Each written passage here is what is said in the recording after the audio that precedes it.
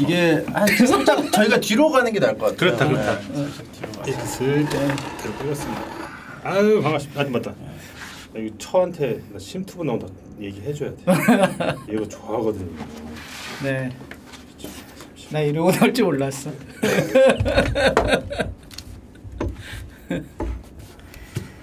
아,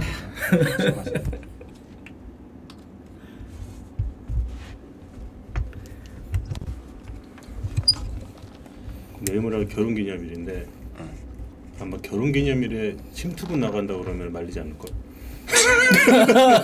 아, 그 정도로. 그 정도로 네. 나 침투부 나왔어. 응. 응. 나 아까 와가지고 같이 밥도 먹고 이제 이제 하려고 하니까 에, 재밌는 시간 가지시오. 네. 에, 에. 자, 어, 선생님 또 오랜만에 모셨습니다. 예, 상어가 상어가 좀 약간 들어갔네요. 네. 요게 맞는 상어 같습니다. 아, 그래요? 예, 이거 어, 어금니가 네. 아, 그 뭐야 앞니가 네.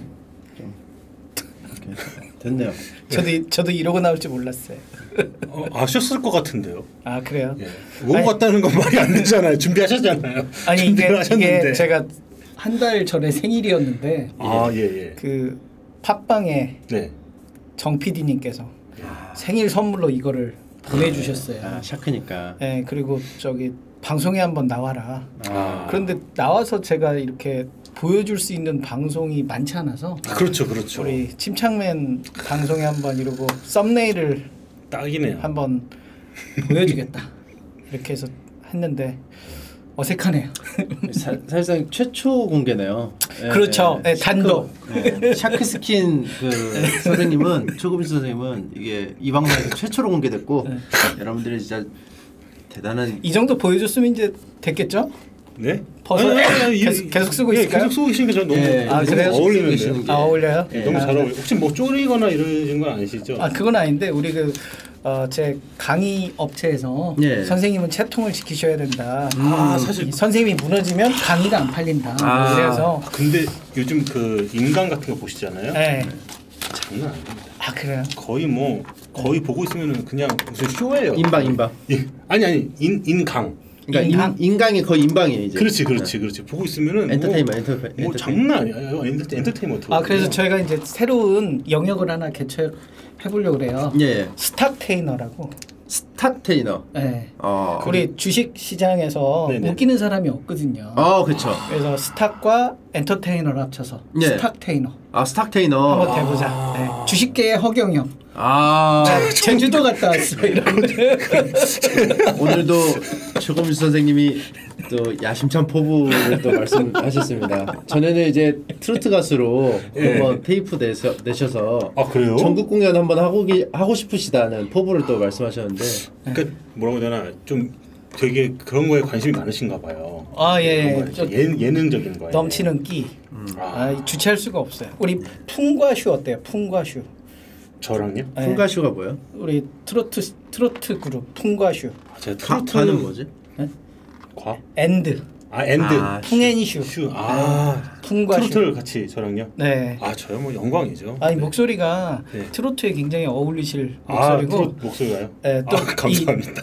이, 이 비주얼이 있잖아요. 네. 40대 아줌마에게 많이 어필할 수 있는 이런 아까 그 전화하신 게 그 저 뭐지? 예. 이 약간 이렇게 쳐놓은 그런 게 아닌가. 나는 이렇게 어 가정 생활에 충실하다. 어 아니에요 아니에요. 이걸 안 알리고 하면은 되게 아, 또 그래요? 되게 서운해. 서운해. 아 서운해하세요? 진짜로 유일한 어떤 삶의 낙입니다. 네, 이거랑 대바드랑. 근데 제가 보기에는 우리 40대에 예. 이 트로트를 내시면 굉장한 인기를 얻지 않을까. 새로운 길을 한번 저랑 풍과슈 한번 해보시면? 왜, 왜 슈예요? 샤 아니에요? 아 제가 이제 끝에가 슈, 수니까. 아 풍과슈. 풍과슈. 노래를 네. 좀 잘하시나 봐요. 아 노래요. 아 제가 틱톡에도 아 틱톡도 하세요? 네. 아, 틱톡도 하세요? 네, 틱톡에다 하나 올렸었거든요 노래한 거. 예. 네, 반응이 썰렁하더라고요. 아니 회, 아. 예, 회사 생활이 힘들어가지고 예. 아, 예. 어, 틱톡 그 노래방 동전 노래방 가서 예. 틱톡 그걸 켜놓고 한번 불렀어요. 아. 예, 음. 그래서 조회가 한 천 회 정도 나오더라고요. 어, 천 회면 많이 나온 거죠. 그 네. 선생님이 그 개인 투자를 계속 하시다 보니까 음. 그 시대의 흐름 같은 거 계속 기민하게 이- 그러네. 읽으시기 때문에 틱톡도 하시고 하는 거 아니겠습니까? 네, 제가 올해 반백인데요. 네. 네, 앞으로 50년 더 살아야 되기 때문에 이 시대의 흐름을 계속 이어 요즘 그 아류 민수들이 굉장히 많이 생겼더라고요. 그래요? 네, 뭐 아, 궤도 민수 선생님도 계시고, 아, 예, 예. 네, 그래서 참 민수계 원조다 뭐 이런 얘기도 듣고 원조 살다 보니 네, 원조 민수는 이분이시죠 지금 아 선생님이시죠. 예, 그래서 뭐 여러 여러 민수분 근데 그분들이 이 실제 이름이 민수가 아니더라고요.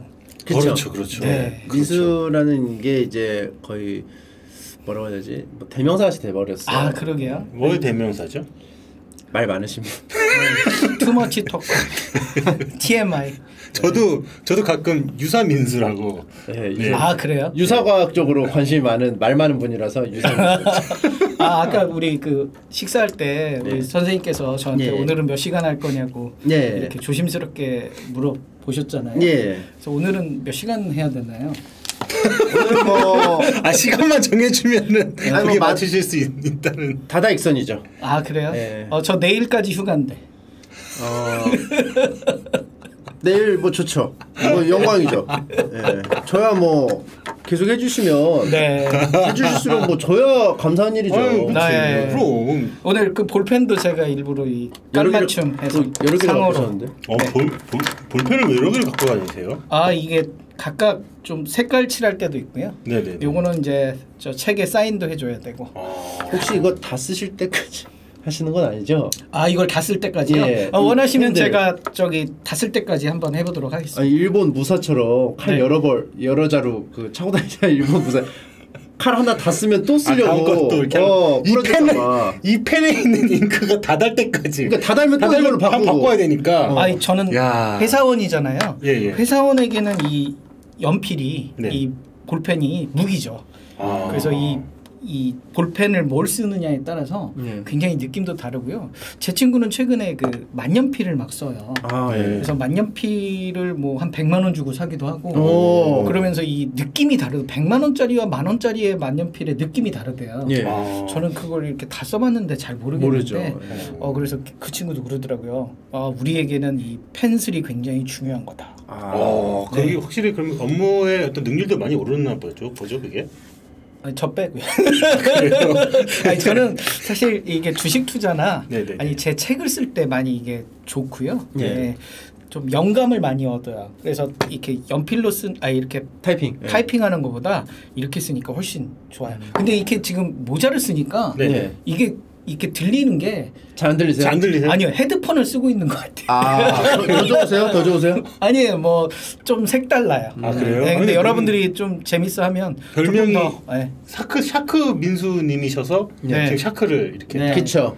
아니 이게 또 닉네임. 또 이게 생일 선물이라고 주셨는데 예, 예. 또 이럴 때 또 고맙다라는 표현을 한번 해주는 게 아. 의리인 것 같고 의리 네, 의리고. 그렇죠. 그래서 오늘 오늘은 사실 제가 예. 이 간만에 나오잖아요. 예. 그래서 많이 준비했어요. 그래서 어, 한 일주일 동안 어떤 컨셉으로 해야 될 건지 그래서 재미없으면 최고민수 게임도 한번 해보고 제가 적었어요. 아니 오늘 아니 최고민수 게임. 재미 없으면이 아니라 네. 재미 있어도 하시려고 네. 갖고 오셨잖아요. 네, 최고민수 아니 게임이라고. 정말로 뭔가 보따리를 바리바리 싸들고 오셔가지고 네. 저게 가방에다가 네. 전체 컨텐츠를 가져오셨어요. 네, 최고민수 게임. 사실은 제가 한 가지 못한 게 있어요. 예. 아침에 저 이 도시락을 좀 싸오려고 그랬는데 아 예. 도시락은 다음번에 제가 꼭 기회가 되면 아 도시락이요? 네. 도시락은 또 왜요? 아 우리가 그 저기 도시락 먹으면서 해야 돼. 네 라떼는 말이야 컨셉이거든요.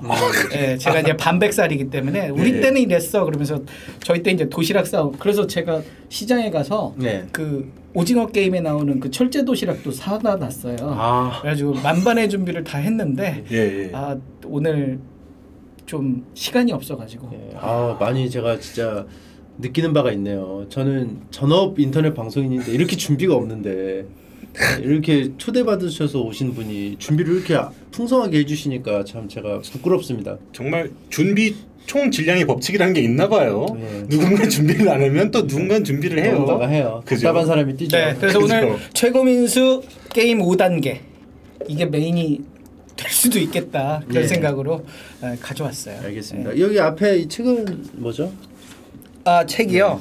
아 이번에 제가 이제 책 을 하나 냈는데요. 또 집필 하셨죠? 네, 부의 시작. 아 이게 제가 들어도 되나? 이 네. 부의 시작이라고 네. ETF 관련 이야기예요. 야, 그래서 ETF, 오늘 ETF. ETF 7단계를 한 단계 한 시간씩. 어. 한 7시간 정도면 아, 일곱 시간. 네, 마무리할 수 있지 않을까? 게임은 언제 하나요? 그러면 또? 게임은 중간 중간에 이제 아 중간에요? 지루할 때, 지루할 때요? 좋을 때한 오. 번씩 해 주는 걸로 야, 이렇게 하려고 합니다. 일곱 시간. 어, 이 전보다 좀 더 그 금박을 넣어서 그런지 좀 고급스러워 보이고. 네, 좀그 돈을 좀 들였습니다. 네. 아, 그리고 이제 보시는 분들이 어, 좀 이해하기 쉽게끔 글씨를 크게 크게 박아놨네요. 아, 네, 그러네요. 너무 좀 짜잘짜잘하게 되면 또 안 보거든요.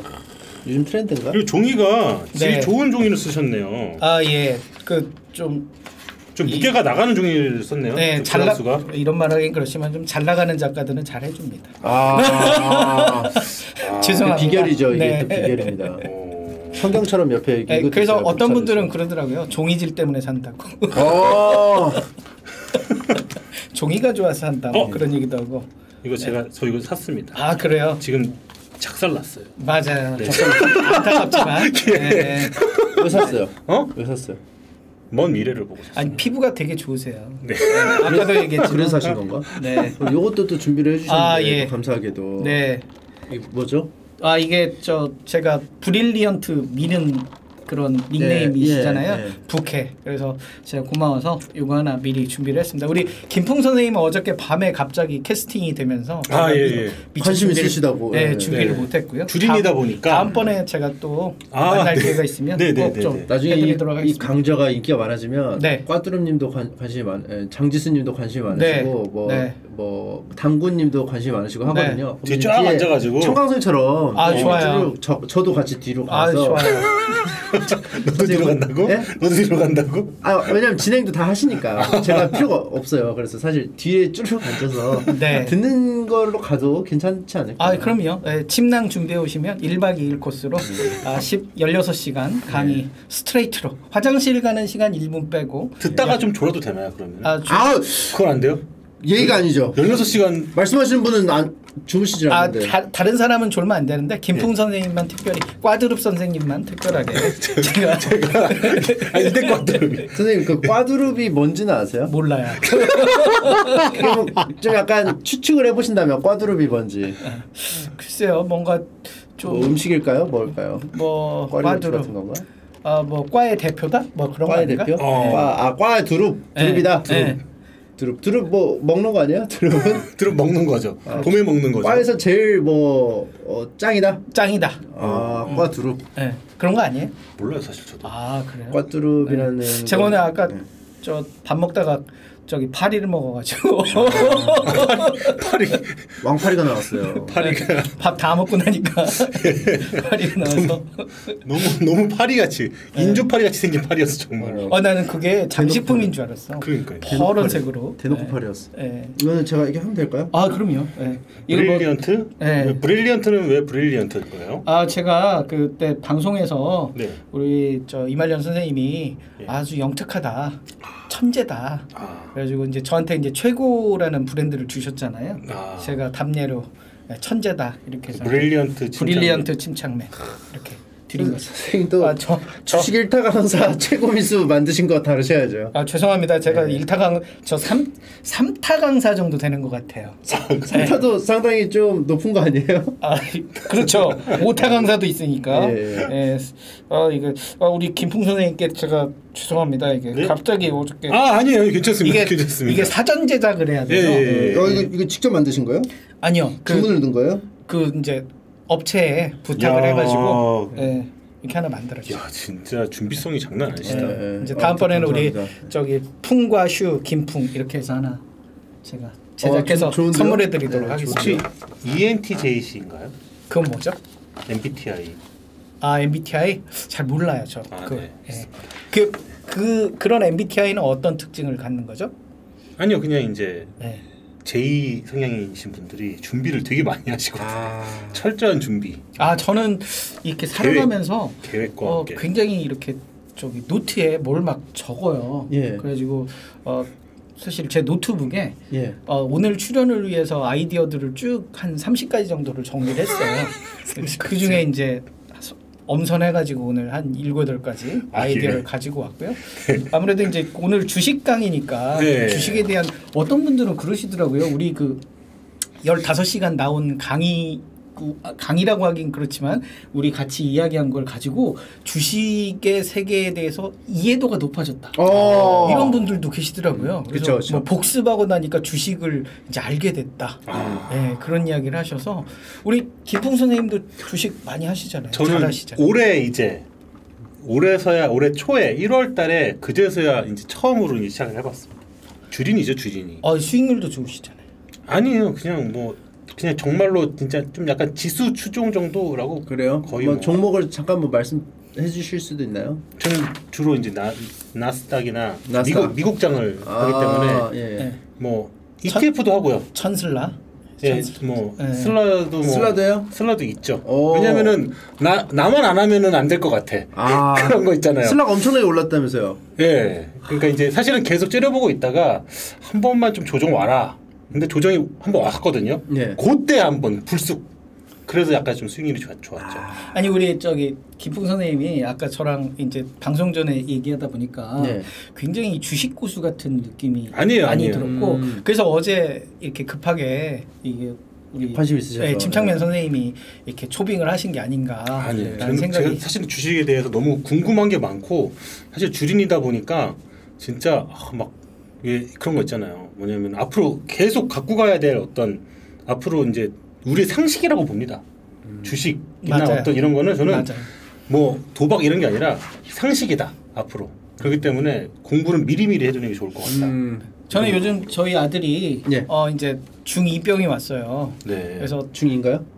중1인데 좀 일찍 왔어요. 아. 그래서 중 중1인데 중2병이 좀 조기 발병이. 예, 조기 오셔가지고 아 이제 집 방에 들어가면 첫 마디가 이거죠. 나가. 나가. 나가. 나가. 선생님 방에 어, 뭐잘 있어? 근데 나가. 이래요? 예, 첫 마디가 아. 나가.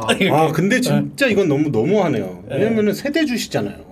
예. 어떻게 하- 어떻게 하면은 아드님이 거기에 어떻게 하면 지금 얹혀 살고 계는 계신 거잖아요. 그렇죠. 그렇죠. 그걸 좀 엄연히 그거를 좀 말씀해 주셨으면 좋겠어요. 예, 집주인으로서 그러니까요. 어, 그거를 뭐 저는 그렇게 생각합니다. 그래도 아무리 그래도 그 얹혀 사는 입장이긴 하지만 방을 하나 떼어서 준 거기 때문에 쿨하게 그렇죠. 이거 가지고 이제 막 뭐라고 하면 안 되고 그 대신 방에 들어올 때 이제 노크를 하고 들어갔는데도 불구하고 나가달라는 의사 표현을 하고 싶다면 나가 대신에 나가 주시겠습니까? 이 정도로 좀 순화해서 하는 게 그렇지. 좋지 않나. 그렇지. 예. 옷 떠두고. 네, 그래서 곧 경험하실 거예요. 아버지한테. 그래서 나가 네? 그러는데 아.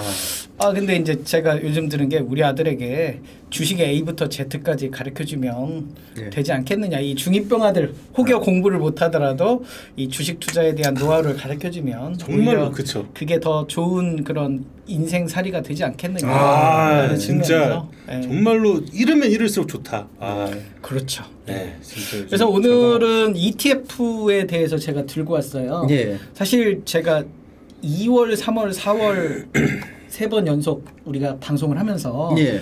제가 2차 전지 ETF 열심히 설명을 드렸잖아요. 예. 근데 4월 달에 폭스바겐 사태가 나면서 한 15% 정도 그때 빠졌었거든요. 아 맞아요. 그래서 이제 4월 그때 방송 나올 때 걱정이 되더라고요. 아. 내가 이 밀었는데 15% 정도 시장이 폭락하고 나니까 쟤이 가짜 아니야? 아니면 음. 이 허수아비 아니야? 뭐 이런 얘기를 듣는 거 아니야? 그래서 그때 제가 과감하게 네. 더 살아. 고맙다. 오히려 좋아. 그쵸. 그랬더니 이 갑자기 제 부캐가 고맙다 최고민수가 됐잖아요. 아. 그래서 한동안 고맙다 최고민수 고마워 뭐 이러면서 고마워. 신문 고맙다. 기사에도 네. 제목이 오히려 좋아가 이제 신문 기사 제목으로 아. 나오고 뭐 고맙다도 막 고맙다. 나오고 추가 매수에 기회를 네. 줘서 고맙다. 예, 오히려 좋아의 원조. 그쵸. 예. 할인 찬스, 할인 찬스. 사실 저도 그렇게 생각을 하거든요. 한번 이렇게 뭔가 그런 게 딱 왔었을 때, 어 바겐세일 아 이런 느낌으로 중증인데요, 중증인데요. 쓱 들어갑니다. 쓱 왜냐면은 아 항상 노리고 있는데 계속 올라가고 있으면은 아 막 미치겠어요. 아저 올라가고 FOMO라 그러잖아요. 왜? FOMO. 예, FOMO가 좀 있, 그, 이- 생기더라고요. 이렇게 올라가는 걸 보고 있으면. FOMO? Fear, 포머, 포머. fear of 네. 뭐지? 저도 까먹었어요. 피어 오브 어, 거기까지. 그러니까 한마디로 다른 주식들은 다 올라가는데 나만 소외된 거야. 왜 아, 내 주식만 안. 올라? 맞아 네. 맞아 맞아. 그래서 예. 아 저보다 다 똑똑하시네. 예. 이게 신조어들이 너무 많이 생기니까 맞아요. 어려워 맞아요. 죽겠어. 사실 이제 ETF 선생님이 추천하신 그 2차 전지 제가 이제 또 믿고 과감하게 투자했다가 목돈 투자했다가 지금까지 갖고 있어요? 마이너스 20 몇 프로 맞았었잖아요. 그때 당시 4월 달에. 그랬어? 네. 아 그때 그거 어. 25%인가 한 30%까지 떨어, 떨어졌었어요. 그래서 그러다가 그건 이제 뭐. 지금은 많이 복구해서 다시 양전했죠. 양전으로 했고 지금 20, 아, 30% 가까이 갔다가 요즘에 또 살짝 떨어져서 사실 22% 정도. 원래 이렇게 하면서 또 올라갑니다. 네, 예. 지금 그런 네. 상황입니다. 그래서 그때 참 이 좀 죄송하더라고요. 음. 왜냐면 저는 장기 성장성은 있는데 순간적으로 망가지니까. 근데 저의 투자법은 떨어질 때마다 더 사니까. 그래서 그 원래 사- 원래 그렇죠. 네, 맞아요. 4월 이후로 그래도 한 5, 60% 이상씩 수익이 나서 그나마 좀 제가 요즘 네, 요즘은 좀 고맙다라는 말 오히려 수익이 나니까 고맙다라는 말을 안 쓰시더라고요. 음. 손해 날 때만 고맙다 이렇게 네, 긍정적으로 선생님한테 또 자, 잠깐 여쭤보고 싶은 게 있는데 네. 이제 그때 사실 선생님을 뵌 게 그 말년을 행복하게 그 그렇죠. 프로그램 때문에 뵌 거잖아요. 그렇죠. 그때 당시 이제 삼성전자가 이제 막 한 9만 간에 막뭐 이렇게 이런 음. 상황이었어요. 그래서 아 이거 투자를 해야 될까요? 8만 얼마 때. 그러니까 이제 선생님이 이제 아 10만 전자 갑니다. 이렇게 하셔가지고 또 거액을 또 넣는데 그러네요. 언, 네. 언 제까지 고마워해야 될까요? 아 일단은 네. 삼성전자는 그 이게 반도체 산업이잖아요. 예. 그래서 반도체 산업이기 때문에 반도체의 그 디램 가격의 영향을 아직까지는 좀 많이 받는 것 아, 같아요. 맞아요, 그래서 맞아요.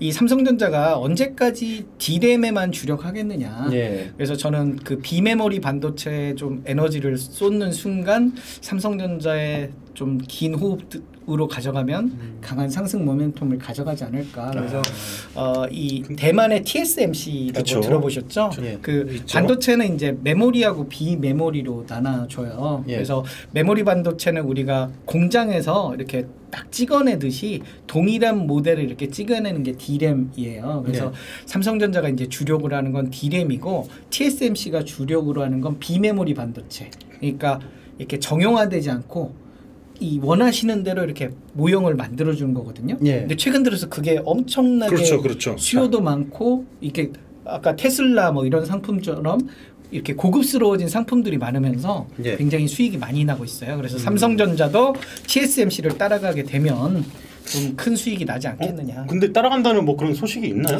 일단 그 따라간다는 건 우리가 저걸로 알아요. 설비 투자로. 네네네. 어. 그래서 TSMC가 지금 전체 그 비메모리 비메모리 반도체 시장이 한60% 50%에서 60% 사이를 차지를 하거든요. 네네네. 그리고 삼성전자가 한 15%에서 20% 정도를 차지를 하는데 네네. 삼성전자가 그 TSMC가 연간 한 30조 정도 투자를 해요. 예. 네. 근데 삼성전자가 그동안 10조 정도 투자를 했거든요. 어, 그러다 네. 보니까 이 격차가 계속 벌어졌는데 아, 앞으로 이 부분들을 많이 커버를 해나가지 않을까 예. 그런 의미에서 좀 삼성전자의 주가를 좀 희망을 가져봅니다.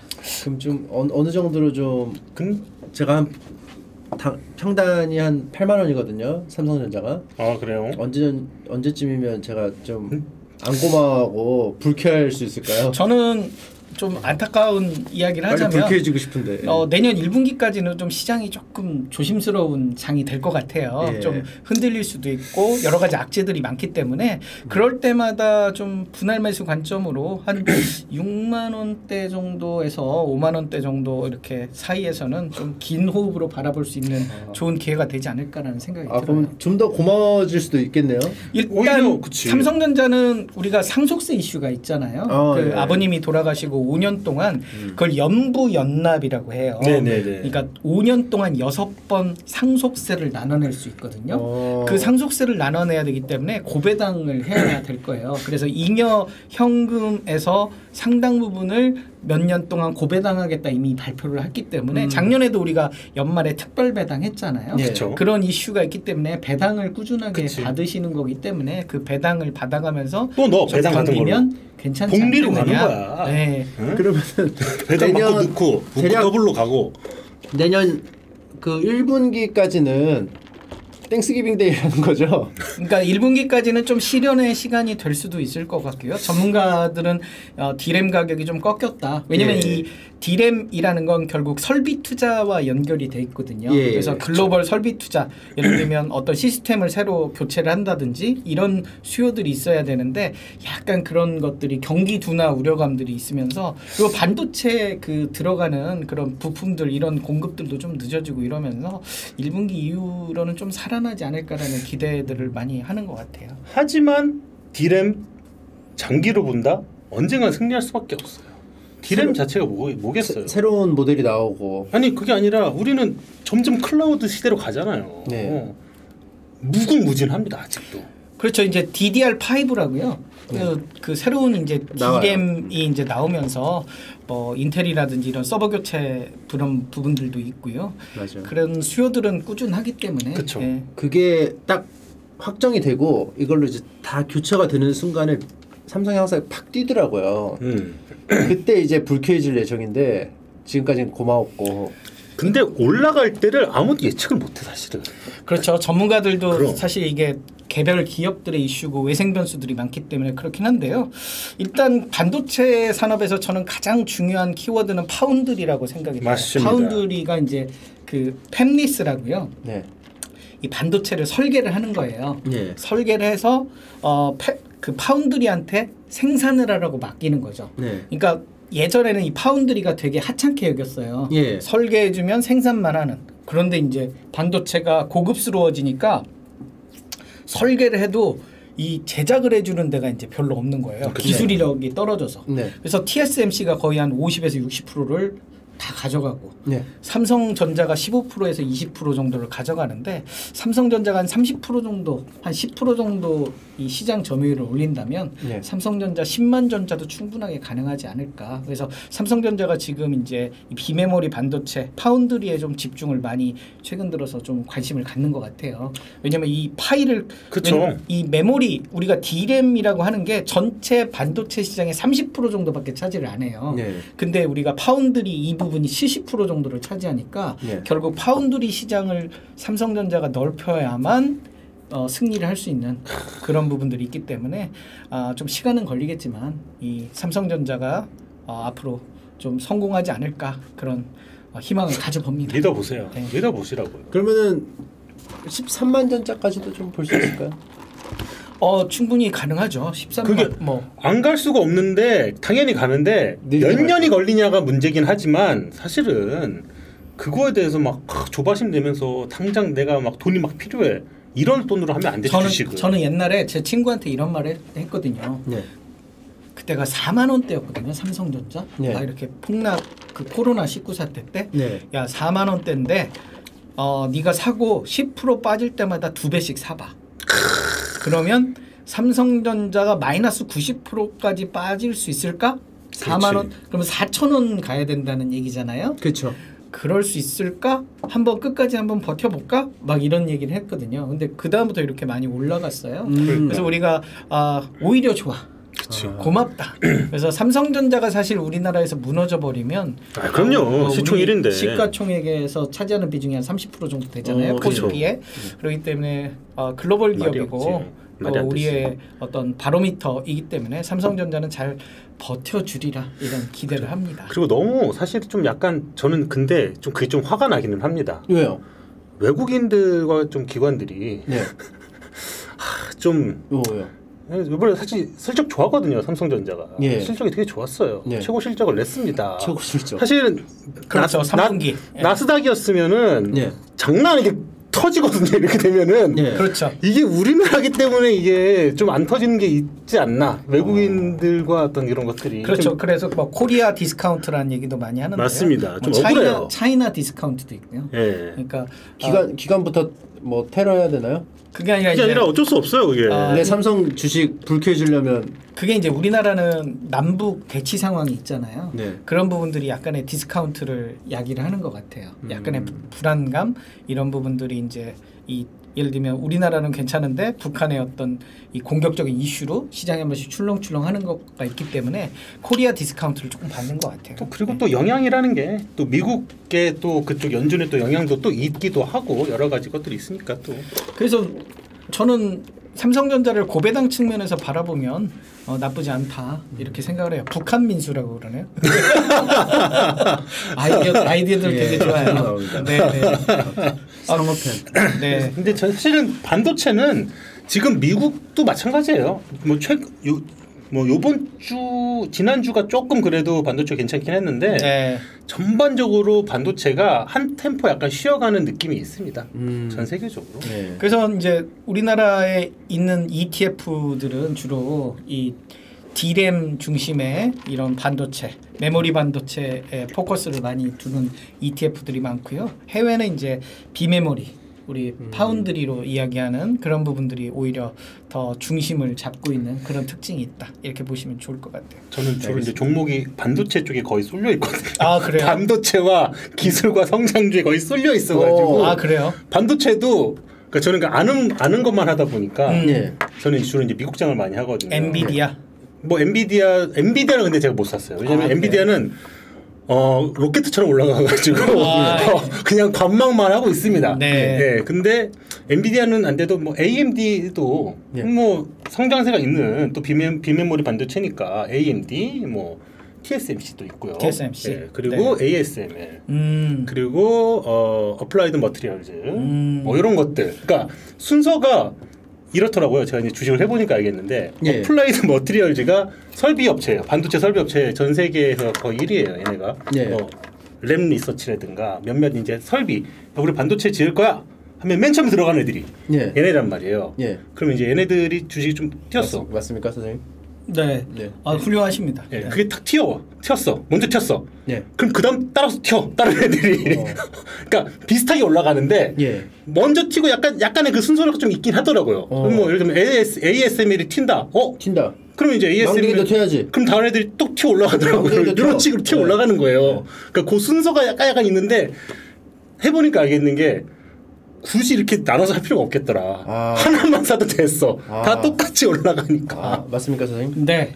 아 그래서 이제 우리가 보통 ETF를 투자하시는 분들은 필라델피아 반도체 지수라고 있어요, 미국에. 네. 그래서 그런 지수를 추종하는 ETF들을 사시면 이런 그쵸. 개별 종목에 대한 맞아요. 고민들을 많이 안 하셔도 이런 반도체 업황의 전반적인 흐름을 이어갈 수 있기 때문에 음. 국내에도 그 필라델피아 반도체 지수를 추종하는 ETF가 있어요. 그래서 예. 그런 ETF들을 어, 참고하시면 좋지 않을까. 야, 필라델피아는 크림 반도체 너무 이쁘다. 치즈 케이크라고. 필라델피아 크림 반도체. 어, 네. 왠지 사고 싶어. 네. 저거. 그래서 우리가 이제 오늘은 ETF에 대해서 이야기를 드릴 건데요. ETF는 우리가 보통 Exchange Traded Fund라고 해서 예. 증권 거래소에서 거래되는 펀드예요. 기본적으로 우리가 펀드라고 하면 어, 증권사나 은행에 가서 이렇게 계좌 개설해 가지고 장기간 묻어두고 뭐 적금식으로 넣는다 이렇게 생각을 하시는데 ETF는 주식 처럼 주식 종목처럼 매일 매일 거래할 수 있고 몇 번이든 거래할 수 있고 거래한 다음에 이 영업일 후에 현금을 찾을 수 있다. 그런 점에서 굉장히 매력적인 투자처가 아닌가라고 생각이 음. 들고요. 우리가 펀드 같은 경우는 해외 펀드 같은 경우는 환매라고 하죠. 9일 걸려요. 그러니까 네. 내가 이렇게 돈 찾겠습니다 하고 9 영업일 후에 이렇게 돈을 받으니까 예. 9 영업일 후니까 굉장히 오래 걸리잖아요. 그쵸. 근데 얘는 2 영업일 후에 얼마든지 찾을 수 있고 바로바로 맞아요. 내가 좋아. 내가 이거 샀다 저거 샀다 이렇게 환금성도 그치. 되게 좋고 그런 의미에서 저는 ETF가 앞으로 하나의 그런 시장의 게임 체인저가 될 거다라는 생각을 하고요. 초보자 네. 주린이 최고예요, 최고예요. 에게는 최고의 그런 맞아요. 투자 상품이 ETF다. 주식은 좀 하고 싶은데 왠지 맞아요, 맞아요. 손해를 볼 것 같고 그렇다고 안 하자고 있자니 포모족이 될 것 같고 맞아요. 그런 사람들에게 최적의 상품이 저는 ETF다라고 맞습니다. 이야기를 드리고 싶어요. 그래서 개별 종목을 사느니 개별 종목을 담은 ETF를 사라. 그러니까 이런 한마디로 지금 ETF 하고 있잖아 네. 이제 그런 네. 것 2차 전지. 네. 저는 이제 이, 저도 맨 처음 ETF로 시작을 했거든요. 네. 맨 처음에 ETF를 뭘 했냐면은 ARKK 음. 예. 아크라우- 돈나무. 네, 돈나무 네. 클라우드 여사님의 아 클라우드 아니지 돈나무 아, 그, 언니. 예, 예, 예, 그 네. 이름이 캐시 캐시 네. 캐시 트리 뭐지 캐시우드 캐시우드 캐시우드 캐시우드. 예, 캐시우드 네. 네. ARKK랑 그리고 속스 음. SOXX 네. 그리고 QQQ QQQ. SPY 네. 네. 아이. DIA 많이 하죠. 엄청 많이 하죠. 이거를 다 들어갔어요. 왜냐하면은 근데 소액으로. 음. 왜냐하면은 어 해봐야지 알겠더라고요. 아. 그런 다음에 아 여기 이런 성향을 갖고 있구나 한 다음에 이제 몇 개는 빼고 이제 그것들 개별 종목으로 이제 들어가게 됐거든요. 예. 그러니까 이제 지금은 사실 갖고 있는 이유가 저는 이제 아 ETF 제보다는 내가 지금 높아야 되는데 약간 경쟁하는 느낌으로 하게는 돼요. 어. 이게 이제 ETF가 있으면은 뭐 반도체 SOX도 사실은 반도체 쪽 ETF니까 네. 걔가 있는데 걔보다 내가 수익률이 이렇게 많이 갖고 있는데 얘보다 수익률이 안 좋으면 할 필요가 없잖아요. 이렇게 그냥 그렇죠. ETF 그냥 낫잖아요. 넣어버리면 되죠. 네. 근데 놀랍게도 똑같아요. 어 그럼 ETF로 하는 게 낫잖아요. 그게 낫지. 네. 왜냐면 내가 고민할 시간이 필요 없잖아. 그죠? 그렇게 하면은. 어. 어 그래서 저는 이렇게 ETF의 장점을 몇 가지 주식 대비해서 예. 이야기를 하자면 첫 번째로는 국내 ETF 같은 경우 웬만하면 상장 폐지가 없어요. 예. 상장 폐지가 없다는 게 저는 주식 투자하는 데 아, 가장. 큰 메리트가 그쵸. 아닌가 싶어요. 음. 그러니까 삼성전자를 사시고 나서 사실 네. 마음이 좀 주가가 내려서 속상하긴 하지만 네. 삼성전자가 상장 폐지 될까 이런 고민들은 안 해보시잖아요. 그런 걱정까지는 안 가죠. 그렇죠. 근데 웬만한 감사할 뿐이죠. 중소형주들은 상장 폐지되는 경우들이 너무 많아요. 맞아요. 맞아요. 그래서 상장 폐지되다 보면 만 원에 샀는데 나중에 상장 폐지되고 나서 30원이면 아 거의 남는 게 없거든요. 1억 원 투자해서 30만 원 하나리죠. 남으니까. 네. 그런데 ETF는 그런 상장 폐지가 거의 없다. 음. 그러니까 우리가 시가총액이라고 하잖아요. 네. 주식수 곱하기 주가를 시가총액이라고 하는데 아, 사실 시가총액이 한 50억 이상만 되면 상장 폐지하고 무관해요. 네. 그런데 음. 대한민국에 있는 ETF의 한 8, 90%는 50억 이상이에요. 아. 그렇기 때문에 상장 폐지와 거의 2차 전지 ETF 같은 경우는 조단이에요. 시가총액이. 음. 그렇기 때문에 상장 폐지와 무관하기 때문에 떨어지면 오히려 좋아. 아, 오히려 매수하고 기다리면 상장 폐지는 없으니까. 네. 그런데 이제 상장 폐지되는 ETF는 어떻게 할 거냐? 네. 펀드잖아요. 예. 그렇기 때문에 펀드가 상장 폐지 되더라도 펀드의 자산만큼 음, 돌려줘. 돌려주는구나. 그러면 내가 아무리 손해를 보더라도 마이너스 50% 이상 손해 보기는 어려울 아. 가능성이 되게 높아요. 아. 그렇기 때문에 상장 폐지와 일단 무관하고 두 번째로는 네. 구성 비중만큼만 반영이 돼요. 네. 그러니까 예를 들면 어떤 특정한 SK 하이닉스를 예를 들면 어, IT ETF에 SK 하이닉스의 비중이 한 10% 된다고 치면 예. SK 하이닉스가 어쩌어쩌 하다 보니까 하한가를 갔어요. 예. 예를 들면 그러면 마이너스 30%잖아요. 예. 그런데 이 하이닉스를 10% 담고 있는 ETF는 마이너스 3%예요. 맞습니다. 음. 10%만 반영을 하니까. 그렇죠. 그렇죠. 그러니까 개별 종목은 하한가가 가지만 얘는 하한가 갈 일이 거의 없다. 그쵸. 열 종목이 하한가 가긴 불가능하잖아요. 음, 그치 그치. 그런 의미에서 저는 ETF의 장점은 덜 내린다. 그럼 덜 오르잖아요. 덜 오르는 건 30% 상한가 맞아도 3% 오르잖아요. 그렇지 안정성이잖아 대신. 그런데 안정성이지. 덜 그래요. 덜 오를 수 있지만 덜 떨어. 그러니까 오른 종목들은 급락을 하는 법이거든요. 네. 근데 내가 정말 실력이 좋아서 운이 좋아서 급등의 정점에 팔면 좋지만 우리가 그러지 못하잖아요. 그치. 조금 더 오를 것 같아서 맞아요. 기다리다 보면 꺾이다 보면 나중에 팔 때 보면 거의 본전에 파는 맞아요. 경우들도 상당히 많아요. 내가 해보니까 ETF랑 내가 혼자서 반도체 갖고 가는 거랑 얘가 높을 때가 있다니까 ETF 훨씬 더 높을 때가. 음. 그러니까 내가 얘를 따라가 이길 수가 없는 거야. 그러니까 제가 그 수업에 자꾸 집중을 못 하는데 그 옷을 혹시 거꾸로 입으신 거 아닌가요? 제가 계속 어 맞다. 아 왜냐면 자꾸 태그를 보는데 태기 저게 맞나? 어? 예.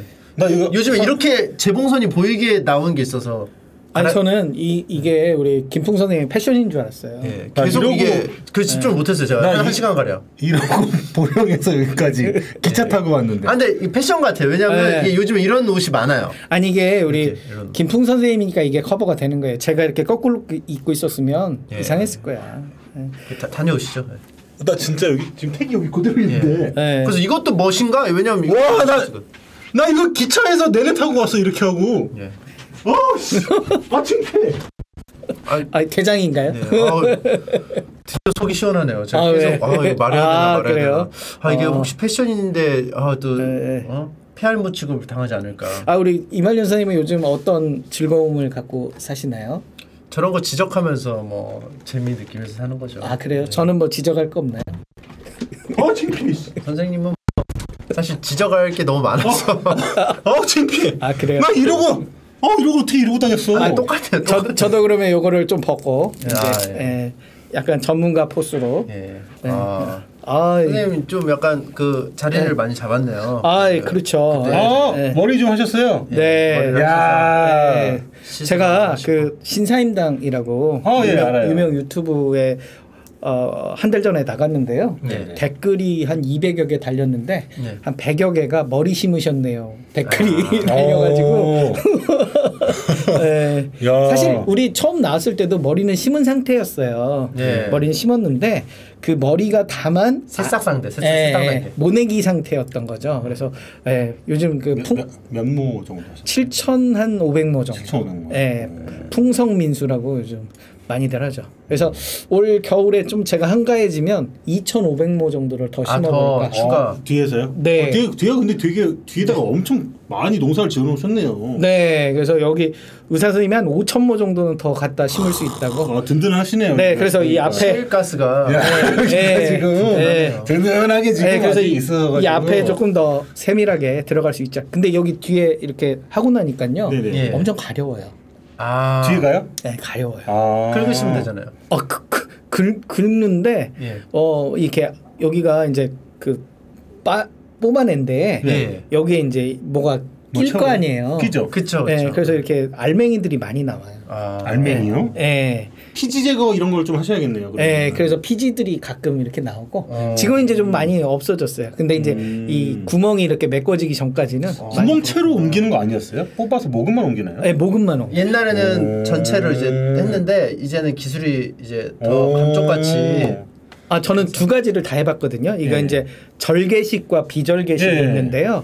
어, 조율씨도 하셨어요? 예, 절개식 왜냐면 7,500모를 뽑으려면 비절개식만으로는 안 된대요. 아. 그래서 절개식과 비겨, 비절개식을 해봤는데 절개식이 훨씬 편하더라고요.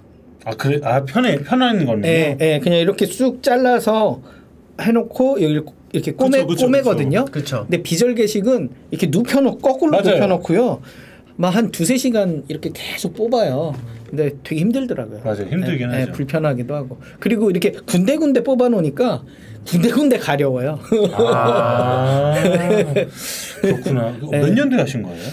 작년 12월 말에. 어, 그래요? 예. 예, 12월 말에 하고 여기 이제 한 두 달 있다가 출연을 한 거죠. 기술이 그렇다면은 이 머리에 이제 새롭게 이제 이주를 했잖아요. 그 고려 시대 그 그 그것처럼 그 뭐죠? 국경지대로 이주를 시키잖아요. 그렇죠. 옮기죠. 나라에서 강제로. 네, 지금 신도시를 여기다 짓는 거죠. 사실 그렇죠. 옛날에는 여기가 사실 구도심이었고 네. 여기가 이미 여기는 이미 망했어요. 네. 그랬는데 이 망한데 다시 개간을 한 거죠. 네. 그렇죠. 예, 다 뒤집어 엎은 거예요. 갈아 엎은 그렇죠. 거예요. 이제 이 이주민들이 잘 이제 그 적응을 해서 그렇죠. 마, 많은 부분 살아가나요? 아니면 아, 좀 약간 이탈하는 사람들 제가 이제 이 뒷머리가 네. 되게 곱슬해요. 네. 곱슬머리라서 여기다 세웠는데 어, 생각보다 이 곱슬머리들이 잘 살아남았고요. 아, 이 목을 튼튼하죠. 단점이라고 하면 얘네들이 절개가 있어요. 지조가 있어요. 아, 어, 왜요? 굽히질 않아. 아 방향이 네. 아. 뒷머리라서 이게 이렇게 이제 강하구나. 이렇게 꺾여야 되는데 계속 자라요. 그래서 아. 안 자르면 이게 끊임없이 야, 자라더라고요. 진짜 이게 폴 피닉스처럼 네. 사실 또 보면은 이런 거 있잖아요. 예를 들면은 우리나라도 어, 해외에서만 뭐 이주를 해서 옵니다. 하지만 자기네들만의 어떤 고유의 언어나 이런 것들 잊지 않고 살아가는 겁니다. 네. 그렇잖아요. 그쵸, 그쵸. 물론 같이 융화도 되긴 하겠지만 그쵸. 어떤 이렇게 되게 다민족 국가 같은 어떤 그런 지금 형태 형태가 네. 되거든요. 다문화 다문화 머리. 네, 그래서 어 이 아니 너무 무례한 거 아니에요? 왜 웃어요? 아니 저는 진짜 최대한 안 웃으려고 했는데 너무 무례하잖아요. 뭐가 무례해요? 초면에 아니, 선생님한테 아니 저도 그- 저도 마찬가지예요. 저는 웃어도 됩니다, 솔직히. 저도 고시거든요. 근데 안 지금 했잖아요. 보세요, 아직 안 저도 했잖아요. 곧 할 거라서 지금 연락처 드릴게요. 예, 먼저 지금 지금 뵙는 거예요. 지금 왜냐면은 저도 지금 보면 지금 고령화 사회로 가고 있거든요. 예. 그럼 이제 먼저 지금 이렇게 이제 어떤 대처를 하신 분에 대해서 예. 아, 조언이 그래서- 필요하거든요. 아 아, 이거 근데 왜 이렇게 광이 나요? 예? 광이 나요 이게 지금. 피부가 화면에? 좋아. 아, 저는 근데 원래 좀 광이 납니다. 어 예. 아니 근데 이 모자를 벗고 나니까 잘 들리네. 아까는 아, 이렇게. 하니까 아. 약간 했는데 아, 그 약간 약간 nerf 먹으셨구나 저 모자 네. 때문에. 네. 이거를 예. 그 수업 때마다 그 잘 듣는 학생한테 좀 샤크의 후예라고 해서 아, 예. 씌워주죠 앞으로. 아 예. 그래서 아 이게 아까 이렇게 귀를 막고 있으니까 네. 이렇게 좀 멀리서 들리는 느낌이었는데 이제 저도 이제 집중력이 쭉 올라가는 거예요. 아까 그냥- 집중력이 네. 떨어진 상황이셨나요? 이거 막아야지 아. 집중이 되지 않나요? 아니 우리 이렇게 막으니까 어 이게 소리가 반만 들리는 거죠. 아. 그런데 이제 지금은 굉장히 이렇게 잘 들려서 야. 좋네요. 그래서 알겠습니다. 그래서 ETF의 기본적인 우리가 개념에 대해서 어 우리가 알아봤고요. 그러니까 덜 빠진다. 네. 저는 덜 빠진다가 주식 투자하면서 가장 큰 매력이 아닌가 맞아요. 싶어요. 진짜 중요해요, 네. 그러니까 왜냐면 남들은 뭐 반토막 나고 이러는데 ETF로 반토막 나기가 사실은 쉽지 않거든요. 그쵸, 그쵸. 우리가 아까 되돌아갔을 때 마이너스 30%일 때 네. 공격적으로 한번 매수를 해봤으면 어떨까라는 아쉬움이 지금 들어서는 생기는 거잖아요. 그쵸. 예를 들면 아 마이너스 30%때 아씨 그치. 왜 이래? 그렇지만 발상의 전환인 거죠. ETF라면 마이너스 30%는 정말 너무 매력적인 그러네요. 매수기에다 저는 생각을 최고네요. 해요. 아, 그래서 맞네. 저는 20%, 40%, 60% 이렇게 세 가지 마지노선을 두거든요. 예. 그래서 마이너스 60%일 때는 인생을 한번 걸어볼 수도 있겠다라고 저 개인적으로는 생각을 해요. 오, 왜냐하면 그래요? ETF가 마이너스 60%면 지수가 60% 이상 빠진 거예요. 아, 그렇죠, 그렇죠, 그렇죠. 지수가 한 5, 60% 빠진 상황이니까 예. 3천에서 한 1,500대로 빠지는 거거든요. 근데 우리나라가 그 삼, 지수 코스피 3천이 PER로 한 10배 수준이에요. 예. 그러니까 10배 수준이 PER 5배 수준으로 오니까 극도로 저평가인 상태가 우리 이제 시장이 된 거예요. 그런 상황에서는 좀 더 공격적으로 매수하는 게 매력적인 투자 기회가 아닌가라고 생각이 드는 거죠. 그러니까 사람들이 그거잖아요. 주변에 올 주식을 해서 오른 거는 얘기해도 떨어진, 떨어진 건 얘기, 얘기 안. 하잖아요. 네. 떨어진 게 훨씬 더 많, 많은데도 얘기를 안 하니까 오른 것만 사람들이 들리니까 아 나도 막 그 오른 내가 더 좋은 데다가 해가지고서는 막 팍팍 올려야 되는 거 아니야 라고 생각하는데 대부분 다 떨어지거든요. 왜냐면 떨어졌을 때는 이제 고마워하는 상태라 굳이 말할 필요가 없잖아요. 고마운 일. 그렇죠. 네. 그러네요. 예. 아 오늘 이렇게 자리 배치도 가운데 해주시고 예. 감사합니다. 아, 예. 아유. 네, 네, 네. 아 그래서 이제 우리가 ETF의 기본적인 매력 알아봤고요. 이번에는 이제 ETF의 종류를 좀 이야기를 해보자면요. 네. ETF는 아, 두 가지 개념이 있는데요. 첫 번째로는 국내 주식형과 예. 국내 기타형 음. 그리고 해외 상장 ETF 세 종류로 우리가 구분을 할 수 있어요. 네. 그래서 우리 이말년 선생님이 투자했던 2차 전지 ETF는 국내 주식형. 네. 그러니까 국내 주식형은 아, 구성 종목이 거래소에서 이렇게 거래되는 주식 종목으로 구성이 되어 있으면 우리나라 주- 거래소에서 거래되는 종목으로 구성되어 있으면 국내 주식형이에요. 예. 근데 그거 말고 아까 나스닥이라든지 뭐 달러라든지 원자재라든지 채권 이런 부분에 대한 투자를 하는 건 국내 기타형 ETF로 구분을 할 수 있거든요. 예. 그럼 국내 주식형과 국내 기타형이 뭔 차이가 있느냐? 매매 차익에 대해서 국내 기타형은 세금을 내요. 아 이렇게 딴지 아 그래 급, 급하게 뭐 좀 보내줘야 돼가지고 다 듣고 있어요. 다 뭐라 듣고 뭐라고. 하셨어요, 선생님? 예? 선생님 뭐라고 하셨어요? 지금 ETF 국내 ETF 네. 그리고 해외 ETF가 있다. 네. 세 종류가 있다고. 세 종류가. 있어요. 네. 국내 ETF, 국내 기업, 네. 국내 기타. 오토 단지 설명을 하시네요. 자자자. 예. 네네. 아 잘, 잘못 됐습니다. 괜찮습니다. 예. 그래서 감사합니다. 우리가 국내 저는 국내 주식형 ETF 중심으로 투자를 제1 포커스를 좀 두셨으면 좋을 것 같고요. 네.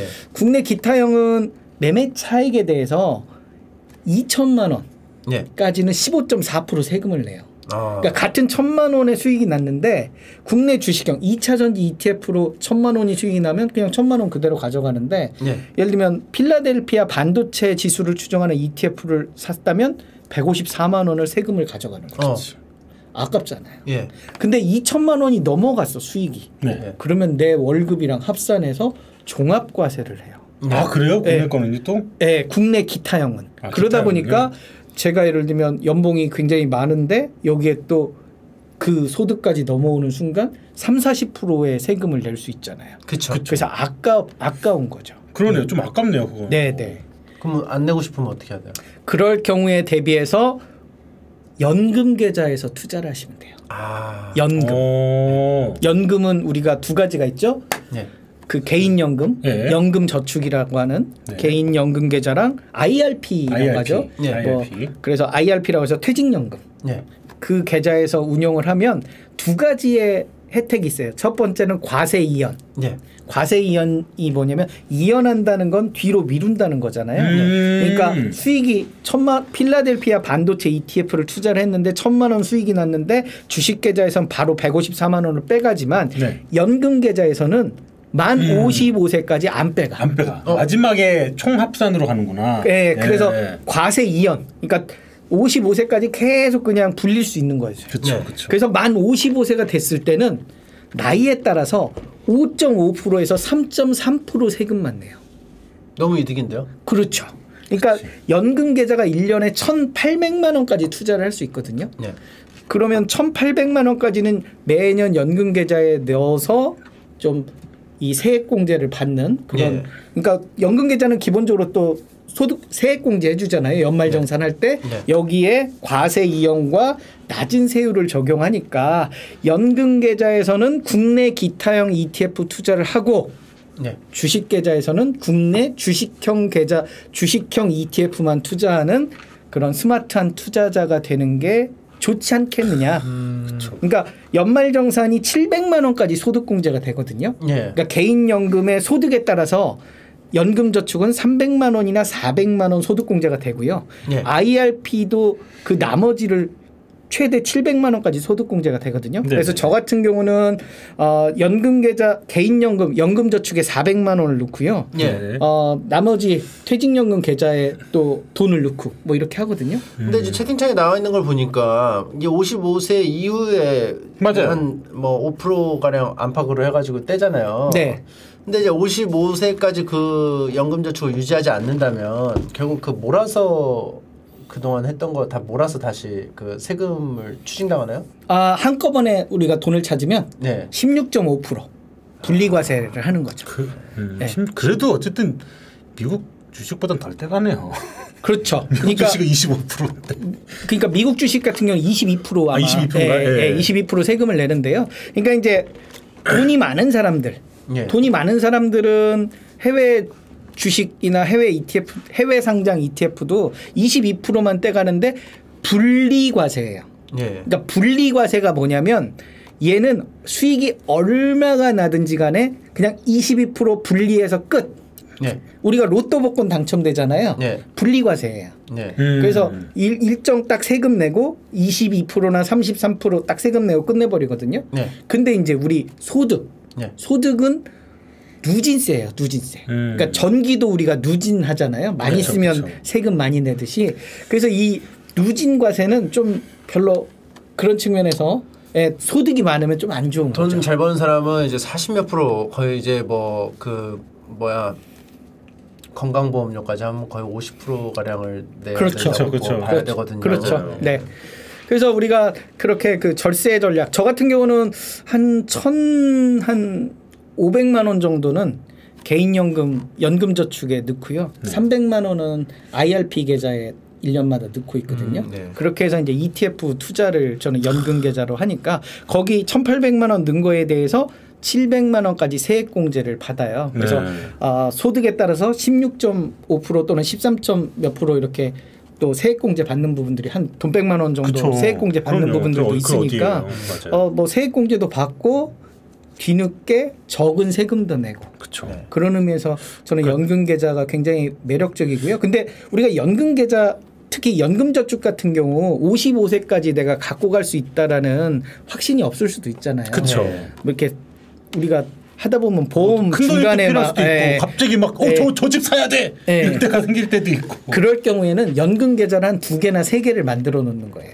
어? 두, IRP가 하나밖에 안 되지 않나요? 그러니까 IRP는 하나로 하, 하더라도 아니요 상관없어요. 어 그래요? 네, 그래서 개인연금 계좌를 저는 저는 개인연금 계좌가 두 개가 있거든요. 네. 그래서 아 이렇게 각각 넣어놔요. 그래서 네. 혹여 나중에 어, 목돈이 되는구나. 필요할 때 어. 이렇게 해지할 수도 있으니까 하나만, 하나만. 예 하나만 해지할 수도 있으니까 그러니까 그럴 경우에 대비해서 두 개를 연금 음? 계좌를 만들고 있는 거죠. 잠깐만 근데 IRP 자체가 비과세잖아요. IRP가 이제 그렇죠 천 그 700만 원까지만 이렇게 아 그러니까 어차피 어쨌든 은행 여러 개 하더라도 합쳐서 그 합쳐서 되니까. 합쳐서 금액에서 그게 그러면. 선생님의 그런 어떤 뭐 위기 상황에 맞춰서 이제 그렇게 나눠서 한다면은 네. 10개로 쪼개서 하면 더 좋겠네요. 10개로 하면 좋긴 더 하겠지만 세부적으로 깰 수 있잖아요. 아 근데 이제 그렇게까지 할 정도로 피곤하잖아요. 10개의 이제 ETF를 아, 그치. 그 의미가- 의미가 없어. 이렇게 막 만들어서 이렇게 각각 해야 되니까.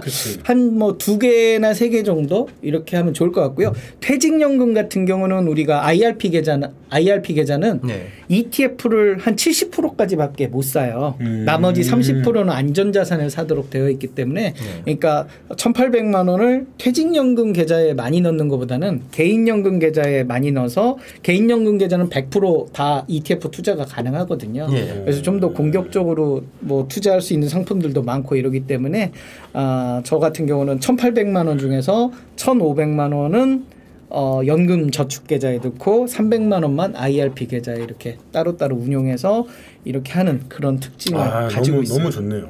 그래서 IRP. 그래서 우리가 국내 주식형과 국내 기타형의 구분은 네이버 등 포털에 보면 그 ETF명 옆에 네. 국내 주식형 뭐 국내 뭐 기, 기타형 이렇게 다 표현이 돼 있거든요. 음. 그렇기 때문에 국내 기타형이라고 되어 있는 건 웬만해선 연금 계좌에서 사자. 음. 그게 그러니까 예를 들면 필라델피아 반도체 지수를 추정하는 ETF면 네. 해외에 상장된 ETF를 살 거냐, 그쵸. 국내에 상장된 ETF를 살 거냐. 저는 국내에 상장된 ETF를 연금 계좌에서 사라. 예. 국내 그 해외 상장된 건 22% 세금을 그쵸. 내잖아요. 세금 세금 너무 아까워. 근데 얘는 55세까지는 세금을 안 내고 55세 이후에 5.5%.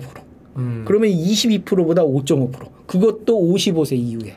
이게 훨씬 더 좋지 않겠느냐라는 측면에서 그럼 저희 거액을 하고 싶으면 결국은 이제 천 얼마 그거는 이제 공제를 받지만 나머지는 공제를 못 받겠네. 그렇죠. 근데 이제 매년 1,800만 원까지 넣을 수 있으니까 한 5년 지나면 이것도 1억 원이에요. 아 그럼요. 네, 그러면 그게. 여기에 또 하나의 팁이 있어요. 꿀팁이. 예. ISA 계좌. ISA요? 예. Indi Individual Savings Account라고요. 네. 어, 중개형 ISA 그 중에 네. 우리가 ISA 종류가 세 종류가 있어요. 뭐 신탁형, 일임형, 중개형 뭐 이러는데 이 이 중개형 ISA는 주식 거래가 가능해요. 주식 직접 음, 거래. 아 그래요? 예. ISA는? ISA 계좌를 안 만드셨으면. 꼭 하나 만들어 두세요. 올해 안에. 아, 왜냐하면 네. ISA 중개형 ISA 계좌는 세금 혜택이 엄청 좋아요. 아, 언제부터? 2023년부터. 왜요?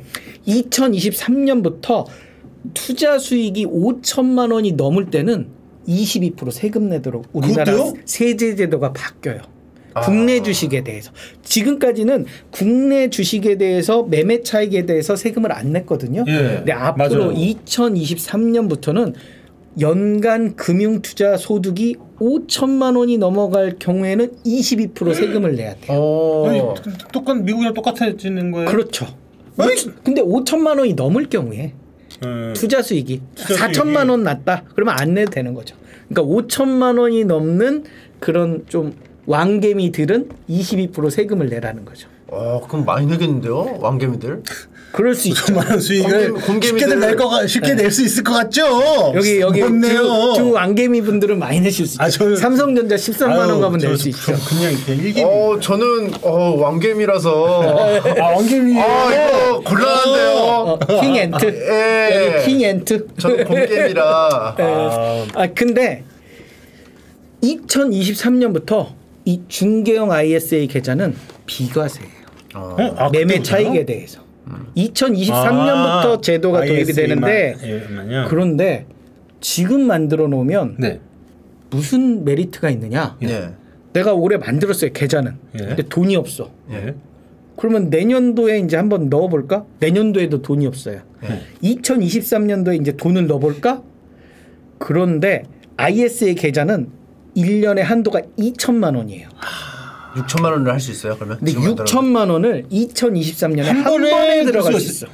야 이거 일찍 할수록 유, 이 유리한 거네요. 올해 끝나기 전에 하면 1년 버네요. 그러네. 1년 한도를 채우는 거죠. 2천만 원 스택 그그 슬롯이 하나 뚫리네요. 어 씨. 그렇죠. 내가 지금 당장 돈이 없지만 한도를 채워놓는 거야. 이거 이- 그 온라인으로 할 수 있나요? ISA? 그럼요. 나 네. 잠깐. 네. 그 저기. 증권사 계좌에 증권사에서 그 계좌 개설하시면 돼요. 아, 그래요? 중개형 어, ISA. 좀 그래서 찾아봐야겠다. 2천만 원 하고 내, 내년에 2천만 원 하고 중개형 IS. 중개형 ISA. 그래서 어, 중개형 ISA가 굉장히 아까 말씀드렸지만 국내 기타형 ETF는 15.4% 세금을 내야 되잖아요. 예. 그런데 2023 2023년부터는 세금을 안 내. 음. 오씨. 그러니까 지금은 연금 계좌에서 필라델피아 반도체 ETF를 사야 되지만 2023년부터는 중개형 ISA에서 그냥 계좌 개설하면 국내 기타형이든 국내 주식형이든 상관은 없이 아직 없어요. 투자할 수 없으니 아, 아직 없다. 어, 얼마나 좋아. 기회가 있다. 그렇죠. 빨리 만, 만드세요. 어떻게 만들어야 돼? 그래서 6천 이따가. 그러니까 오늘 방송을 들으시는 분들은 만들어 놓고 지금 만들어. 지금 만들어. 어차피. 만들어 놓고 손해 보는 거 아니니까. 만들어 지금 놓고 만들어, 지금 뭐 만들어. 쓰든 안 이게 이제 어, 만기가 5년이에요. 네. 그래서 2천만 원씩 오, 최대 얼마나 5년, 그게. 5년 그러니까 1억까지 배팅을 해놓으면 그러네요. 이거를 계좌를 계속 운용하면 원금 1억을 주식 투자를 계속 울리면서 고- 돌리면서 세금을 하나도 안 내는 거잖아요. 예. 굉장히 메리트 있는 상품이 중개형 ISA가 되는 근데. 이거, 이거 여러 가지가 있네요. ISA도 근데. ISA가 이제 일이명이 있고 뭐 신탁형이 있고 여러 가지 있는데요. 중개형 ISA. 중개형 ISA. 예, 주식 아, 예, 주식 거래도 할수 저, 있죠. 아 저를 분석한 결과 아 중개형을 하라고 어. 지금 해 해줬어요 얘가 AI가 여기다가 지금 보니까 김정환 고객님, 어, 고객님의 최근 2년 금융소득 및 주식거래 경험을 분석한 결과 중개형 ISA 추천드립니다. 그래서 우리가 소름 돋았어 예. 똑같은 얘기를 지금 해줘가지고 예, 지금도 사실 중개형 ISA가 저 세제 혜택이 있거든요. 그래서 예. 어, 연간 200만 원까지 나중에 돈을 찾을 때 지금 만약에 돈을 찾는다면 200만 원까지 이렇게 이 세, 소득공제 이렇게 저기 빼주고요. 수- 예. 그 세금 낼 금액을 200만 원 빼주고 그 다음에 200만 원이 넘는 건 9.9% 분리과세. 음. 해주기 때문에 지금도 상당히 매력적인 상품이에요. 그러네요. 그런데 2023년부터는 최고의 절세 상품이 되는 거죠. 그렇다라고 하면 야 이거 지금 꿀이다 꿀 여유 여유 자금이 있다면 예. 1,800만 원은 연금 계좌에 넣어놓고 2천만 원은 중개형 ISA에 넣어놓고 음. 이렇게 투자하면 상당히 매력적인 그런 투자 기회가 열리는 거죠. 1년에 3,800만 원까지는 어, 이렇게 혜택을 되게 거의 많이 받을 수가 있는 거네요. 그렇죠. 없다시피 하게 그냥 예. 페널티가. 네, 경제적인 여유가 된다면 어, 적극적으로 하시면 좋을 것 같고요. 방금 가입했는데요 네. 계약 유형은 일반형으로 가입 기간에 발생한 순소득에 대한 200만 원까지 비과세 그렇죠. 초과분은 9.9% 분리과세됩니다 네, 네, 네. 의무 보유 기간은 3년 네. 어, 그래서 3년 3년 의무 보유를 하고요. 어, 3년이 지난 다음에 이거를 IRP 계좌로 옮길 수도 있어요. 네. 퇴직연금 계좌로 옮겨서 어, 또 퇴직연금 계좌로 롱텀하게 가져갈 수 있고요. 뭐 이런 특징들이 있기 때문에 중개형 ISA는 오늘 방송 보시는 분들은 꼭 하나 만들어 보시면 좋을 것 같아요. 물론 뭐 경제적인 뭐 이- 사정들을 감안을 해서 네. 좀 본인의 그런 어, 이 상황에 맞춰서 좀 하시면 좋을 것 같고요. 저는 또 하나 어, 절세 꿀팁으로 말씀드리고 싶은 게 연말정산들 하시잖아요. 맞아요. 저는 연말정산용으로 어, 비상장 주식 그 투자조합에 가입을 하고 있어요. 네.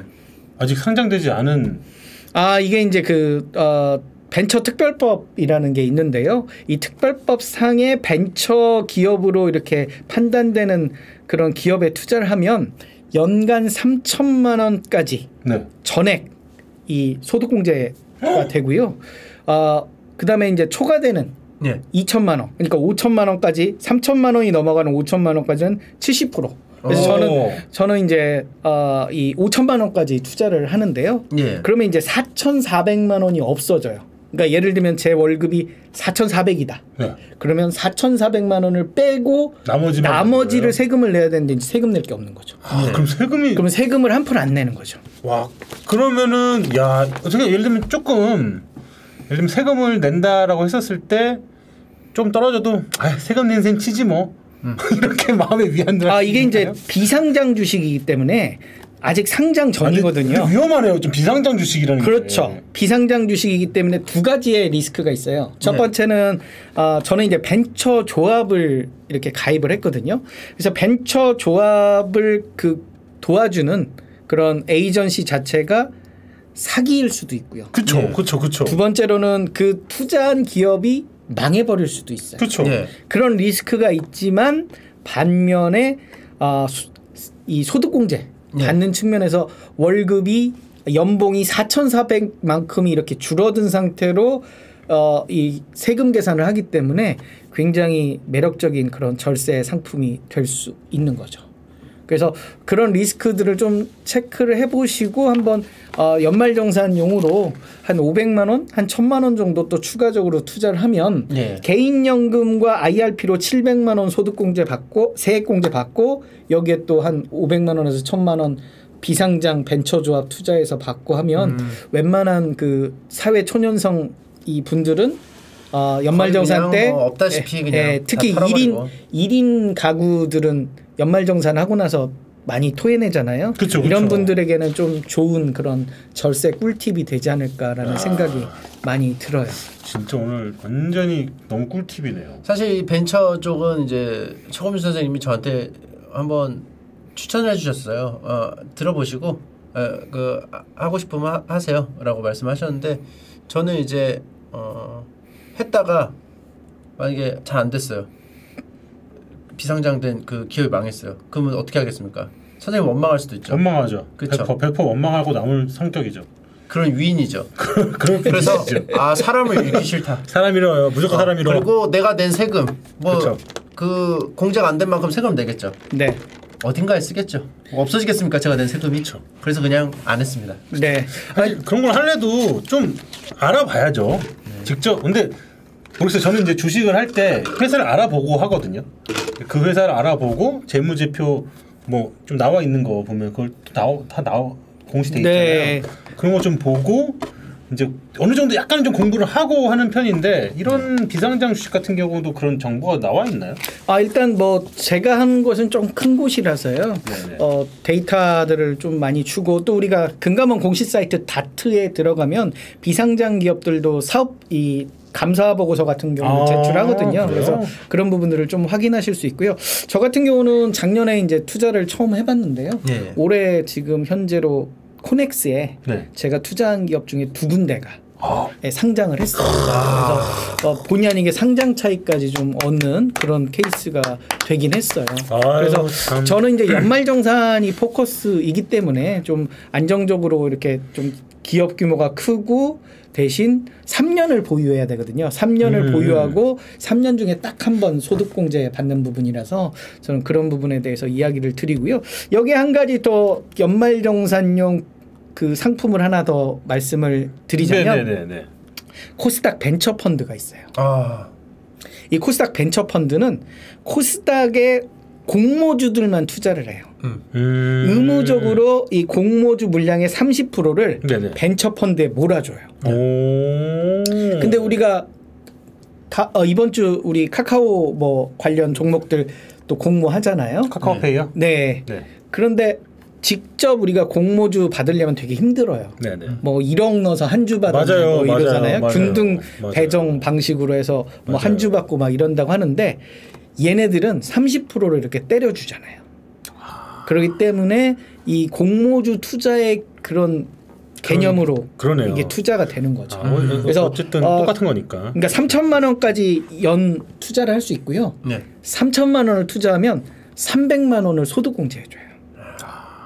그러니까 300만 원만큼 또 이렇게 소득 공제되는 부분도 있고 코스닥 그 코스닥에 한정해서 공모주를 들어갔다가 빠져나오기 때문에 아, 수익률도 그동안 나쁘진 않았거든요. 음. 그렇기 때문에 우리가 아, 300만 원 소득 공제도 받으면서 또 공모주 시장의 수익도 누리는 측면에서 공모주 펀드들도 좀 관심을 가져보는 게 어떨 올해 한 수익률이 한 2, 30% 났을 거예요. 그래서 아, 공모주 펀드들도 우리가 이제 연말정산 시즌이 곧 돌아오잖아요. 그렇죠. 런 맞습니다. 측면에서 연금과 아, 우리 코스닥 펀드하고 그다음에 아까 말씀드렸던 어, 장외 주식 이런 네. 부분들도 어, 연말정산용으로 좀 여러분들이 관심 가지면 좋을 것 같아요. 근데 참 근데 ETF라는 건 근데 약간 그러니까 그런 느낌. 약간 뭔가 느낌이 이 단어가 좀 생각이 안 나는데 약간 비겁한 느낌이 살짝 들긴 합니다. ETF요? 왜요? 개인적으로 할때 왜요? 느낌이 내가 생각 안 하고 알아서 해주니까? 그냥 뭔가 나 참여를 했어. 네. 전쟁에 나갔어요 나도. 예. 나 총칼 들었습니다. 예. 아 근데 총칼 들었는데 아주 안전하게 어, 후방에서 예. 함성만 지르고 있으면 돼. 아. 앞에서 싸우는 게 아니라. 예. 근데 이득은 받는 거예요. 예. 어, 같이 거기에 대한 그것도 받아. 리스크는 적으면서 그 혜택은 똑같이 받는 네, 느낌이다. 근데 나도 나도 전쟁에 나왔거든. 예. 아 나도 한번 칼 들었는데 그리고 나도 야 너도 너도 칼 들었으니까 예. 너도 한번 찌른 거 칠게. 이렇게 해주는 느낌이 어. 있어요. 근데 이게 또 아씨 야 나도 찔러고 어? 나도 공을 한번 좀 세워가지고 예. 내가 내 땅 한번 차지해 보겠는데 야네 땅 떼줄게. 너도 뒤에 있었으면 우리 편인 거야. 아. 약간 이런 느낌이 약간 어, 받습니다. 그럼 직접 싸우고 최전방에서 싸우고 싶으시면은 실시간 급등주가 있어요 하루에. 그건 싫어요. 그 그건 싫어. 최전선에서 최전선에서 아니, 싸우세요. 그러니까 이런 거 최전선이지만 예. 최전선 두 대는 들어가고 싶지만 예. 최전선 두 대의 정 가운데 어딘가에 이렇게 서 있고 싶다. 아 그거를 전문 용어로 중위험 중수익이라고 그래요. 아, 아, 그래요? 네, 중위험, 중위험 중수익. 중수익. 그러니까 아, 대충 위험을 예, 적당히 가져가고 싶고 예, 예. 그다음에 적당히 그래도 수익은 그쵸, 예적금 그쵸. 수익으로는 만족 못하고 예, 예, 그런 예. 부분들이 중위 중위험이 아니고요. 중위험은 이- 잘안 들리는 거죠. 네, 예. 중 중위험. 중위험. 네, 중간의 위험. 예. 그래서 중위험, 중수익을 아. 우리가 보통 이야기를 하고요. 예. 그런데 이제 중위험, 중수익을 저위험, 중수익으로 바꿀 수 있는 방법이 있어요. 어, 야 이거 마치 치사하다, 치사하다. 야 이런 방법이 또 있어요? 치사하네요. 최고의 야 기분은 나쁘지만 듣고 싶네요. 어, 예. 이게. 뭔가요? 그거는? 이제 이거는 어, 이 ETF를 이 종류를 여러 가지로 좀 분산을 하면 아, ETF는 기본적으로 10종목 이상을 담고 있거든요. 네. 그런데 그런 ETF들을 여러 가지 이렇게 분산해서 투자를 하면 저위험 중수익이 되고요. 네네. 초보 투자자라면 저는 대표 지수에 좀 집중하는 것도 좋은 것 같아요. 아 그렇죠 이제 그냥 그 대표 지수를 추정하는 ETF. 대표 지수라고 하면 우리나라는 코스피, 코스닥이 대표 종목일 것 같고요. 네. 미국은 뭐 S&P 500, 네. 나스닥 100, 그리고 중국은 뭐 CSI 지수, 음. 그다음에 뭐 항생테크, 뭐 항생지수 이런 것들인데요. 네. 이런 대표 지수를 어느 정도 추종을 하면 중간은 한다. 아. 근데 저는 중간을 한다는 게 주식 투자에서 굉장히 잘하는 거예요. 아, 맞아요. 어. 쉽지 않아요. 중간하는 게 진짜 중간하는 어려워요. 예. 그러니까 대표 지수는 중간은 해요. 왜냐면 맞아요. 시- 시장의 모든 그런 종목들의 평균값이거든요. 네. 그러면 중간은 하는 거거든요. 그냥 중간에 그냥 지수 따라가는 거죠. 그게 어려운 거야. 지수 지수만큼 따라가는 게 쉽지가 않아요. 아니, 개인으로 했었을 그 때. 지수를 넣으면 되는 건데 뭐가 그러니까 어려워. 근데 대표 지수를 따라 대표 지수 수익률 자체가 네. 사실 쉽지 않은. 수익률이더라고요. 아. 그래서 이거저거 안 되면 그냥 대표 지수 ETF를 사는 거죠. 그러니까 거기 넣으면 되는 건데 그게 어렵다고요? 아, 그러니까 ETF를 넣으면 괜찮은데 개인적으로 아, 개인적으로 내가 나는 이 지수보다는 무조건 내가 수익을 더 높일 높일 거야 이 마인드로 했었을 때 진짜 절반 이상은 내가 봐도 그 지수 못 따라가요. 음. 진짜로. 저도 해봐서 왔는데 진짜 막 아 이래저래 해가면서 좀 해봤거든요. 근데 옆에서 비교해 보면은 지수랑 별반 차이도 없고 거의 그래요 진짜로. 그럼 알못은 그냥 지수 그 ETF를 하면 되겠네요. 차라리 낫지. 그렇죠. 그래서 저는 대표 지수 ETF 투자 방법은 홀짝이다. 그 침을 탁 뱉어서 오른쪽으로 튈 거냐 왼쪽으로 튈 거냐 우리 어. 많이 하잖아요. 예. 똑같은 거예요. 오를 거냐 내릴 거냐. 예. 그래서 지수 투자하고 한 마이너스 20% 빠질 때마다 더 사면 돼. 그렇지. 지수니까 그치, 그치. 언젠가는 오르지 않겠느냐라는 예. 측면에서 저는 지수 ETF는 초보 투자자들의 맨 처음 접근할 수 맞아요. 있는 최적의 그런 투자처가 지수 ETF. 그러니까 코스피 200을 추종하는 ETF를 사거나 뭐 코스닥 150을 추종하는 ETF를 사거나 아니 따봉 하시는데 하셨어요? 저는 맨 처음에 그렇게. 지수 ETF? 저는 무조건 처음에 ETF로 시작했어요. 오. 개, 개별로 산 게 없어요. 예. 그냥 딱 그냥 ETF로만 시작을 했고 예. 그 ETF 들여다 보면 거기에 이제 자기네들이 어떤 종목들을 하는지가 또 나오거든요. 예. 그래가지고 그런 거 본 다음에 그 다음에 이제 슬쩍 이제 인버스 개별 인버스 아이씨 인버스는 미쳤어. 곱버스 아니야 그런 거. 아무튼 그 다음에 예. 이제 고 이제 종목 하나씩 빼는 거죠. 음. 빼보고 빼보고 빼보고 빼보고 하다가 벌써 지금 25개를 뺐습니다. 25개를 뺐는데 돌아버리게. 그러니까 25개 빼잖아요? 그냥 ETF를 하는 거야, 혼자서. 혼자서 그냥 ETF를 하고 있는 셈이 된 거예요. 머리만 의- 아파. 머리만 아픈 그치? ETF 야. 그럼 또 의미가 없어. 이게 뭐지?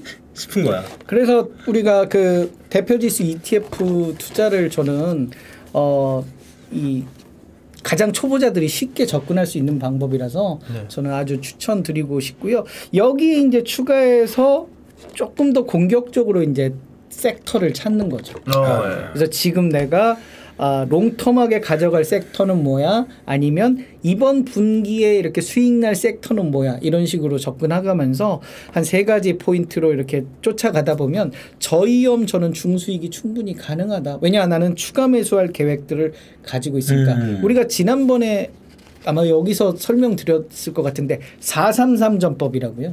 네. 기억나시나요? 네. 사- 사삼- 미션이요? 433 전법 우리 저 김풍 선생님께 다시 설명을 드리자면 아, 43 축구 감독이 되라. 네. 감사하는 전법이에요. 감사하는 네, 전법. 그래서 433 전법이라고 해서 앞에 4가 최종 수비수예요. 아. 우리 이게 축구 감독이 최종 최종 수비수, 미드필더, 최종 공격수가 있잖아요. 네네네. 최종 수비수는 저는 현금이라고 생각해요. 그러니까 내가 혹시 망가졌을 때 추가 매수할 맞아요. 현금을 몇 맞아요. 프로 가져갈 맞아요. 거냐. 그다음에 미드필더는 성장주, 롱텀하게 가져가는 주식주. 아. 아니면 배당주 좀 길게 가져가는 네네네. 그리고 어, 짧게 다음 분기나 다다음 분기에 수익 날 종목 음. 이게 미드필더고요. 예, 예. 최종 공격수는 지금 뜨거운 종목들. 지금 바로 수익 낼 수 있는 오. 그런 화끈한 종목들 이렇게 해서 433 전법 만약에 보수적인 시장이 되면 235 전법이 되겠죠 오. 아니, 아니 5, 532 전법이죠 네. 뭐 현금을 한 50% 정도 갖고 있고 예. 이런 투자 전략을 추구하는데요 저는 듣고 보니까 한 262 하는 것 같아요. 262 262 예. 현금 현금 20%. 예, 20% 대신 이제 가운데를 좀 미드필을 빵빵하게 해가지고 예. 최대한 방어를 할 수 있게. 고마울 때 출전할 선수가 없잖아요. 20%밖에. 아니 근데 미드필더가 또. 빵빵하면은 네.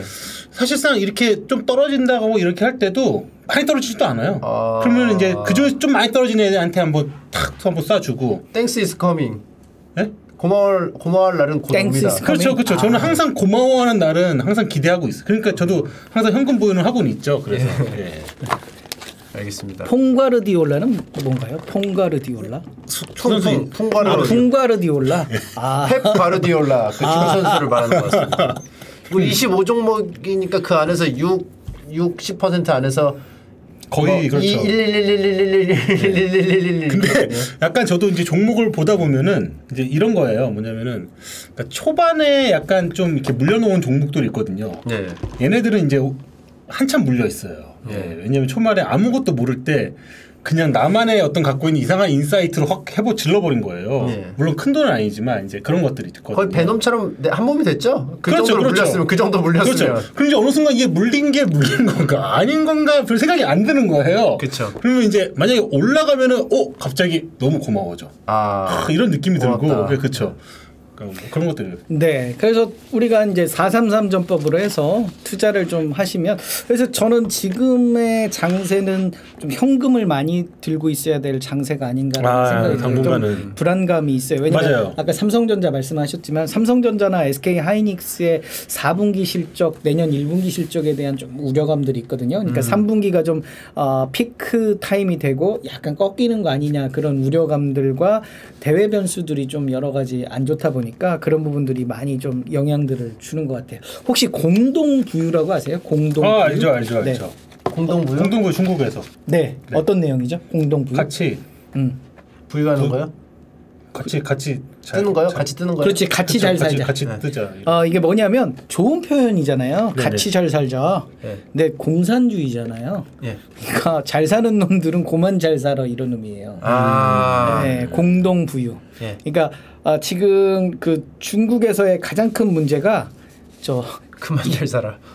빈부격차가 너무 심해졌어요. 좀 너무 심해지니까. 네, 중국 중국인데 공산 국가인데 빈부격차가 엄청 심해진 거예요. 오히려. 오히려 그러다 보니까 이 시진핑 주석이 야 공동 부유해라. 그러니까 다 같이 잘 살자. 너무 잘 사는 놈들은 고만 잘 살아. 그러면 잘 사는 사람들이 주로 뭐예요? 사교육 시키잖아요. 예. 그렇죠. 그러니까 사교육 고만해. 그만해. 음. 사교육 야, 씨, 이 사교육 그 다음에 이렇게 서민들한테 지금까지 많이 받았던 그런 업종들 예. 이제 고만 받아, 음. 그만 받아. 조금만 받아. 음. 그러다 보니까 이제 타격이 막 파바박 하는 거예요. 네. 그리고 IT 업체들 싫어해요. 그쵸 그쵸. 중국 아이 지금 기업들이 난리 났어요. 게임 업체도 되게 싫어. 난리 났습니다. 지금 뭐 알리바바, 텐센트 지금 뭐 지금 뭐 게임도 뭐 그 학생들 그 제재한다고 못하게 한다고 뭐 중국에서 뭐 얘기 있잖아요. 그러니까 맞아요, 뭐 맞아요. 게임은 뭐 아편이다라는 말까지 어, 뭐 서슴없이 하면서 사실 그 아편이라는 표현이 중국한테는 중국에서는 엄청나게 대단하게 센 표현이거든요. 아편. 왜냐면은 그거 때문에 한번 당했으니까. 국가가. 그렇죠 청나라 때 한번 그러니까 네. 그거를 썼다라는 것 자체가 이거는 어마어마한 발언인 거예요. 따지고 보면. 어, 특히 이제 부동산 가격이 중국이 되게 급등을 했어요. 네. 그 PIR 지수라는 게 있어요. 네. PIR 지수는 뭐냐면 네. 내가 번 돈으로 한 푼도 안 쓰고 몇 년 후에 내 집 마련을 하느냐. 음. 이게 PIR 지수거든요. 아. 그런데 PIR 지수가 중국이 아, 최근 들어서 24배. 그러니까 24년간 한 푼도 안 쓰고 뭐야 집을 사는 아. 서- 중국의 그 중요한 도시. 예. 근데 이제 이 집이 아, 중간 정도 가격대는 집을 기준으로 해요. 가운데 예. 정도. 그리고 사람도 중간 정도 소득인 사람이 예. 중간 정도의 집을 사는데 24년이 야. 걸린 거죠. 어. 미국은 4년, 미국은 4년. 우리나라 우리나라. 유럽은 11년. 어. 우리나라는 최근 들어서 많이 올라서 한 10, 서울 기준으로 한 18년 정도. 어, 우리나라보다 더 심하네요 중국이. 그렇죠. 중국이. 우리나라도 그러다 보니까 이제 너무 많이 이렇게 우리가 집값이- 오른 게 18배 정도 그렇죠. 거예요. 최근 6월 기준으로 한 18배 정도 되니까 중국이 24배니까 중국의 평균 소득으로 24년을 한푼안 쓰고 모아야 집을 살까 말까 하니까 중국 공산 국가에서 이거 부동산 이게 웬 말이냐. 그러네. 야 이제 부동산 대출 막아 이렇게 된 거예요. 그러면서 최근에 터진 게 헝다 사태. 그쵸. 헝다가 이제 중국에서 부동산 이렇게 이위, 이위. 했는데 어 이제 중국에서 대출을 막으니까 얘네들이 다른 대출을 막 쓴 거야 달러 네. 대출을 막 음. 달러 채권을 쓰다 보니까 이게 이제 이자가 못 갚을 지경에 이르면서 헝다가 파산하네 마네 아, 뭐 이런 상황이 온 거거든요. 그게 이제 추석 전후쯤이었죠. 그렇죠. 네. 그래서 네, 네. 갑작스럽게 추석 그 한가위 네. 아이 대명절이다. 네. 갑자기 나스닥 폭락을 하는 겁니다. 어, 예. 오오오오오오. 근데 우리나라는 그나마 추석이라 예. 어 그렇죠. 이거에 대해서. 이거에 대해서 잠깐 그 충격이 안 받은 것뿐이지. 예. 나스닥 난리가 났었어요 그때. 아. 나스닥 뭐뭐 다우지수 지금 그때는 완전히 작, 작살이 났습니다. 네. 그때 뭐다? 추가 매수 기회다. 아, 고마울 때다. 고마울 때다. 아, 라는 Thanksgiving 거죠. Day, Thanksgiving Day. Thanksgiving Day. 추석에 어 Thanksgiving Day야. 예. 울면서 부들부들 떨면서. 다음에 칠면조 먹방하면서 한번 다 그 종목 사는 방송을 한번 해야 될 것 같습니다. 그렇죠. 그렇죠, 그렇죠. 그렇게 해서 이제 우리가 그 공동 부유로 인해서 중국이 이제 부자들을 이렇게 가만두지 않겠어. 음, 이런 이제 않겠어. 정책을 요즘 하고 있어요. 그러다 보니까 이제 게임도 조금 영향을 받는 것 같고 맞아요. 우리가 좋아하는 그다음에 플랫폼 사업들도 좀 하는데 반대로 정- 중국 정부가 밀어주는 섹터들이 있어요. 어 뭘까요? 오호. 그게 대표적인 게 전기차예요. 아 그다음에 반도체, 음. 그다음에 헬스케어. 아, 중국은 헬스케어는- 늙어가니까. 네. 헬스케어는 진짜 그래서- 미국도 그렇고 다. 그러니까 뭐냐면 미국한테 뒤져 있는 산업들은 다 오케이예요. 만사 오케이. 음. 그러니까 공동부유의 한 뜻은 뭐냐면 우리가 자급자족하자라는 것도 들어 있어요. 음 미국한테 손 안 벌리고 우리끼리 자급 우리끼리 살겠다라는 게 공동부유에 어, 들어 있어요. 그렇구나. 그렇다라고 하면 중국에서 밀어주는 산업은 앞으로 잘 될 가능성이 굉장히. 높은 거죠. 근데 반도체 같은 경우는 사실 한번 좀 갈아엎고 하- 다시 시작하는 거 그러니까 중국의 반도체인 거예요. 그러니까요. 그러니까 저 글로벌 반도체가 아니라 중국 내에 있는 반도체 산업은 적극적으로 이제 육성을 네, 그- 해서 그러니까요. 유니크하게 살겠다라는 부분이 하나 있고요. 그다음에 전기차는 예. 앞으로 이제 계속 밀어주는 거예요. 그렇죠. 그런. 의미에서 어, 중국에서의 규제를 풀어주는 섹터들은 우리가 좀 관심을 지속적으로 가져볼 필요가 있는 그런 부분들이 있는 거죠. 그렇기 때문에 네. 아, 근데 중국은 개인적으로는요. 예. 좀그 불안감이 더 심해졌어요. 뭐 이번에 그것 때문에 그런 것들의 어떤 갑자기 이제 공동부유요? 아니 그러니까 뭔가 이렇게 그 그치 막 제재라고 막막 급 급 급박하게 막 그치 뭔가 이게 그거에 대한 영향이 너무 크니까 어 약간 좀 확 불안해지더라고요. 저는 근데 이 공동부유가 기회라고 생각을 해요. 왜냐하면 중국 정부가 잘 사는 사람을 똑같이 잘 살자라고 해서 너 고만 좀 잘 살아 이런 거잖아요. 네. 그렇다고 해서 그 산업을 죽여버리겠다는 게 아니거든요. 그렇죠, 그렇죠. 새로운 애들이 나와서 너도 잘 살고 너도 잘 살고 하는 거지 시간이 좀 지날 뿐이지 예를 들면 텐센트를 너 조금만 덜 살아 대신 너 2등 3등 올라와 이런 분위기 전체적인 산업은 육성시키되 얘는 조금 덜뭐 음. 이런 분위기라서 오히려 이렇게 시장이 한번 쭈그러졌을 때가 저는 매력적인 기회라고 생각을 그러니까 들어요. 기회는 당연히 이제 저도 기회라고 생각을 하거든요. 왜냐면 네. 어 이게 너무 떨어졌으니까 어 지금인가라고 생각이 들기는 하는데도 음 아, 여기까지 얘기하겠습니다. 자, 아 그래서 저는 우리가 2000여 년 역사를 봤을 때 예. 중국을 가장 무시하는 예. 유일한 세대가 우리다. 아. 역사적으로 중국을 무시한 적이 우리가 없거든요. 예. 근데 우리 지금 중국산이라고 하면 되게 무시하잖아요. 예. 아 중국산 핸드폰 하면 아이씨 뭐 이러고 막 하는데 예. 아 그렇지만 이 중국이 반도체 시장을 가져가는 순간에 앞으로 한 10년, 20년 후면 어떻게 될까? 우리에게 가장 큰 위협이 되고 이제 무시 못할 그런 상황이 되지 않겠느냐라는 좀 우려감이 있고요. 여기서 상식적인 얘기 하나 하자면 우리 선강퉁하고 후강퉁이라는 거 들어보셨나요? 한국 말인가요? 뭐죠? 선강퉁, 후강퉁. 우리나라 말인가요? 어 우리나라 말이죠. 어, 퉁치단 퉁인가? 유퉁 유퉁 선생님? 몰라. 이게 이제 퉁은 한자로 통이에요, 통. 아 통할? 통. 어. 어, 그래서 선, 선하고 강하고 통한다. 음. 그러니까 선지 여기서 강은 뭐냐면 홍콩이에요, 홍콩. 음. 어, 그래서 선은 우리가 저기 그 뭐라 그러죠? 이 어, 선진, 예. 선전 시장, 예. 중국의 예. 그 선전 시장과 어, 홍콩 시장을 통한다. 뭐 네. 이런 의미로 우리가 선강퉁, 후강퉁 이야기를 하는 거거든요. 합치면 퉁퉁이네요. 그렇죠. 퉁퉁. 그래서 우리가 선강퉁, 후강퉁 그 이 상식적으로 얘기를 했고요. 네. 아 이제 아까 그 공동부유 이야기를 하면서 어한 가지 더 이야기를 하자면 탄소 배출권. 아까 네, 우리 네, 네. 밥 먹으면서 얘기했는데 탄소 배출권 이야기를 또 하고 싶어요. 네. 그러니까 바이든 정부하고 유럽 쪽에서 탄소 배출권을 하나의 무기로 삼고 있어요. 그러니까 맞아요. 반도체하고 반도체의 원천 기술과 네. 탄소 배출권이라는 그 두 개의 무기를 가지고 있는데요. 네. 탄소 배출권이. 뭐냐면 네. 어, 테슬라가 이제 대표적인 기업인데요. 이 테슬라는 이 전기 자동차를 만들 때 탄소 배출한 이산화탄소 배출하는 게 거의 없어요. 어. 그러니까 이 기업은 이산화탄소를 배출하는 게 없으니까 야 그래 너네는 이산화탄소를 적게 배출하니까 탄소 배출권이라는 선물을 줄게 음. 라고 줘요. 예. 그럼 얘는 탄소 배출권을 받잖아요. 예. 근데 뭐 선물을 받았는데 이거를 팔 수가 있어요. 그치. 음. 탄소를 많이 네. 내는데 내가. 누구한테 남 남으니까. 누, 나 그러니까 탄소 배출을 안 하니까 선물로 받은 거예요. 네. 이 탄소 배출권을 누구한테 파냐? 탄소를 많이 더럽게 많이 내는 애.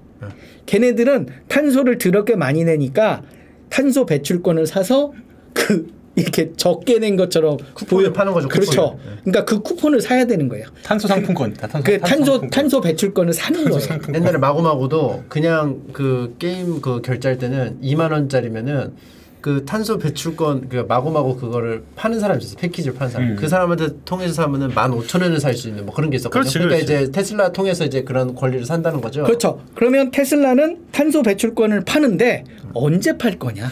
이게 또 중요한 거예요. 네. 탄소 배출권이 연말이 가까이 올수록 비싸져요. 아, 왜냐하면 그쵸, 연, 그쵸. 연말까지 탄소 배출권을 갖춰놔야. 되고 안 그러면 페널티를 먹어요. 그렇죠, 네. 그렇죠. 그러니까 이제 연말이 가까이 올수록 탄소 배출권 가격이 비이상 이성적으로 올라갈 가능성도 있고 아. 그다음에 이제 이 수요가 계속 늘어나요. 정부의 규제는 점점 세지고 2050년이면 웬만한 나라들은 탄소 제로를 하겠다라고 선언을 했어요. 예. 음. 중국은 10년 더 늦어요. 2060년이면 탄소 제로 시장을 만들겠다. 그래서 이 탄소 배출권 자체가 하나의 이제 새로운 시장, 우리 비트코인처럼 하나의 시장이 되어가고요. 테슬라 자체도 탄소 배출권으로 얻는 수익이 어마어마해요. 그렇죠, 그렇죠. 그러니까 자동차를 팔아서는 적자인데 예. 탄소 배출권을 팔아서 흑자가 나는 그총 합쳐서 흑자가 되는 흑자가 되는 그런 상황이 되는 거죠. 그래서 이 탄소 배출권을 이 바이든 정부와 EU는 무기를 삼고 있어요. 네. 그래서 특히 EU 유럽 연합은 뭐냐면 2025년이나 2026년이면 예. 탄소 국경세라는 걸 매기겠다고 그래요. 예. 다른 나라에서 EU로 넘어오는 물품인데 탄소를 너무 많이 썼어. 예. 음. 우리보다. 음. 예. 그러면 탄소 국경세를 내. 예. 라고 이야기를 해요. 이거는 뭐 완전 그런데 EU가 주로 수입하는 건 중국산이에요. 그렇죠. 예. 대놓고 이제 그러니까 대놓고 중국 보러 눈에 저기 세금 더 매길 거야라는 거예요. 그렇죠. 음. 그러니까 중국에서 발등에 불이 떨어진 거예요. 예. 왜냐면 우리는 탄소를 적게 써야 되니까. 예. 그래서 중국에서 야 앞으로 타- 탄소 적게 써. 그러면 탄소를 많이 쓰는 게 뭐냐? 석탄이에요. 그렇죠. 그렇죠. 석탄 줄여 라고 얘기해서 석탄을 팍 줄였어요. 그랬더니 이제 코로나 사태가 어느 정도 종료되면서 갑자기 석탄 수요가 폭발적으로 늘었어요. 예. 근데 석탄 발전도 팍 줄여버리고 예. 전력난이 난 거죠. 아. 그게 최근 들어서 중국의 전력난이 나면서 이 전력난 자체가 전체적으로 시장을 지금 충격의 도가니로 몰고 있는 거죠. 맞아요. 또 중국하고 호주랑 한판 싸웠어요. 예. 그래갖고 호주에서 석탄이 많이 나와요. 예. 그런데 중국이 이런 거죠. 야 호주산 석탄 이제 그만 갖고 와. 필요 없어. 필요 없어. 필요 없어. 근데 필요해. 필요 없어 했는데 필요해 버리는 거지. 지금. 사실 필요했어. 난방철이잖아요. 지금. 왜 그렇게 했을까요? 그러니까 탄소 제로 시장으로 가고 그동안 코로나 때문에 아 없었으니까 고객 공장들도 좀 쉬고 하니까 자기들이 그 사이에 다- 이렇게 팍팍팍 해서 빨리 이제 탄소 제로로 가서 뭐 어 이렇게 줄이겠다고 했는데 안 된 거죠. 그렇다라고 하면 탄소 제로 이 탄소 국경세, 탄소 배출권 이런 부분들을 보면 이 앞으로의 시장은 탄소 제로가 하나의 시장의 키워드가 될 것 같고 친환경 이슈가 음. 앞으로 10년 동안은 시장을 지배하지 않을까. 길게 보면 성장 산업은 친환경에 있다. 그렇죠. 저는 이런 생각을 들고 아까 말씀드린 2차 전지 산업도 그런 측면에서 글로벌 수요 측면에서도 굉장한 메리트가 있는 산업이 되지 않겠느냐라고 바라보는 거죠. 그래서 아까 미드필더 기노브로 바라보는 산업은 저는 친환경에 있다라고 말씀을 드리는 거죠. 이제는 모든 회사들이 이제 ESG가 없으면은 미래가 없다고 봐야 돼요. 네, 그렇죠. ESG. ESG를 모르시는 분들도 ESG 가 많으니까 뭡니까? ESG가 뭘까요? E 인터 일러, 일렉트로닉 아니 아니 environment environment. 환경. 환경 환경. 네, MS, MSG 아 저는 아니고. 에코인 줄 알았어. 그러니까 네, 그다음에? S는 social. 소셜. 사회, 사회. 그다음에 G는 governance. 그렇죠. 기업 지배구. 기업 지배구조. 근데 그래서 어, ESG 그러니까 한마디로 기업이 이렇게 이 재무 구조나 물건 파는 거 외에 네. 착한 기업들. 그렇지. 음. 그러니까 환경도 생각하고 세상도 생각하고 기업 지배 구조도 투명한 애들. 그래서 ESG가 잘 갖춰진 기업들을 앞으로 투자하자. 누가 국민연금 같은 연기금이 음. ESG 점수를 매겨요. 네. 그래서 ESG 점수가 높은 기업들은 우리가 투자 더 할게. 음. 뭐 이런 정책들을 앞으로 계속 하고 있거든요. 네. 그 중심에 E, environment, environment 친환경. 네. 그래서 환경적인 이슈가 저는 ETF 투자나 개별 종목 투자에 중요한 앞으로 화두가 되지 않겠느냐. 그래서 꾸준한 관심을 가져야 되는 부분이 친환경 이슈. 그래서 최근 들어서 우리나라도 탄소 배출권을 거래할 수 있는 ETF들이 나오기 시작했어요. 어. 그러니까 미국의 좋네요 탄소 배출권 ETF가 처음 생겼고요. 네. 우리나라가 두 번째로 생겼어요. 사면 어. 좋겠네요 그거 그런데 이제 이 탄소 배출권이라는 건 아까 말씀드렸듯이 좀이 소수의 기업들이 사잖아요. 네. 그러다 보니까 이게 좀 약간 순간적으로 급등할 수가 있어요. 아 연말 시즌이 되면 더 이렇게 그렇죠. 수요와 공급의 법칙에 의해서 좀 과하게 올라갈 때 자주지만 이렇게 막, 막 그렇죠. 뭐 엿장수 그 엿가락처럼 막 그냥 그렇죠. 예, 평소의 가격보다 급등할 수가 있기 때문에 오니얼 새우알처럼 조금 그냥 그런 오히려 좀 이- 세브랄이 뭐야?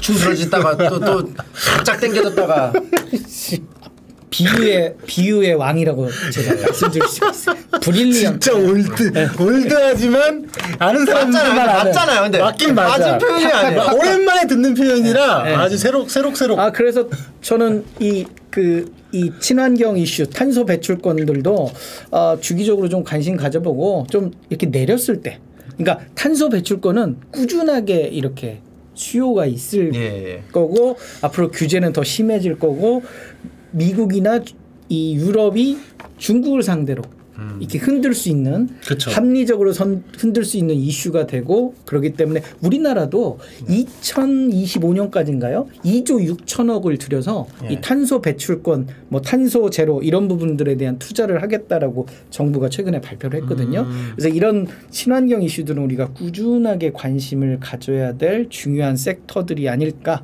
그래서 아까 계속 설명을 드리지만 중국의 친환경 얘네들은 살자고 어쩔 수 없이 하는 그런 이슈가 될 거거든요. 이렇게 탄소 제로를 안 만들어 놓으면 이제 중국산 제품들은 비싸서 못 사요. 왜냐면 어. 탄소 국경세를 내다 보면 오히려 가격이 비- 올라 버리니까. 음. 가격이 올라 버리니까. 그러니까 지금 계속 탄소 제로를 하려고 하다 보니 결국에 친환경 이슈들은 중국 정부가 적극적으로 밀어줄 그럴 수밖에 것이다. 없겠네. 라는 측면에서 저는 저 개인적으로는 아, 중국 2차 전지나 중국 전기차 산업에 저는 개인적으로 투자를 하고 있거든요. 음. 개인연금 ETF들을. 그래서 이런 부분들을 길게 좀 여러분들이 좀 관심을 가지고 기노업으로 바라보는 것도 좋지 않겠느냐라고 이야기를 드리고 싶어요. 진짜 이런 얘기를 주식에 한 주라도 뭘 하나 사놓지 않으면은 나 진짜 하나도 안 귀 하나도 안 들어. 그렇죠. 근데 네. 지금은 잘 들려요. 너무 쏙쏙 들어오죠. 아, 네. 평소에 관심을 가지고 계속 봤기 때문에 그렇죠. 왜냐면은 그 내, 내가 뭐 하나라도 있어야 돼. 해봐야지 그 다음부터 뭔가 이게 보이고 들리고 하는 거지. 제가 보기에는 우리 김풍 선생님은 어, 주식계의 이단하다.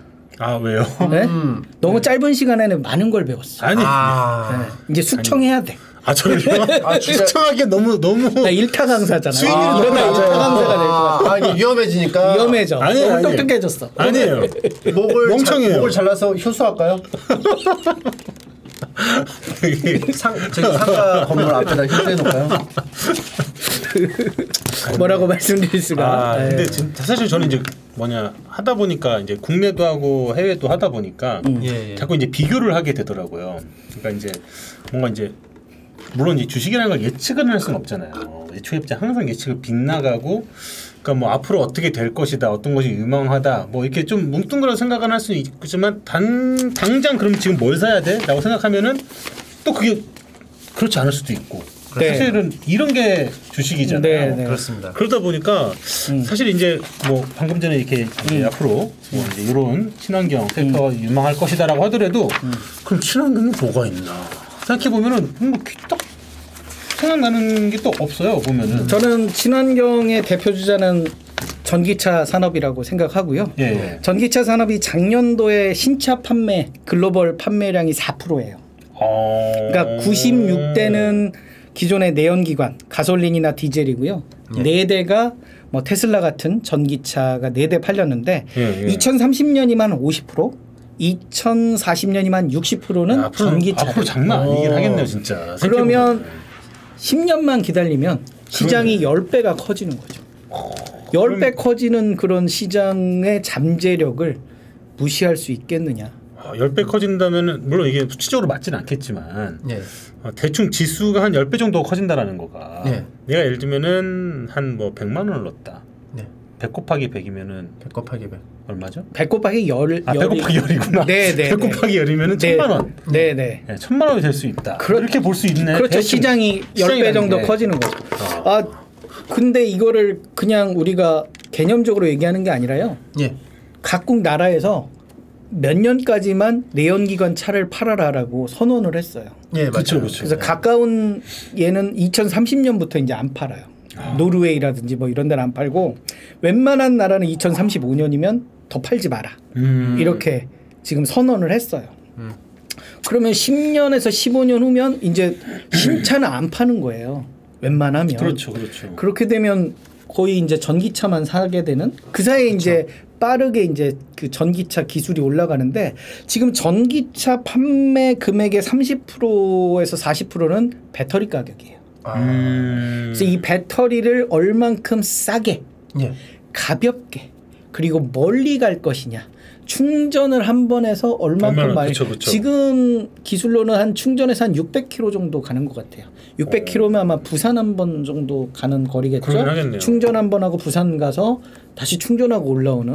어. 근데 이제 이 충전 기술이 이제 한 10년 후면 과연 그렇죠, 그렇죠. 얼마까지 더 훨씬 늘 거냐. 올라가겠죠. 음. 그런데 이제 이, 이게 자동차에만 국한되는 게 아니고 이 배터리 기술이 획기적으로 늘면 비행기에 못 들어갈 리 없잖아요. 그렇죠. 그쵸. 그렇죠. 그 배에 못 들어갈 리 없잖아요. 야. 그렇다라고 하면 이 2차 전지는 아주 그냥 쓰임새가 엄청 많아요. 맞네요. 컴퓨터에 안 들어갈 2차 법이 없잖아요. 2차 전지 뭐예요, 대체? 네. 어떤 걸 해야 그래서 돼요? 어? 우리 우리 이 전기차 산업 탄소 제로 이 아, 네. 아, 그러니까 ETF 있습니다. 2차 전지 ETF. 아, 그래요? 예. 몇개 있어요. 몇 개. 나 늦었어. 아, 아, 지금부터 하시면 됩니다. 그래서 2050년이면 저기 탄소 제로 시장이 되는 거고요. 예. 그 다음에 이 전기차 산업은 꾸준하게 성장하고 이런 측면에서 저는 10년 후의 성장성을 바라본다면 2차 전지 산업이 굉장히 좋지 않을까. 그러면 오늘 2차 전지에 대해서 우리가 조금 배워볼까요? 오, 좋습니다. 2차 전지? 좋습니다. 우리가 말은 2차 전지, 2차 전지 하는데 지난번에도 한번 강의를 살짝 해드리긴 했는데요. 네. 2차 전지가 도대체 뭐냐? 그쵸. 그러면 1차 전지는 아세요? 1차 전지? 그러게. 1차 로켓, 전지. 로켓 배터리입니다. 그렇지 로켓 배터리. 음. 그러니까 1차 전지는 한번 쓰고 버리는 거. 아, 충전하지 못하는. 그렇죠. 아, 알카라인. 그러니까 2차 전지는 뭐냐면 이게 음극에서 예. 양극으로 가면 네. 양극의 에너지가 모아져요. 예. 그래서 모아진 에너지가 쓰인 다음에 다 쓰면 다시 음극으로 가요. 그렇죠. 이게 왔다 갔다 왔다 갔다 하면서 계속 쓰는 게 2차 전지. 음. 그러니까 1차 전지는 한 번 하고 끝. 네. 2차 전지는 왔다 갔다 왔다 갔다. 갔다. 근데 왔다 갔다 왔다 하면서 얘가 이제 성능이 계속 떨어지는 거죠. 그렇죠. 점점 떨어질 수 네, 그래서 있겠죠. 어느 어느 정도 지나면 이제 배터리를 교체하게 되는 네. 이런 방법을 쓰는 게 2차 전지인데 2차 전지는 우리가 이제 기본적으로 플러스 이걸 양극 음. 마이너스를 음극 얘네 둘이 붙으면 불나요. 음. 그래서 화재 나요. 우리 테슬라 화재 나고 뭐 그런 어, 부분들을 어, 보면 있었어요. 맞아요. 네. 공장 한번 네, 얘네가 화나요. 화 화재가 나요. 그래서 이 사이에 딱 막을 쳐줘요. 음. 그걸 분리막이라고 그래요. 아. 그러니까 양극과 음극은 못 만나. 이게 분리막이야. 아, 예, 예, 예, 예. 그래서 우리 조상님들도 그 양과 음의 조화를 알고 남녀칠세 그럼, 분석이라고 그럼, 했어요. 그럼, 그렇죠. 분석이야. 이게 어. 예. 만나면 불납니다. 그렇죠. 그래서 진짜 양극과 음극 사이에 분리막을 치고요. 그럼 얘네들이 흘러야 하잖아요. 그렇죠. 네. 그거를 전해질이라고 그래요. 음. 이게 흘러가. 음. 흘러가. 뭐가 흘러가느냐? 리튬 이온이라는 게 흘러가. 요 어, 예, 예, 예. 그래서 이 분리막에는 미세한 구멍이 뽕뽕뽕뽕 뚫어져 있어요. 그렇겠죠. 그래서 이, 이 전해질이 왔다 갔다 갔다 하다가 열이 나요. 네. 음. 그러면 이 전해질의 구멍이 막혀버려요. 아, 열이 나면 딱 다치고. 네, 딱 다치고. 그래서 못 가게 하고. 음. 이런 역할을 하거든요. 그러니까 이렇게 플러스에 있다가 막 써요. 그러면 얘가 마이너스로 이제 가는 거야. 어. 그러다 이제 마이너스가 다 찼어. 예, 예. 그러면 이제 여기서 또 이렇게 해서 또 써. 또 이쪽 뜰로 가. 플러스로 가. 써. 그래서 플러스에서 모여. 또 가. 그러면 또 가. 형 떴어. 예. 그래서 이제 또 가. 우리가 마이너스가 되면 충전을 하는 거죠. 음. 충전하면서 이렇게 플러스로 옮겨주는 거죠. 음. 그래서 마이너스로 갔다가 플러스로 갔다 마이너스로 갔다 해서 키는 이 양극재에서 네.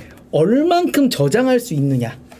음. 그래서 저장을 많이 하면 많이 할수록 더 오래 가겠죠. 그렇죠. 그래서 양극재가 하나의 키가 되는 거예요. 음.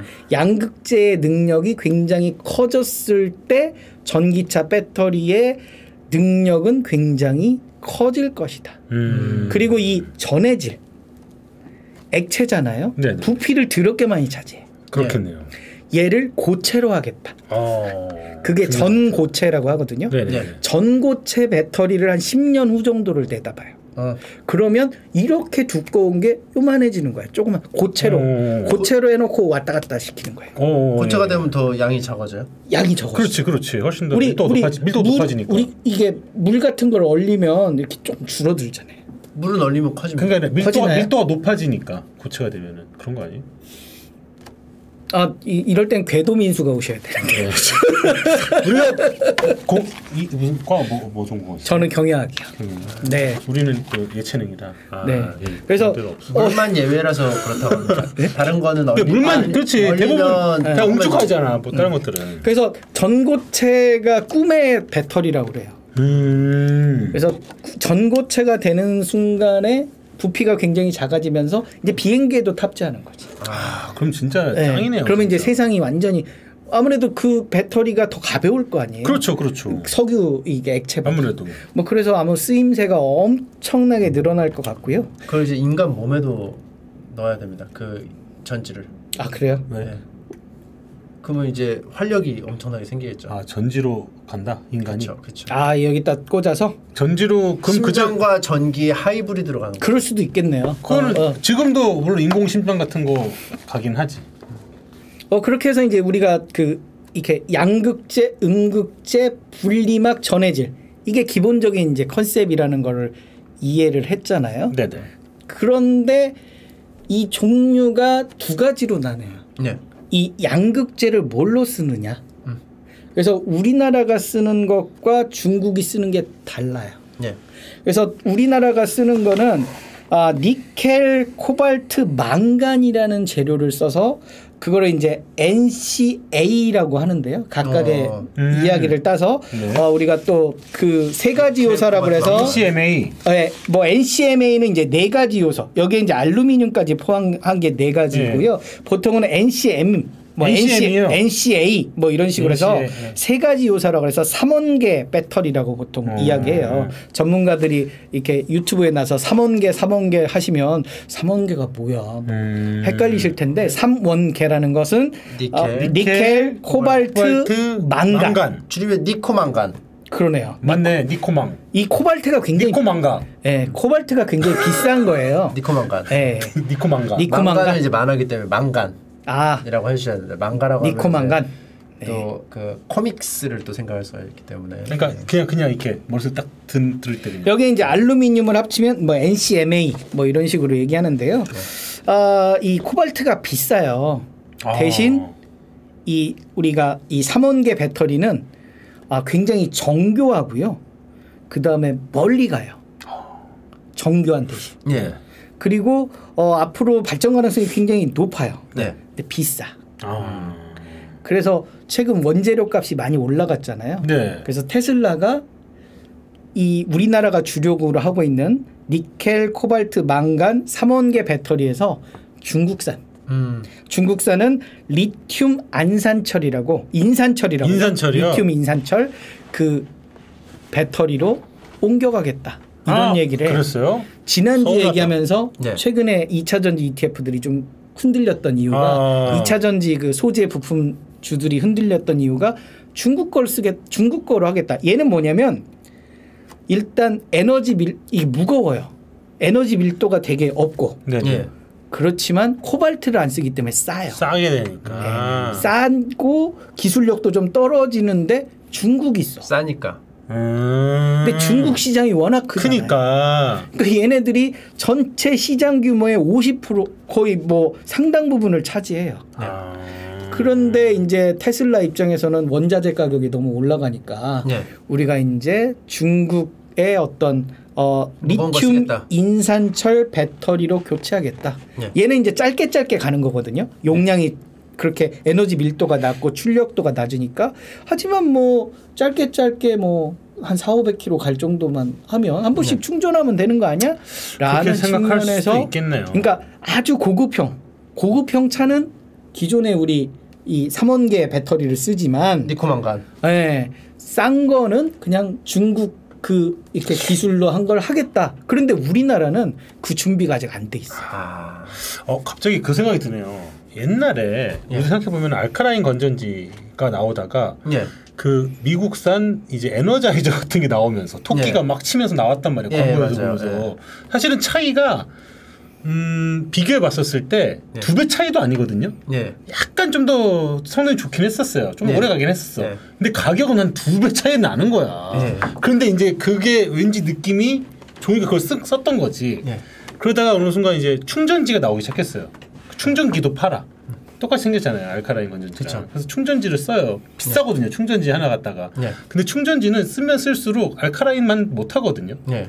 성능 점점 떨어지니까. 맞아요. 그리고 사실 또 충전이 귀찮더라고. 그리고 그게 또 마냥 공짜도 아니에요. 집에 있는 전기를 또 쓰는 거라. 그래서 결국 그거잖아요.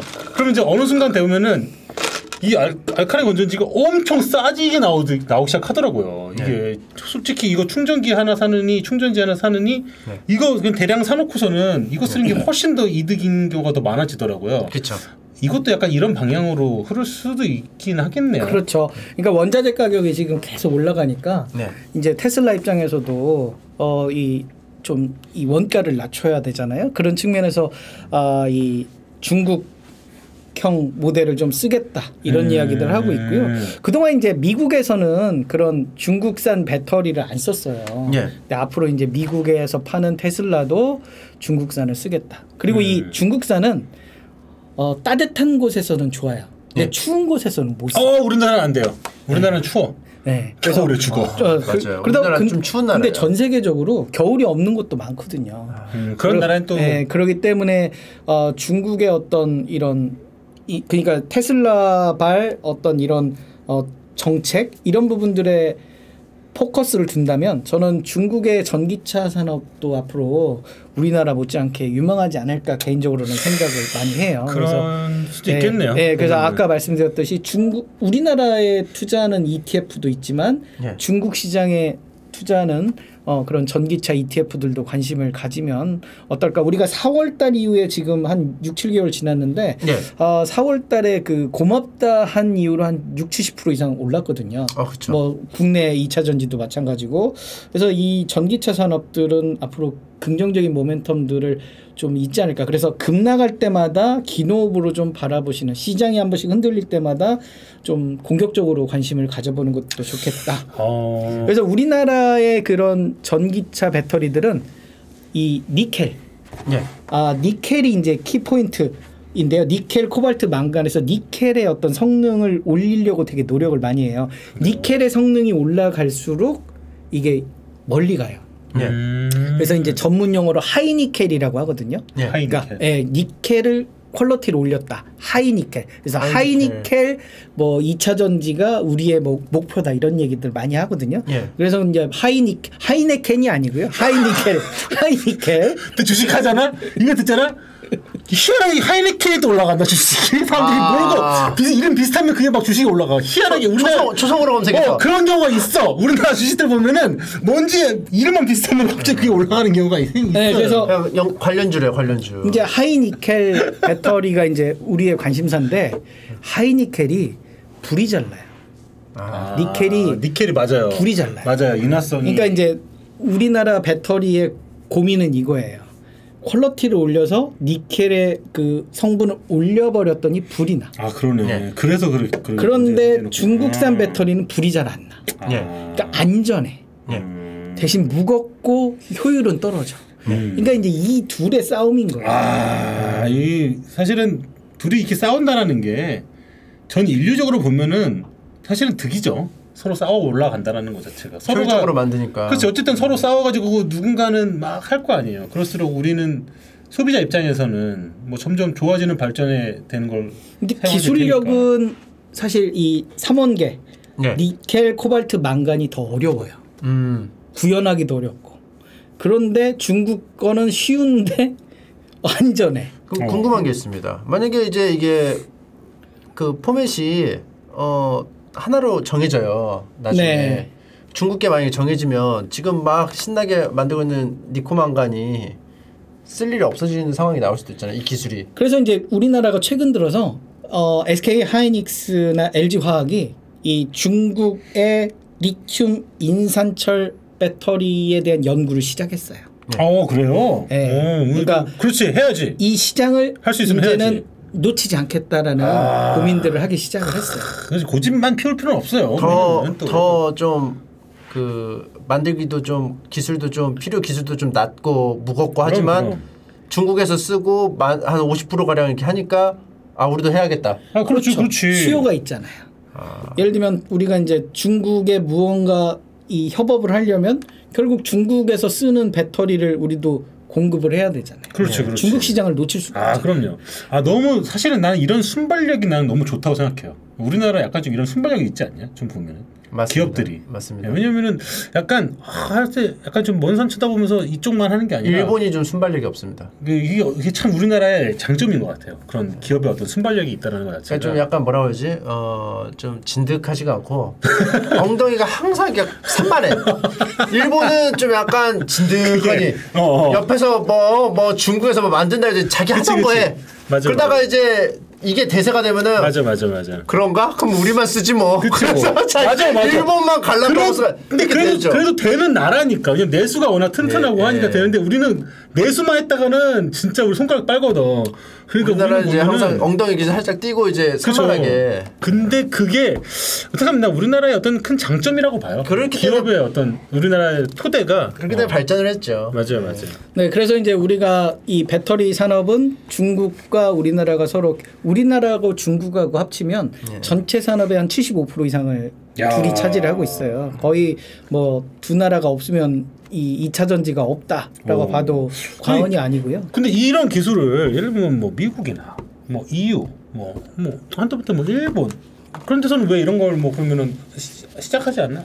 이게 기술력 초격차라고 하잖아요. 네? 예, 예. 한번 기술 차이가 나버리면 이게 대규모 장치 산업이에요. 예. 엄청난 돈을 투입하고 그런 기, 그러니까 지금 당장 예. 올 4월에 제가 처음에 출연을 4월에 했을 때 예. 폭스바겐이 자기들도 이제 하겠다. 음. 내재화라고 전문 용어로 하는데요. 네네네. 이제 폭스바겐은 배터리 우리가 스스로 만들 거라고 맞아요. 선언을 하면서 그때 시장이 한번 출렁거리면서 15% 빠진 거거든요. 음. 근데 발표하고 못해. 실제 공장 가동하고 돌아가는데 한 3, 4년은 걸릴 거라는 거죠. 그럼 3, 4년 동안 얘네들은 가만히 놀고 있겠냐? 그렇죠, 그렇죠. 이 야. 전고체 를 4년 동안 연구하면 그 기술력을 따라갈 수가 없는 거죠. 이게 반도체랑 되게 비슷하네요. 그 러면은. 반도체보다 훨씬 더 커지는 시장인 거죠. 아, 그러니까 그렇죠, 그렇죠, 그렇죠. 그러면 산업 블랙 위도우를 투입해도 안 되나요? 아, 뭐 그거는 이제 뭐 근데- 경우에 따라서 예. 그거 가지고는 안 될 거야. 네. 이게 하면은 확실히 그렇기 인, 때문- 인텔 봐봐 지금 인텔이 지금 와서 뭘 한다고 하더라도 그러면 이제 우리가 이제 그 중국 것과 어, 한국 거의 원재료를 따라서 비교를 해봤고요. 예. 이번에는 모양에 따라서 비교를 할 수도 있어요. 음. 배터리의 모양이 우리가 모양이. 지난 한 4월하고 3월 달에도 간단하게 설명을 드리긴 했는데요. 어, 모양은 각형, 파우치형, 원통형 이런 음. 모양에 따라서 배터리의 모양이 세 가지로 나뉘어요. 어, 예, 예, 예. 예. 각형은 뭐냐면 각 각졌다고 하잖아요. 각형. 그러니까 알루미늄 케이스에다가 동그란 롤을 집어넣어요. 음. 예. 그게 각형이에요. 근데 결국 동그란 롤을 넣는 거잖아요. 동그란 롤을 넣는 거죠. 근데 그죠. 밖에는 각이야. 근데 이제 겉에만 각이지 속에 동그란 그렇죠. 롤을 넣는 거잖아요. 그러니까 가- 이렇게 이렇게 케이스에 동그란 롤을 넣고 거기에 전해질을 이제 집어넣는 거죠. 아. 음. 그게 곽형이 아니고요. 각형. 각형. 각형. 각, 각, 네. 각이 아니고 각. 사각. 네, 사각할 때 각형. 대신 이 동그란 걸 집어넣으니까 이게 구멍이 많아요. 그렇죠. 사이사이에 이렇게 틈이, 벌, 빈틈이 많아. 이렇게 네. 빈틈이 그리고. 알루미늄 케이스를 넣으니까 무거워. 그렇죠. 그러다 보니까 효율이 떨어지고 어. 속도도 안 나고 중국 중국 애들이 이걸 많이 해요. 그럼 뭐 이게 음. 장점이 있으니까 하는 거잖아요. 그렇죠. 네. 그래도 싸요. 음. 싸요. 싸니까. 원통형을 네. 그냥 이렇게 때려 박아가지고 하니까 네, 케이스에다 이렇게 팍팍팍 집어넣으면 이렇게 딱 동그란 거 싹 집어넣고 전해질 딱 넣고 끝이니까 그, 그게 싸요. 제가 알기로는 테슬라도 지금 모르지만 초반에 그렇지 않았나요? 테슬라 는 지금은 이제 원통형을 그렇죠. 쓰거든요. 근데 초반에는 네, 그. 각형을 해가지고 네. 알 보면 안에 동그란 요게 네. 수백 개 붙어 있어 네. 하나씩 하나씩 돼 있는 로켓 게. 배터리 같은 어 게. 로켓 배터리 같은 게. 그리고 대량 생산이 되게 용이하겠죠. 예. 네, 그리고 대신 충격에 되게 강해요. 어. 알루미늄 케이스로 아 그렇죠. 아무래도 그렇죠. 그래서 이 각형 배터리는 주로 중국 애들이 많이 써요. 음. 우리나라는 파우치형이에요. 어. 파우치형은 한마디로 어, 원하는 대로 만들어줘. 어. 왜냐면 이렇게 물건을 넣고 우리 보자기 싸듯이 싸요. 예. 음. 구부릴 수도 있어. 어. 그리고 뭐 모양 마음대로 만들어. 어. 대신 비싸. 그렇겠죠 아무래도. 네. 주문 제작이에요? 주문 그렇죠 원하는 대로 만들어. 어. 그러니까 이 파우치형은 생각보다 좀 비싸고 기술도 높은데 대신 이제 비싸요. 수요가 좀 이렇게 싼 그런 가성비가 안 나와. 자동차들은 별로 안 좋아하게. 그렇죠. 네. 그러니까 저렴한 거는 각형을 좋아하는 거죠. 음. 그다음에 이제 원통형이라고 있어요. 원통형. 예. 대표적인 게 테슬라에 들어가는 게 원통형이에요. 우리 그 이 전 우리 로켓 배터리처럼 만드는 거예요. 예. 네. 근데 소형만 가능해. 음. 대형을 만들 수가 없어. 네네네. 이게 이렇게 돌려가지고 그 원통 안에 넣는 거니까 네. 이거를 이제 계속 붙이는 거예요. 음. 아, 그, 아 맞아요. 어 그러니까 이게 음. 이거네. 그러니까 테슬라가 요거. 그러니까 그 그렇죠. 동그란 거 붙- 해가지고 이렇게 붙여가지고 만드는 예. 거야. 근데 이제 붙이면서 돈이 많이 들어가. 얘는. 점점 이렇게 말면서 커지는 거예요, 점점 원통이. 아니요, 붙이는 그러니까 이게 로켓 배터리를 계속 붙여가는 거예요. 그러니까 로, 그걸 빼보면- 알루미늄 하면 깍형이 되네 또. 그렇죠. 그렇지. 그러니까 로켓 배터리야. 요만한 거가 자동차에 그냥 들어가 있는 거야. 아 이거야? 이거 이거는. 대량 생산이 이것도 가능하고 가격이 그 배터리 생산하는 건 되게 싸요. 조그만 하니까. 예. 근데 이걸 붙여가면서 이제 비싸지는 거고요. 어, 대신 이제 만드는 회사에서는 좀 비용이 많이 들어요. 어. 그래서 삼성 SDI가 주로 이제 원통형을 우리나라에서 만드는데 그러다 보니까 삼성 SDI가 상대적으로 세계 회사 중에 좀 이 제조 비용이 제일 많이 들어가게 돼요. 아. 그래서 각형 배터리는 중국의 어떤 그런 배터리 모형이라고 보시면 되고 네. 우리나라의 주력은 파우치형. 음. 그래서 이제 우리가 파우치형으로 밀어붙였는데 네. 어 폭스바겐이 갑자기 올 4월에 우리 각형 쓸 거야 이래 버린 거죠. 예. 각형 쓰고 우리가 각형을 만들 거야 이렇게 하면서 제가 4월 달에 출연할 때 한 15%가 빠졌던 거죠.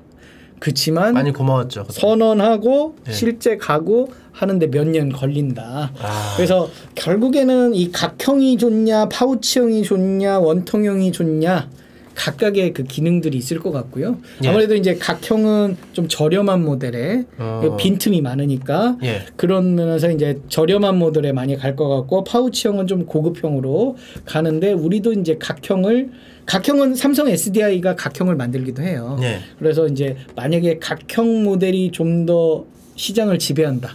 그러면 이제 우리도 모델을 좀 체인지 해가면서 가게 가지 않겠느냐. 지금은 서로 서로 싸우는 중이다. 음. 결국 근데 미래에는 파워치형이 좀 더 그 미래형이긴 하네요.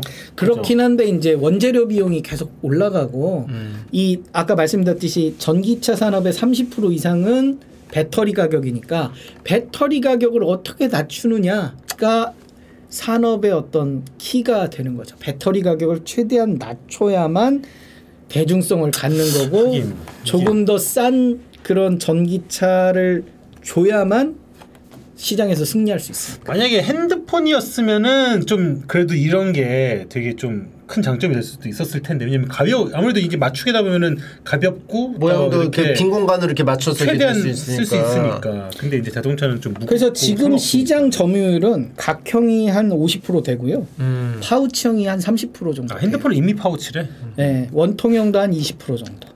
그래서 지금 각형이 어찌됐든 시장의 절반을 차지하잖아요. 예. 그러니까 중국 시장이 13억 인구다 보니까 이 중국의 전기차 산업이 생각보다 굉장히 지금 발전돼 있고 이런 부분들을 감안한다면 각형도 어느 정도의 그런 그러네요. 어, 앞으로의 역할을 하지 네. 않을까. 아, 그래서 역시. 이런 싼 게 짱이네요. 네, 그래서 가성비가 시- 짱이고. 그럼 그럼 그럼 네. 그럼. 10년 동안 얘네들이 치열하게 싸울 거예요. 그래서 맞아요. 우리 저 같은 경우는 분산 투자를 하겠다면 중국의 전기차 산업과 우리나라의 전기차 산업을 그러면 세계 그 2차 전지 산업의 75% 이상을 우리가 그쵸. 투자를 하는 거잖아요. 아 결국은 둘 중에 뭐 하나만 이겨도 나는 그렇죠. 벌- 나는 벌겠다. 그렇죠. 네, 이렇게. 예를 들면 각형이 승리한다. 그쵸. 그러면 중국 전기차 뭐 안타깝지만 네. 중국 전기차 모델이 글로벌화되면서 우리도 그 사이에 음. 이 각형으로 많이 갈 거예요. 아. 네. 그러면서 이제 이렇게 변해 가면서 그 중에 이제 도태되는 기업들이 나올 거라는 거죠. 예를 들면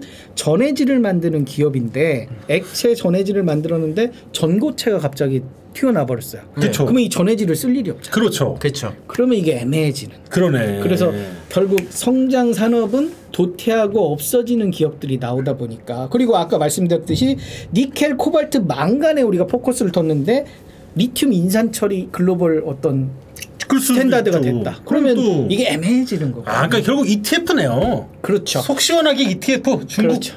코리아 ETF 딱 가가지고 아 그렇죠. 그냥 망치 딱 맞고 기절했다가 한 10년 뒤에 딱 깨워보면은 어? 누가 이렇게 올랐다고? 뭐 됐겠네. 어. 그렇지. 그래서 뭐 개별 종목에 대한 투자도 뭐 나름 많이 분석하고 나쁘진 않은데요.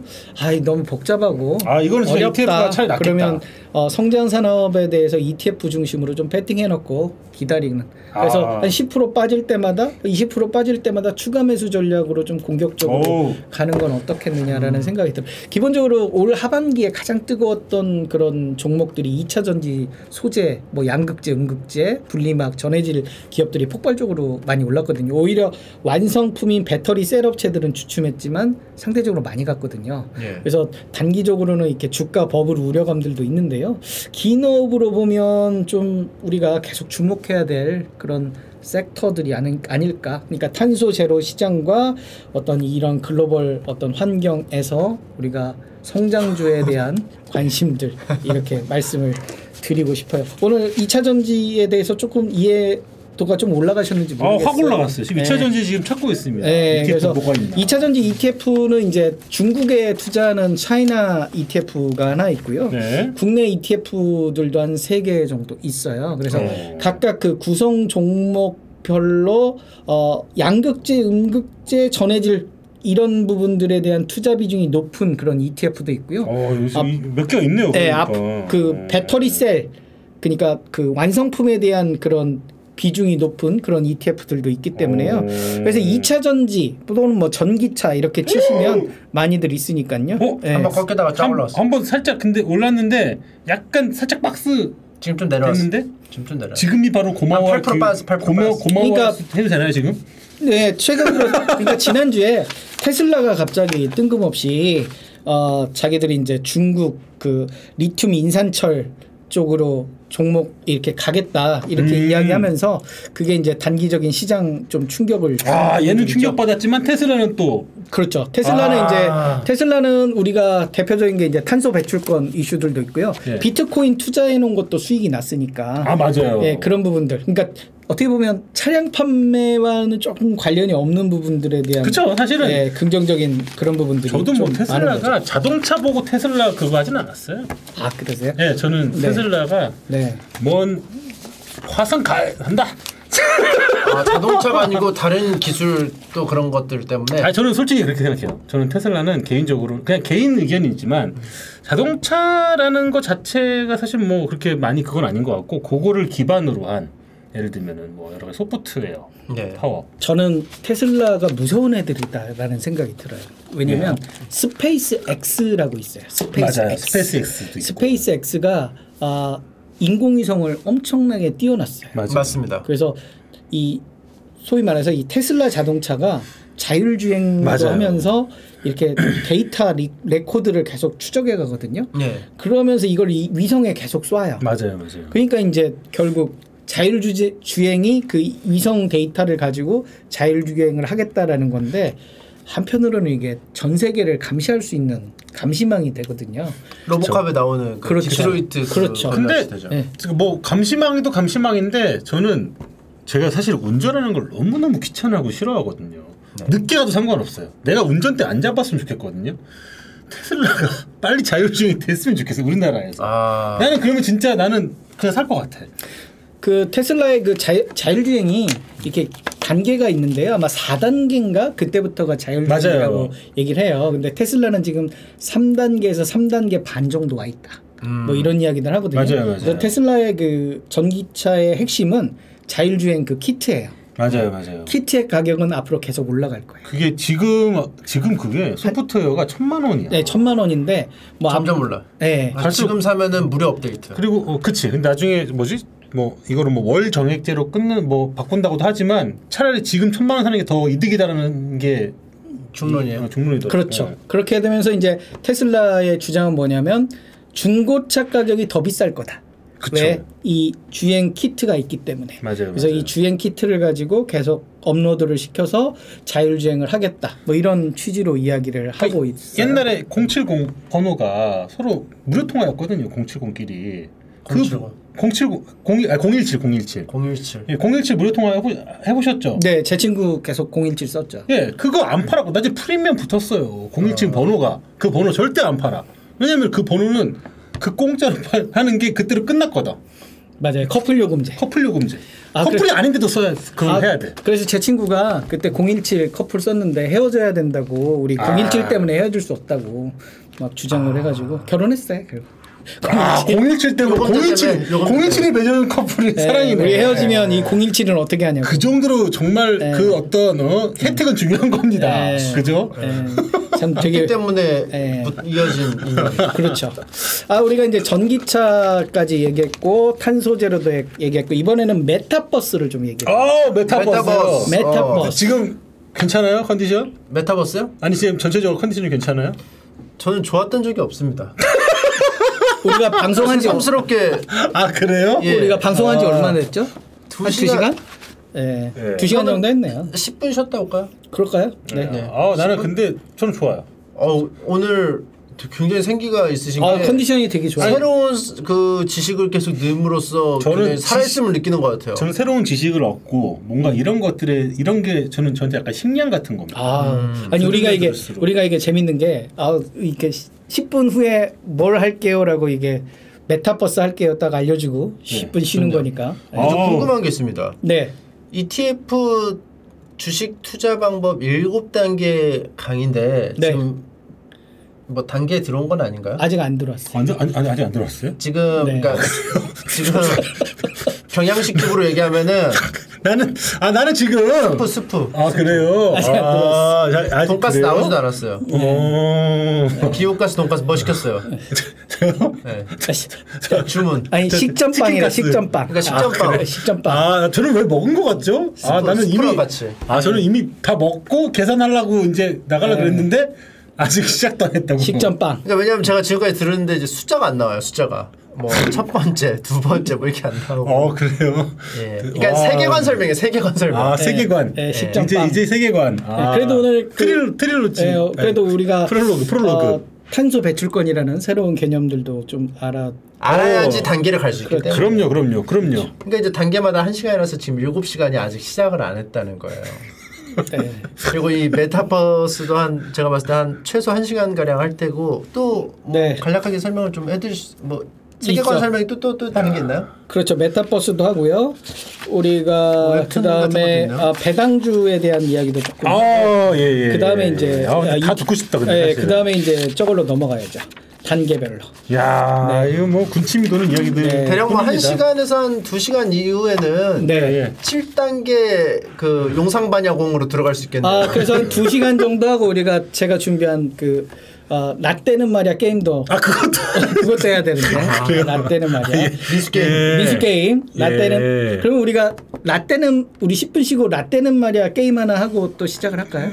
아, 아니 일단은 메타버스 메타버스 하고? 너무 궁금하니까. 아 그러면 세계관까지 끝내고 끝내. 민수 게임을 하고 그렇죠. 7단계로 넘어가는 코스로 그러시죠. 네. 가보도록 네. 하겠습니다. 그러면은 저희는 좀 쉬었다가 다시 오도록 하겠습니다. 아, 옆에 1단계를 안 했다고.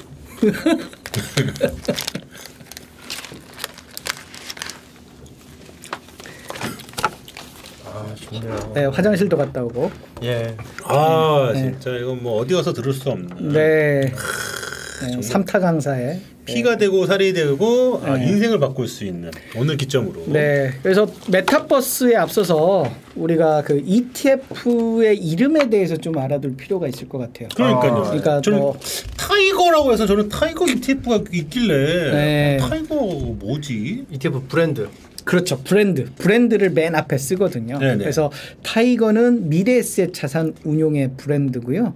어, 음. 코덱스는 삼성 자산 운용. 그러니까 맨 앞에 있는 아, ETF 브랜드 이름. 그렇죠. KB 스타는 KB 자산 운용. 음. 그래서 우리가 브랜드 명이 앞에 쓰이기 때문에 아, 앞에 있는 그 브랜드에 너무 이렇게 집중할 필요는 없을 것 같아요. 각각의 자산 운용사 이름이고 중요한 건 중간에 있는 이름이 중요한 거죠. 중간에 음, 그러네요. 예. 미들네임이 중요하네요. 그렇죠. 미들네임이 예를 들면 2차 전지다. 그러면 음. 2차 전지에 대한 ETF고 뭐 IT ETF다. 그럼 반도체에 대한 ETF고 소프트웨어다. 그러면 우리가 아, 카카오나 네이버를 포함하고 있는 ETF다. 음. 이렇게 보시면 될 것 같고요. 그다음에 이제 맨 뒤에나 뭐 중간에 이렇게 이 영어로 써 있는 경우들이 어, 가끔 어, 있어요. 어, 맞아요, 어, 예. 맞아요, 맞아요. FN, 네. 맞아요. 예, 뭐, 뭐 ETN, 뭐, 뭐 솔렉티브 네. 뭐 이런 식으로 돼 있는데 예, 예. 아, 이 FN이라고 써 있는 건 FN 가이드.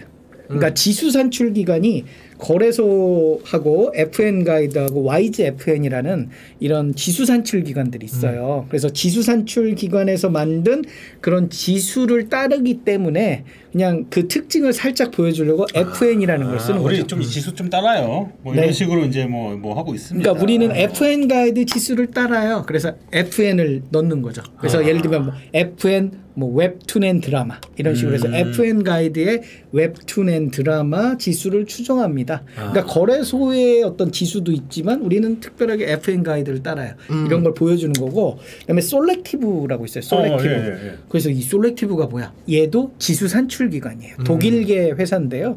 이 솔랙티브사에서 만든 그런 지수를 추종하기 때문에 솔랙티브 이렇게 써주는 거죠.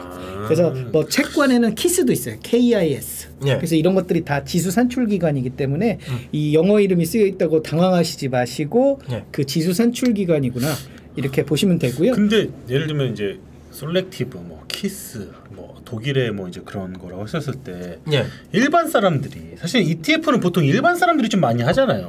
그렇죠. 그렇죠. 모르는 사람들이 더 많지 않나요?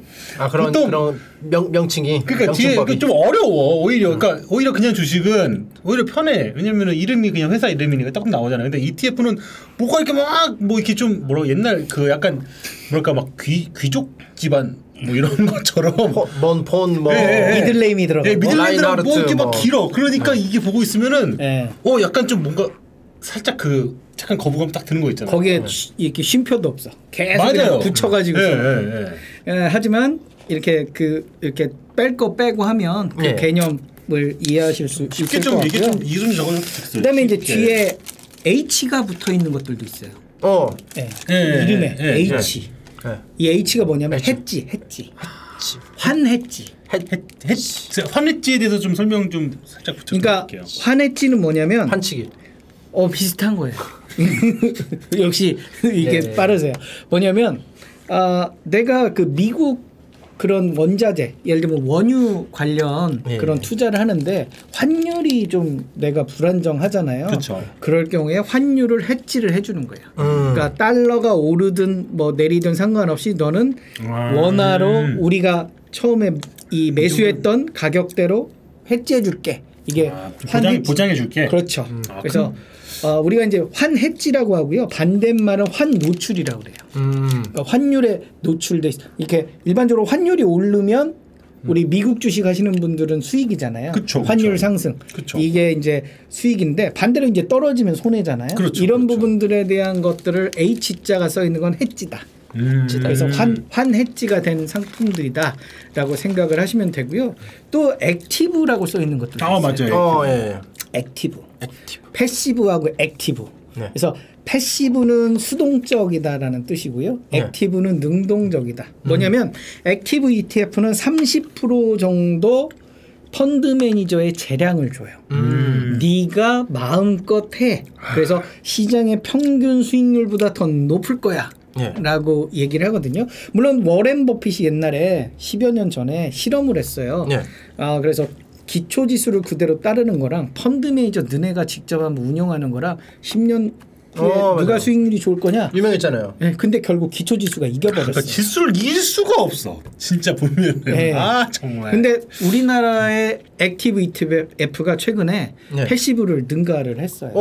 어 그래요? 네, 시장이 막 횡보를 했는데 액티브 ETF들이 더 선전을 했거든요. 아, 앞으로 액- 10년 후를 또 근데 봐야죠. 예, 어, 근데 예. 이제 액티브 ETF에 자산운용사들이 사활을 걸고 있어요. 아. 왜냐하면 이 비교를 다른 회사랑 차이낼 수 있는 게 이 액티브 ETF의 성과거든요. 예. 그래서 열심히 하고 있어요. 음. 그리고 액티브 ETF가 담고 있는 것들이 굉장히 시장에서 핫한 것들이에요. 어. 예를 들면 ESG, 네. 그 다음에 반도체, 어.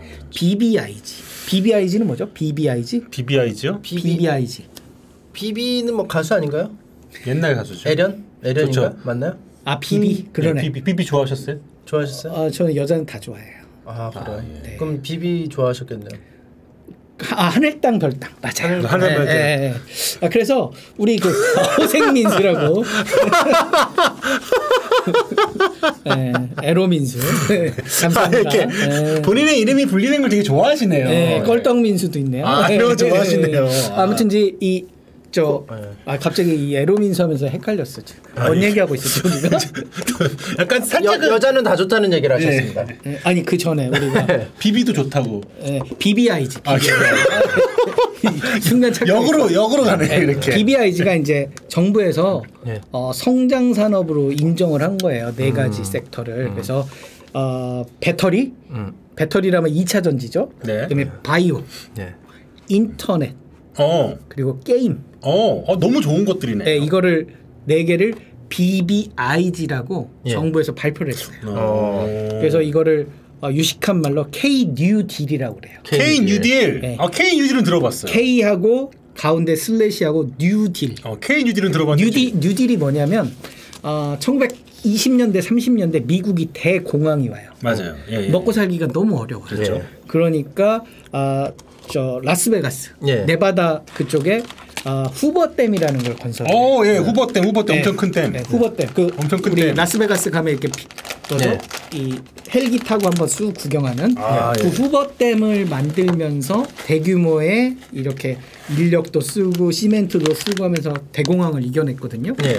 그런 어떤 뉴딜 정책을 2020년도에 우리가 새롭게 해보자. 그래서 K 우리 코리아의 뉴딜이다. 그래서 K 뉴딜이라고 하고 네 가지 섹터. 배터리, 바이오, 인터넷, 게임 이거를 하나의 지수로 만들고 K 뉴딜 게임, 아. K 뉴딜 배터리, K 뉴딜 바이오, K 뉴딜 인터넷 이렇게 섹터들 나눠서 이제 우리가 BBIG K가 지수를 붙으면 좋죠.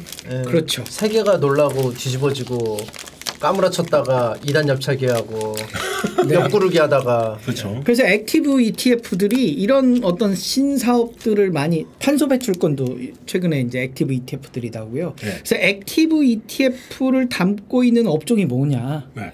시장이 가장 뜨거워하고 관심 갖는 그런 섹터들을 앞으로 액티브 ETF들이 할 거고 네. 액티브 ETF의 어떤 펀드 매니저의 권한을 갈수록 많이 줄 거다. 음. 그래서 이 차별성을 많이 줄 거다. 기존에 이제 패시브 ETF는 기초 지수를 90% 이상 따라요. 그러니까 펀드 매니저가 할 게 없어요. 그러네요. 그대로 지수대로만 하면 그냥 되니까. 그럼 밥도둑인가요? 그러네요. 세금도 아 대신 패시브 ETF는 월급도 월급도. 월급도 펀드 보수가 적어요. 그러니까 이 자산운용사의 할 일이 좀 줄어들기 때문에 음. 이렇게 펀드 보수를 싸게 해요. 대신에 액티브 ETF는 성공 보수가 좀 비싼 거죠. 아크 아크가 이제 좀 그것도 액티브니까 그렇죠. 액티브 중심으로 가는 그렇죠, 거죠. 그렇죠. 그래서 우리가 그런 어, 액티브냐 패시 그래서 일반적인 패시브 ETF는 액티브라는 말이 안 들어가고요.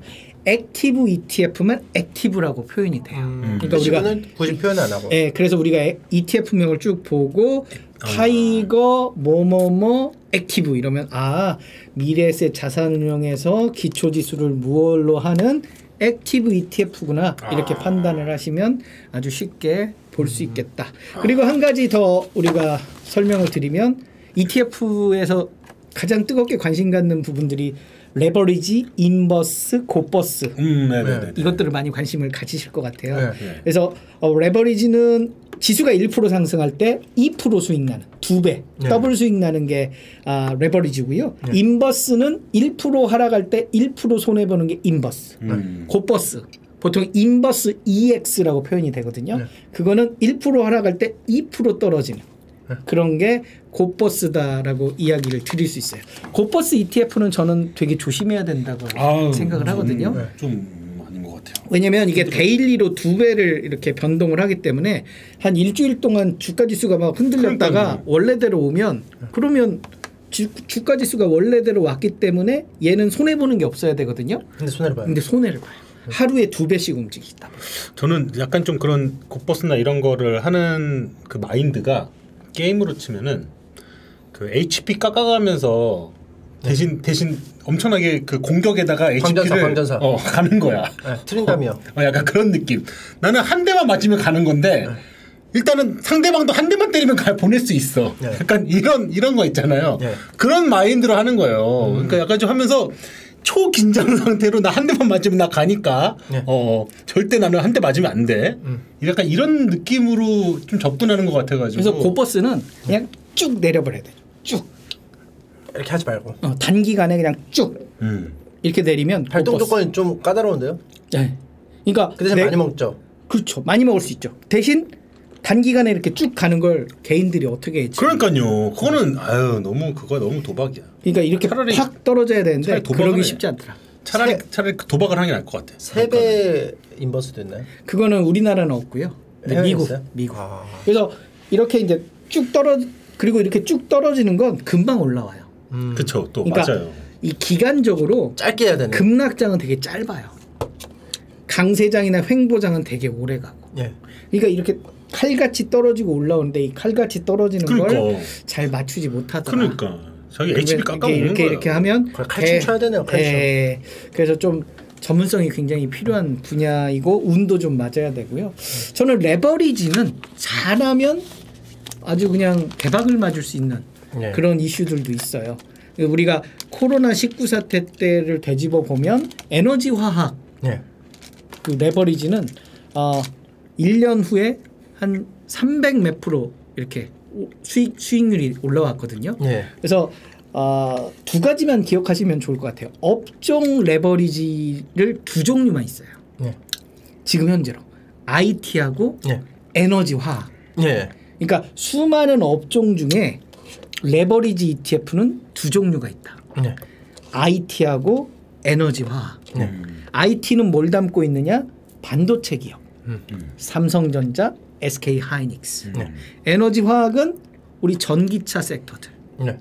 LG 화학, SK 이노베이션을 예. 담고 있는 두 가지 섹터의 ETF들은 레버리지가 있다. 그럼 레버리지 오를 거라고 생각하면 하는 게 좋겠네요.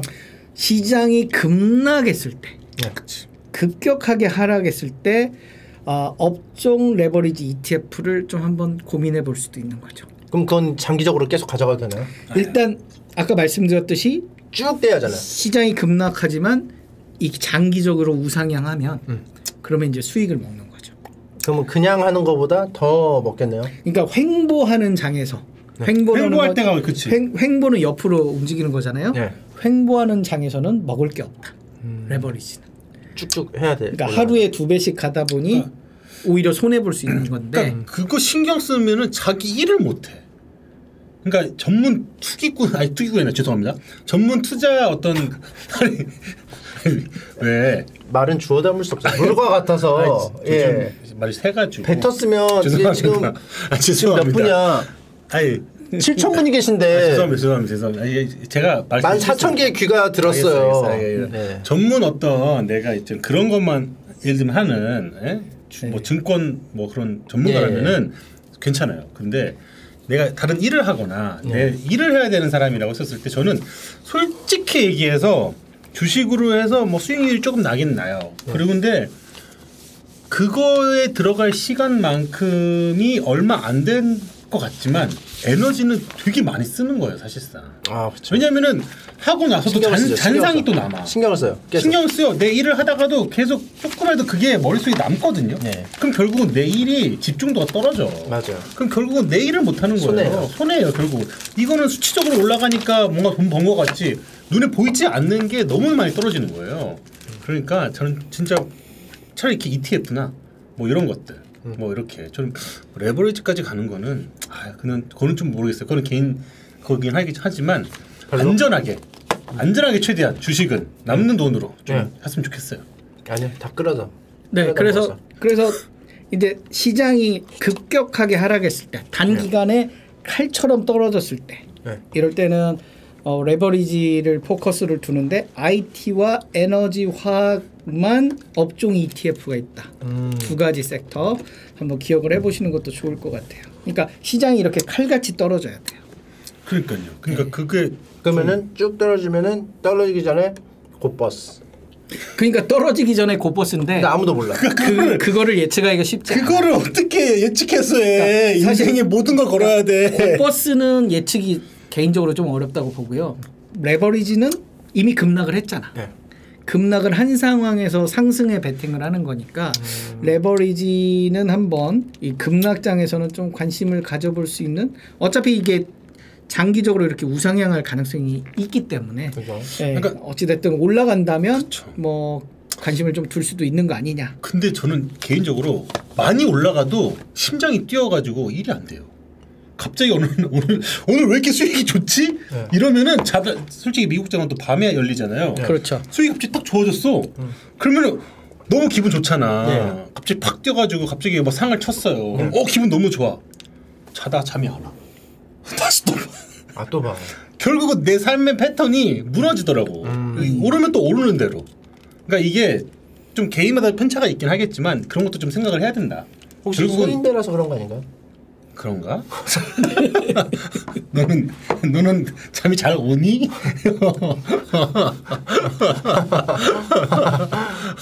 아 그래도 뭐 이렇게 수익이 나서 잠이 안 오는 게 그래도 행복한 거죠. 아니 그러니까 이제 그런 게 약간 좀 사람을 이렇게 들었다 놨다 하는 게 있잖아요. 예. 그게 모르겠어요. 제 저같이 이렇게 창작을 하는 일에 하는 사람한테는 마이너스인 것 같아요. 음. 결과적으로는. 예. 약간 좀 그렇더라고요. 예. 아 우리가 두 창작을 정말 그 창의성이 높으신 두 분을 모시고 제가 가운데 있는데요. 이쯤에서 메타버스에 대한 이야기를 조금 아 정말 얘기를 잘 끌어가시네요. 네. 메타버스. 네. 메타버스. 저도 올해 처음 들어봤어요. 예. 그 전까지는 우리가 사람들이 말을 정말 잘 지어낸다라는 생각이 드는데요. 메타버스는 메타하고 유니버스의 어, 합성어예요. 그쵸? 네. 그래서 메타라는 게 뭐냐? 메타는 가상. 그러니까 없던 것들을 뭐 만드는 게 가상이죠. 유니버스는 우주. 그러니까 가상의 우주인 거죠. 한마디로 아바타 세상이에요. 음. 그러니까 아바타가 이렇게 표현할 수 있는 어떤 가상 3차원 가상 현실 세계가 메타버스 이게 이제 1992년에 미국의 SF 작가 닐 스티븐슨의 소설 아 스노우 크래시 해서 처음에 언급이 됐다고 그래요. 예. 이 소설 아직 못 봤는데 예. 이게 나온 지 한 30년 됐는데 예. 요새 이게 메타버스 지어내면서 예. 굉장히 이렇게 시장이 커졌고요. 앞으로 이 상상 이상의 그러니까 작년도 기준으로 한 50조 정도의 시장인데 예. 앞으로 뭐 1,700조까지 시장이 커질 거다 뭐 이런 이야기까지 하거든요. 그렇기 때문에 굉장히 이제 이렇게 시장이 커지는 그런 시장이 되지 않겠냐. 근데 어, 이 어떤 산업이 과연 어떤 기업이 갈 거냐라는 거는 조금 더 지켜봐야 될 것 같아요. 그쵸, 그쵸, 예, 그쵸. 로블록스가 굉장히 많이 이렇게 올라왔는데 아 로블록스. 예, 국내 기업은 아무래도 이제 제페토, 아 제페토. 예, 네이버의 제페토가 대표적인 이제 메타버스의 플랫폼이 아닌가 싶고요. 어, 이 결국 네이버도 이 제페토가 어느 정도의 정착을 하느냐 그리고 웹툰 웹 그리고 웹소설. 이런 부분들이 얼만큼 이 장악을 하느냐 우리가 게임 이 보시는 분들이 게임 좋아하시는 분들이 많잖아요. 네. 게임도 사실 메타버스의 한 부분일 것 같고요. 예. 이 컨텐츠 산업의 어떤 성장성 이런 부분들도 좀 지켜봐야 될 것 같아요. 그래서 우리 오징어 게임이라든지 최근에 마이네임 뭐 이런 네네, 이슈들이 네. 있잖아요. 네. 앞으로 우리 K 컨텐츠, K 컨텐츠의 어떤 성장성은 저는 좀 긍정적으로 바라봐요. 세계가 놀라는. 네네 우리 김풍 작가님이나 우리 어, 침착맨 작가님 같은 이 훌륭한 그런 창작자들이 많기 때문에 예. 아, 글로벌 이 산업들이 우리 그 컨텐츠 산업에 대한 그런 메리트를 그리고 제작비가 되게 싸요 우리나라가 아 좀 그렇죠. 네, 그러다 보니까 상대적으로. 앞으로 상대적으로 싸다 보니까 그런 부분들이 굉장히 큰. 이 시장 성장성을 보일 것 같고요. 아, 이 최근에 페이스북이 예. 메타버스 사업을 하겠다고 이름을 바꾸겠다고 맞아요. 발표를 예 했어요. 이름을 아, 바꾼다고. 뭘로 바꿔요? 예, 지금 어, 이 아직 제가 거기까지 확인을 어못 아니 이름 해봤는데요. 뭐지? 되게 이상한 이름이 아, 있던데? 그래요? 나왔나요? 깜- 나왔어요. 이름을 네. 뭐 바꾼다고. 예. 나왔어요. 버스버스. 아니 아니야 그런 거 아니야. 전혀 다른 이름이야. 예, 그래서 아 뭐더라? 어, 이 까먹었네. 이름을 지금 용언이처럼 바꾸는 건가? 그러니까 왜냐면 지금 여러 가지로 페이스북이 또 규제를 엄청나게 좀 받고 있고 음. 또 게다가 또 지금 최근에 법정에서 또 끌려갔고 네. 또 지금 여러 가지 이슈들이 있거든요. 네. 그래가지고 지금 이름도 바꾼다. 네. 아 지금 미치겠어요 페이스북. 아 페이스북 하세요? 페이스북이요? 네네. 네, 페이스북. 빵빵. 저는 저는 어지간한 지수는 다 들어가 있어요. 아. 어지간한 지수 지수는 아, 다 들어가 네. 있어가지고 네네. 페이스북에다가도 또 기대가 또 큽니다. 제가 네네. 또 여러 가지. 우리가 FAANG이라고 하잖아요. FAANG. 네. 그래서 뭐 페이스북, 애플, 뭐 구글 해가지고. 네. 네. 그래서 2019년 50조 원, 2030년 1,700조 원까지 늘어날 거다 메타버스의 시장은. 그러면 굉장히 10년 사이에 그쵸. 거의 전기차와 비슷한 성장성을 보여주는 거잖아요. 그렇죠. 이 도서 시장에서도 메타버스 책들이 굉장히 많이 팔리고 있어요 최근 들어서 예. 그래서 메타버스의 시장 우리 증강 현실과 가상 현실을 비교하실 수 있나요? 증강 현실은 어, 지금 현실 원래 있는 거에다가 네. 덧붙이는 거고 아 맞아요 가상현실은 아예 무에서 유를 만드는 그렇죠 네, 그래서 AR, VR 그렇게 얘기하고 뭐 섞는 걸 MR 뭐 이렇게 얘기하는데요 이 증강현실 그리고 가상현실 게임 산업에서 많이 하잖아요 이런 부분들에 대한 성장성 그래서 정부가 2025년까지 2조 6천억 원의 예산을 투입하겠다 메타버스 2조 그래서 6천억 원. 이 메타버스 ETF도 최근에 나왔어요. 그래서 음. 메타버스 ETF가 뭐 네이버나 카카오 이런 기업들과 그 다음에 컨텐츠 기업들을 많이 담고 있거든요. 네. 그래서 메타버스도 하나의 이제 시대적인 관심 흐름, 이슈들이 흐름인 것 같아요. 네, 될 네. 수 있어서 이 엔터, IT 이런 메타버스도 우리가 좀 시장이 좀 흔들릴 때마다 관심을 가질 필요가 있지 않겠느냐라는 생각이 들어요. 저도 막 왜냐면 저는 이제 그 페이스북에 나오는 오큘러스라고 예. 그거를 이제 이전 모델 이전 버전도 구매를 해서 사용을 했고 예. 최근에 나온 오큘러스 2도 2가 있죠. 퀘스트 2 퀘스트 2도요. 그것도 이제 사용을 해봤죠. 예. 어, 엄청난 발전이 있었습니다 그 사이에. 예. 네, 발전이 있는데 가장 큰 발전이 저는 그거 같아요. 좀 오래 쓰고 있어도 예. 초반 버전은 딱 쓰고 좀 조금 있으면 어질어질해요. 아. 근데 물론 그 어질어질함이 그것보다도 이제 확실히 이게 해상도가 좋아지고 하면은 예. 이게 어질어질함이 좀 덜해요. 그래서 오랫동안 좀 쓰고 있게 돼요. 어. 좀 무거운 게 사실 흠이야. 예. 근데 무게는 충분히 줄일 수 있다고 보거든요. 기술의 발전은. 예. 그 됐었을 때는 이걸 안 사용하지 않을 이유가 없어요. 그냥 안경처럼 이렇게 할 수도 있어요. 그냥 네, 나중에 그러니까 가볍게. 어. 뭐 나온다니까 그렇게 되면은 저는 그러니까 이게 안 사용해 보면은 잘 모르는데 좀 써보면은 시간 후딱 가요. 목 근육을 활용하려는데 근육을 활용해서 목 헬스 트레이닝. 그리고 또 그 가격이 되게 싸. 음. 오큘러스 퀘스트 2가 어. 가격이 엄청나게 싸요. 한 50만 원 하지 않았나요? 50만 원또안 하지 않았나? 내가 모르겠네. 하여튼 가격이 상대적으로 되게 싸고 다른 어떤 그런 거에 비해서 네. 그 대신 그거에 비해 엄청나게 성능이 좋지 또. 음. 그러니까 음, 저는 좀 미래가 좀 있다고 생각을 합니다. 그래서 저는 네이버의 지금 가격 카카오나 이런 부분들이 좀 어떤 정부의 규제 이슈가 있으면서 좀 흔들렸는데 네. 결국에 네이버가 한 단계 더 성장을 하려면 네. 이런 그 메타버스 이슈들이 강하게 좀 모멘텀을 가져야 된다. 지금 아, 네이버 같은 경우 콘텐츠 부분에 대한 매출 비중이 한 10% 정도밖에 안 돼요. 네. 근데 10%이지만 어떤 수익성은 되게 좋거든요. 그쵸, 그쵸. 래서 앞으로 네이버 웹툰 네. 그리고 어, Wattpad 같은 웹 소설 네. 여기에 제페토 네. 어, 메타버스 플랫폼 네. 어, 이 세 가지가 좀 더 커져야 된다. 그래야만 네이버의 어떤 주가 상승이나 이런 모멘텀들이 사실 최근 들어서 좀 꺾였어요. 음. 이 네이버의 성장성이라는 부분들이 수익성 부분이. 네네. 그래서 저는 이 웹툰, 제페토, 이 메타버스 이슈들이 좀 아, 이렇게 잘 되기를 좀 음. 기대를 합니다. 아 뭐 어쨌든 또 투자도 하고 그만큼 또 뭐 양적으로 투자하면은 또 이게 어디서도 성과가 뭐 하나만 터지면 되거든. 오징어 게임 하나만 터지면 되는 것처럼 네. 하나만 터지면 빵 뛰는 거예요. 음. 깔아놓고. 요새 뭐 즐겨 보시는 그런 이, 저요? 예, 있나요? 저는 오징어 게임이 최근에 그거였습니다. 아 제일 재밌게 네. 보는 아 우리 김풍 선생님 뭐 재밌게 보신 거 있어요? 저는 너무 많이 봐서 네, 뭐 뭐 뭐 어떤 컨텐츠요? 네, 저는 스우파, 스우파랑 쇼미머니. 스우파 아세요? 혹시? 잘 몰라요. 스우파. 아, 스우파 되게 좋아하실 텐데. 엄청. 좋아하실 뭐, 뭐의 줄임말일까요? 스우파, 스우파. 스우파, 스우파. 스우파. 아, 이거 진짜 너무 너무 좋아하실 거예요. 근데 아마 아? 최근 의원님께서 네. 너무 여자만- 취, 너무, 여자만 나와요. 너무 아, 취향, 그래요? 너무 취향이다. 아 좋아요. 아, 스우파. 아, 수, 수 슈퍼는 알거든요. 아, 스, 스, 스, 아, 네. 스우파, 스, street. 아. 여기까지 제가 드릴게요. street. 우파는 뭘까요? 우파. 예. 여자만 나오니까. 우. 아 글쎄요 우클릭, 아, 아니, 아니 뭐 woman. 이런 것도 이게 woman, woman. 아, 예, 그렇죠, 그렇죠. 아, street woman, 예. 파이터. 아, 맞습니다. 아. 아, 예. fighter군요. 네네네. 아, 예. 파이팅 하듯이 춤을 춥니다. 아 진짜요? 원래 이게 그 실질적으로 K 컨텐츠 이제 예를 들면은 뭐 엔터 산업에서 실질적으로 가장 큰 역할을 하는 분들이 사실상 댄서 분들이거든요. 그 어떤 안무를 짜고 어떤 이런 게 사실상 그 효과가 크잖아요. 말이 필요 없죠. 말이 필요 그런데 그런데 그분들만 이제 연예인이 없는 그분들만 대상으로 한 어떤 컨텐츠거든요. 아 이러니 제 아들이 나가라고 하는군요. 없어요. 아, 아. 내용을 모르니 나가. 나가. 네, 보수 민수라는데. 아 그래서 우리가 이제 메타버스 오늘 메타버스 탄소 배출권 2차 전지 산업 반도체도 일부 다뤘고요. 예.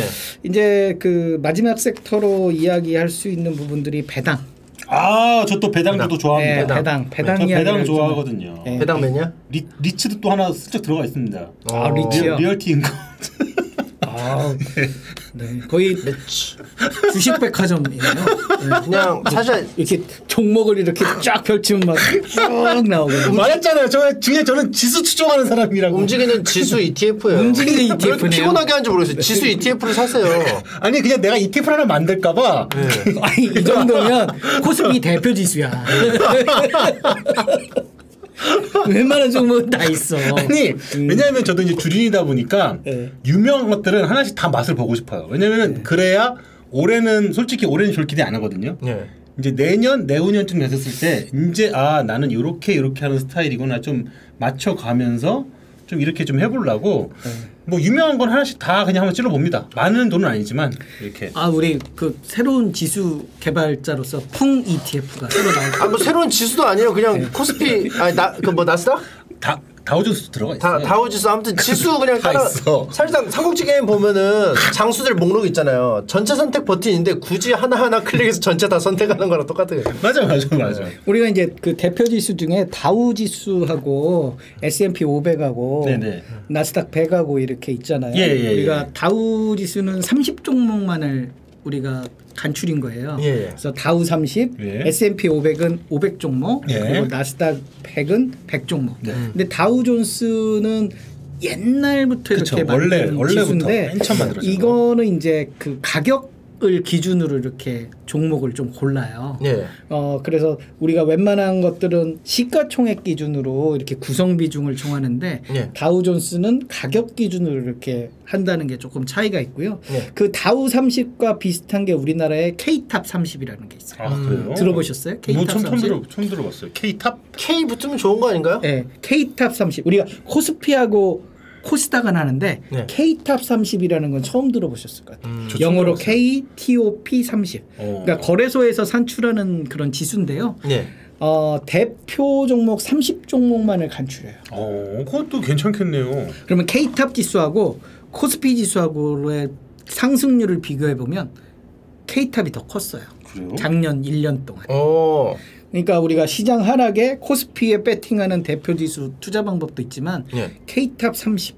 어, 어, 근데 궁금한 KTOP 50도 있네요. 예. 예, 그 여러 가지 지수들이 아, 아, 있는데 KTOP 50밖에 없네요. 아 이거는 이제 앞에 KTOP이 써 있는 건 KTOP이라는 브랜드를 가진 자산 운용사예요.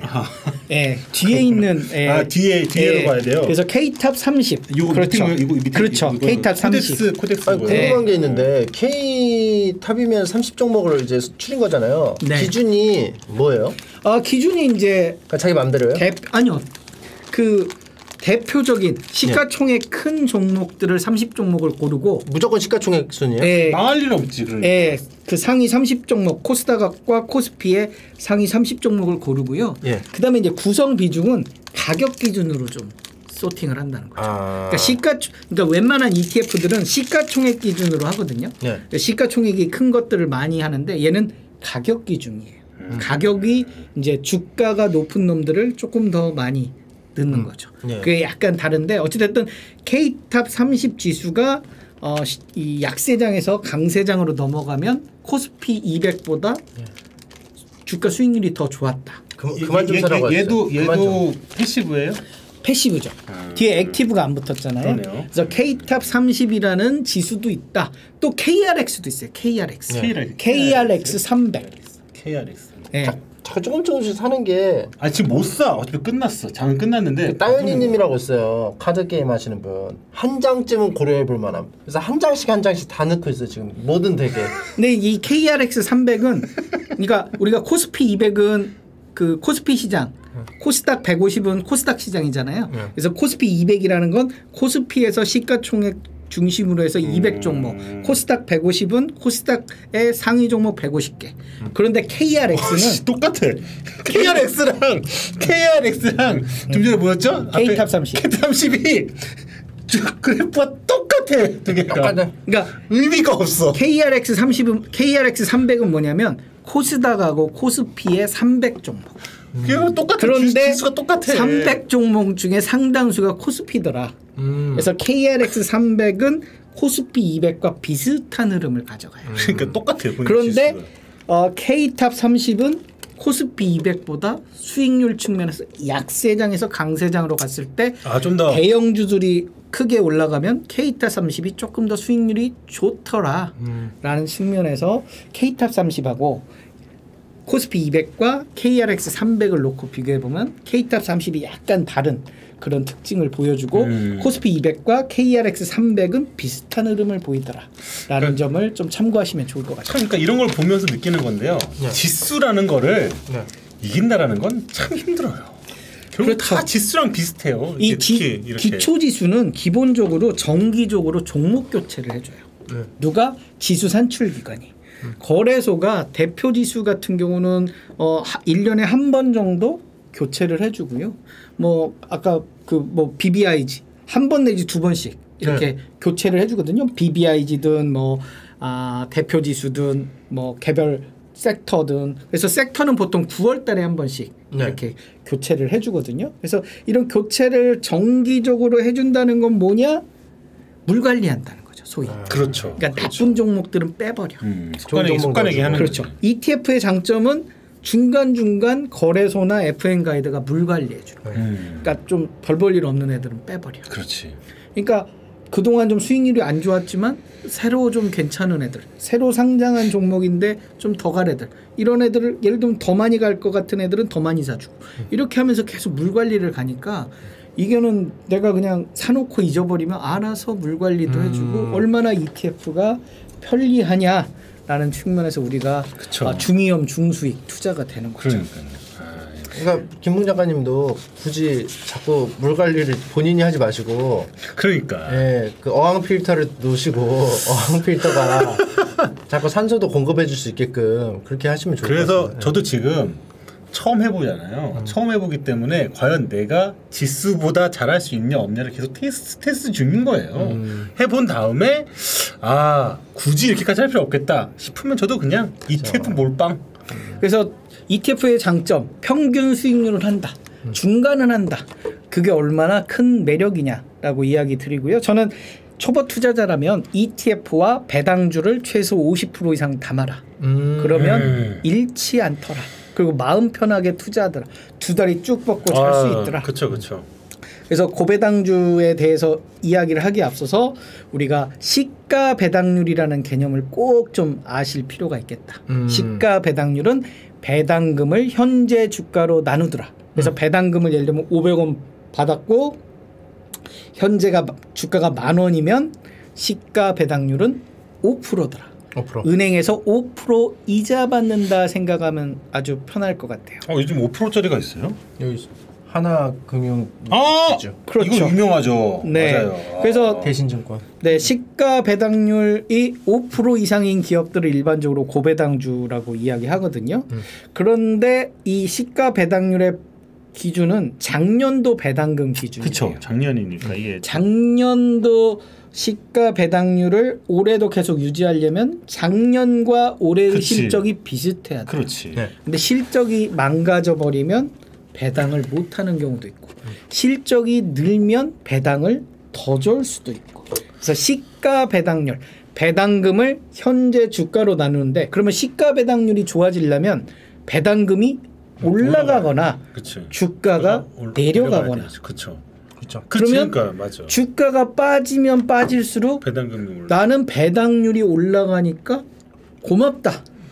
근데요 사실상 저는 사, 주식 주가가 내 주가가 내려가면서 배당을 높이 받는 것보다는 차라리 주가가 올라가고 배당금 좀 적게 받는 게 안전 장치라고 보는 거죠. 좀 약간 떨어졌을 때 리스크를 조금 뭐, 해주는. 그러니까 그럴 수는 있죠. 그러니까 뭐냐면 내가 샀는데 주가가 올랐어요. 네. 또 배당률이 떨어져. 아 그럼 또 그거대로 고맙고. 즐겁잖아요. 그쵸. 아. 수익이니까. 근데 그쵸, 그쵸. 반대로 떨어졌어요. 음. 그러니까 그러면 아, 더 싸게 살 수 있어. 그렇지, 그렇지. 그래서 이래도 좋고 저래도 좋은 게 세상 일을 감사할 일 천지네요. 그렇죠. 배당주. 계속 떨어 떨어져도 감사하고. 배당 주는 회사는 배당 먹고 살만해요. 그러네. 그러네. 먹고 살만하니까 당장 배당까지 뺄, 하는 뺄. 일이 없으면은 네. 이 돈이. 예, 이게 이제 어떤 남는 돈에서 주는 거거든요. 그렇죠, 그렇죠. 교회 기도 시간 같아요. 다 하- 모든 게 감사해요. 범사에 감사하고. 그렇죠. 그리고 배당 성향이라는 게 있어요. 음. 배당 수- 시가 배당률과 배당 성향은 달라요. 예. 배당 성향은 뭐냐면 이 기업이 번 돈 중에 실제 배당을 몇 프로나 하느냐. 음. 그러니까 100억 어치 당기 순이익이 났는데 50억이나 배당을 했네. 예. 그럼 배당 성향은 50%인 거예요. 아. 뭐 지난 3년 동안 배당 성향이 일정하게 유지됐는지 그렇죠. 이걸 그렇죠. 체크해 중요하죠. 있는 그것도. 예를 들면 얘는 배당 성향이 계속 50%야. 어. 그럼 번 거에 반절은 배당을 했네. 작년에 100억 벌었어. 올해 200억 벌었어. 음. 그럼 배당을 얼만큼 해? 두 배 할 거 아니에요. 그렇죠, 그렇죠, 그렇죠. 그러면 아하 올해 배당을 두 배나 벌 수 있으니 얼마나 좋아. 그러니까 작년에 배당 시가 배당률 계산하니까 5%야. 그럼 올해는 10%다. 이렇게 판단할 수 있는 거죠. 그래서 좋은 배당주는 배당 성향이 일정하게 유지되면서 이왕이면 높을수록 좋겠죠. 예. 높은 배당 성향을 유지하면서 실적도 안정적이거나 배당이 아니 실적이 개선되는 기업이면서 시가 배당률이 높은 기업이 고배당주다 음. 이렇게 판단을 하시면 고배당주에 대한 이해가 쉬울 것 같고요. 찬바람 불면 고배당주라고 얘기해요. 음. 왜냐 배당주는 1월 달이 제일 싸요. 음. 이 말은 뭐냐면 1월 달에는 배당주를 사야 되는 거죠. 아. 우리나라에 한해서죠.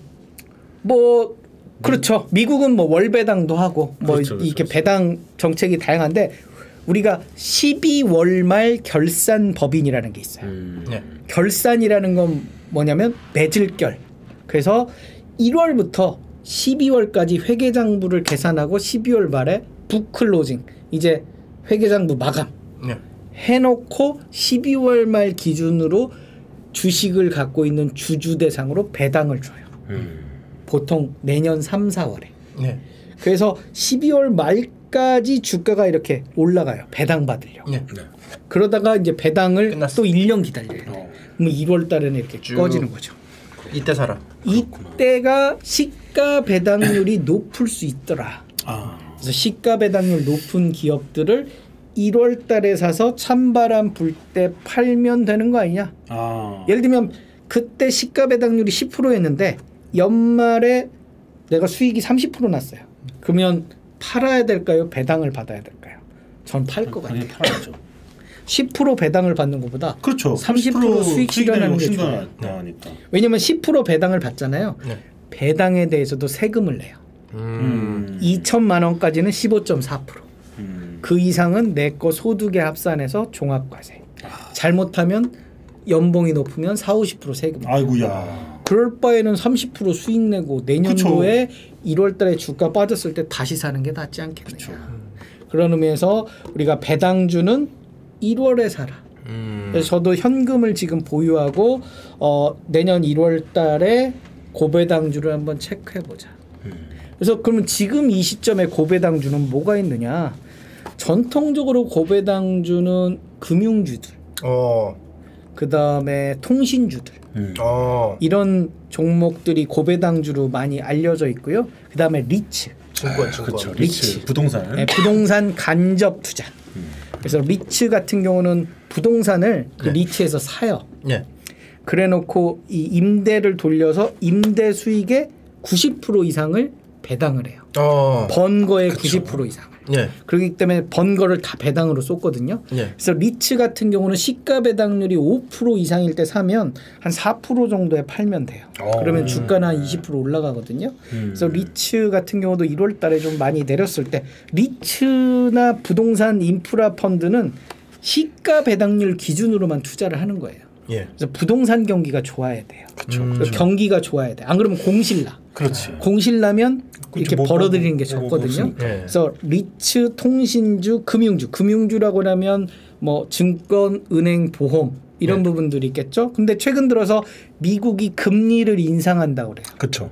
금리를 올린다 고 그래. 네. 그러면 금리를 올리면 최대 수혜주가 은행과 보험이에요. 예. 은행은 그쵸, 금리가. 올라갈수록 적금 넣는 고객들이 늘어나거든요. 네. 그러면서 어, 어떤 이 자산 파이가 커지면서 운용할 수 있는 기회들이 많이 생겨요. 예. 그런 의미에서 어, 이 대출 규제에도 불구하고 금리 인상의 효과를 보는 거고요. 보험주들은 반대로 이 바로바로 보험금을 내줘야 되잖아요. 예. 그렇다 보니까 예적금에 돈이 많이 들어가 있어요. 그래서 예적금 금리가 올라갈수록 수익성이 좋아지는.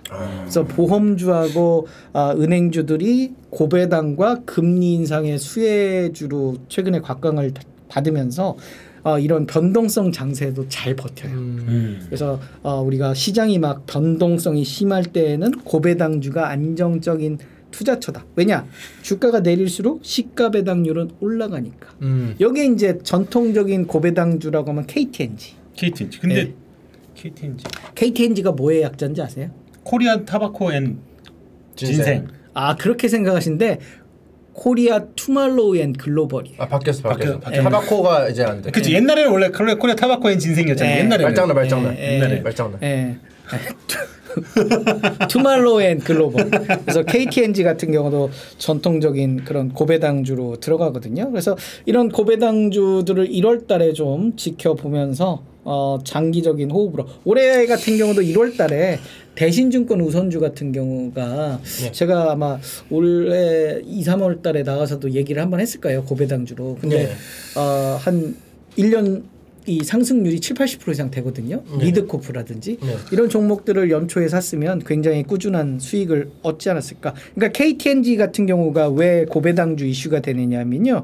주가가 횡보해요. 그러니까요. 이거를 상당히 계속 행복. 이거를 유식한 말로 저변동성이라고 하거든요. 어, 맞네요. 주가가 움직이지 않는 저변동성. 네. 그러면서 주가는 별로 변동성이 적지만 상대적으로 어, 우리가 이 저 배당 성향이나 그냥, 배당 그쵸. 수익률 측면에서는 고배당주로 이렇게 거죠. 안전하게 그렇죠. 은행에 넣느니. 그렇죠. 예, 그냥 이거 이제 해서. 보통 담배는 필수 소비재예요. 네. 그러니까 뭐냐면 경기가 나빠져도 담배는 펴요. 그렇죠, 그렇죠, 그렇죠. 예, 그러다 보니까 이렇게 경기가 안 좋아지고 뭐 시장이 급락을 해도 이런 필수 소비재 담배는 계속 사람들이 피니까 음, 아. 예, 계속 가격이 일정 가격 유지되고 안정적으로 매출이 일어나면서 네. 고배당 측면에서 바라볼 수 있는 게 이저이 KTNG 같은 그런 담배 기업들이고요. 이렇게 시장이 흔들릴 때마다 필수 소비재가 많이 각광을 받아요. 먹고는 살아야 되니까. 음식료라든지 이런 기업, 뭐 마트라든지 이런 기업들이 잘 버티는 거고요. 어, 우리가 뭐 미국 주식 많이 하니까 우리가 다우존스 미국 리츠에 투자하는 ETF들이 있어요. 어, 우리나라 네. 우리나라에 있는 건데 그쪽에다 하는 ETF 있다는 네네. 거죠. 그 미국 리츠 시장의 시가총액이 한 1,400조 원 정도 되는데요. 아, 이게 씨, 전체 1,400조. 시장의 한 67% 정도를 차지한다고 그래요. 예. 그러니까 리츠 시장의 한 70% 정도는 미국 시장에 다 있다.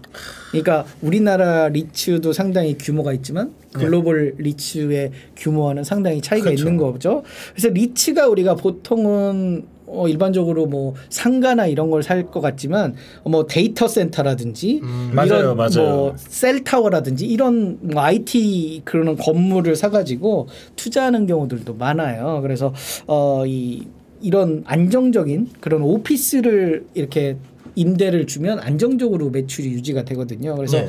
우리 이런 그 다우존스 미국 리츠 같은 경우도 최근 1년 수익률이 35.7%예요. 어. 35.7%. 30 35.7%. 왜냐, 왜냐면 보니까 코로나 이후로 네. 어 되게 팍 떨어졌거든요. 코로나 터지고 난 다음에 네. 이 확확 확 확 주저앉았어. 건물 가격이요? 아니 그 리츠 리츠 쪽이 그러다가 이제 다시 다시 이제 그러니까 상승 왜 왜. 왜 그랬냐면 코로나 19로 인해서 네. 경기가 다- 불황이 그렇죠. 될 거니까 그러니까 이제 미리 임대가 안 될 거다라는 우려감 때문에 왜냐면 임대 수익의 90%를 배당을 하는데 네. 공실이 나면 결국 없어요. 임대 수익이 그렇지. 줄어들고 배당을 조금밖에 안 할 거 아니냐라는 우려감 때문에 주가가 급락을 그렇죠. 했는데 경기가 다시 살아나면서 리츠들이 이제 원래대로 다시. 원래대로 이제 다시 그래서. 최근 3개월 수익률이 한 4%대, 6개월 수익률이 12%대, 1년 수익률이 35%대니까 사실 1년에 35%를 리츠를 투자해서 수익 내기가 어, 그렇죠. 쉽지 않은데 쉽지. 이렇게 어찌됐든 리츠에 대한 투자는 네. 어, 예적금 투자의 한 3배 음. 이 정도가 목표이거든요. 그렇죠, 1년에 그렇죠. 그한 정도만 돼도 1년에 뭐. 한 10% 내외? 그럼, 그럼. 그런데 1년에 30%를 벌었어요. 어 그럼 이거는 뭐 그냥 네. 다 난리 다 났네요. 뺀 네. 거야. 3, 40%. 그럼, 그럼. 래서 우리가 이렇게 시장이 흔들릴 때마다 리츠도 우리가 ETF 고배당 측면에서 바라보면 부동산 인프라나 리츠가 들어간 ETF를 고배당주 측면에서 좀 바라보면 어떨까라는 생각이 많이 들어요. 그러니까 이게 사실 저도 저는 그냥 아는 건 사실 이제 완전히 반도체 아니면은 뭐 이렇게 뭐 성장주 이런 쪽밖에 관심이 거기밖에 없으니까 네. 그렇게 하는데 사실 이런 거는 관심이 없는 분야거든요 저한테는 근데 이게 조금이라도 좀 돈을 넣으면은 관심이 생겨 아 그리고 이, 이, 이 리츠가 네? 관심이 생긴다고. 이 리츠가 좋은 게 뭐냐면 예. 아 이게 주가가 이렇게 약간 횡보를 하거나 그럴 가능성들이 되게 많거든요. 네, 맞아요. 안정적으로 이렇게 흐르다가 시장이 급나가면 얘는 수익 중이잖아요. 그렇죠 뭐 얘를 팔아서 그렇죠 납법과대 성장주들을 그러니까. 살수 있는 그런 아, 기회가 일단 넣어놨다가 여기다 그러니까 넣어놨다가. 이게 현금과 같은 성격. 맞아요 맞아요 그거 그거 그러니까 이제 가장 떨어졌을 때 그때 그냥 넣어놓고 어차피 변동성이 크지 않기 때문에 네. 그랬다가 이제 어차피 내가 현금 주는 것보다 얘는 심지어 배당도 주거든 네. 그러니까 이제 그러고 있다가 그렇죠. 배당도 받을 수 있고 주가가 빠지면 배당을 목적으로 또 들어오고 네. 그렇기 때문에 리츠나 부동산 인프라 ETF를 고배당 측면에서 우리가 고배당 ETF는 주로 이제 이런 금융주들을 많이 금융주나 통신주를 많이 담고요. 아니면 이런 리츠나 부동산 인프라를 많이 담고 있거든요. 네. 저는 어 투자에 자신이 없다라고 하면 이런 리츠 ETF도 괜찮지 않을까. 기본 기본빵은 하기 때문에. 기본빵은 그렇죠, 하니까 그렇죠. 그리고 꾸준하게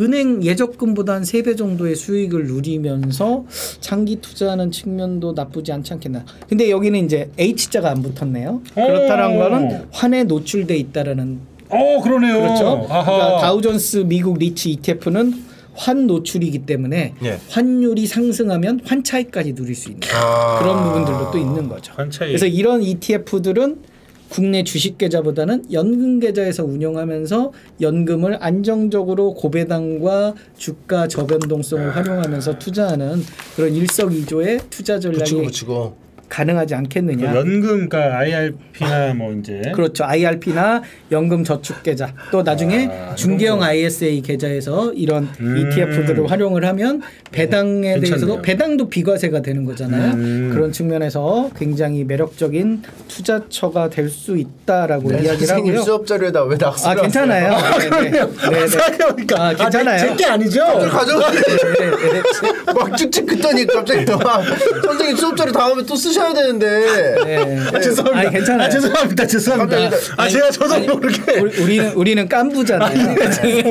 그래서 나 저도 모르게 이게 버릇처럼 아 이게 김 작가님 정리해 주신 거예요. 예. 중요한 어떤 아 네, 예, 알겠습니다. 그래서 예. 나중에 우리 저기 김풍 작가님이랑 우리가 주식 만화를 할 수도 있는 거고. 아, 예, 네, 좋죠, 좋죠, 네, 좋죠. 그래서 이렇게 저기 보고요. 여기에 한 가지 더 저는 추천드리고 싶은 게 혼합. 어 혼합 ETF. 어떻게 혼합이죠? 혼합이라는 용어가 써 있는 ETF들이 있어요. 어. 네. 그러니까 주식 혼합, 채권 혼합. 네. 앞에 써 있는 게 주력이에요.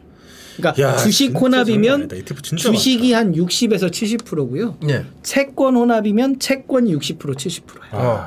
그러니까 내가 주식에 100% 배팅하려니 약간 불안해. 네. 네. 한 3, 40%는 채권으로 채권에다가. 좀 변동성을 줄이고 싶어. 와, 그, 그 ETF 안 그래도 안 그래도 ETF는 좀 그나마 좀 안정적인데도 난 더 안정적으로 가고 변동 싶어. 변동이 계속 아니 그 변화를 하네요. 계속. 그렇죠. 아종이 아. 생기네요. 그렇죠. 그러면 주식에 한 70% 담고 3, 40%는 채권. 네. 그러면 이제 아주 강세장에서는 주식형보다 덜 먹어요. 그렇죠. 하지만 약세장에서는 덜 빠져. 그렇죠. 아. 그게 주식형 ETF, 주식 혼합 ETF. 반대로 채권 혼합은 기본적으로 주력이 채권이 채권이 에요. 네. 여기에 헬스케어를 붙여. 음. 그럼 헬스케어는 바이오 기업이잖아요. 그렇죠. 바이오가 또 급등장에서는 급등하잖아요. 네. 그러니까 바이오에 한번 급등을 노려보는 게 어. 에, 바, 채권 혼합이면서 바이오에? 붙어 있는 아. 그런 것들이라든지. 와 진짜 정말로 어떤 이런 금융 쪽은 편종이 많아요. 진짜 뭐라고 해야 되나 너무 그 미식가들 음식으로 치면 약간 미식가들 어 내가 너무 너무 좋아하는 어떤 그건데 아 나 여기서 조금 소금 뺐으면 좋겠는데 아나 설탕 좀 들었으면 좋겠 이런 정도의 어떤 상품이 그 정도로 많네요. 그래서 저는 기본적으로 좀 보수적인 투자자면 어, 채권형이나 채권 혼합을 좀 들고 있는 것도 나쁘진 않아요. 왜냐면 이런 시장 급락에 채권형들은 많이 안 빠지거든요. 그렇기 때문에 이 채권형들을 좀 보유하는 게 좋고요. 채권형 같은 경우는 금리, 금리, 금리와 반대예요. 음, 그러니까 그쵸. 금리가 어, 올- 올라가면 채권의 수익률은 떨어져요. 수밖에 없으니까. 근데 지금 코로나 19로 인해서 채권의 가격이 떨어질 만큼 떠 아니 금리가 떨어질 만큼 떨어졌거든요. 올- 더 떨어질 때가 별로 없어. 요 그쵸 이제 올린대잖아요 안 그래도. 근데 이제 금리 인상을 한다 고 그러잖아요. 예. 그러면 채권은 금리 인상에 채권 ETF는 손해를 볼 개연성도 있는 거죠. 그쵸. 미미하지만. 아 근데 지금 그런- 지금 그런 채권 한다라는 게 지금 사실은 좀 근데 반대로 채권 인버스가 있어요. 떨어지면 오히려 좋은 거. 떨어지면 수익이 나는. 또 만- 어, 복잡해. 아니 그러니까 어. 금리가 올라가면 수익이 나는 게 채권 인버스 ETF. 네. 그러니까 그런 거를 하는 사람 마인드는 뭘까요?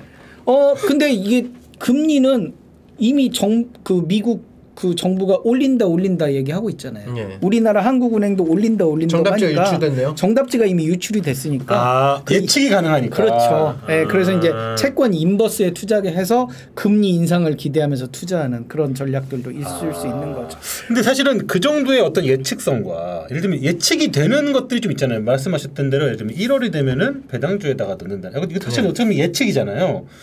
그런 것들이 좀 몇 개가 있나요? 그런 것들. 그렇죠. 있는데 사람들이 1년을 기다리기에 지루해요. 맞아요. 사람들이 1년을 못 기다려. 1월 달에 사서 언제 팔아? 맞아 맞아 맞아. 그러다 보니까 당연히 내려갔지만 안 사. 그걸 이제 무관심 구간이라고 하거든요. 네. 채권 인버스도 당연히 오를 줄 알지 이렇게 수익이 날 거 알지만 안- 채권은 수익률이 낮아요. 아 인버스라 해도 그러니까 관심들이 많이 이제 좀 적을 수 있는 거죠. 반대로 채권은 안전해요. 네. 그래서 안전하게 일단 유지가 되다가 시장 급락에 팔아서 공격적으로 이렇게 막 뭘 또 사요. 급락한 급락한 낙폭 과대 ETF나 낙폭 과대주를 위한 투자 자금으로 채권 ETF를 활용할 수도 있는 거죠.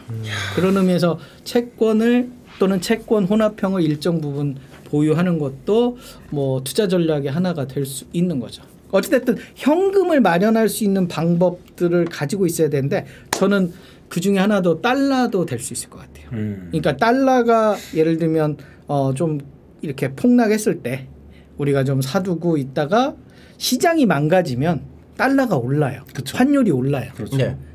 왜냐면 이 환율이라는 건 상대방의 그 가격이거든요. 상대방 돈의 가격이에요. 네. 그러니까 환율이 오른다는 건 상대방 돈의 가치가 오른다는 거거든요. 네. 그러니까 1달러에 1,000원에 거래되다가 1달러에 1,200원에 거래되는 게 환율 상승이거든요. 네. 그러니까 미국의 달러가 가치가 높아지니까 옛날에는 1,000원만 줬는데 이제 1,200원을 줘야 바꿔주는 거예요. 그죠. 그래서 환율 상승 이런 부분들에 배팅을 하는데 환율 상승이 왜 일어나느냐?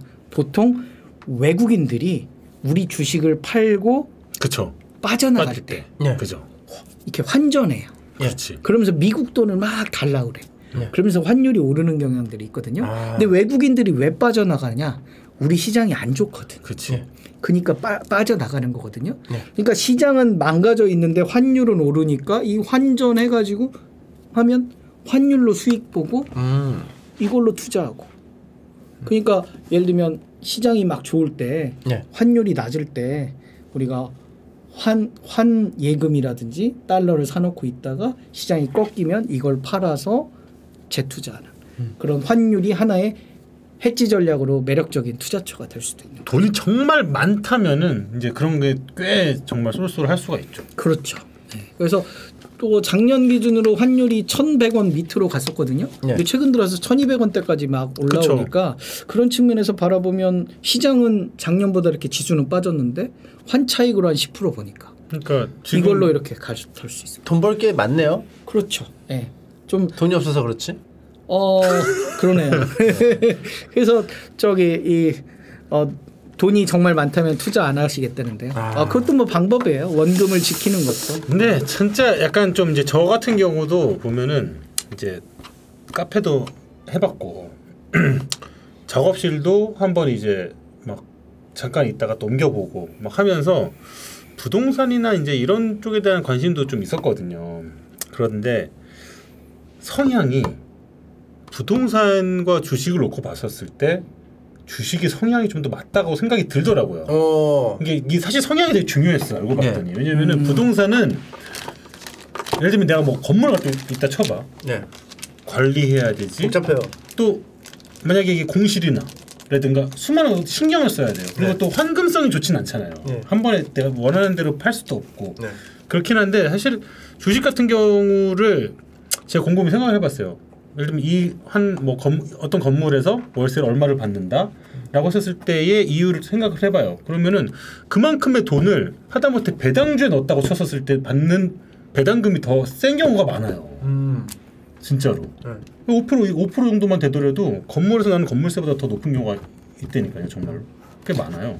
저는 그 40대 이후로 투자를 원하시는 분들은 만약에 부동산 투자를 하시겠다 그러면 저는 재건축 투자를 어 뭐 재개발이나 재건축 투자를 가장 1순위로 두셨으면 그렇죠. 좋을 것 차라리 같아요. 그런 식으로 뭔가 해가지고 뭔가 이제 띄우던가 그게 네. 아니면은 그러니까 결국 신경을 써야 되는 거지.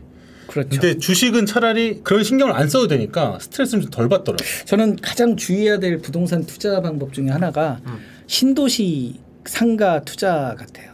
그러니까 신도시 상가는 사실 아직 상권이 갖춰져 있지 않거든요. 네. 그리고 신도시는 일단 이 철도를 놔줘요. 근데 기- 철도가 완공이 되면 신도시 그 철도가 놓여진 곳에서 쇼핑을 할 줄 알지만 철도를 타고 강남을 가버려요. 그쵸, 그쵸. 그러다 보니까 여기가 공동화 현상이 많이. 발생. 맞아요. 빨대가 빨대 현상이 네. 벌어지거든요. 그래서 공실이 많이 발생이 돼서 신도시 우리가 이제 보통 은퇴하시는 제 나이대 분들은 이제 아, 상가를 사서 안정적인 이렇게 임대 수익을 얻겠다 그러는데 실질적으로 그런 경우들보다는 이게 속썩이는 경우들이 많이 있거든요. 맞아요. 그래서 저는 첫 번째로는 신도시 상가는 좀 투자에 좀 조심해라라는 말씀을 진짜 장난 드리고. 싶고요. 오히려 그쪽으로 가는 게 아니고 저딴 데로 가버리니까. 그렇죠. 대표적인 예가 이제 그 서울 수, 수도권에 있는 광교 같은 경우는 어 상당히 이렇게 인프라도 잘 갖춰져 있고 도청도 있고 그러는데 상당 기간 좀 힘들었거든요. 왜냐면 철도가 놓여져 있는데 바로 강남으로 한 30분이면 그쵸. 가버리거든요. 맞아요, 맞아요. 그러다 보니까 이게 상가 공실이 나고 이런 부분들이 있기 때문에 신도시 상가들은 좀 상당히 조심해야 되는 섹터 같고요. 두 번째로는 저는 재개발 투자와 관련해서 조합 아파트. 아. 조합 아파트는 특히 조심하셔야 될것 같아요. 이게 조합 아파트도 분양을 하거든요. 근데 네. 앞에 조합이라고 써 있어요. 네네. 근데 이 조합 아파트가 마치 이렇게 분양하는 것처럼 아, 그쵸, 하거든요. 그쵸, 맞아요. 근데, 근데 조합. 아파트는 청약 통장이 필요가 없어요. 예. 그러니까 일반 그냥 조합 이렇게 재, 재개발을 하겠다는 조합의 어떤 청사진을 보여주면서 그 돈을 받아서 뭘 하냐면 땅을 매입해요. 그때서야. 음. 그러니까 근데- 한참 늦어요. 한참. 네, 근데 이게 이제 있어요. 엄청 늦어지고 갈수록 이렇게 돈을 더 내라고 그래요. 아 맞아요.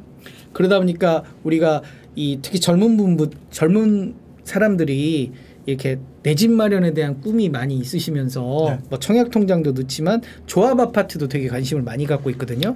근데 근데- 조합 아파트도 이게 보장이 잘 안 돼요. 또 맞아요, 만약에 이렇게 돈이 묶이면 네. 그렇기 때문에 우리가 아, 조합 아파트 이런 부분들도 좀 투자에 주의를 좀 하시면 좋을 것 같고 그러니까 결국은 뭐냐면은 뭔가 이렇게 좀 이렇게 쉽게 돈이 튄다던가 이런 게 사실 없거든. 맞아요. 근데 네. 그런 것들을 가지고 이제 자꾸 현혹을 시킨단 말이에요. 네네. 그런 게 하는데 조금만 생각을 조금만 이성적으로 생각을 해보면은 아 이거는 리스크가 큰데라는 게 답이 나오잖아요 사실상. 네. 그래서 저는 그 지역 조합 아파트도 어 굉장히 좀 이 조심해야 되고요. 그다음에 이제 그 어, 부동산도 쓰셨군요. 예, 그다음에 이제 그 민간 분양 시장에서 수익률을 보장해 준다는 그런 광고들도 많이 아 해요. 맞아요 맞아요. 근데 수익률 보장은 그거 어떻게 해요 저거? 자세히 보면 다 판매가 됐을 때 씨 그런 조건이 그러니까 이렇게 그럼 당연히 되지. 다 판매되면 당연히 네. 되지. 판매가 다 되면 그 보상 받을 필요가 없잖아요.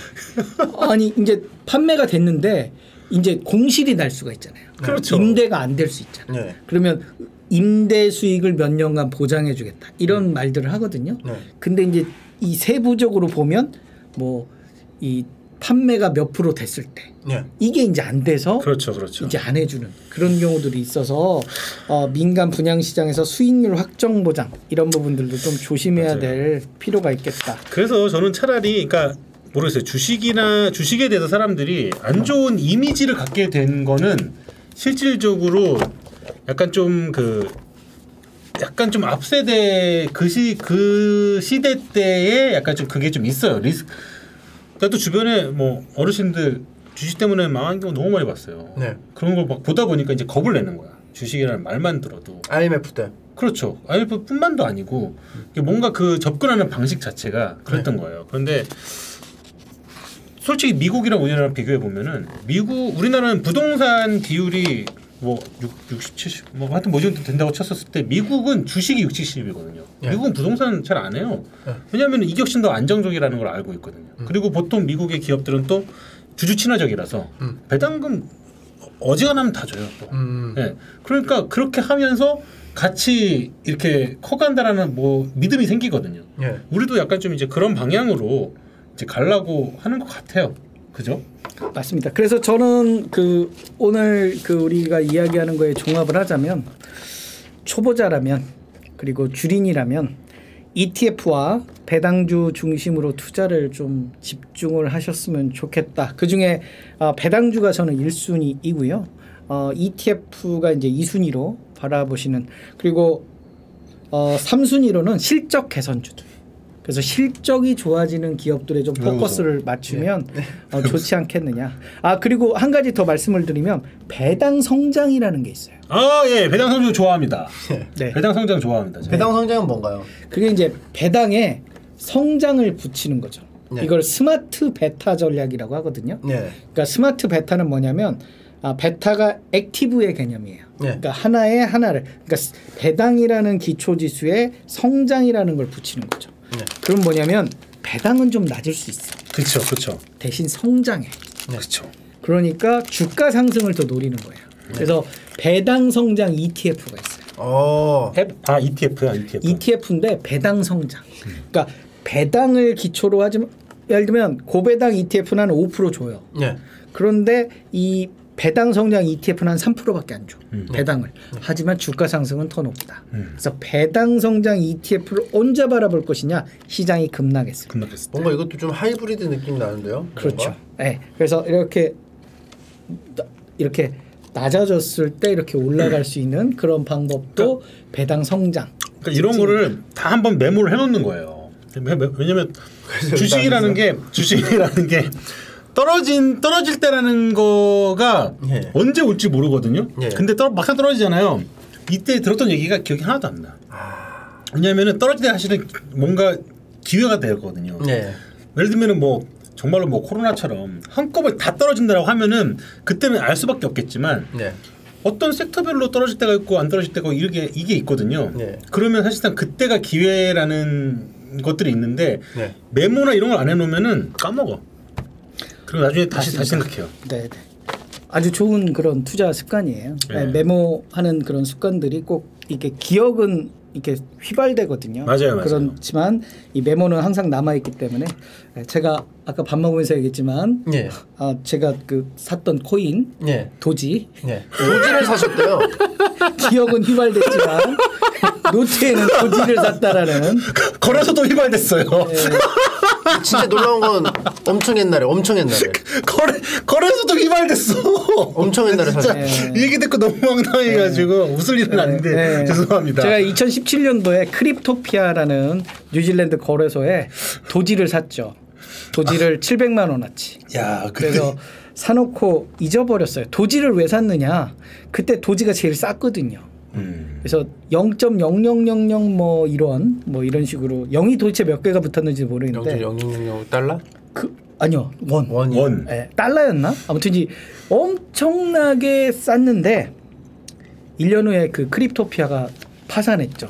갑자기 그 코인이 털리면서. 야 근데 진짜 해킹 당했다고. 아니 잊어먹는 건 너무 좋았어요. 거래소까지 잊어먹으면 안 되는데 네. 아 그거 아니었었으면 사실상 아 근데 이제 저는 파산했으니까 잊어버리고 살았는데 그 SNL 코리아 아그 있잖아 SNL 그 앨런 머스크가 SNL 나오면서 아, 예, 예. 제 친구가 도지코인 이야기를 하더라고요. 네네. 그래서 내가 도지코인을 샀었니? 그랬더니 확인해 보라고 해서 노트에 네. 도지라고 제가 써놨더라고요. 아. 보통 그런 그 정도의 돈은 잊어먹으시나 봐요. 그러네 한 100억 넘는 돈인데. 아 그런 정도는 네. 많이 잊어먹고 좀 흘리시고 좀 그러시는 편이신가 100억 봐요. 정도 흘렸네요. 100억 네, 정도. 100억 정도 흘리는. 아이 네, 돈을 좀 눈물 흘리시고 나는. 다니시네요. 네. 쫓- 쫓아다녀야겠네. 네. 아 그러니까 아 그때 당시에 내가 그 수많은 코인 중에 왜 도지를 샀을까? 그래서 내가 이거 점집을 차려야 되나? 뭐 그런 아, 그 약간 했고요.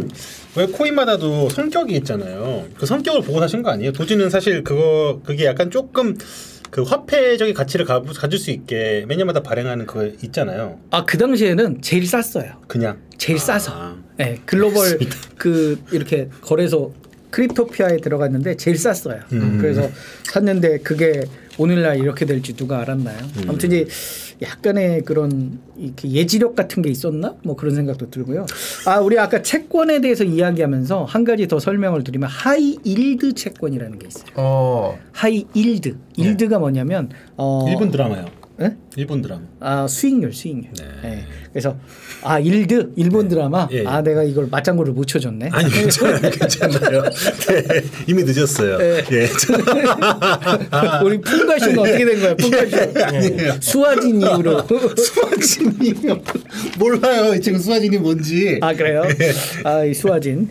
아무튼 이제 하이 일드니까. 예. high는 높은 이거잖아요. 높은 그런 리스크에도 불구하고 높은 수익률. high risk high return. 그러니까 아, 예. 채권 ETF지만 높은 수익률을 추구하고 싶다 그러면 high yield ETF도 한번 공격적으로 바라보실 수도 있다. 그러니까 음. 망할 수도 있어요.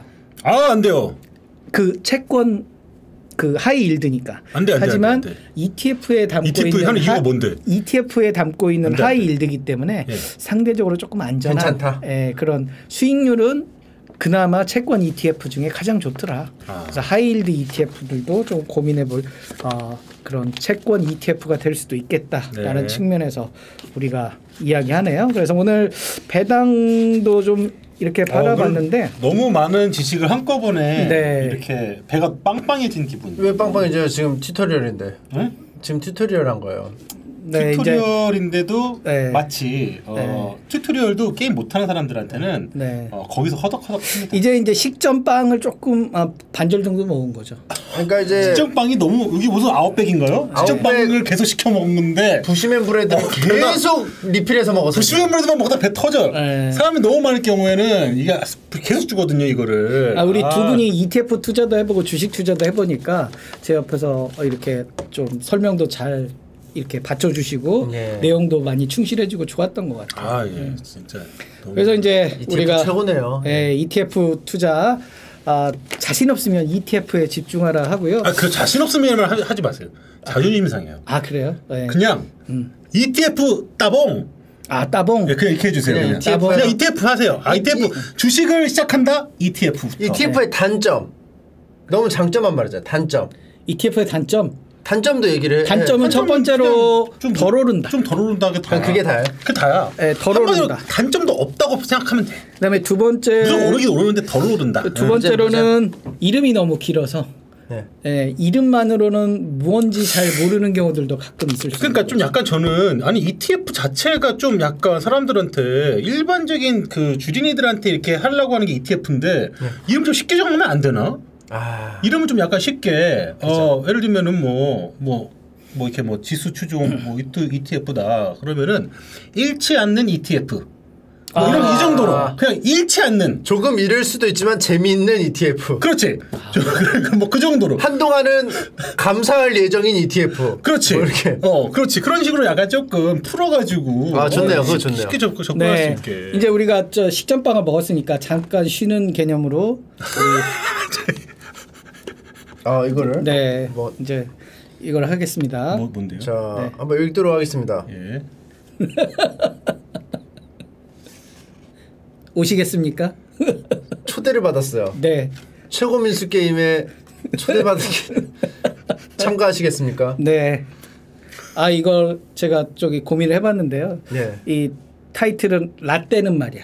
아 라떼는 라떼는 네, 우리. 때는 이런 게임 했어. 뭐 이런 거거든요. 제가 50이니까 네. 아, 우리 아날로그 세대에서의 즐겨했던 제 아, 그래서 응답하라 1990 1990년대. 어. 아 이름도 벌써 네. 다 응답- 왜 이렇게 많아요?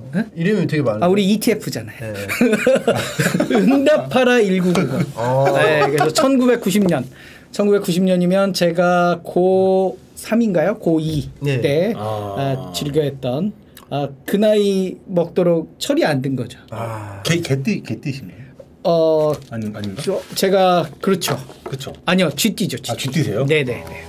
이게 그렇다는 말씀은 1단계로는 아직 멀었다. 진입은 1단계 진입은 멀었다는 얘기죠. 아 일단 요거를 좀 하고 네. 이제 1단계를 들어가야죠. 우리가 식전빵을 먹었으니까. 네. 그래서 첫 번째 게임은 아 이거 개구리 게임. 아. 이거 해보셨나요, 개구리? 이거 제가 직접 어저께 접은 거거든요. 예. 이거 보통 이제 이 정도 크기는 원래 달력 그렇죠 그 그렇죠. 지나간 걸로 하는데 그쵸. 아 이거 빳빳한 걸로. 네, 제가 어저께 이거 저기 스케치북을 사가지고 예. 예, 반절 잘라가지고 만든. 네. 돈을 마- 돈을 들으셨네요. 예. 이거 아 쿰을. 여기를 좀 비워 4,500원. 예, 비워 볼까요, 여기를? 네. 그럴까요? 예, 비워 보죠. 네. 뭐가 괜찮게 많네요. 네. 게임의 규칙은 간단합니다. 이게 음, 예. 그러니까, 예. 이게 뒤집어지면 안 되고요. 그 다음에 이렇게 올라타면 이깁니다. 아, 올라타면 이기고 이렇게 뒤집어지면 치고. 어, 올라타면 이기고 뒤집어지거나 네. 올, 올라탐 당하면 아래 깔리면 지는 네, 거예요. 아니면 여기 떨어지면 떨어지거나 지는 거. 낙. 네. 그래서 이게 이렇게 해서 이렇게 가는 거죠. 어, 근데 이 개구리가 네. 표시를 해놔야 돼요. 뒷다리가 원래 이렇게 이렇게 돼 있지 않나요? 앞으로? 이것도 아, 앞- 그것도 뭐 이거- 다양한 방법으로 접을 수 있는 거죠. 한 번 더 접을 수 있고 뭐 이런 네, 거 각자마다 응용. 약간 좀이 네. 약간 개성을 살렸죠. 우리가 이제. 그 전기차 2차 전지를 배웠으니까 아. 양극재와 음극재가 싸우는 거죠. 음극재. 아 네. 양극재와. 네. 양극. 그래서 아 제가 졸지에 심판이 됐네요. 두 분이 한번 해서 아, 원래 해보시려고 아니에요. 아니에요. 저는 이제 아, 이걸 참여를 원래 참여하시려고- 작가님이 오늘 급하게 오시면서 네. 참여를 못 하시게 아, 됐네요. 네, 저는 싶으셨는데. 아니에요. 저는 아, 이제 하시고 싶 저는 오영수 배우님처럼 원래 되게 하고 싶어서 만들어 갖고 오신 거 아닙니까? 개구리 게임은 말이야. 왜 그런 거 같은데 제가 아 우리가- 제가, 제가 심판을 부르는 게 차라리 나을 것 같은데 우리가 깐부잖아, 깐부. 그래서 아 이걸 어떻게 단판 승부로 하시겠어요? 아니면 삼판 승부로 하시겠어요? 아, 3, 삼판 2승으로 가죠. 삼판 이승? 아니 단판으로 하고 선수를 바꿔. 아, 그럴까요? 네. 아, 예, 선생님도. 하셔야 되니까. 네. 알겠습니다. 가겠습니다. 아닙니다. 뭐 두 분이 한번 해. 이게 너무 멀지 않나? 이 정도에서 아, 한번? 해볼까요? 알겠습니다. 네. 한 번씩 하나요? 네, 무리를 하면 뒤집어질 수가 있어요. 한번 연습 연습으로 한번 아, 게임, 튀겨보실래요? 네, 튀겨보실래요? 네. 오. 네.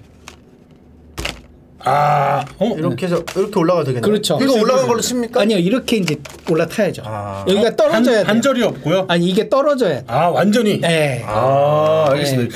야, 쉽지 않네요. 네. 자, 한번 우리 해보겠습니다. 우리 때 했던 개구리 게임. 네, 개구리. 네. 우리 예. 때라는 건 이제 그 사실 저 때는 아니기 때문에 이거 안 해보셨나요? 했던 기억이 잘 없어가지고 만들어 보긴 했어요. 근데 저희 만들어 보긴 저희 했는데 때는 이 개구리 게임을 해서 예, 예. 이 개구리를 막 이 책상에 엄청 엄청. 많이. 오. 네. 그랬던 그래서 이거 이기면 가져가고. 그렇죠. 네. 네. 해보겠습니다. 그래서 뻣뻣한 걸로 하고 막 그랬었죠. 네. 네. 아, 어 노리나요? 노리나요? 욕심 안 내나? 오, 이거 어떻게 해? 이거 어떻게? 해? 이렇게 해서 뒤집어 버릴 수가 있어요. 그렇죠. 예, 배지기. 아. 아, 오. 근데 여기 껴가지고 못 네. 올라갈 겁니다. 네. 어어어 무리한다 무리한다 무리한다 무리한다 무리한다 오케이. 아! 어 어허, 어, 근데 이거 어떻게 된 거예요? 올라타면서 뒤집어졌어? 아 이거 옮길게요. 제가 올랐던데 뒤집어지면 어떻게? 뒤집어지면서 올라탔어요. 이거 어떻게 됩니까? 이거는 이겼다고 봐야죠. 아 올라갔잖아. 뒤집어졌는데요? 뒤집어지면서 올라갔죠. 등으로 찍었어요. 제가. 야, 어, 올라갔잖아. 잘하네. 예, 안 되겠네요. 이거 기술 야, 걸렸네요. 기술 예. 걸렸어. 예. 어. 아, 이거 근데 아까 저 연습 게임이라고 그랬잖아. 아 연습 게임. 아, 이게 연습이니까. 네, 연습이에요. 알겠습니다, 알겠습니다. 이제 실제로 자, 실전. 네, 어, 삼선 재밌네, 이거. 삼선 이성지에 아이씨. 오오오. 아, 너무 멀리 갔어. 아, 이러면 이러면 친 거야. 진 거야. 왜 이렇게 자꾸 뒤집어져요? 이게? 네. 아. 그러니까 이게 무리를 하면 이럴 수 있는 거죠. 아, 우리 김 아 얘가 너무 잘. 저는 한게 해보세요. 저는 바꿔, 바꿔, 바꿔. 없는데. 바꿔요, 바꿔, 바꿔. 네, 또 좋네. 바꿔, 자꾸. 아, 이거 약간 좀 이거 무게 중심이 안 맞네요. 네, 보니까. 그러면 약간 조절해 가지고 하시면 자, 좋죠. 자, 해보겠습니다. 아니 두 분이 하니까 더 재밌네. 이 리액션도 좋고. 오케이. 뒤집어진다 이제. 아, 어, 어. 꺾어. 아이고. 아, 이거 어떻게 돌릴까요? 뒤집 뒤집을 수 있어요. 네, 네. 돌려, 돌려. 돌리시죠. 네. 어어어어어어. 어, 쳤어 쳤어 쳤어. 저 돌려요? 네. 돌립니다. 자. 아, 아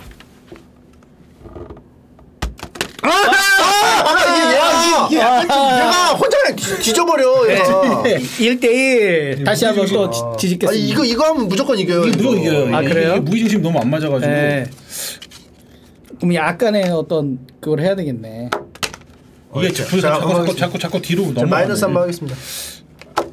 오, 실력으로 실력으로 오. 실력으로 네, 여기. 굉장히 뒤집어지는 거는 네. 그냥 무효로 칠게요. 뒤집을 수 있게. 아니 마이너스가 이기면 이기는 걸로 하시죠. 한 번이라도 아니. 아니 그게 아니라 뒤집어지면은 네. 그냥 그건 다시 뒤집을 수 있는 걸로. 아, 그러니까? 뒤집어지는 거는 그거 아, 뒤집어지는 건 괜찮고 연- 이렇게. 올리는 걸로. 아, 아. 좋아요. 무조건- 무조건 올라가는 네, 걸로. 네, 좋아요. 오케이 또 상관없고요. 자꾸 뒤집어지네. 네. 상관없고요.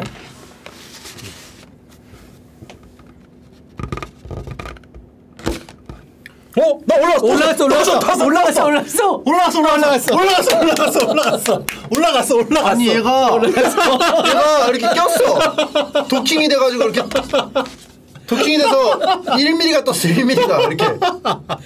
야. 야. 2대 1 야, 한 번만 더 하시죠. 아, 이, 이, 이번에 미, 이 민수 선생님이 한번 민수 아, 그래요? 민 선생님. 네 저는 누구랑 합니까?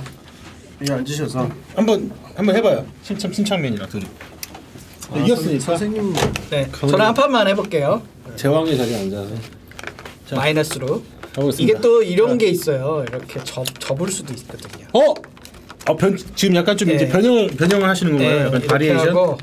이것도 조금 이렇게 올릴 수도 있고요 어, 개구리 이름은 뭔가 이 개구리 이름은 어, 이, 이 선수 이름은 뭐죠? 아 승리호 승리호요? 네. 승리호. 네. 승리호. 승리호 개구리 이름인데 승리호예요? 네, 네. 이 개구리 이름 뭐죠? 저는 아 다시 하겠습니다. 저 어, 전기차 솔렉티브 ETF로 하겠습니다. 전기차 솔렉티브 솔렉티브 ETF요. 네. 전기차 솔렉티브 ETF 대 네. 저는 여기 다리를 좀 들었어요. 좀 아. no, no, 위로 갈 수 있게. 좋습니다. 좋, 좋습니다. 아 그러네요. 이게 이게 사마귀 전법인데요. 네, 이거는 네, 이제 뭔가요? 김정환이라고 시켰어요. 김정환이. 왜왜 김정환이? 아, 제 본명입니다. 네, 네, 알겠습니다. 자, 김정환 제- 대제 정환이? 네, 김정환 대 어, 전기차 솔렉티브 ETF. 자, 네. 자, 먼저 집중합니다. 전기차 솔렉티브 정환아 ETF. 가자. 자, 저기 소- 솔렉티브 이- ETF. 아, 아, 이상하네. 어. 어, 약간 좀. 네. 자, 아 지금 다리가 좀 걸렸, 걸렸고요, 걸렸고요. 전기차 솔렉, 솔렉티브 ETF. 아하. 돌려? 네. 돌려도 돼요? 네. 돌리겠습니다. 슈퍼 점프로 바로 이로 바로 이로 어허! 정환아. 정환이 죽었어요. 이걸로 한번 해보세요. 이거 낙이죠. 네. 아. 왜냐면 내가 이거 아 이거 이거 하세요. 네. 아. 생각보다 재밌네요. 네. 네. 정환아 정환의 타라 최고민수 5단계 게임. 알겠습니다. 저는 저도 약간 좀 변형을 좀 네. 하도록 하겠습니다. 자, 사실은 변형을 좀 할 수 있는 건 있는 건 자유잖아요. 예. 이러다가 오징어 게임 2에 저희의 이 개구리 게임이라든지 이런 거를 감독님이 보시고 할수 이렇게 있죠, 하면, 충분히, 예. 네. 근데 이게 저희 얘는 거는 또 아니기 얘는 때문에. 뒤집어진 것 같아요. 아예. 다, 다 이렇게 올라가가지고. 아니 왜냐면 이렇게 해서 이게 못 올라오게 제가 막은 아 거거든요. 가시로. 네 이렇게. 아. 올라올 수 없다. 자,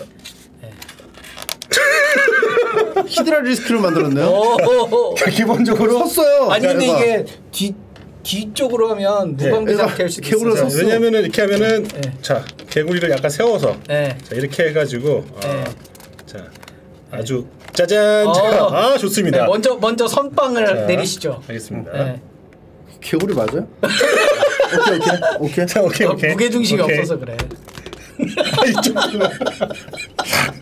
아, 누구 누구랄 것도 없이 지금. 다 마개 주대가지고. 죽여줘 하고 있어 지금. 개구리들이 죽여줘. 따세! 어? 아, 아, 아까워. 아 아까워. 어떻게 하지? 아, 아. 밀어내면 되는데. 잠시만요. 올라가 올라가 올라가나? 아하! 뒤집어져. 자꾸 다 뒤집어지고 있어. 자꾸 다 뒤집어져. 이 막여져 돼가지고 포식 아 안돼 안돼 안돼 저 아 올라가 올라가 올라가 점프 톡 펄짝 아. 아하 어. 이게 서로 지금 네.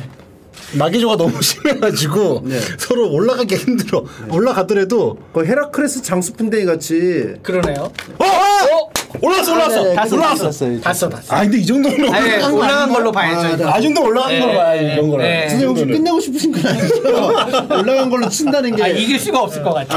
아 이거는 자 이거 이 끝내고 정도는 싶어 하시는 건 네. 아니죠? 네.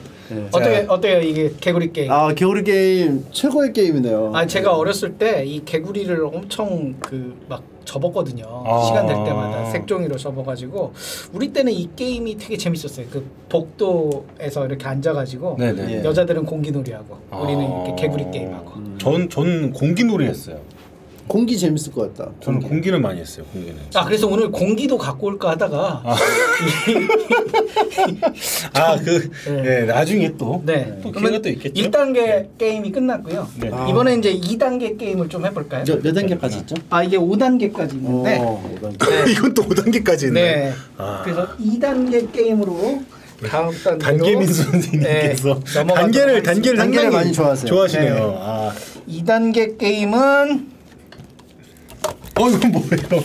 네, 2단계 게임은 가능한 알까기. 알까기요? 알까기. 아 알까기. 야, 알까기. 알까기. 네, 아 알까기. 알까기 여기 있습니다. 저기 그 알까기. 실례 실례지만 그 네. 선생님 그 네. 뭐야 이렇게 친구분들하고도 가끔 이런 거 하시나요? 아, 제 아들하고 가끔 합니다. 아, 나가라고 했던 그 친구분들하고도 한번 하시죠. 짝을 아, 맞춰야 친구분들은 같이 안 하세요? 아, 이거? 친구하고는 제 친구들하고는 주로 이제 술을 마시죠.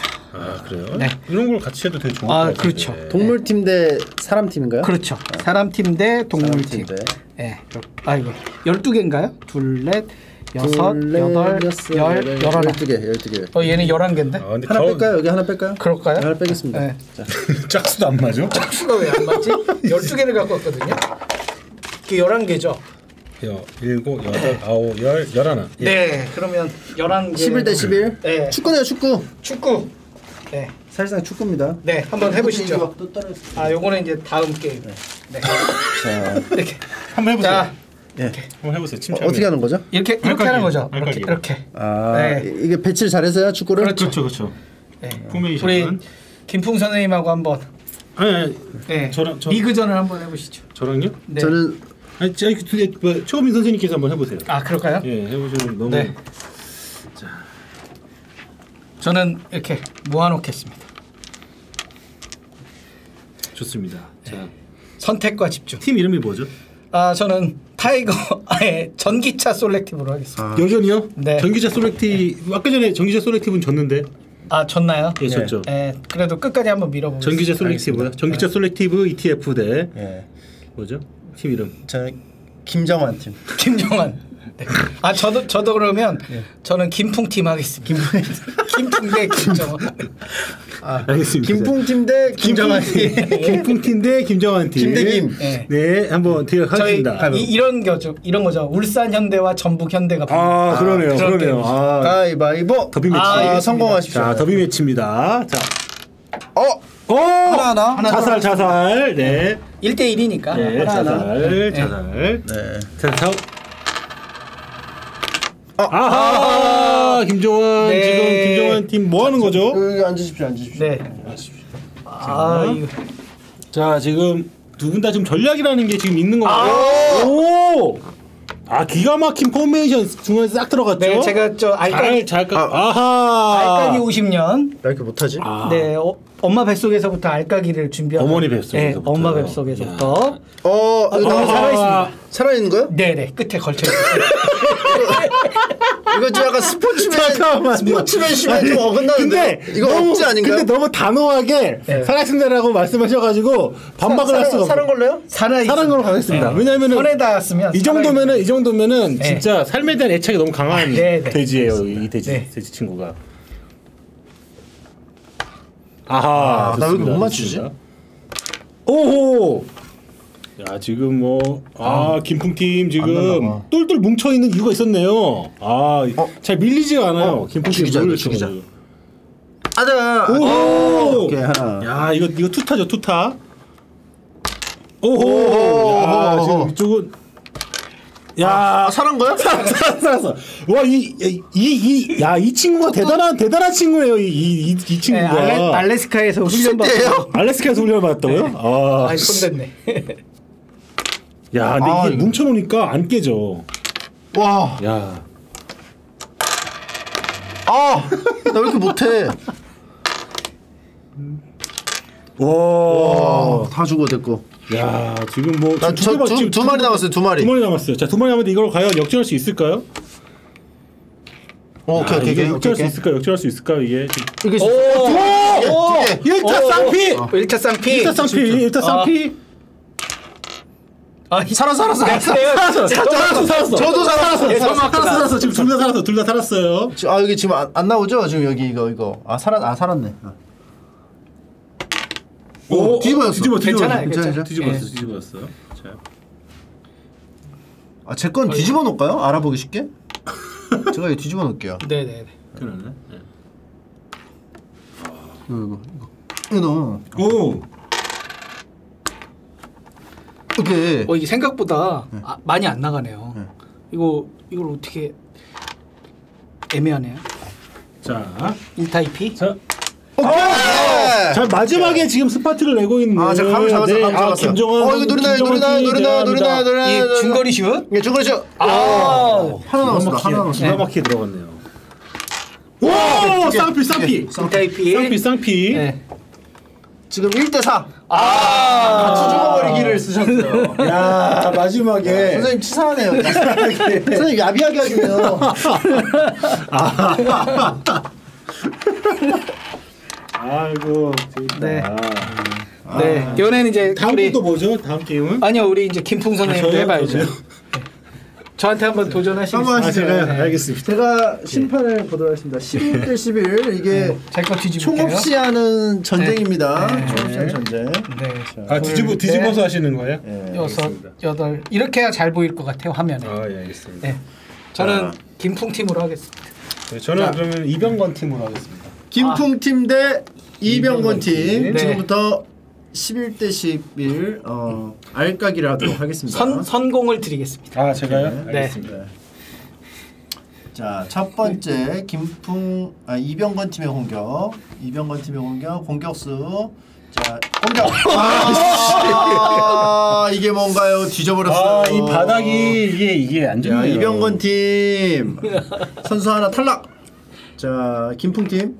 어, 하나 앞에 가려놨네요. 피곤하게. 어, 어, 어. 빵 하면 그 하나 죽고 그냥 다, 다, 다 날려버릴 수 있어요. 그럴 수도 있죠. 굉장히 위험해요. 와! 이병건 팀세 마리가 아, 이병건 팀세야 마리가 이거. 지금 잠깐만요. 어떡하나요? 어떡하나요? 잠깐만요. 예. 아 이거 이제부터 저를. 저를 위한 팀이 아 이게 게임이었네요. 예, 이병건 팀. 자. 아, 오. 자.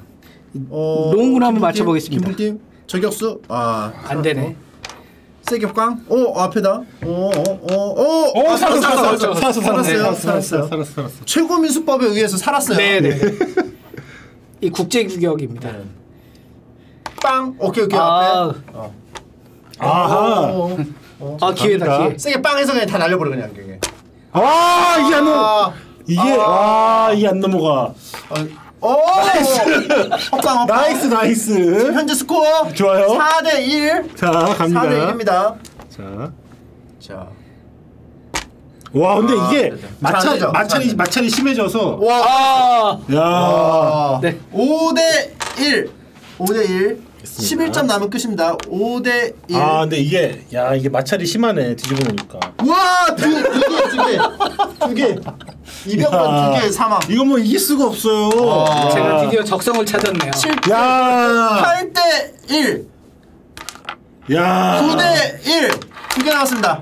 오 드디어 어, 드디어. 오, 1타 2피. 1타 2피. 9대 3. 이게 힘을 세게 써야 돼. 이게 어, 마찰이 이것도. 나갔는데, 이것도 나갔는데? 어? 잠깐만. 나간 거야? 그냥 아, 걸쳤다가 나가- 걸쳤다가 해주죠. 뭐. 아 그래. 감- 깨평같이 감사합니다. 아이고. 자. 자, 9대 2. 9대 2예요. 오. 이제 두 마리 남았습니다. 와, 사망. 오, 9대 1. 제 이렇게 재능 있는지 아, 몰랐어요. 9대 1도 야. 아니네. 8대 1이네. 8대 1. 8대 1. 8대 1. 근데 이, 이 돼지 이 친구가 예. 오래가 오래가 잘 안 넘어가요. 잘 안 넘어가. 오, nice. 오. 어.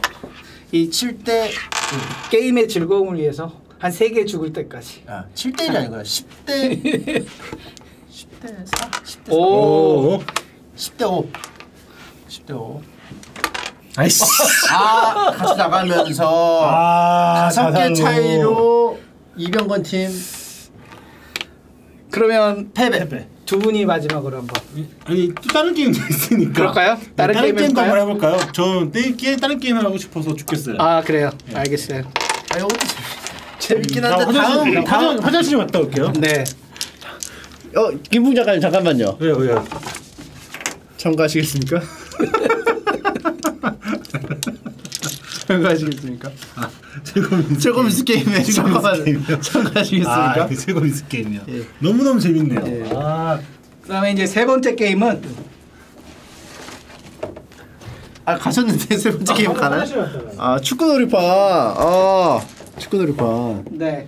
이거 해보셨는지 모르겠어요. 예, 어, 이게 네. 그래서 볼펜으로 하는 거죠. 볼펜으로 하는 거고요. 볼펜 톡톡 튀기게. 네, 이렇게 하는 거고 여기에 들어가면 여기에 닿거나 하면 골키퍼가 이 안에 잡은 들어가- 거예요. 아. 예, 여기에 이제 닿으면 예. 대신 이제 만약에 노란색 팀인데 이렇게 있다. 예. 이것도 살아 있는 거거든요. 예. 근데 여기 빨간색으로 하면 공격권이 넘어가는 네. 거죠. 근데 여기 어떻게 넣어요 여기를? 뭐 이렇게 해서 이제 어려운데? 이렇게 넣는 거죠. 아, 예, 이쪽으로 넣어서 이렇게. 네, 뭐 가까이 해서 이렇게 넣게. 근데 이제 여기에 닿으면 닿거나 여기 닿으면 예. 아웃인 거죠. 아, 알겠습니다. 네. 그래서 이 볼펜으로 이렇게 하는 거죠.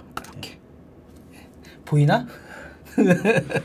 이렇게 뒤집을까요? 이렇게 하면 좀 색깔이 달라지나? 비슷하긴 하네요. 이렇게. 이렇게. 자, 이거 어디서 파나요? 이런 건? 아 이거 인터넷으로 하고요. 어. 저 어렸을 때 이거 저기 되게 많이 했어요.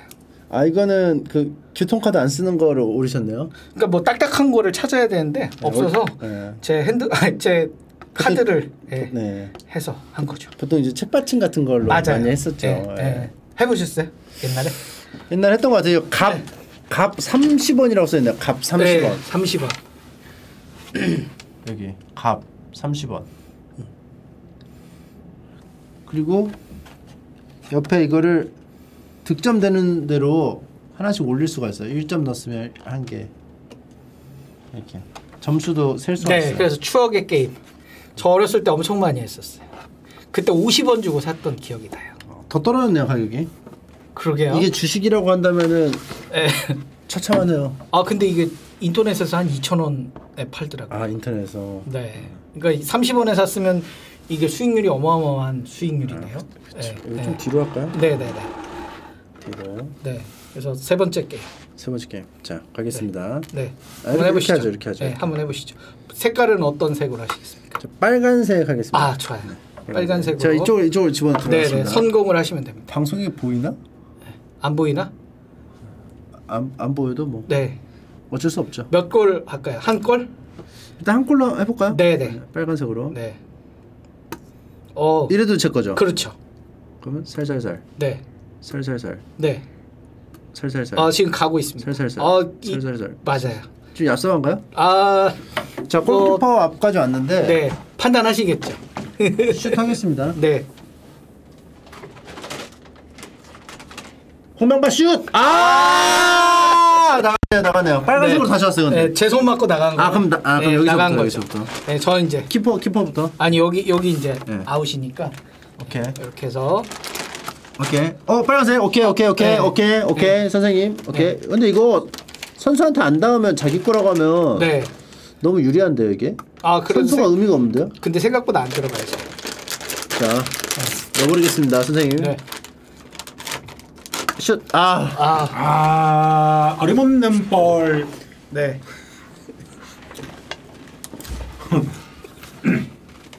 가시죠. 네. 이- 어제 제 아들이랑 해봤는데 네. 생각보다 골이 안, 안 들어가더라고요. 어, 아드님이 그래도 이런 걸 같이 또 만약 에 같이 해주시나 봐요. 네, 나가 그러면서 한번 해줘. 오. 오! 아 노란색 노란색. 제가 빨간색이기 때문에 오. 이렇게 해서 근데 와 들어갔어요. 들어갔어, 들어갔어. 제가 이긴 거죠. 야, 이 게임 너무 잘하시는데요? 어, 게임 이런 게임 게임 완전히 선수시네요. 이제 보니까. 자, 근데 아니, 다 해야 돼요. 저도요? 안 하면 안, 안 끝나요. 아, 그렇군요. 아, 자신 없는데. 네. 자 하겠습니다. 이게 빨간 팀 빨간 팀. 빨간 색에 하면 되고요. 여기에 닿으면 아웃이에요. 아, 그래요? 그러니까 여기 여기 안 닿게 둬야 되는. 이거 그러니까 이- 선수가 안 맞아도 내 볼이에요. 상대방 아. 선수가 안 건드리면. 네. 저는 저는 빨간색인가요? 네. 알겠습니다. 그렇습니다. 네. 아 예. Man of game. Football. Man of game. Football. 오래 오래 오래. 아, 살았어요, 살았어요. 살았어요. 자, 코너킥, 코너킥, 코너킥 갑니다. 코너킥, 코너킥, 호나우도, 호나우도. 아까 뭐라고 했는데 그저 이게 30원이에요? 예, 아니 2,000원이라고 합니다. 2,000원. 인터넷에 사면 2천 원. 자, 자 여기서 일단 패스를 오. 하고 뒤로 뒤로 뒤로. 뒤로 네, 좋아요. 슬쩍 다시 갔다가 어, 여기 이제 여기서 넣으면 되지. 이제. 아 이제 넣으면 되는 거죠? 네, 슛. 기가 막힌. 한골 넣기거든요. 한골 넣기. 네. 아 이게 이게 쉽지 않네요. 자. 네. 잘해야죠 이제. 튕겨 나오는 수가 있어요. 아하! 이렇게 되면 어떻게 되는 거예요? 계속 하는 할수 있는 거예요? 네. 야, 골대 맞고 나왔잖아요. 이건 각, 각도만 잘 잡으면은 네. 야! 아, 나갔어, 나갔어, 나갔어, 나갔어. 아. 네, 제가 오, 어. 오, 오! 어. 아 이렇게 잡힌 거예요, 잡힌 잡힌 거예요. 아 잡힌 거예요? 아 들어가면 아 그래요? 골키퍼가 잡아야죠. 네. 아 그, 아니 아니 뒤까지 안 갔기 네, 네, 때문에 네. 아, 네. 예. 요즘 친구들은 이런 거 안 해봤을 테니까. 그죠. 네. 어? 어 걸렸다 걸렸다. 아, 걸렸어, 걸렸어, 걸렸다. 걸렸죠. 핸들인데 야. 네. 오케이 오케이. 오케이. 어? 아, 아 걸렸어 걸렸어 걸렸어 네. 걸렸어. 이게 은근 여기에 많이 걸려요. 그러네요. 아 네. 이게 쉽지 않네요. 네. 자 이병건 팀. 어 걸렸 걸렸. 아 빨간색. 빨간색. 아, 이제 빨간 팀 갑니다. 빨간 팀 갑니다. 자 드리블 드리블 짧게 짧게 짧게. 아! 아! 금 나갔어요. 아, 이거 보내드 플레이. 오, 오케이 오케이. 자 최고민 선생님. 오. 어 걸렸는데 거 저거 골퍼 잡는 거예요? 아, 아. 걸렸어요. 자 갑니다. 자. 자 빨간 팀 갑니다. 자, 아, 아, 아, 바로 뺏겼어, 바로 뺏겼어. 아, 제가 아, 노래- 왜 aim이 안 좋아요. 오케이 옆으로 해서 패스하고. 아, 골키퍼. 우리 골키퍼 열일한다. 골키퍼 너무 잘하네. 골키퍼가 제일 바빠 지금. 골키퍼가 국대네요, 국대. 오, 어, 야, 오. 잘하시네요. yes. 오, 오케이, 오케이. yes. 옆으로 해야지, 옆으로. 네. 옆으로. 거기서 거기서 거기서. 각도가 제일 좋아. 네. 그쵸, 저, 저, 저. 이거 들어갔다, 들어갔다. 로켓 슛. 아니 공을 잃어버리면 어떡해요? 못, 못 찾으셨네. 골 결정력 부족. 아니 뭐 어떻게 왜왜 왜 아쉬워해요? 왜 아쉬워해? 아니, 그런 게 어딨어요? 아니, 의도가 너무 느껴-. 아니, 의도가 느껴져요. 의도가 너무 사악하네. 아, 이게 골, 골이 들어갈 것 같아. 아니 못 찾게 실수를 하잖아. 아, 그럼 저희 둘이 하면 야. 진짜. 네. 저희 둘이. 야. 해- 누가 제일 못하나? 스위치 하나 더 갖고 와야겠다. 아니에요. 같이 먹어. 같이. 먹어. 예. 네. 여기 생각보다 재밌네요. 공, 공, 공격 가위바위보. 아, 저 혼자입니다. 아. 자 노랑 팀. 예. 내 카메라 잡혀? 안 잡혀. 우리만 재밌어. 이거는 그리고 여기 앞이면은 지금 빛 빛이 이거 하이라이트가 적어져가지고 보이시다. 이거 그냥 편집이네요. 통편집. 아니 뭐 확대하면 보일 수도 있어. 그래 즐거우면 됐지 뭐. 자, 불좀 끄고 하자 여기 앞에를 하나. 아 그럴까? 어 그러면 될 것 같은데. 오 훨씬 잘 보여. 훨씬 잘 보여. 어, 그러네. 훨씬 잘 보여. 훨씬 잘 보여. 이거 뭐지? 모르겠는데요. 이거 뭐야? 제 건 아닌데. 난 슬랩박 위에 붙었던 거야. 어, 아, 이거? 이 모기가 있네. 아 보여? 여기 이거 보여? 아. 공포 야 이거, 특집이라는데. 이거 이거 그거 같다. 야간. 음. 야간 경기. 음. 저희 앞에서 음. 슛. 아, 나갔어. 골키퍼가 잘 막네. 네. 골키퍼 잘해 여기가. 골키퍼가 국대급이에요, 거의. 오, 오. 빨간색. 이제 좀. 아, 오, 그러니까 aim이 안 좋아 aim이. 네. 바닥이 여기가. 골, 골 keeping의 그런. 아 keeping이 좀 어렵네요. 제가. 나 노란색이죠? 네. 자, 짧게 짧게. 드리블은 짧게 짧게 하는 거야. 음. 어 이게 선지 아, 시스템. 아, 거봐 짧게 짧게 나 이렇게 된다니까. 선진 시스템. 걸려라 걸려라 여기 걸려라. 걸린다 걸린다 걸린다. 어 골키퍼 골키퍼 골키퍼 골키퍼 골키퍼. 아, 아, 에임이 아 이게 개발이에요 선수. 선수들 왜 이렇게 개발이야. 제가 오늘 짧게 짧게. 기념품으로 놓고 가겠습니다. 아 좋습니다. 공 이 너무 손님 오시면 해야겠다. 공이 네. 너무 이게 삐뚤삐뚤이야. 오케이 오케이 오케이 여기까지 왔어요. 오늘 최고 민스 게임 다 놓고 가겠습니다. 아 오케이, 야. 감사합니다. 여기까지 여기까지. 너무 야 여기 이랬는데. 야걔 얌생이처럼 이건 뭐냐? 그 아! 그걸 못해. 얌생이처럼 해놓고 그걸 못해? 아유. 자 갑니다. 이 그거 본인도 얌생이 한국 축구의 그 고질병인 똘 똥볼. 어, 문전 연결성이 아 문전 그 결정력이 골 결정력이 떨어지네요. 오우 씨 깜짝이야. 내가 뺏을 뻔 뺏을 뻔. 어. 이 안에 들어가 잡아 잡아버렸어. 이러면 잡아. 아, 잡힌 거야? 이 안에 네, 들어가면. 네. 안 돼. 아. 이게 나름 이쪽으로 올라- 가야겠다, 이제. 올라키가 쉽지 않아요. 그러네요. 쉽지 네. 않네요. 저 이쪽으로 가야겠다. 오. 와, 나 아. 중거리 썼어. 오. 생각보다 이게 팽팽한데요. 두 분의 실력이.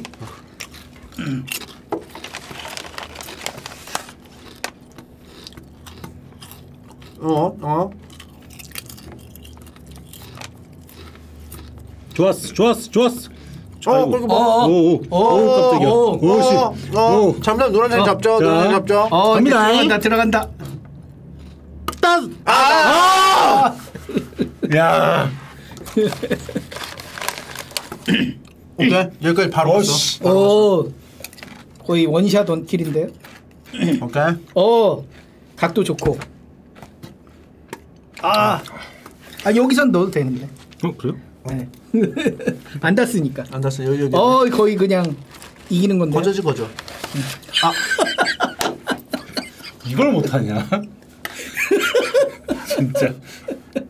날 셀래? 아니 정말. 재밌는데 왜? 아, 그래. 왜? 왜 까칠해요? 아니, 아니, 아니라. 왜 자꾸 뭐라 그래요? 안타까워서. 재밌는 게임 안타까워, 안타까워서. 게임하는데 왜? 안타까워서. 지금 두, 두 게임 더 남았어요. 지금. 너무 기대된다. 자, 갑니다. 잉 갑니다. 갑니다. 갑니다. 갑니다. 자, 왔습니다. 왔습니다. 왔습니다. 네네. 왔습니다. 왔습니다. 왔습니다. 드디어 이제 골대 앞에. 여기, 여기. 어 아니야 아니야 괜찮아요 괜찮아. 이건 넣어야지. 이건 이건 넣어야지. 아 잠깐만요. 다 써, 다 써. 골키퍼 다 써. 안 되죠. 우리 뻑지 할까 뻑지. 우리 뻑지 할까? 책, 책 이거. 어. 동전, 동전 있어요? 동전 있어? 동전 아 동전이 없다. 아, 있다, 나 있어, 있어 있어, 있어 있어, 있어. 뻑치기가 뭐예요? 판치기, 판치기. 우리 우리 우리 때 라떼 아, 게임인데요. 모르세요? 아, 저 몰라. 아 저희 라떼 게임입니다. 아, 그래요? 또 네. 그걸 한번 또 해봐야 그거 사행성 있어 가지고 서로- 학교에서 금지를 많이 했어요. 서로 한 번씩 라떼 한 번씩 가죠. 네. 아, 아, 살았어, 살았어, 살았어, 살았어. 살았어.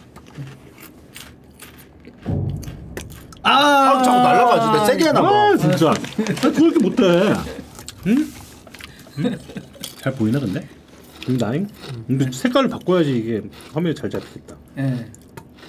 이걸 확대해 갖고 키워도 되겠다. 어 나온 거 뭐야? 아, 사, 살았어요. 살았어요? 살았어요. 네. 어, 그니까. 어, 어. 어, 어 다리 다리 다리 다리. 어, 진짜 다리를 딱 뺏었어.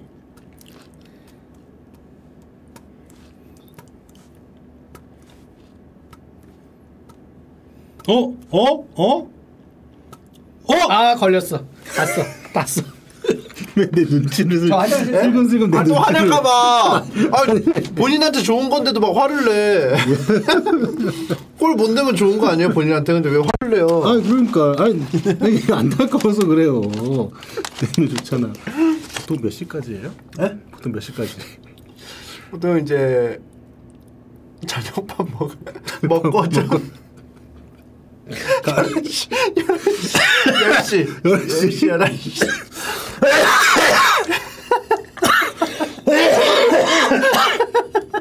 아니에요 내가 오라고 안 했어. 본인이 갑자기 전화 아니 그 어저께 밤에 카톡 해가지고 나 가도 되냐고? 자기 주, 자기 주식에 관심 많은 자기 가도 되냐고? 그래서 내가 냉큼 선생님한테 물어볼게요. 아씨 걸렸어. 음. 이런 줄 몰랐어. 내가 오라고 아니 안. 얼굴이 왜? 내가 심지어 내가- 얼굴이 너무 안 좋길래 아, 왜 내가, 안 좋나 했어. 내가 심지어 그리고 전에 한 거 봤어요 강의? 근데 봤어. 아 봤대 대충 봤대 이 아니. 중간 중간에 그냥 약간 좀 그런 거 짤막한 거 봤지. 편집된 거 그냥. 거의 지금 오징어 게임 그 참가자 합숙하는 거 같아. 아 뺏겼잖아. 근데 선생님 너무 즐거워하시니까 네. 난 너무 좋다. 끝났나요? 아니요, 아직 안 아직이요? 했어요. 야. 생각보다 이게 팽팽해요. 팽팽한데요. 이제 이거 안 되면은- 들어가면 승부차기 하죠. 그러자 그러자. 각자 여기다 놓고. 그러자 그러자. 드리블이 의미가 별로 없어. 그러니까. 승부차기를 어, 어떻게 옆 아, 옆면에서 아, 하는 걸로? 옆면에서, 예. 음. 자 이번에 요거 요거 들어갑니다. 네. 요건 잘. 갑니다.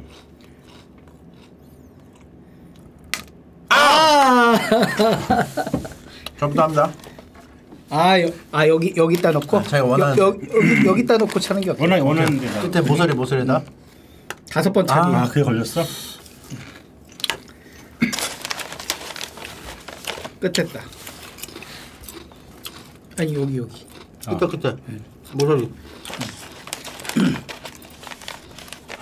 에이씨.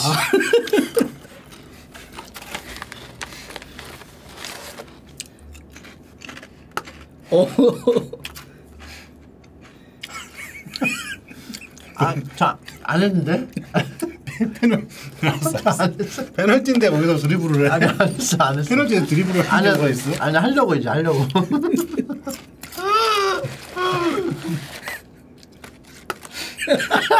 아니 이제 하려고 이제 하려고 하려고.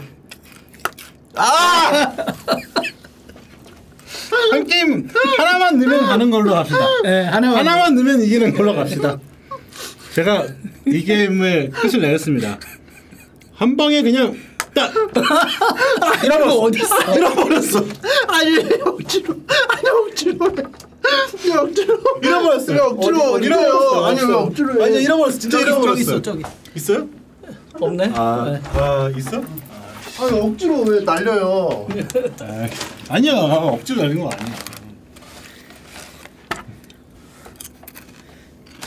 이 구간을 지나가야 돼서 여기서 네. 걸려요 세게 안 하면 그러니까. 세게 하면 날아가고 그쌤 날라가. 어, 내가! 이겼어요. 그래 그래 그래 이게 뭐라고? 형은 좋아해 어? 아니 이런 거 있잖아, 이런 거. 이기면 같이 좋아해줘야지. 이런 거. 상대편한테 이게 스포츠맨식. 붙어서, 붙어서. 스포츠맨식. 이거 이거 시작. 이렇게 가야지. 오래 오래 오래 오래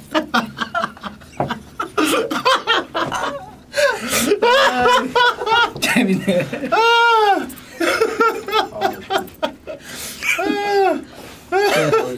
세 번째 게임. 아 이제 네 번째 게임. 어, 요거는 이제 증정. 아 감사합니다 네, 증정. 아, 요 요것도 증정. 우리 그럼 이제 라떼 게임 저희 라떼 게임도 한번 해보시죠. 네. 판치기 판치기 판치기 판치기 뻑치기야 뻑치기 동전 있어? 아 그러시죠. 어떤 뭐랄까 이 신구의 네. 어떤 만남이랄까요? 네. 네, 신구의 만남으로 해서 저희 때의 어떤 그 라떼 게임도 아 이거 축구 게임이 구구의 생각보다- 만남이라니? 예? 신구의 만남입니다. 신구의 만남.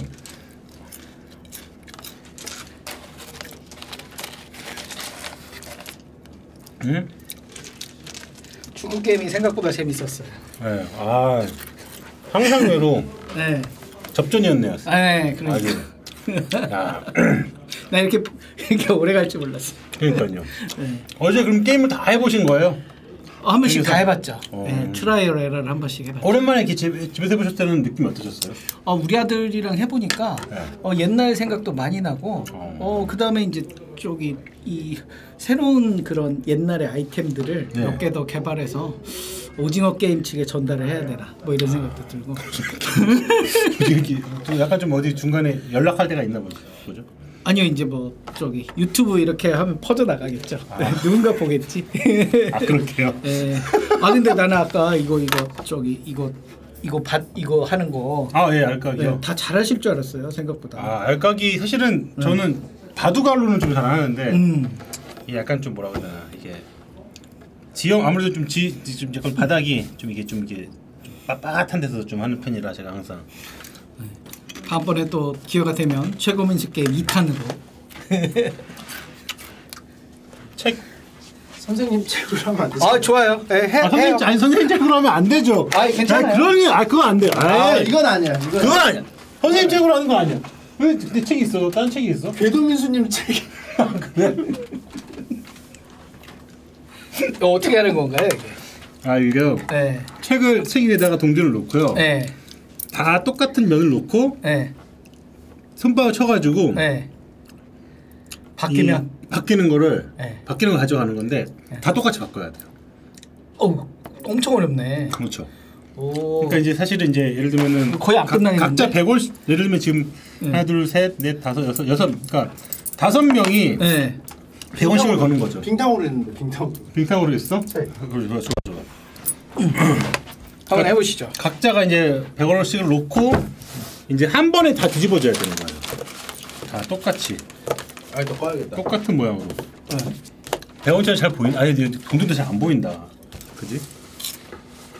그런 다음에 이렇게 동전을 딱 놔요. 음. 네. 놓고 차 이제 자기가 살짝 이제 쿠션을 좀 만들어주면 좋죠. 음. 계산 한 다음에 네.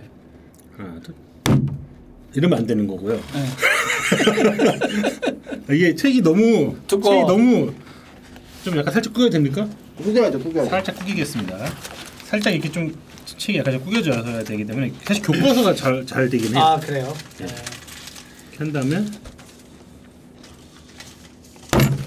이런 식으로 해서 어. 하나밖에 안 뒤집었기 때문에 이건 어. 의미가 없어요. 아 우리 이거 날 새겠는데요 이거.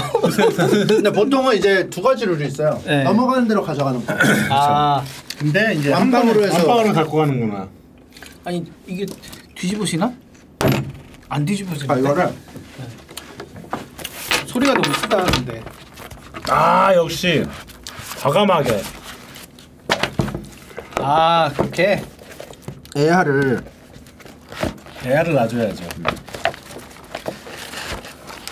우리 옛날에 우리는 이런 게임도 했었는데 책을 이렇게 해가지고 사람 몇 명 나오는지 아 알아요. 이렇게 접어. 펼쳐서 펼쳐서 네, 펼쳐가지고. 그건 저희 때도 했었어요. 네. 그것도 재밌었는데. 이제 교과서가 이렇게까지 두껍지가 않아서. 아 거의 뭐 전문가입니다. 아 저는 안 했습니다 사실. 옆에서 하는 것만 보고. 그래요? 저는 이거 안 해봤어요. 맞아 이거를 지금 세, 이순신 장군이 님이 계시잖아요. 다 다섯 분이 이거를 100원으로 바꿔야 됩니다. 이렇게 해서 이렇게 해서 이렇게, 이렇게 아, 하나 넘어간다 하나? 이런 식으로 오. 넘어가는 겁니다. 이렇게. 다섯 개 넘어가긴 불가능하겠다. 근데 하죠 그거를. 어 그래요? 그럼요. 잘하는 사람들은 뭐 종일 사람들 기술자들은 뭐 이거를 잘하는 사람들은 쉬는 시간에 어떻게 해요? 쉬는 시간에도 혼자 이렇게 놓고 연습을 해. 혼자 해요 혼자 어. 대, 대국을 준비하는 거죠. 근데 이게 관성이 붙어가지고 선생님 오셨는데도 이질하다가 맞아. 걸려서 그래서 너 이거 하는 애들 누구야? 그래가지고 줄줄이 엮여가지고 교무실로 가는 경우가 있어요. 포승줄이 엮여가지고 아, 이게- 이게 하는 거. 걸리지도 않았는데. 이게 이제 사행성이네. 보면. 왜냐면 돈을 가, 걸고 하는 따먹는 거니까. 돈을 따먹는 거예요. 예. 네. 그리고 이제 이거 지금 사실 올라가 있는 동전의 숫자만큼 참여자 수가 나오기 예, 때문에 하나씩 이렇게 뺄 수가 없어요. 이게 있으면 하나씩 내, 내세요. 네. 하나씩 내보세요. 거의 세 개로 하는 거야. 세 그러네. 명. 그럼 세 개를 하는 거죠. 거의 마카오네. 어린 시절 이게 사실 이제 세 개로 할까? 세 개로. 세 개로. 세 개, 세 개. 합시다. 자 그럼 가위바위보. 가위 가위바위보. 가위바위보. 자, 자, 여러분 죄송합니다. 제가 먼저 싹 가져가겠습니다. 감사합니다. 감사합니다. 어? 아, 두 개. 두 개. 아, 두 개, 두 개. 하나. 아, 나 이거 건드면 안 아, 돼. 건드면 안 돼요. 건드면 안 돼요. 건드면 안 돼요. 건드면 안 돼요. 건드면 안 돼. 건드면 안 돼요. 이 상태에서 이 상태에서 계속 가는 거예요. 이 상태에서 하나만 뒤집어주면 되네. 그쵸, 그쵸. 그래서 요거를 집중적으로 요거만 탁 하는 애들. 그치, 있어, 그게 있어. 아, 지금 이제 어렵게 이거 만들어 이렇게 접어도 돼요? 네. 괜찮아요, 괜찮아요. 지형을 바꾸는 건 괜찮아요. 어이구. 어, 어, 어 조심, 조심. 오. 예, 예. 아하. 이게 이제 안 된다 잘. 아, 씨. 오. 과감하게 쳐야 돼요, 과감하게. 어? 아 가운데. 와, 아. 가운데, 가운데, 가운데. 어! 어! 야, 진짜. 이러면 이제 와. 가져갈 때 이제 하나만 남겨놔요. 쿨하게. 아? 그렇죠. 아, 자기 거지 하나 내. 그럼 나머지가 이제 딱 놓는 거죠. 나 오늘 아. 여기서 저기 아, 게임을 새로운 게임, 새로운 적성을 찾았네. 와 게임 아시네요. 이제부터 게임 민수 게임 민수님이라고 게임 민수. 게임 민수님이시네. 주식도 아, 게임이에요. 그러네. 맞네. 일종의 그 머니 게임이죠. 아 그렇죠 그렇죠. 야.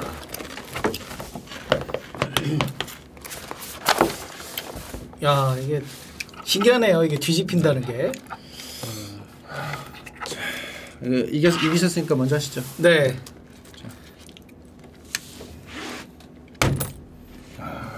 하나 뒤집어. 가위바위보.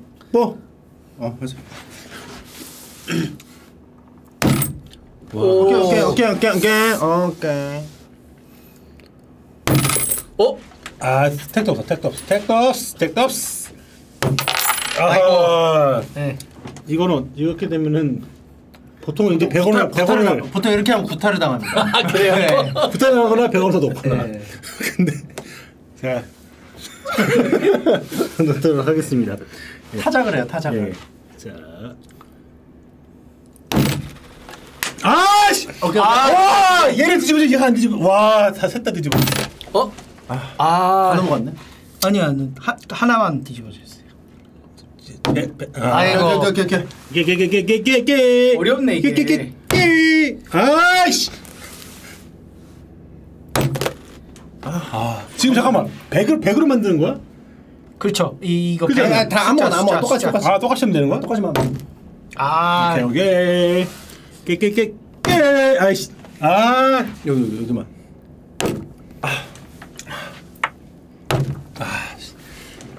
깨. 으쌰. 어렵네, 어렵네. 오케이. 아, 이겼네요. 야, 하나만 이겨놔. 그럼 어떻게 해야 돼요? 이럴 때까지 다 이럴 때. 할 때까지. 아, 자. 가위바위보. 가위바위보. 아 저부터죠? 아, 그치, 그치, 먼저 하고. 자 합니다. 자 가위. 이거 내일부터 녹아서 불나겠는데? 네. 어? 아. 가위, 가위바위보. 가위바위보. 보, 보. 어떤 거예요? 아, 이거? 네 오케이 오케이. 이게 아이씨. 아니야? 요거를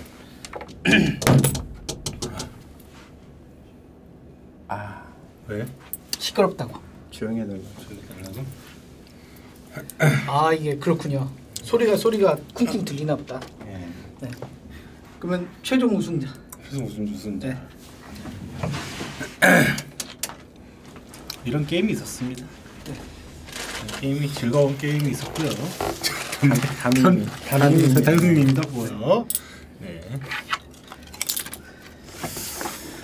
아 제가 어저께 게임은 너무 많이 한 것 같고 네. 아또 뭐가 있나요? 제가 어저께 이걸 준비했어요. 어 이거 뭐죠?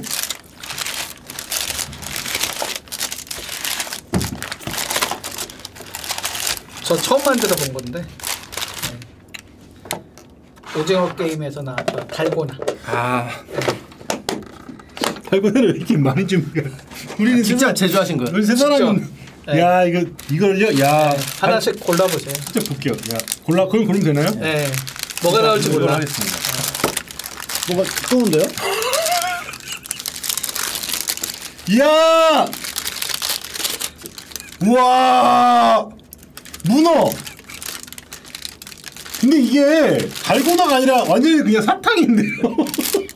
아, 소다를 안 넣으시고 만드신 제일, 거예요. 제일 쉬운 거 골랐어요. 만들다가 마신 아니 떨어졌어. 갖고 오다가.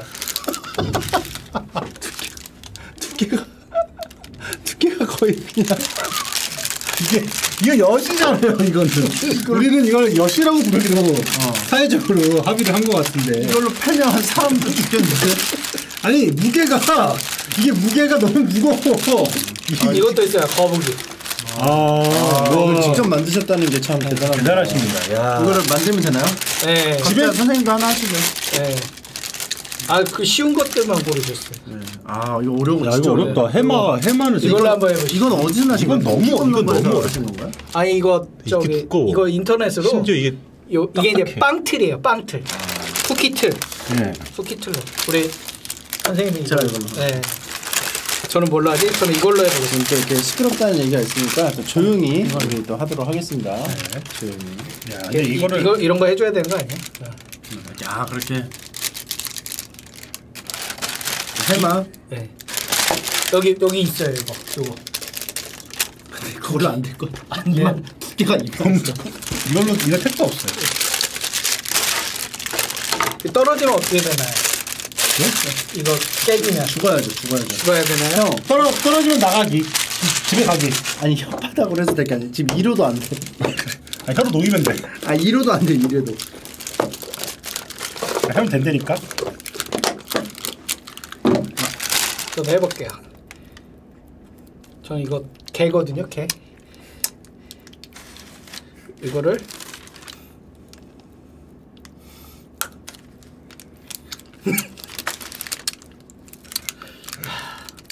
근데 이거 네, 집에서 만드실 때 네, 그 사모님께서 보셨나요? 안 봤어요.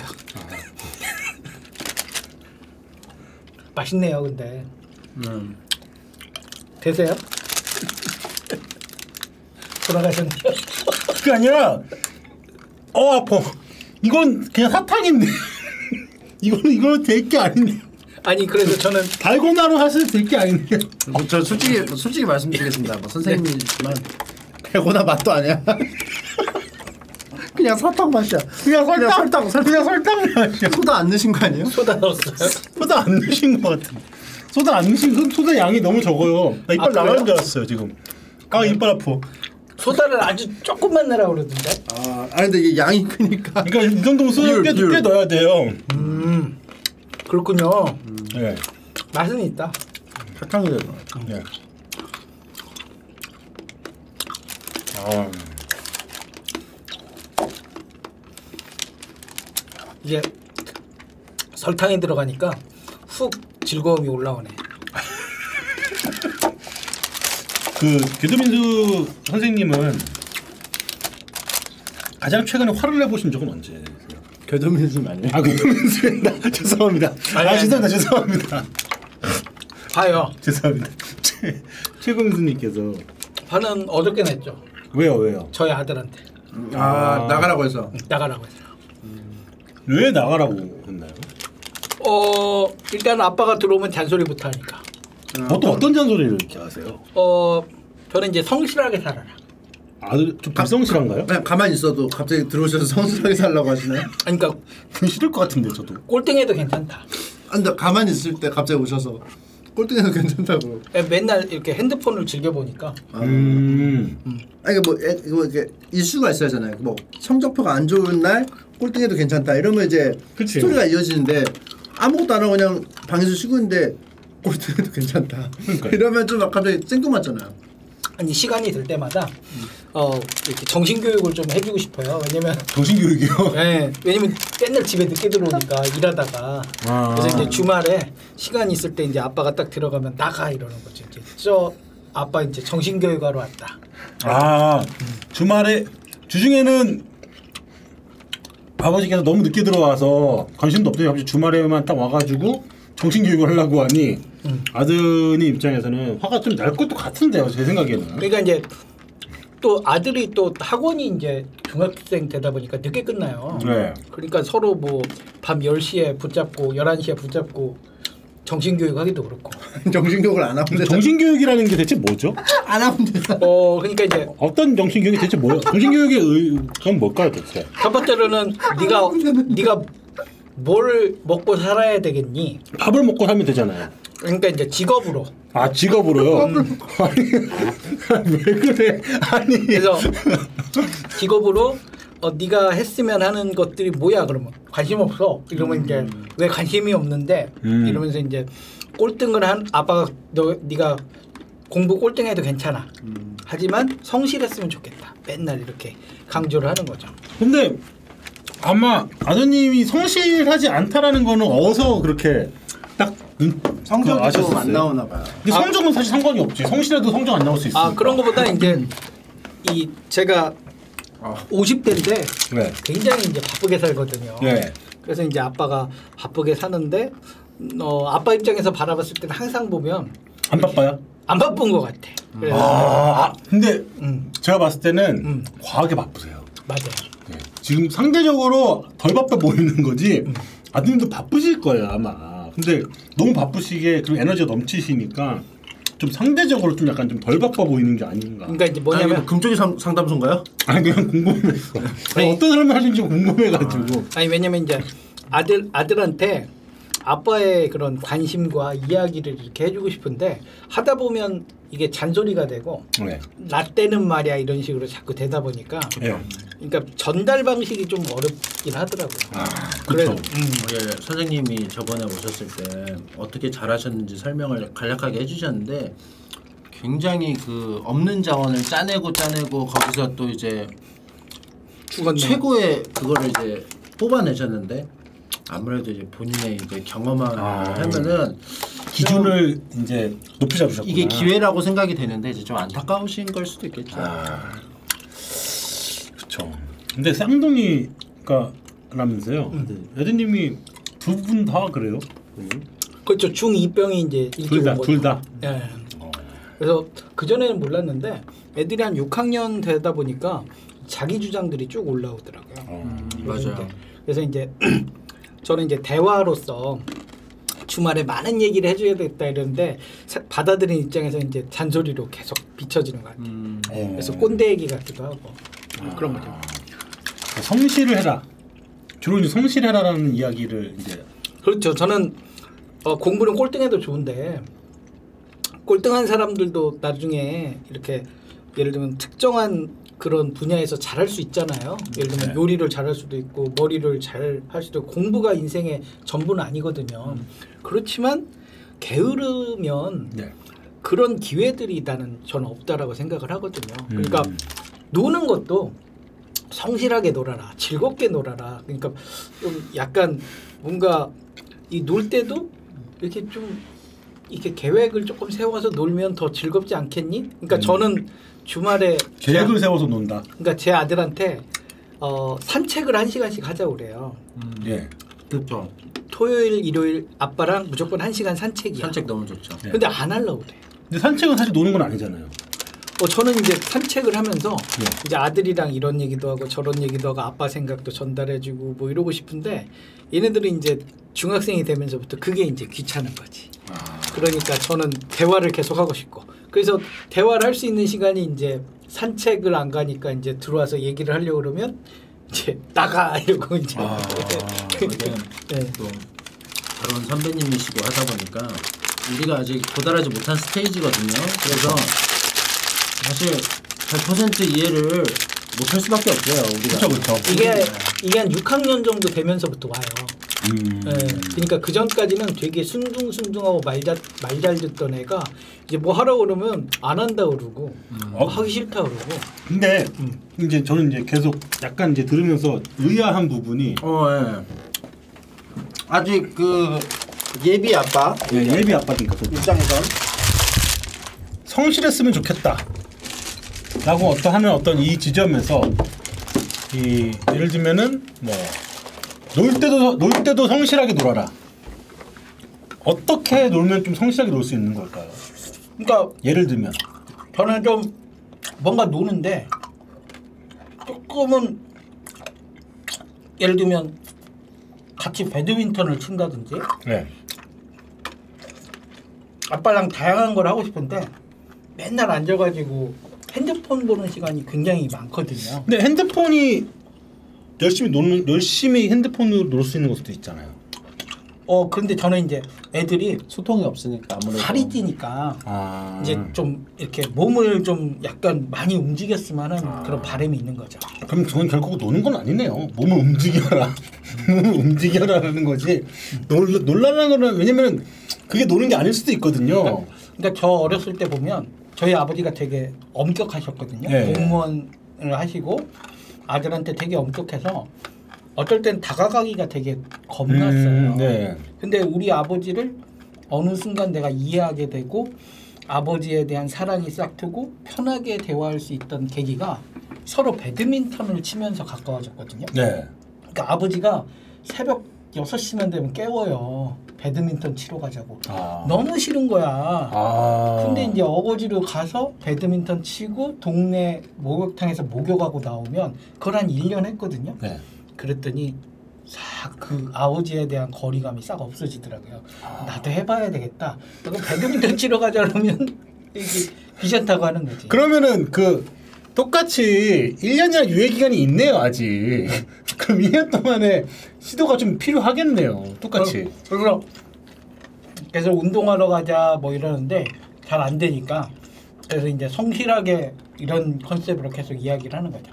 그 사람이 싸웠을 때 정신과 의사분들이 하는 얘기가 같은 방향을 바라보면서 걸어가래요. 아. 같은 방향을 바라보면서 걸어가면서 대화를 하면 그게 굉장히 이렇게 마음을 푸는데 중요한 열쇠가 된다고 그러- 그러 더라고요. 그러니까 음. 부부 싸움을 하고 나서 화해를 해야 되는데 마주 보면서 화해를 하면 안 되고 네. 같이 걸어가면서 화해를 하라- 하라고 그러더라고요. 음. 맞아요. 그 제가 군대 있을 때 경계 근무 부대잖아요. 사수부사수가 이, 이, 이열로 이렇게 가요. 쭈르륵 투입할 때 사수가 계속 뭐라고 저한테 하면서 앞에를 가면서 이렇게 뭐라고 하면서 가면은 이해가 더 쉽더라고요. 예. 얼굴 보면 화가 화딱지 또 나니까. 너너 추소 가서 보자 이러면서 이제 얘기하면은 얼굴 보면은 또 화가 다시 또 나거든요. 그 얼굴 왠지 표정이 또 보이니 뭐야 지금 내 말 지금 제대로 안 들어? 그러니까 이게 느껴지니까. 이게 같은 방향을 가면서 이렇게 하는데 저는 이제 아들한테 산책을 하면서 같은 방향을 바라보면서 한 시간씩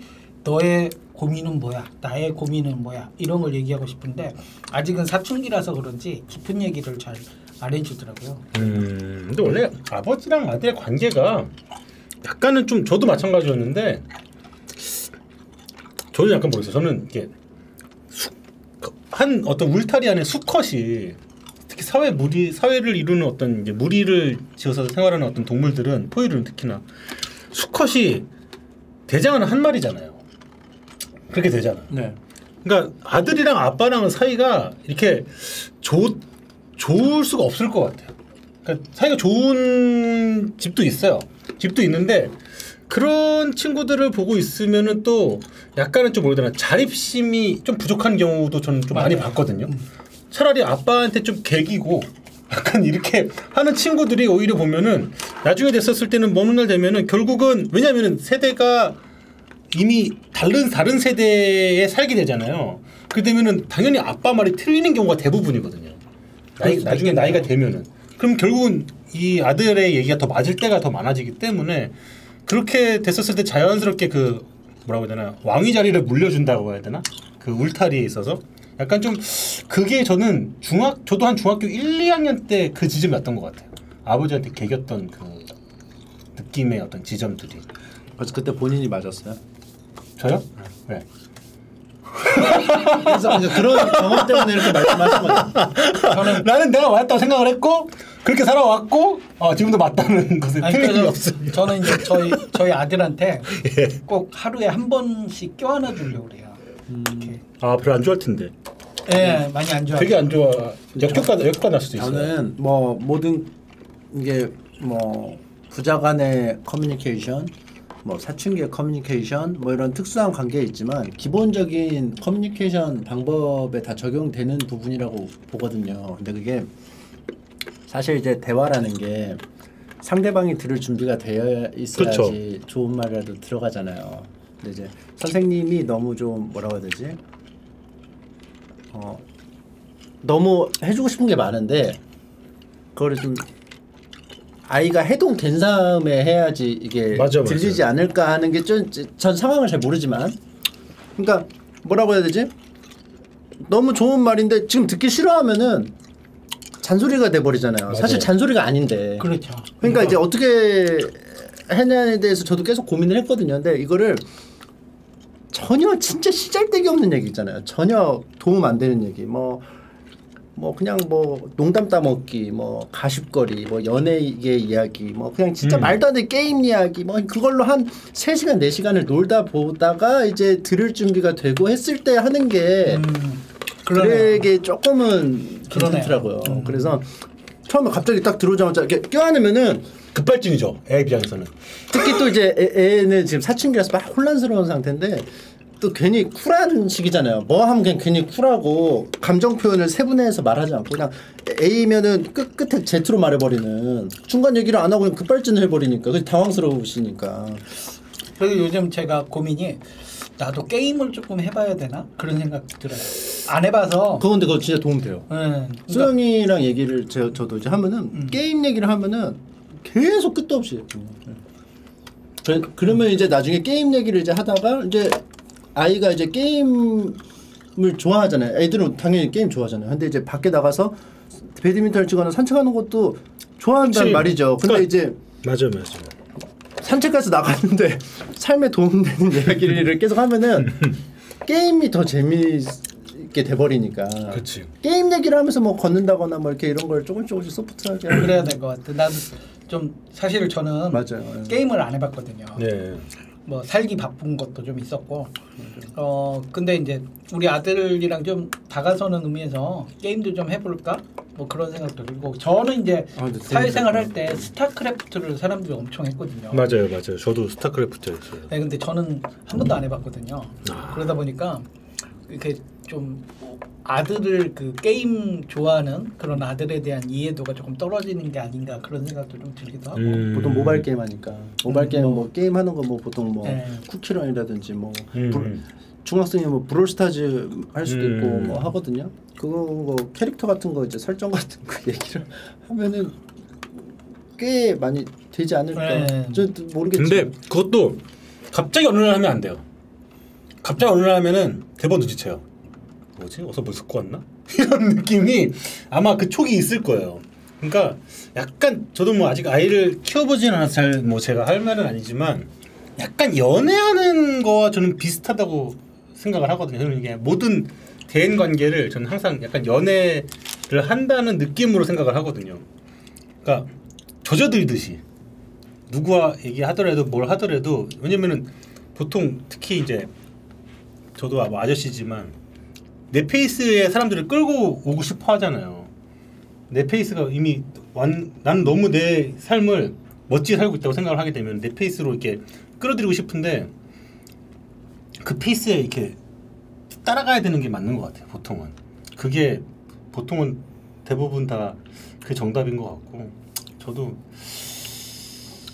근데 굉장히 그 선생님이 그 자녀분이 사춘기이기 때문에 좀 난이도가 좀 높은 것 같습니다. 아 맞아요. 예. 이게 뭘 해도 안 들으려고 맞아요. 하는 단계일 네. 확률이 높잖아요. 맞아요. 그러니까 네. 좀 어렵지 않으, 않으신가. 예. 그래서 또 뭐 그때는 약간 조금은 좀 거리를 좀 더 주는 것도 나는 또 방법 어차피 뭐라고 해도 안 들으니까 그냥 그치. 아예 안 해버리기. 그러니까 안 것도 그냥 그럼 봉천동처럼 집에 불내잖아요. 그때 중학생 아니었어. 아니 떨어지지 않게 그 거기 앞에서만 서 있으면 되는 거라고 생각을 해요. 그러니까 절벽에 절벽에 떨어지지 않을 정도까지만 가서 지켜만 주는 거고 아, 항상 여기 끝까지 오면은 아 아빠가 항상 있다 정도의 대한 어떤 그 바운더리만 주는 거고 평소에는 마치 없는 것처럼 저는 이것도 그러니까 어렵지 어렵 어렵긴 어렵. 그렇지 왜냐면은 어렵지 어렵지 어렵긴 한데 모르겠어요. 그 어렸을 때 라면 부셔서 많이 드셔보셨어요? 제, 제 시야에 뭐가 보이는데 차마 예. 네. 아니 내가 오늘 라면을 갖고 오려고 예. 했는데 예. 라면은 좀 그렇고 항상 컨텐츠 준비해 오시면 그거를 꼭 끝까지 모든 거를 소화를 하시는 네. 성격이시군요. 네. 아 요즘 이게 아. 이 브랜드를 보여드리긴 그렇고 요즘 이거 부셔 먹는 재미가 너무 좋아요. 아 어렸을 스트레스 때좀 풀리세요? 아니 너무 맛있어요. 아 추억의 맛이라. 네. 제가 좀 발진이라니 네. 사람들이 말이야. 네, 응? 고급져요. 이- 아 그래서 이런 게 급발진이야. 아 네, 이 이거 저기 집에 제 방에 한 10개 있어요. 혼- 혼자 드시나요? 어, 권해보지만 안 먹나요? 아, 아들내미도 가끔 가져가고 원래는 이게 저 어렸을 때는 그 신라면 음. 아니 삼양 삼양라면 있죠 삼양라면을 쪼개가지고 맞아요, 맞아요. 이렇게 해가지고 먹고 군대에서 뽀글이 많이 드셔보셨어요? 저는 안 먹었습니다. 안 드셔보셨어요? 저는 뽀글이 그냥 가끔 그냥 가끔 아, 집에서 먹습니다. 저는 철책에서 1년 근무를 했거든요. 철책 부분에서. 근데 거기는 저녁에 야식으로 라면이 나와요. 네. 뽀 그냥 라면이. 근데 안 끓여 먹고 대부분 뽀글이로 해 먹거든요. 이 뽀글이는 이렇게 하고 여기다 이렇게 젓가락을 이렇게 껴요. 그래갖고 한, 한 10분 불려가지고 맞아요. 이렇게 먹는 거거든요. 그래서 제가 뽀글이를 한 6개월 먹으니까 이게 이제 장염이 걸린 거예요. 아 뽀글이를 오래 먹으니까 이 장복했더니 예, 완전히 이제 맛이 가버린 거죠 장이. 뽀글이 때문에요? 예. 환경 호르몬이 장이 안 좋나요? 환경 호르몬이 그렇게 안 나와요. 라면 자체가. 맞아요. 아니 여기, 뽀글이가. 아니 여기 여기 이 겉에 그러니까 이- 안 나와요. 안 안 나온다니까. 별로 안 나와요. 나와요. 그런데 이제 이게 나, 이 스프를 100% 끓인 게 아니잖아요. 그리고 계속 먹다 보니까 또 라면을 계속 먹으면 또 장에 약간 영향을 좀 주거든요. 그래가지고 그때 옛날에 임춘혜 선수 같은 경우는 라면만 먹고 근데 뽀글을 드시지 않았잖아요. 임진에서 뽀글이 냄비에다가 드셨잖아요. 아 제대로 익혀가지고 푹 익혀서. 그러니까 제대로 익히면은 그나마 좀 나은데 뽀글이는 약간 덜 익거든요. 그래서 뽀글이랑 그게 맛있는데. 6개월 장기 복용을 했더니 어, 한 3개월 고생했어요. 근데 밀가루가 덜 익는 건 아니에요. 왜냐면은 이미 다 익혀져서 나온 밀가루이기 때문에 이미 다 튀겨져서 나왔기 때문에 익은 거는 문제가 아니고 아 근데 3개월을 고생하셨다. 어떻게 그래서 아마 3개월 작년은 아마 다른 영향이었지 않았을까. 그랬을까요? 예, 저는 그렇게 생각합니다. 아 그래서 우리 우리 때는 이렇게 이제 뽀개 가지고 이거를 이렇게 이제 책상 밑에 이렇게 둬요. 아. 이렇게 이렇게. 그러면 이제 짝꿍이랑 이렇게 이제 선생님 필기하는 동안에 이렇게 먹고 그러고 있다가 선생님 또 돌아서면 또 먹고 아. 이렇게 이제 먹었었던 기억이. 걸리면은 이제 비 오는 날 먼지가 먼지가 보이게 맞죠. 저희 때는 먼지가 발생하는 게. 저희 때는 이제 맞는 것보다 교문에다가 매달아 놨습니다. 어떻게 매달아요? 교문이 이렇게 크잖아요. 길잖아요. 네. 지졌어요? 그럼 교문에 매달려서 떨어지 떨어지면 맞는 거예요. 아. 그럼 쭉 떨어져 오징어처럼 쫙 떨어져 있어요. 아. 예. 그런데 어 위에 상의 탈의 시키고 아. 그럼 교물 차갑잖아요. 몸이 엄청 차가워. 야, 진짜 상상 이상이네요. 야 그런 거 어떻게 생각했을까? 동창동이란. 나는, 야 그런 그 나중에 되면은 그 교문 따뜻해집니다. 사람들이 많이 매달려 있다 보면은 교문 자체가 겨울인데 따뜻해요. 호연지기를 기르는 거죠. 그럼요. 저거네요. 그저 대입 수능이네요. 이렇게 엿 붙여 놓듯이 아. 사람을 그렇죠. 이렇게 붙여가지고. 맞아요, 맞아요. 어 생각보다 이게 맛있더라고요. 옛, 옛 추억도 나고. 끓여서 드셔보셨어요? 이거? 끓여는 안 먹어봤죠. 맛없어요. 끓여서 먹지 말라고 써있어요. 아 진짜요? 네. 어. 그래서 먹으면 안 돼요. 그래서 먹으면 이 스프가 들어가면은 음. 맛이 되게 아 얘가 녹아버린다는데 얘가? 이, 아, 아니, 아니, 이 아, 면이 그치, 그치. 녹아버린대. 면이 녹는데 아 그래요? 나 같은 경우는 이제 빠르게 하면 되긴 하는데 스프가 좀 간 되게 약해. 끓이면. 그 군대 있을 때 건빵도 엄청 많이 튀겨 먹었어요. 드셔보셨어요? 건빵을 튀겨가지고 네. 네, 네, 네. 많이 튀긴 다음에 설탕을 막 뿌려가지고 이렇게 맞아요. 범벅에서 많이 먹었거든요. 많이 먹죠. 그거 하나랑 그다음에 우유, 네. 우유를 그 건빵에 넣어요. 네. 그리고 녹여가지고 네, 이제 그래갖고 녹여서 거의 이렇게 죽처럼. 먹으면 그 식 뭐죠 식빵 이렇게 죽처럼 되듯이 맞아요, 그렇게도 많이 맞아요. 먹어. 건프레이크라고 하나요? 네. 전문용어로. 네. 아, 은근 추억- 맛있어요. 추억이 되게 많으시네요. 네. 여러 가지.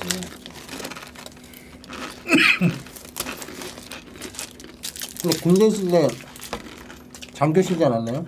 아 장교였는데 뭐 그러니까 아 장교였는데 이게 최전방이니까 사실 병사랑 별 차이가 없어요. 먹는 것 자체도 비슷했고 어, 저는 이제 그 저 군대 생활할 때 임진강이 범람을 했어요. 장마가 하도 져가지고 임진강이 범람하면서 휴전선 철책선이 무너졌거든요. 음. 이 철책선을 3개월 동안 새벽 6시부터 밤 11시까지 새로 세웠죠. 그랬던 적도 있고. 그래서 이렇게 뭐 장교라고 해서 특별하게 대접받고 이래본 적이 그렇게 많지 않았던 것 같아요. 그 선생님만의 생각 아닐까요? 아 그런가? 병, 병 입장에서는 네. 그럴 수도 있죠. 예. 야라고는 안 했을 거 아니에요 병이. 아 저한테? 예, 그럼 죽죠. 네. 그러니까 그 대접, 당시에는 대접 다 받으신 것 같은데. 예, 그 당시에는 이제 위계 질서가 있었으니까.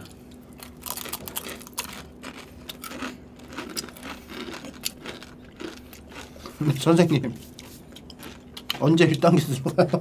다 끝난 거 아니야? 끝났어. 끝난 거야. 몇 시에요? 끝났어. 여기서 47분? 어 선생님 학생이 자꾸 정해요 끝나는 어, 거. 끝난 거 아니었네. 이제 이제 선생님, 일단부터 해야죠. 저 막 어. 때려보면서 어, 끝난 배 거야 하면서 막 저한테 막 아우 배 아파. 맹장인가? 왜 왜요? 어 배. 스피커폰으로 들으세요. 어왜왜 아파요? 진짜? 어 예. 예. 병원 가더라도 스피커폰으로 들으세요. 아 진짜 아프신 것 같은데? 예, 어 진짜 아파요. 근데 오늘 안 끝나면 다음 그 클래스 때 또 오시는 거예요. 아 클래스 또 있어요. 아니 이 클래스가 안 끝났으니까 아? 신청을 하셨잖아요. 아 제가 음. 집중력을 집중력이 되게 떨어지는 병이 있어요. 아 그래요. 네. 그래서 집중력의 한계가 4시간. 어, 4시간도 사실 안 되죠. 보통 진짜 지금 많이 집중력이 높아지는 편이고요. 옛날에는 한 진짜 한 20분, 20분 정도 지나면은 막, 막 그걸 발작을 하고 어떻게 발작 어떻게 하나요? 막 한번 보죠 오늘. 오늘 한번 봅시다.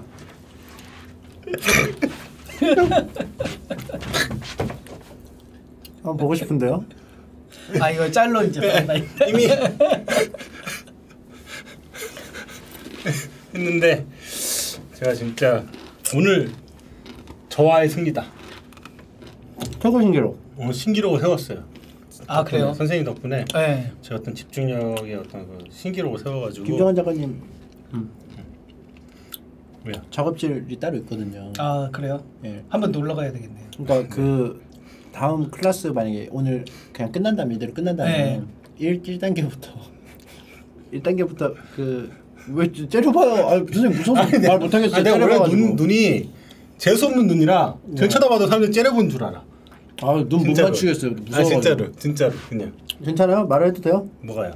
아그뭐 선생님 뭐. 저거 좀 째려봐요. 아니야 안 째려봤어 왜 그래 무슨 소리야 그 합정의 작업실. 아 합정이에요? 어 가깝네 우리 집에서. 어. 어, 어 어디서 저저 아, 목동이요. 목동이요 네. 아저 마포 마포 네. 막보가 마포구. 예, 마포역 마포역이 마포요? 예, 조금 멀죠 아니 가까워요. 아 그래요 회사가 여의도니까 아 그래요 네, 엎어지면 코 닿는. 그래서 다음 1단계는 거기서 한번 아 저야 좋죠. 왜냐면 여기서 하면은 네.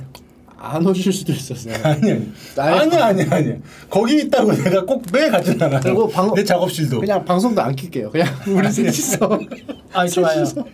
셋이서. 좋아요. 이제 주식 차트 보면서 네. 네, 아주 좋아요. 그냥 예, 아 좋다 너무 좋다 너무 좋아요 그런 거 와. 아 그러면 마포에서 이렇게 작업도 하시고 그러시는 거예요? 네 작업실에서 작업도 하고 에어비앤비도 놓고 아 그래요? 농담입니다 비밀을 어떻게 나요 제 작업실이라 그러면 이분 보내드리고 1단계부터 밤에 할까요? 아뭐 저도 괜찮아요. 네, 들어갈까요? 네. 네. 어쩔 수 없죠. 제가 요즘 오늘 이탈을 자주 하시네요. 저번에도 이탈 하시더니 대천에서 올라와가지고 아, 아 맞아. 그 지방에서 올라오셨어요. 오늘 아침 일찍 차를 타고 음. 대천에서 기차 타고 바로 여기. 여기로 왔어요 아 대천에 뭐 특별한 일 때문에 취재를 하러 아, 그래요? 또 음. 또 가서 좀 작업 때문에 취재하고 이렇게 올라오느라고 제 정신이 아니거든요. 맞아. 아 강행군이었네, 맞네. 제가 생각 못했네. 그럼 어쩔 수 없죠. 뭐 오늘만 날입니까? 아 그럼요. 아니 근데 우리 저 선생님이 또 힘드신 거 아니에요? 우리가 다섯 시간 해가지고. 저요? 네. 오늘은 근데 되게 컨디션이 좋으신 것 같아요. 저는 이제 누군가가 고통받으면 다시 살아나요. 근데 누군가가 계속 신나 있으면 다시 이렇게 쭈그러들어요. 근데 누군가가 계속 힘들다? 어 그러면 이제 다시 또 기력이 보충되죠. 그게 뭐랄까 어떤 신남 총 질량의 법칙이라고요. 그렇죠. 예, 여기 전체적으로 신남의 어떤 그 용량이 다 같이 초과할 수가 없어요. 그게 열 역학 제 2 법칙 맞아요? 몰라. 원래 아까 마지막 게임은 두 개 두 개 남았는데 원래 하나는 이거였어요. 이거. 어. 아 야 이건 또 어디서 구하셨어요? 이거, 이건 해야죠. 이건 네, 이거, 해야죠. 야 이거 승 이거 이거 야 이거 이거. 야. 네, 이거. 야 이거 이거 진짜 이렇게. 야 이거 이거 진짜 미쳤다. 네. 이게 이제 어, 다섯 번째 게임인가요? 네.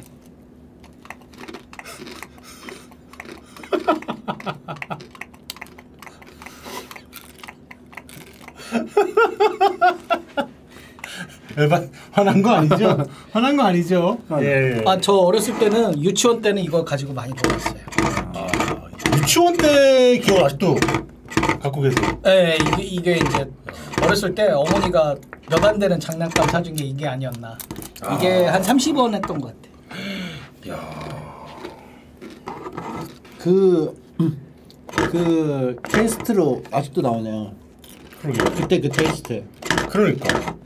야 이게 아직도 그 주영이 주물이 그대로 그- 그걸 그대로 쓰나 보다. 그렇죠.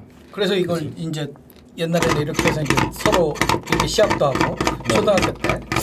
약간 이 뭐야 이 색감이랑 이런 것도 색 그, 이 색소도 일부러 이렇게 쓰나 봐. 좀 약간 형광빛 쨍하게, 쨍하게. 쨍한 느낌 있잖아. 쨍한 느낌. 사실은 색은 맘만 먹으면은 좀 더 그럴싸한 색깔로 바꿀 수도 있는데도 굳이 어. 아 이게 쨍해야 된다. 이거는 좀 약간 그래서 이렇게 해서 이제 이렇게 시작하는 거죠. 갑자기 드는 생각인데 이 따가닥 따가닥 소리가 네. 또 전달되지 않을까. 아 왠지 맞네요. 왠지. 맞아요, 맞아요. 그리고 이제 김풍 작가님 오실 때만 항상 클레임이 들어오거든요. 아 제가 올 때마다 틀림이 들어가요? 울려요 목소리. 여기 통이 울린 통이 있었어. 통이 되게 울리는 쩌렁쩌렁해요. 맞아요. 우리 작가님은 얼마에 한 번씩 오시는 거예요? 자주 자주 뵙는 것 같은데. 저는 뭐 대중 없이 네. 예, 저도 이 스트레스 받을 때마다 아 여기 와서 스트레스. 해소 네. 해소를 하시는군요. 풀고 노는 거죠. 또 생업이 또 바쁘시면은 또 못 오실 때도 많고. 요즘 또 통 안 오셔가지고 실제로 주호민 작가님하고 김풍 작가님 되게 많이 찾으셨어요 사람들이 언제 오시냐. 요새 체력 우리 저 체력 많이 좋아지시지 않으셨어요? 아그 프로그램 때문에요? 네. 아니요. 얼굴이 지금 낯빛이 흑빛이 돼가지고 지금 되게 더안 좋아진 되게. 안 좋아져가지고 지금 여러 가지로 힘들어서. 예. 지금 표정이 좀 안 좋지 않나요? 지금 얼굴 전체적으로 색감이 네.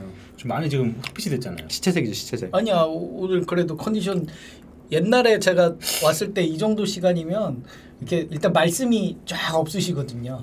아, 그렇군요. 이러고 오늘은 되게 말씀도 지금 아, 많이 네. 하시는. 선생님 또 말씀하시는 것도 제가 또 어떻게 또 하, 놓치겠습니까? 아 계속 주워 담아야죠 계속 제가. 아. 자, 그럼 뭐? 예? 그 그럼 이제 열심히 단계를 저는 나중에 편집된 방송으로 왜요? 뭐 무슨 방송? 편집된 방송으로 편집된 방송으로? 예, 이거 1단 0단계 단계별 어떤 ETF에 대해서는 네. 그때 이제 방송으로 제가 보도록 하겠습니다. 응? 선생님 네. 이거는 뭐 안 되겠는데요? 아, 왜왜 왜? 왜? 뭐가? 이, 이, 학생 너무 불량한데요? 아, 예. 네, 왜 왜? 아니 선생님 여기 두 눈 뜨고 딱 쳐다보고 계신데 퇴학시켜 주세요. 제가 잘못했습니다. 제가 제가 이런 이런 옷인 줄 마- 먼저 모르고 보내드릴까요? 아, 예, 오늘 예, 아니 저- 왜냐면 이분이 지금 피곤하시기 때문에 너무 컨디션이 네. 지금 제가 안 좋아가지고 선생님 말씀 너무 알겠습니다. 듣고 싶은데 아, 다음에 또 좋은 아 예, 답변 드리도록 그럼요. 하겠습니다. 그럼요. 네. 아 예. 들어가 들어가세요. 먼저 가겠습니다. 예.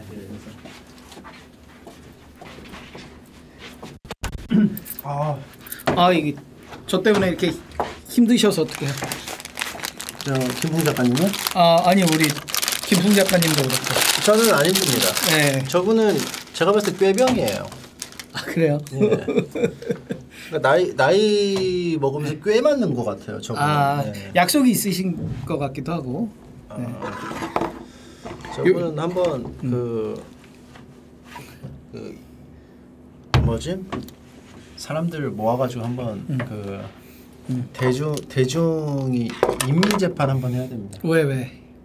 예? 어떤 면에서? 뜯어 고쳐야 돼요. 아 아니 근데 뭐 마인드를 뜯어 고쳐야 됩니다. 어, 말씀도 잘하시고. 음. 네. 보통 이제 그 아닙니다 여기까지 하겠습니다. 자 아무튼 최고 민수 게임에 네. 추천 받아서 네. 막간을 이용한 또 최고 민수 게임을 또 즐겨봤는데 아 이걸 못해서 아쉽네요. 아 그래요. 이거 다음에 또 뭐. 근데 이거 이렇게 하다 이렇게 이렇게 하면 어떡해? 아 그러면 이제 걸? 룰 위반이죠. 은근히 은근히 이것도 skill인 skill로 쳐주나 이렇게 이렇게? 아 그거. 어 그거는 이제 꼼수네요. 꼼수. 전 옛날부터 볼 때마다 이 생각했어요. 이거 어떻게? 설설설설 이거 땡기면 어떡하냐. 이게 근데 막상 제가 해보니까 생각보다 이게 잘 안 가요.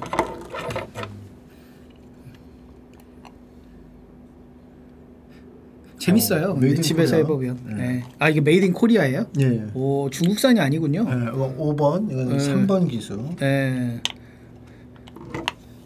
어 적토모. 아 이것도 인터넷으로 팔더라고요. 이건 얼마인가요? 이게 한 4, 5천 원 하는 것 같아요. 4, 5천 원. 네. 이것도 제가 선물로 드리고 어. 가겠습니다. 아 감사합니다. 제가 이렇게 네. 막 다 가져도 될까요? 네. 추억의 또 게임들이니까. 아드님이 또 하고 싶으실 수도 있는데. 어, 아니 우리 아들이랑 해봤는데 재밌긴 한데 다음에 또 아들이랑은 또 내가 사서. 사서 하면 되니까 또 온 기념으로 이렇게 하고 책만 이렇게 할까요? 어떻게 근데 이 저기 지금까지 들으신 분들이 힘들어가지고 예. 더 들으실 수 있을지 모르겠어요. 힘드시지 않으세요? 저요? 네, 저야 상관은 없는데. 저는 안 힘듭니다. 어 의외인데요. 네, 저는 네. 수업이 네. 즐겁고 새로워요. 들으면 들을수록. 네. 그러면 한 1단계에서 7단계 네. 한 1시간 좀 되나요? 아 그럴까요? 한 시간 정도 뭐 기본적인 개념 설명하고 네. 마무리를 하는 그래서 걸로. 오늘 칼을 뽑았는데 네, 또 그러시죠. 그렇죠. 네. 이것도 네. 또 기다리셨는데. 왜냐하면 시청자분들이 네. 1단계부터 7단계를 네. 계속 기다리고 계셨을 수도 있어요. 맞아요, 맞아요. 네. 우리가 저번에도 그 종목 분석 10단계도 한 30분 만에 했잖아요. 네. 아 이건 뭐야? 아, 그거는 또 또 다른 게임인데요. 볼링이네요, 볼링. 네, 이거가 마지막 게임이었는데 이게 이제 요거를 선생님이 레크레이션 선생님이에요. 그러게요. 아, 아 제가 아 이 제 강의가 재미없으면 이걸로 대충 때워야 되겠다. 아, 커버해야 되겠다. 그래가지고 아 여기 있었네요. 얘가. 아 그러네요. 아, 아니다 아니다 아까 하나 하나 하나 게 예, 짝이 안 맞은 게. 예. 그래서 요거를 이제 여기다 꽂고요. 예. 요거를 이제 제가 해보 이거 실험을 해보니까 네. 다 꽂으니까 그냥 쉽더라고요. 음. 그래서 한 다섯 개 정도를 이렇게 이제 임의로 상대방이 이렇게 못하게 이렇게 한 다섯 개 정도 놓고 이것도 인터넷으로. 네, 예. 그래서 이렇게 해서 음. 이렇게 이제 굴리는 거죠. 굴려서 이걸 이제 스트라이크를 할 수 있는지 음. 아니면 많이 넘어뜨리는 건지 이거 열 개를 해보니까 그냥 다 다? 다 쓰러지더라고. 요 그렇게 해서 한번 해보려고 그랬죠. 한번 해볼까요? 음, 한번 해보시죠. 네 개, 네 개. 네 개로 해볼까요? 네, 네, 네 개로 해볼까요? 네. 한번 먼저 자, 해보시죠. 저부터 하겠습니다. 네, 네.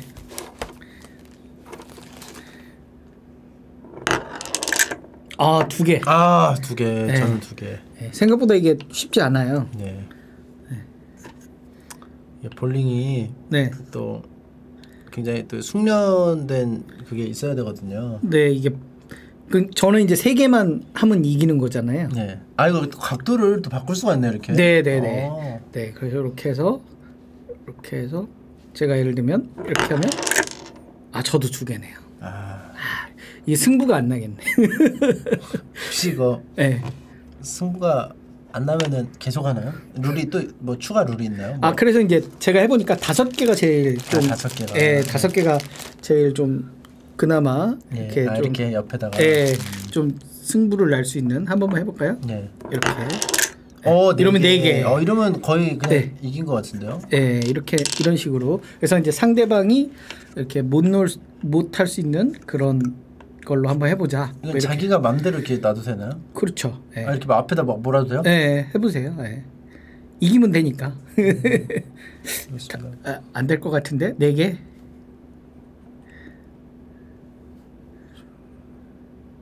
갑니다. 네.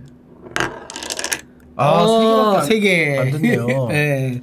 이러면 저기 예. 제가 이긴 거 되네요. 어, 똑같은 걸로 한번 해볼까요? 한 번만. 이렇게였나요? 이렇게 이렇게. 예. 네, 이렇게 했죠. 예. 아, 네 개. 어. 재능이 있으신데요? 저는 왜 세 개지? 예. 그래서 이것도 은근 재밌더라고요. 이렇게 해보니까. 말 나온 김에 롤도 한판 할까요?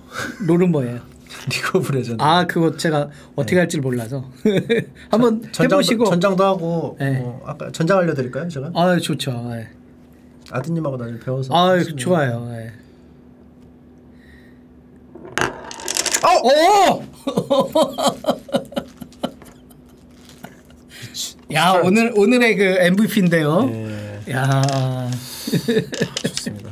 네, 이런 또 재밌게. 어, 네, 이것도 선물로. 아, 여기서. 네, 다음에 주호민 작가님과 함께 아, 예, 예. 최고 민식 게임 한번 해주시면. 어, 알겠습니다. 이거 초대장도 네. 제가 시작할 때 네, 아시겠어요? 초- 좋아요. 초대 받으셨습니다. 네, 좋아요. 주호민 작가님은 모, 모르실 거 아니에요. 네, 그렇죠. 네, 이거는 안 들어가나 봐요. 아니 들어가는데 아, 이거를 네. 아닌가? 저걸 넣어서 그래. 잠깐만요. 요거를 요거를 그래. 이렇게 이렇게 넣고 이렇게 넣으면 아, 들어가요. 돌아갔군요. 네네. 그 저기 아까 그 이거에 저 요거 요거 칩도 저기 안에 있어요. 최고 민수 게임 세트네요. 그렇죠. 네. 이렇게 해서 팔아 팔아도 괜찮을 것 같아.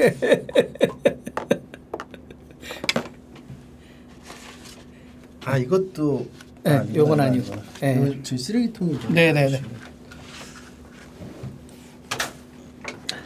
자, 그래서 최고 민수 게- 네. 게임 세트가 네. 천천히 해. 네.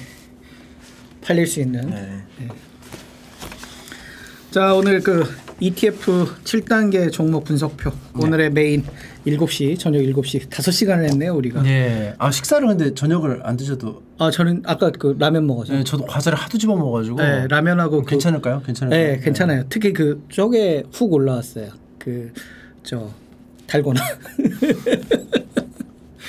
달고나가 은근 저 에너지를 많이 예, 줘서. 당이 당덩어리라. 네네.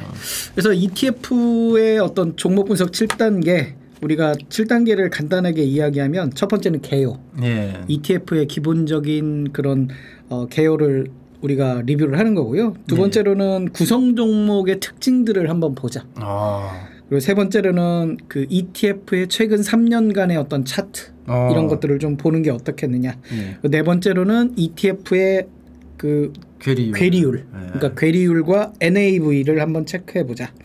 다섯 번째는 3년 동안의 배당. 근데 아. ETF는 배당이라고 표현을 안 하고 예. 분배금이라는 말을 써요. 어. 그래서 우리가 3년 동안의 분배금을 얼만큼 줬는지 한번 체크를 해보자. 여섯 번째는 어, 여러 가지 ETF들을 한번 비교를 해보자. 오. 비슷한 이름을 가진 아까 그 우리 김풍 작가님이 2차전지 ETF에 대해서 저한테 이 방송 좀 오프되고 한번 여쭤보셨는데요. 예. 2차 전지 ETF 같은 경우는 종류가 세 가지가 있어요. 어. 그래서 세 가지 종류 ETF를 각각 한번 비교를 해보는 건 어떻겠느냐. 마지막으로는 이제 나의 생각을 좀 정리를 해보자. 그래서 어떤 위험 요소는 무엇인지 그리고 어. 최초에 내가 매수를 결정하면 매수 시점과 분할 매수, 분할 매도 원칙은 어떻게 할지 음. 이런 부분들 한번 체크를 해보자라는 거고요. 어, 일단 첫 번째 단계부터 개요를 설명을 드리면 우리가 네이버 포탈에 보면 이걸 네이버 포탈 한번 보여주실 수 있나요? 아 있습니다. 네. 네, 가능합니다. 이걸 조금 당길까요? 어떻게 해야 되나요? 아, 아, 안 당겨도 됩니다. 네. 네이버 포탈 화면을 한번 보시면서 설명을 드리는 게 조금 좋을 것 같아요. 그래서 어찌됐든 좀 여러분들이 유익하게 이 ETF에 대한 어, 이야기들을 좀 들으실 수 있고 그 다음에 체크하실 수 있게 네이버 화면을 좀 보여드리면서 설명을 드리는 게 좋지 않겠느냐. 잠시만요. 네네네. 요 요거 화면을 네 그렇죠. 네. 이게 어느 수- 어느 언젠가부터 끊겨요. 아, 그래요? 마우스가 네. 클릭이 바로 이렇게 놓치잖아요. 네. 어, 요번인지 모르겠는데. 네. 아니면 밑에 뭘 댈까요? 요걸 댈까요? 책을? 책을 대면 좀 나을라나요? 아니 클릭이 문제라. 아 그래요? 어.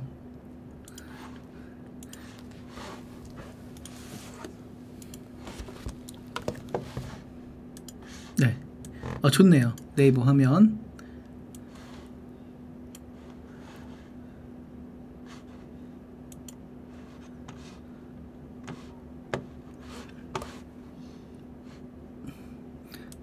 아, 예, 예. 아, 보이네요, 이제. 예. 조금 늘리면, 그렇죠. 여기 그 네이버 화면에 어, 네이버 금융이라고 쳐야 되거든요. 우리가. 잠시만요. 네네. 어, 네. 그걸 가져와서 네이버 금융이라고 한번 쳐보시면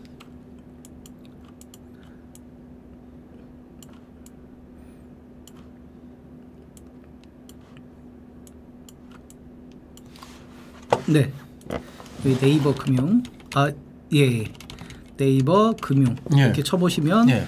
예, 네 이버 금융 화면 한번 열어보시겠어요? 예. 예. 거기에 어, ETF명을 어떤 걸 하나 해볼까요? 뭐 아무거나 해보셔도 괜찮을 것 같아요. ETF 뭐 음, 이 ETF 어, ETF라고 치면은 조금 어려울 것 같고요. 우리가 소프트웨어 ETF를 한번 쳐볼까요? 소프트웨어. 네, 소프트웨어. 네. 아니 그냥 소프트웨어만 치시면 돼요. 네.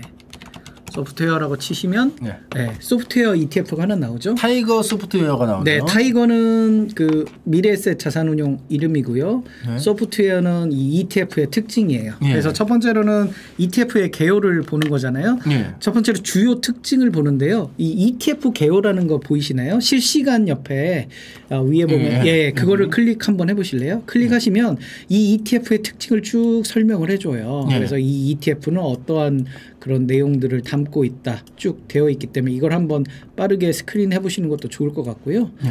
그렇죠? 그다음 X 한번 눌러 보실래요? 거기 누르시고 그다음에 이제 오른쪽에 있는 것들을 쭉 보는 거예요. 시가총액. 시가총액이 어, 1,001억 원이네요. 네, 아까 1,001억 우리가 원. 설명했듯이 시가총액이 50억이 넘어가면 상장 폐지될 리스크가 적다라고 아. 얘기했으니까 시가총액이 1,000억이 넘으니까 얘는 웬만하면 상장 폐지가 없겠구나라고 우리가 20배예요. 20배. 그렇죠. 50억 예. 20배. 그러니까 보통 우리가 이 NAV라는 표현을 쓰는데요. 예. 그냥 쉽게 말해서 시가총액 주식수. 그러니까 17,205원 주식수와 주가의 곱셈이니까 음. 여기 상장 주식수 보면 5820,000돼 있죠. 예. 582만 주 정도 되는데 예. 그거를 1,705원 주가를 곱하면 아, 시가총액이 한 천억 원 정도 곱하면 뭐, 예. 뭐 그렇다 뭐 이런 정도 판단하시면 될 것 같고요. 요, 요 금액에 네네네. 요 네네. 개수를 더하면 곱하면 그렇죠. 한 천억 정도. 천- 시가총액은 주식수 곱하기 주가니까요. 1,001억이 됩니다. 네네. 그리고 52주 최고, 52주 최저라고 나와 있죠. 52주는 1년. 1년 중에 19,935원까지 올랐다가 예. 에, 저점은 13,000원대까지 내려갔던 거를 볼수 있죠. 여기가 이- 아니네요. 저기 선차트에서 1년에서 보시면 여기네, 여기지. 그렇죠. 여기네요. 에, 7월 정도에 19,000원대까지 갔다가 시- 작년 11월 때는 14,000원대까지 해서 쭉 이렇게 흐름을 보일 수가 있는 거죠. 그다음에 기초 지수라고 되어 있어요. 예. 기초 지수라는 게 뭐냐면 어, FN 가이드네요. 그러니까 예. FN 가이드라는 그런 회사 회사에서 만든 소프트웨어 지수를 추종하는 ETF구나. 예. 그래서 이 기초 지수를 한 90 여기에 소프트웨어에 액티브라는 이름이 안 나와 있잖아요. 네. 그렇기 때문에 한 90% 이상을 소프트웨어 FN 가이드 거래소가 아니고 FN 가이드라는 곳에서의 지수를 그대로 추종하고 있구나라고 음. 우리가 기초 지수를 판단하시면 되고요. 네. 그 밑에 유형이 있어요. 유형.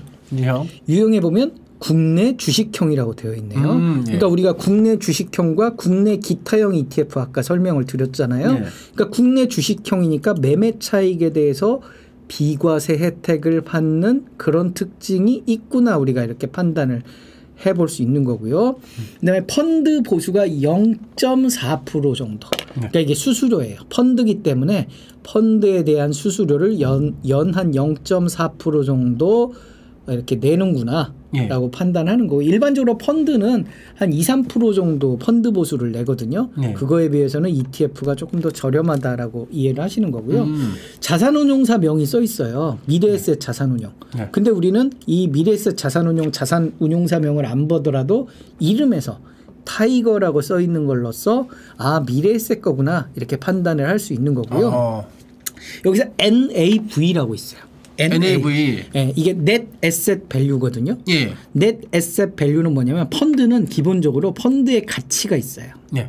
그 가치가 17,183원 정도의 가치를 가지고 있는 게 어떤 기준 가격이에요. 예. 그런데 지금 주가는 비슷해요. 17,205원이니까 11,178원 183원보다 비싼 거잖아요. 지금 20 22원 더 네, 비싸요. 비싼 거잖아요. 22원 비싸요. 이거를 괴리율이라고 그래요. 아.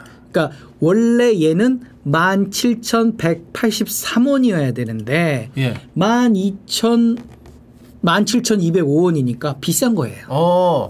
그럼 이것만 보고 그냥 투자하면 되겠네요? 너무 그렇죠. 쉬운데요? 그렇죠. 17,183원 정도랑 얼마나 괴리율이 떨어졌는지 체크를 해볼 필요는 있겠는 거죠. 예. 그러니까 내가 너무 비싸게 사는 거 아니야?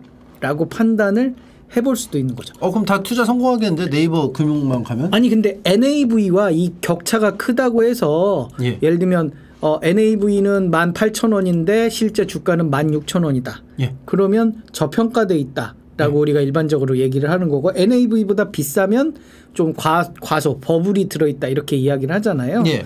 어 근데 그거는 어떤 인기도에 따라서 순간적으로 좀 다르고 꼭 NAV에 수렴하는 건 아니에요. 음. 인기가 많으면 좀 더 버블이 일어날 수 있고 근데 버블이 일어난 상태에서 내가 사는구나 이렇게 체크를 생각을 하면서 투자를 할 수 있는 거고 이 인기가 꺼지면 이 NAV 가격에 수렴을 해요. 음. 그러니까 내가 과도하게 괴리율이 높은 ETF를 사서 비싸게 살 수 있다는 거죠. 음. 그래서 이런 NAV와 실제 매매 가격은 한번 크로스 체크를 해볼 필요가 있다 라고 우리가 말씀을 드리는 거고 일반적으로 어, 우리가 어, 이 어떤 이 NAV와 어, 이 주가가 비슷하게 가요. 예. 일반적인 ETF는. 일반적으로는 예, 근데 이제 어떤 버블이 끼거나 특별하게 과하면 크게 급등을 하는 것도 있고요. 음. 그래서 이제 1개월, 3개월, 6개월, 1년 수익률을 한번 체크를 이렇게 예. 또 해보는 거죠. 그래서 어, 예를 들면 어, 최근 수익률은 어땠는지 이런 것들을 한 번씩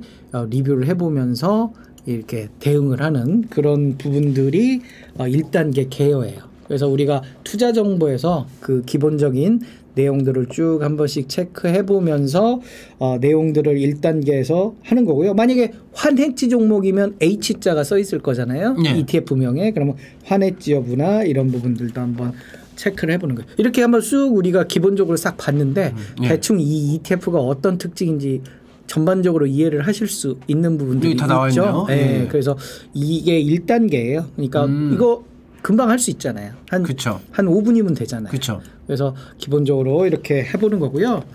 어, 두 번째 단계는 밑으로 좀 내보, 내려보실래요? 거기 조금 줄여서 내려보시, 이 화면 크기를 조금 줄여서 네. 예, 밑으로 조금만 더 내려보실래요? 여기 보면 ETF 주요 구성 자산이 있어요. 아 여기 예.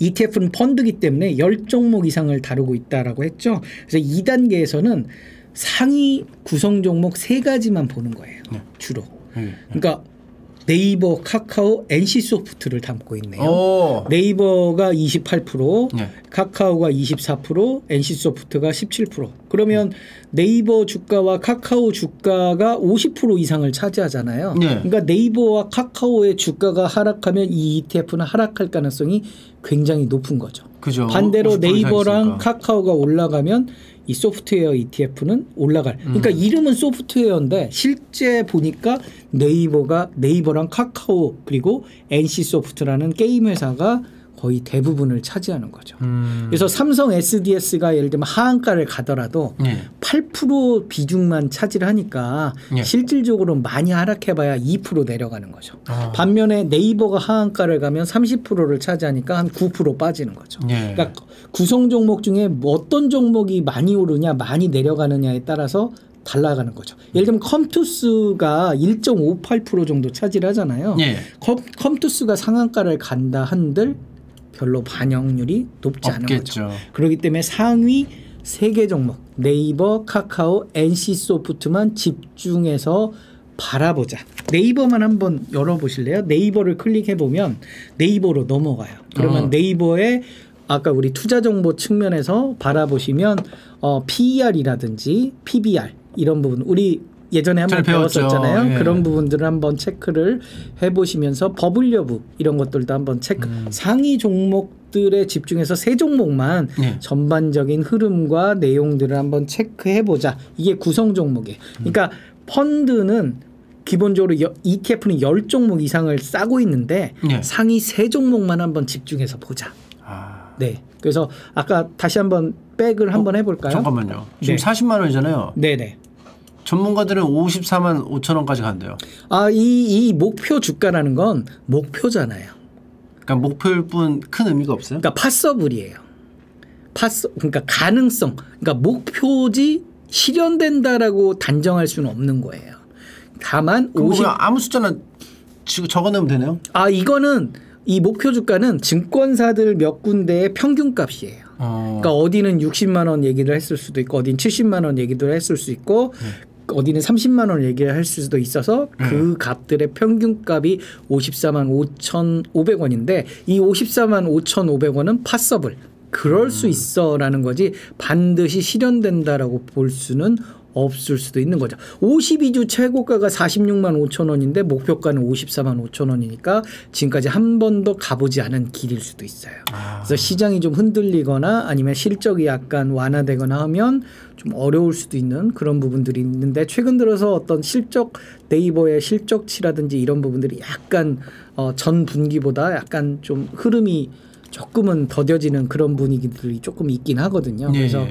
아무래도 아까 설명드렸듯이 웹툰이라든지 웹소설, 제페토 이런 부분들 컨텐츠 부분의 어떤 성장성이 좀 보여줘야만 이렇게 상승 곡선이나 흐름들이 좀 더 이어질 수 있는 그런 부분들이 있다라는 점도 좀 참고를 하시면 될 것 같고요.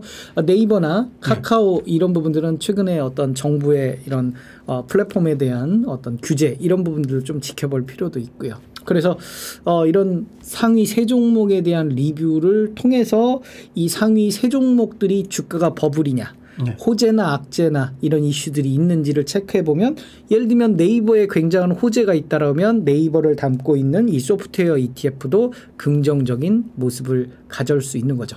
근데 개별적인 네이버 조- 한 종목을 사는 것보다 소프트웨어 ETF를 사는 매력은 뭘까요? 네이버도 있고 아까 이제 그 NC도 있고 그렇죠. 뭐 이런 걸 이제 동시에 살 수가 그렇죠. 있으니까. 카카오와 NC와 네이버를 단돈 2만 원, 17,500원에 세 종목을 충분히 살 수 있는 거죠. 그러니까 아까 김풍 선생님이 예. 여러 종목을 내가 네이버도 사고 카카오도 사고 NC도 샀다. 근데 그 세 개 산 거를 사실 이 비중만큼 내가 다 사는 그죠. 개념이 되는 거죠. 하나에 40만 원인데. 그렇죠. 그러니까 하나에 40만 원인 네이버를 내가 일정 부분 담을 수 17,500원에 한 30% 내가 17,500원이지만 그 30%한 4,500원 정도는 네이버를 산 개념이다 이렇게 보시면 쉬운 거죠. 제가 한 이쯤에 샀습니다. 한 이쯤에 샀어요. 아 네이버를요? 예. 네 지금도 보유를 하고 계신 거죠? 아니요 사서 네. 여기서 팔았어요. 아 그때 우리 그 말년이 행복하게. 네. 아 잘하셨어요. 여기 사서 여기서 팔았어요. 네, 잘하셨어요. 여기까지 올라왔네요. 네 잘하셨어요. 너무 화가 나요. 와 왜요? 아 손해를 아더 못 벌어서 더 먹을 수 있었잖아요. 아 주식 투자는 항상 팔고 나서는 아, 더 올라도 속상해하면 안 돼요. 어 그래요? 네, 왜냐하면 속상해하게 시작하면 끝도 없어요. 내가 수익이. 음. 네, 여기- 여기만큼 분명히 분명히 한 10%뭐 이렇게 이상 났잖아요. 진짜 무슨 네. 뭐 어? 고양 고양이 똥만큼 그래도 수익이 났잖아요. 손해 안 봤잖아요. 그런데 내가 이렇게 하면 속상. 우리 LNF 한번 차트 쳐볼까요? LNF. LNF. 네.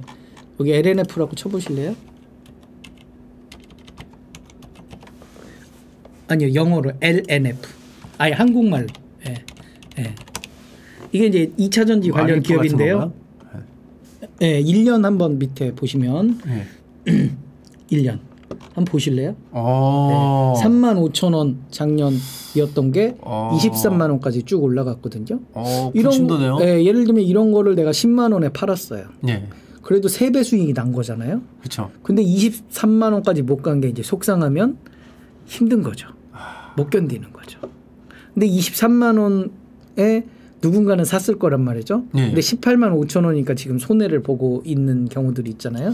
우리가 주식 투자하면서 속상해하면 안 되는 이유가 뭐냐면 분명히 20 내가 10만 원에 팔고 예. 또 15만 원에 사버리는 경우들이 생겨요. 아, 계속 올라가니까. 그런데 결국 운이 좋아서 23만 원대까지 오르면 좋지만 거기서 또 꺾이면 손해를 보는 경우들이 굉장히 많기 때문에 매도한 다음엔 절대 후회하지 말자. 이거 누가 샀으니까 기록에 찍힌 거잖아요. 그렇죠. 누군가 매수를 한 거죠. 누가 사, 있잖아요 지금 실존 하잖아요. 그렇죠. 23만 3,900원에 누군가 샀을 거고 어 23만 3,900원이 52주 최고가가 되는 거죠. 네. 그렇지만 이제 뭐 앞으로 이, 이 최근 들어서 아까 아침에 말, 오전에 말씀 오후에 말씀드렸던 그런 테슬라 이슈 이런 부분들이 이렇게 단기에 좀 변곡점 그동안 많이 올라와서 어떤 트리거가 필요했던 거죠. 하방에 대한 그런 부분들이 이제 좀 조정을 보여주는 그런 이슈들이 되는 거죠.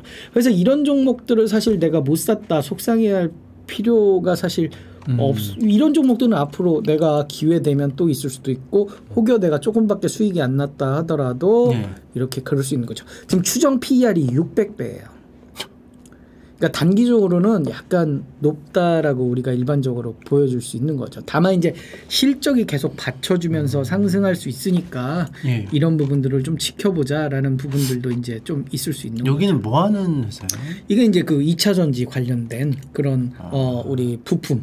그런 것도 모르면서 저는 2000년지 ETF를 샀네요. 그래서 예, 여기 기업 개요를 한번 눌러 보실래요? 이 실시간에 그러면 여기에 어, 이야기가 나오죠. 동사는 2차 전지 양극 활물질. 그러니까 양극재 관련된 그런 어, 종 이렇게 이 종목군들을 제품군들을 만든다. ESS라는 건 저장 장치, 에너지 저장 장치 그런 부분에 이렇게 쓰는 거다. 이렇게. 어, 그럼 여기 칠국군 군수님은 네. 어, 기분이 좋겠네요. 주식이 올라가가지고 이제 어 주식하고 사실 상관없고요. 출국 칠곡군에서는 이 회사가 실적이 좋아야 되겠죠. 그래야 어. 여기에 세금을 세금 많이 나가니까. 많이 내주니까. 그리고 회사가 커지면 칠곡군에 있는 분들을 많이 채용할 거잖아요. 어. 그런 부분에서는 어, 이 LNF의 어떤 실적 개선과 회사의 공장 증설 이런 부분에 오히려 더 관심을 많이 군수님은 갖겠죠. 아, 왜냐하면 이제 칠국군이 주식까지 올랐으니까 좀 매각을 해가지고 음. 뭐좀 막 뭘 짓고 할 거 아니에요. 이 회사가 그냥 가만히 있지는 않을 거 아니에요. 어? 매각을 하다기보다는 투자를 받을 가능성이 많죠. 어, 아무튼 뭐 투자를 받든가 뭐 해서 뭘 할 거 아니에요. 그죠? 액션을 좋은 그렇죠. 액션을. 근데 이제 꼭 칠곡에 할 거냐 그 부분은 또 고민해봐야 되는 거죠. 왜냐면 칠곡에 안 하고 아, 맞네요. 예, 다른 지역에 하거나 해외에 할 수도 있는 그런 부분들이 있어서 어, 그런 부분들은 좀 지켜봐야 될 부분들이죠. 어, 아니 LNF 칠국하고 좋았잖아. 좋았는데 네. 또 하, 안타깝게 또 다른 데다 할 수도 있는. 그렇죠. 일단 뭐 예를 들면 어 다른 여러 지역들에 뭐 예를 들면 바닥 수출을 위해서는 바닷가 근처에 뭐 짓겠다 이런 가능성들도 있고요. 그래서 우리가 그 상위 세 종목에 좀 집중을 해서 하고 혹여 매도하더라도 너무 속상해하지 말자라는 측면에서 알겠습니다. 이야기를 하는 거예요. 그래서 앞서 우리가 다시 한번 ETF로 넘어가 볼까요? 네, 알겠습니다. 절임 배추, 해풍 맞은 절임 배추가 또 있습니다. 해풍을 맞으면 맛있나요? 바람 맞은 거라서 별로 맛 없을 것 같은데 근데 해풍 자랑하는 거 보면은 맛이 그런가 맛이 봐요. 좋은가 봐요. 네, 그런가 네. 봐요. 하나 하나 더 넘겨 볼까요? 하나 뒤로 네. 어 아까 우리가 소프트웨어였죠. 소프트웨어. 예. 아, 이거는 예, 네이버. 예. 네. 여기서 그러니까 우리가 카카오, NC 소프트 어, 이런 기업들 네, 세 개를. 좀 지켜보고요. 만약에 삼성 SDS가 구성 비중이 10%가 넘는다. 그러면 어, 상위 세 종목이 아니더라도 네. 비중이 높으니까 좀 고려해 볼 수 있죠.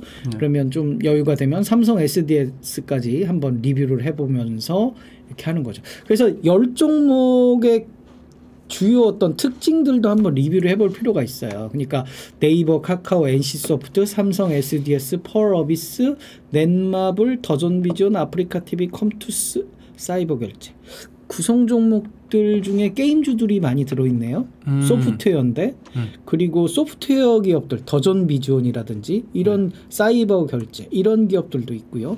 그러니까 우리 이 소프트웨어 ETF의 특징은 네이버와 카카오 여기에 게임주 그리고 어떤 그 IT 소프트웨어 이런 부분들을 많이 담고 있구나라고 우리가 판단하면 될 것 같고요. ETF 구- 주요 구성 자산의 오른쪽 끝을 아, 왼쪽 끝을 오른쪽 끝이죠. 더보기를 한번 눌러보실래요? 더보기를 눌러보시면 그 밑으로 쭉 내려보시 아 위로 조금 올릴까요? CU당 구성 종목이라고 있잖아요. 예. 여기에 보면 열 종목 이상의 어, 나머지 종목들도 쭉 나열이 되어 있어요. 음. 그래서 어, 어떤 종목들이 쭉쭉쭉 뭐 되어 있 있고 그렇죠. 웹젠도 있고, 있고 NHL. 어, 앞에서 열 종목 이상의 그 상세 어떤 ETF들은 한 100종목 이상 되는 경우도 있어요. 음. 그러면 여기서 쭉 바라보면서 우리가 ETF의 특징들을 한번 체크를 해보자. 근데 우리가 이제 동일 가중이라는 게 있어요. 동일 가중. 여기 아빠 네이버 맨 위에 동일 가중이라고 한번 쳐보실래요? 예, 여기 동일 가중. 예, 동일 가중이라고 하면 예. 동일 가중 ETF들이 있어요. 삼성그룹 동일 가중을 한번 열어보실래요? 예. 이건 뭐냐면 삼성그룹을 담고 있는 ETF예요. 근데 동일 가중이라 해요. 예, 이건 뭘까요? 밑에 한번 구성 종목을 한번 보실래요? 아니요, 더 밑에요. 아, 여기 있네요. 여기 보면 구성 비중이 어때요? 어 다 동일 비중이에요. 예, 비슷비슷하죠. 예. 예. 그래서 동일 가중은 구성 비중이 비슷비슷해요. 아 그래서 비슷비슷하다는 건 어, 공산당. 상, 상위 세 종목에 영향력이 별로 없어. 아, 전체 이 삼성그룹 전체의 어떤 그런 수익성을 체크를 하는 거죠. 근데 앞, 앞서서 삼성 그룹이라고 한번 쳐보실래요? 위에 위에서 삼성 그룹이라고 치시면 여러 가지 삼성 그룹에 ETF 가 대한. ETF들이 많거든요. 코덱스 삼성 그룹을 한번 보실래요? 아까 동일 가중은 봤고요. 코덱스를 보면 달라요. 다르죠 비중이. 네. 삼성전자, 삼성 SDI 두 개가 50%예요. 아, 그럼 반도체와 2차 전지가 이쪽에서 차지하는 비중이 굉장히 높더라. 네. 그러면 우리가 삼성 SDI와 삼성전자의 주가 흐름만 알면 이 ETF의 흐름을 웬만하면 예측할 수가 있는 거죠. 그러니까 상위 이 보통은 시가총액 가중 방식이에요. 네. 그러니까 시가총액이 높은 종목들 여기에 아, 주가 상승이 높을 종목들을 편입을 많이 시켜 놓는 거예요. 음. 이게 일반적인 ETF 특징인데 동일 가중은 그런 상위 종목이 갖는 리스크를 나는 싫어. 음. 그냥 삼성그룹 전반적인 수익이 좋아. 이게 동일 가중 방식이에요. 그래서 어, 삼성그룹 ETF를 선택할 때 나는 동일 가중 방식을 할 거냐 아니면 일반적인 그런 ETF를 할 거냐 이렇게 체크를 해보는 거죠. 종목 토론실은 지금 좀 약간 혼란스러운 것 같아요. 배당금이라도 좀 받고 싶어서 아 종목 토론실은 어, 상당수가 항상 패닉인가요? 아니요 이거 종목 토론실은 이런 특징이 있어요. 매수자는 값을 올리 주가를 올리고 싶어하고 아직 매수하지 않은 자는 값이 떨어지기를 바래요.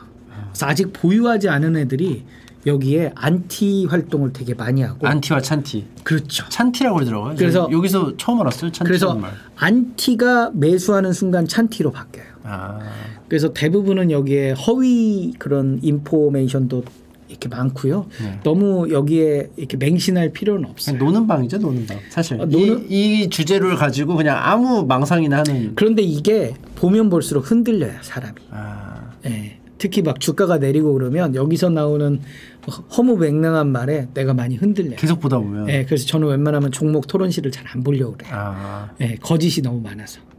그래서 우리가 기본적으로 ETF의 구성 자산, 특히 상위 세 종목 중심으로 한번 보는 거예요. 이건 뭐죠? 섹터 가죠? 가중은 한번 밑에 보실래요? 예, 섹터 가중은 어, 아무래도 이제 조금 더 어, 주가가 상승할 종목에 조금 가중치를 두는 조금 더 이렇게 세게 예. 더 사는 그런 게 섹터 가중이고요.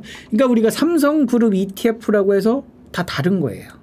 그러니까 운용사도 다르고 세부 내용도 다르고 뭐 이런 식으로 철학적인 말들이 있네요. 네. 고통스러운가 봐요, 이분은. 어 이분은 상당히 좀 착하신 분이죠. 예, 이런 어, 이야기를 쓸 정도로 어, 대부분 이런 글의 끝에는 이렇게 또 광고가 붙어요. 어, 아, 광고도 아니에요. 그냥 예, 그냥 썼어 그냥. 예, 힘드신가 보죠. 이런 걸 하면서 본인이 본인에게 하는 말일 그렇죠. 수도 있어요. 본인이 힐링을 얻는 그런 방법인 거죠. 예, 예. 그래서 저는 ETF의 어, 이 구성 종목 세 개는 꼭 좀 어, 리뷰를 하시면서 이 특징들을 한번 보셨으면 좋겠다. 예. 주식 대차를 폐지하라. 대차가 뭐죠? 모르겠어요. 대차가 아, 뭐죠? 대차는 어, 공매도라고 공매도가 대차인가요? 공매도가 이제 이 빌릴 공짜예요. 예. 그러니까 주식은 없는데 주식을 먼저 빌려줘. 팔고 나중에 사는 거잖아요. 그렇죠. 그죠? 근데 빌리는 행위를 대차라고 그래요. 아, 대차인데 에, 이거는 이제 어, 기관, 그러니까 기관 투자가 그러니까 큰 형님들이죠. 뭐 국민연금이라든지 펀드라든지 이런 애들이 사는 게 대차. 그러니까 그럼- 빌려달라고 하는 게 그러면 대차. 공매도를 하려면 대차를 해야 되기 때문에 대차를 폐지하라는 건 공매도를 폐지하라는 거랑 같은 말인가요? 그렇죠. 대차를 못하면 빌릴 방법이 없잖아요. 음. 예. 그러니까 대차 우리도 대차를 할 수 있어요. 내가 가진 삼성전자를 공매도에게 활용하세요라고 빌려줄 수 있어요. 대신 빌려준 이자를 받는 거죠. 그래서 어, 그냥 장기 투자할 바에는 저렇게 빌려서 그 수수 약간의 어, 이자 수익을 받아 볼 수도 있는 거죠. 또 올렸어요 같은 걸. 다른 어. 제목으로 화나지 않습니까? 그렇죠. 예. 그러니까 분노하고 이분이 같은 마- 분이에요. 분노하고 분노해야 됩니다. 화나지 예, 않습니까? 예, 아마 저기 여기저기 좀 이렇게 글을 올리시는 것 같아요. 예. 뭐 이렇게 서로 네. 의견을 공유하는. 뭐 예. 알겠습니다. 이제 또 다른 데로 가볼까요? 그래서 우리가 이제 아까 소프트웨어 ETF로 다시 가볼까요? 아니 이번에는 IT로 한번 가보자. IT. IT로 아니 아니 반도체. 반도체. 네, 반도체 코덱스 반도체를 한번 가볼까요? 코덱스 코덱스는 삼성 자산운용의 ETF명이죠. 음. 열 종목을 한번 볼까요? 반도체예요. 뭐 특이한 거 하이닉스. 없, 특이한 거 없을까요? 어 삼성전자가 없- 고영욱이 있네요. 아 고영 이건 회사 이름이에요. 예. 네. 삼성전자가 없네요. 아 그러네요. 반도체 반도체인데. 반도체 ETF인데 아왜 왜 없죠? 하이닉스는 있는데. 삼성전자는 반도체 기업이 아니에요. IT 기업이에요. 삼성전자는 반도체도 만들지만 전자제품을 만들잖아요. 핸드폰도 만들잖아요. IT 기업이에요. 그러다 보니까 반도체 ETF에는 삼성전자가 없어요. 아 그러니까 반도체 비중이 있을 뿐이지. 그렇죠. 반도체 회사 반도체만 하는 회사는 아니다. 그렇죠. 반도체 사업부가 있지 반도체만을 만드는 회사가 아니에요. 휴대 뭐 휴대폰도 있고 뭐도 그렇죠. 있고 뭐 냉장고도 있고 가전도 그 있고 뭐. 회사 우리 아, 구분에 IT 기업으로 들어가요. 아 그래서 우리 IT를 쳐볼까요? IT? IT 네, IT. IT를 치면 거기 타이거 200 IT를 쳐볼까요? 네. 네. 이거는 200은 뭐냐면 코스피 200 종목이에요. 근데 아. 코스피 자는 뺐어요. 네. 그냥 200 이렇게만 써요. 길어질까봐 네. 이거는 되게 짧게 쓰더라고요. 여기 보면 삼성전자가 있네요, 들어있네요. 있네요. 네. 하이닉스도 들어있고요. 근데 SDI가 왜 더 많이 구성이 돼 있어요 보통? 아 이거는 이제 어떤 특징이 있냐면 SDI의 주가 상승을 더 많이 바라본다는 거죠. 음, 그러니까 삼성전자보다 SDI의 어떤 상승을 이 지수는 더 많이 바라본다라는 측면. SDI가 우리가 배터리, 셀 완성품 기업 중에 하나잖아요. LG화학, SK 이노베이션, 삼성 SDI.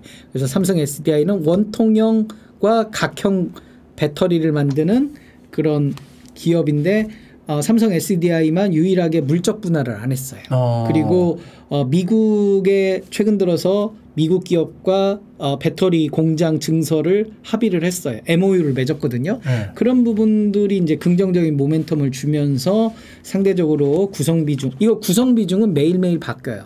예. 그래서 구성 비중을 최근 들어서 좀 늘린 경향이 있는 거죠. 만약에 어. 예를 들면 하이닉스의 주가 상승세가 앞으로 커질 것 같다라고 하면 하이닉스의 구성 비중을 조금 더 올릴 개연성들이 있을 수 있는 거죠. 그럼 만약에 뭐 ETF 하기 싫어요. 근데 이제 어, IT는 하고 싶어요.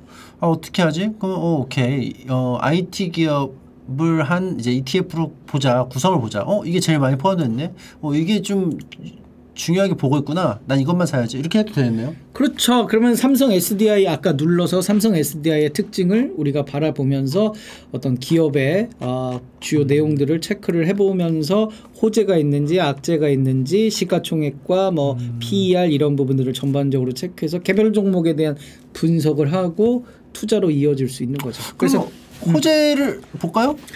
어, 호재를 보려면 일단 뉴스 공시를 봐야죠. 예, 뉴스 공시 종목 토론은 거기는 약간 어, 허위 이슈들도 많아서 어, 여기. 보면 뭐 삼국지를 K, 쓴다고. 예, 예, K 배터리 미국에서 삼국지를 쓴다. 뭐 이런 부분들 그리고 외국인들이 순매수 1위네요. 개인들은 팔고 주간 외국인들은 사고 있다. 사고. 아무래도 외국인들이 쭉쭉. 산다는 건 긍정적인 모멘텀이 있는 거고요.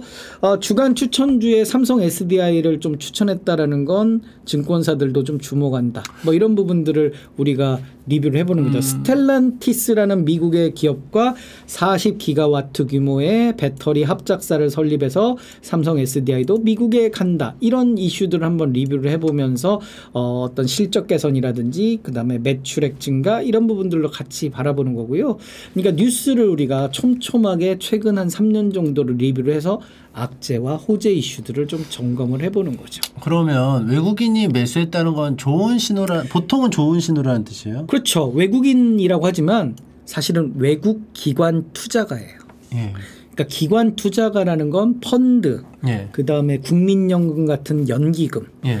이런 기관들이 거대한- 들어온다는 건. 그렇죠. 그런 기관들은 개인의 의사 결정이 아니라 회사의 의사 결정, 네. 분석이거든요.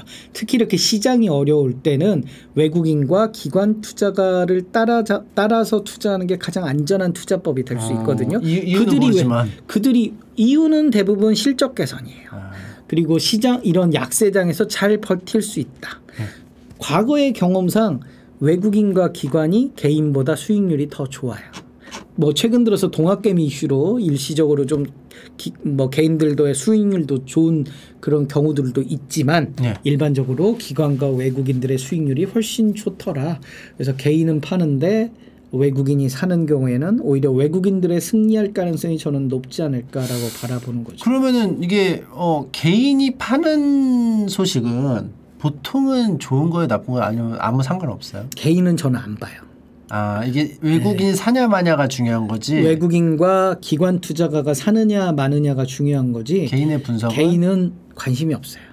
음, 이게 뭐 맞을 수도 있고 틀릴 수도 있고 여기서 뭐 그냥 아닌데 이거는 분명히 어떤 분석이 있어서 들어가기 때문에 이게 뭔가 행동에 이유가 있을 것이다. 그러니까 개인도 사고 외국인도 살고 기관도 사는 종목은 없어요.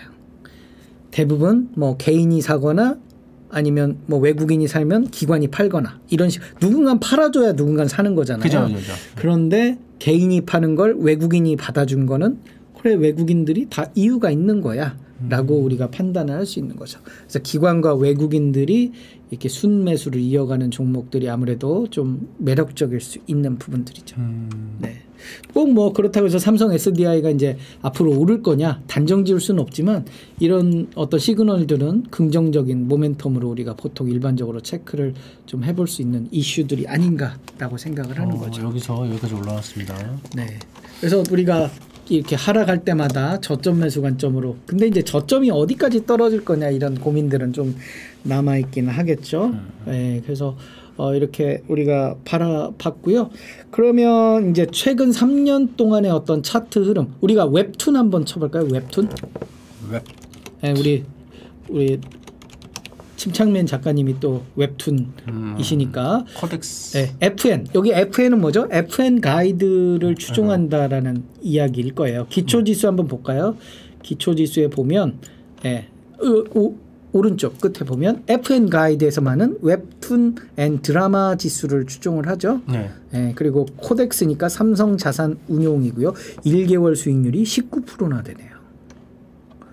굉장히 큰 수익률이죠. 아. 왜냐? 메타버스 이슈가 있었던 거죠.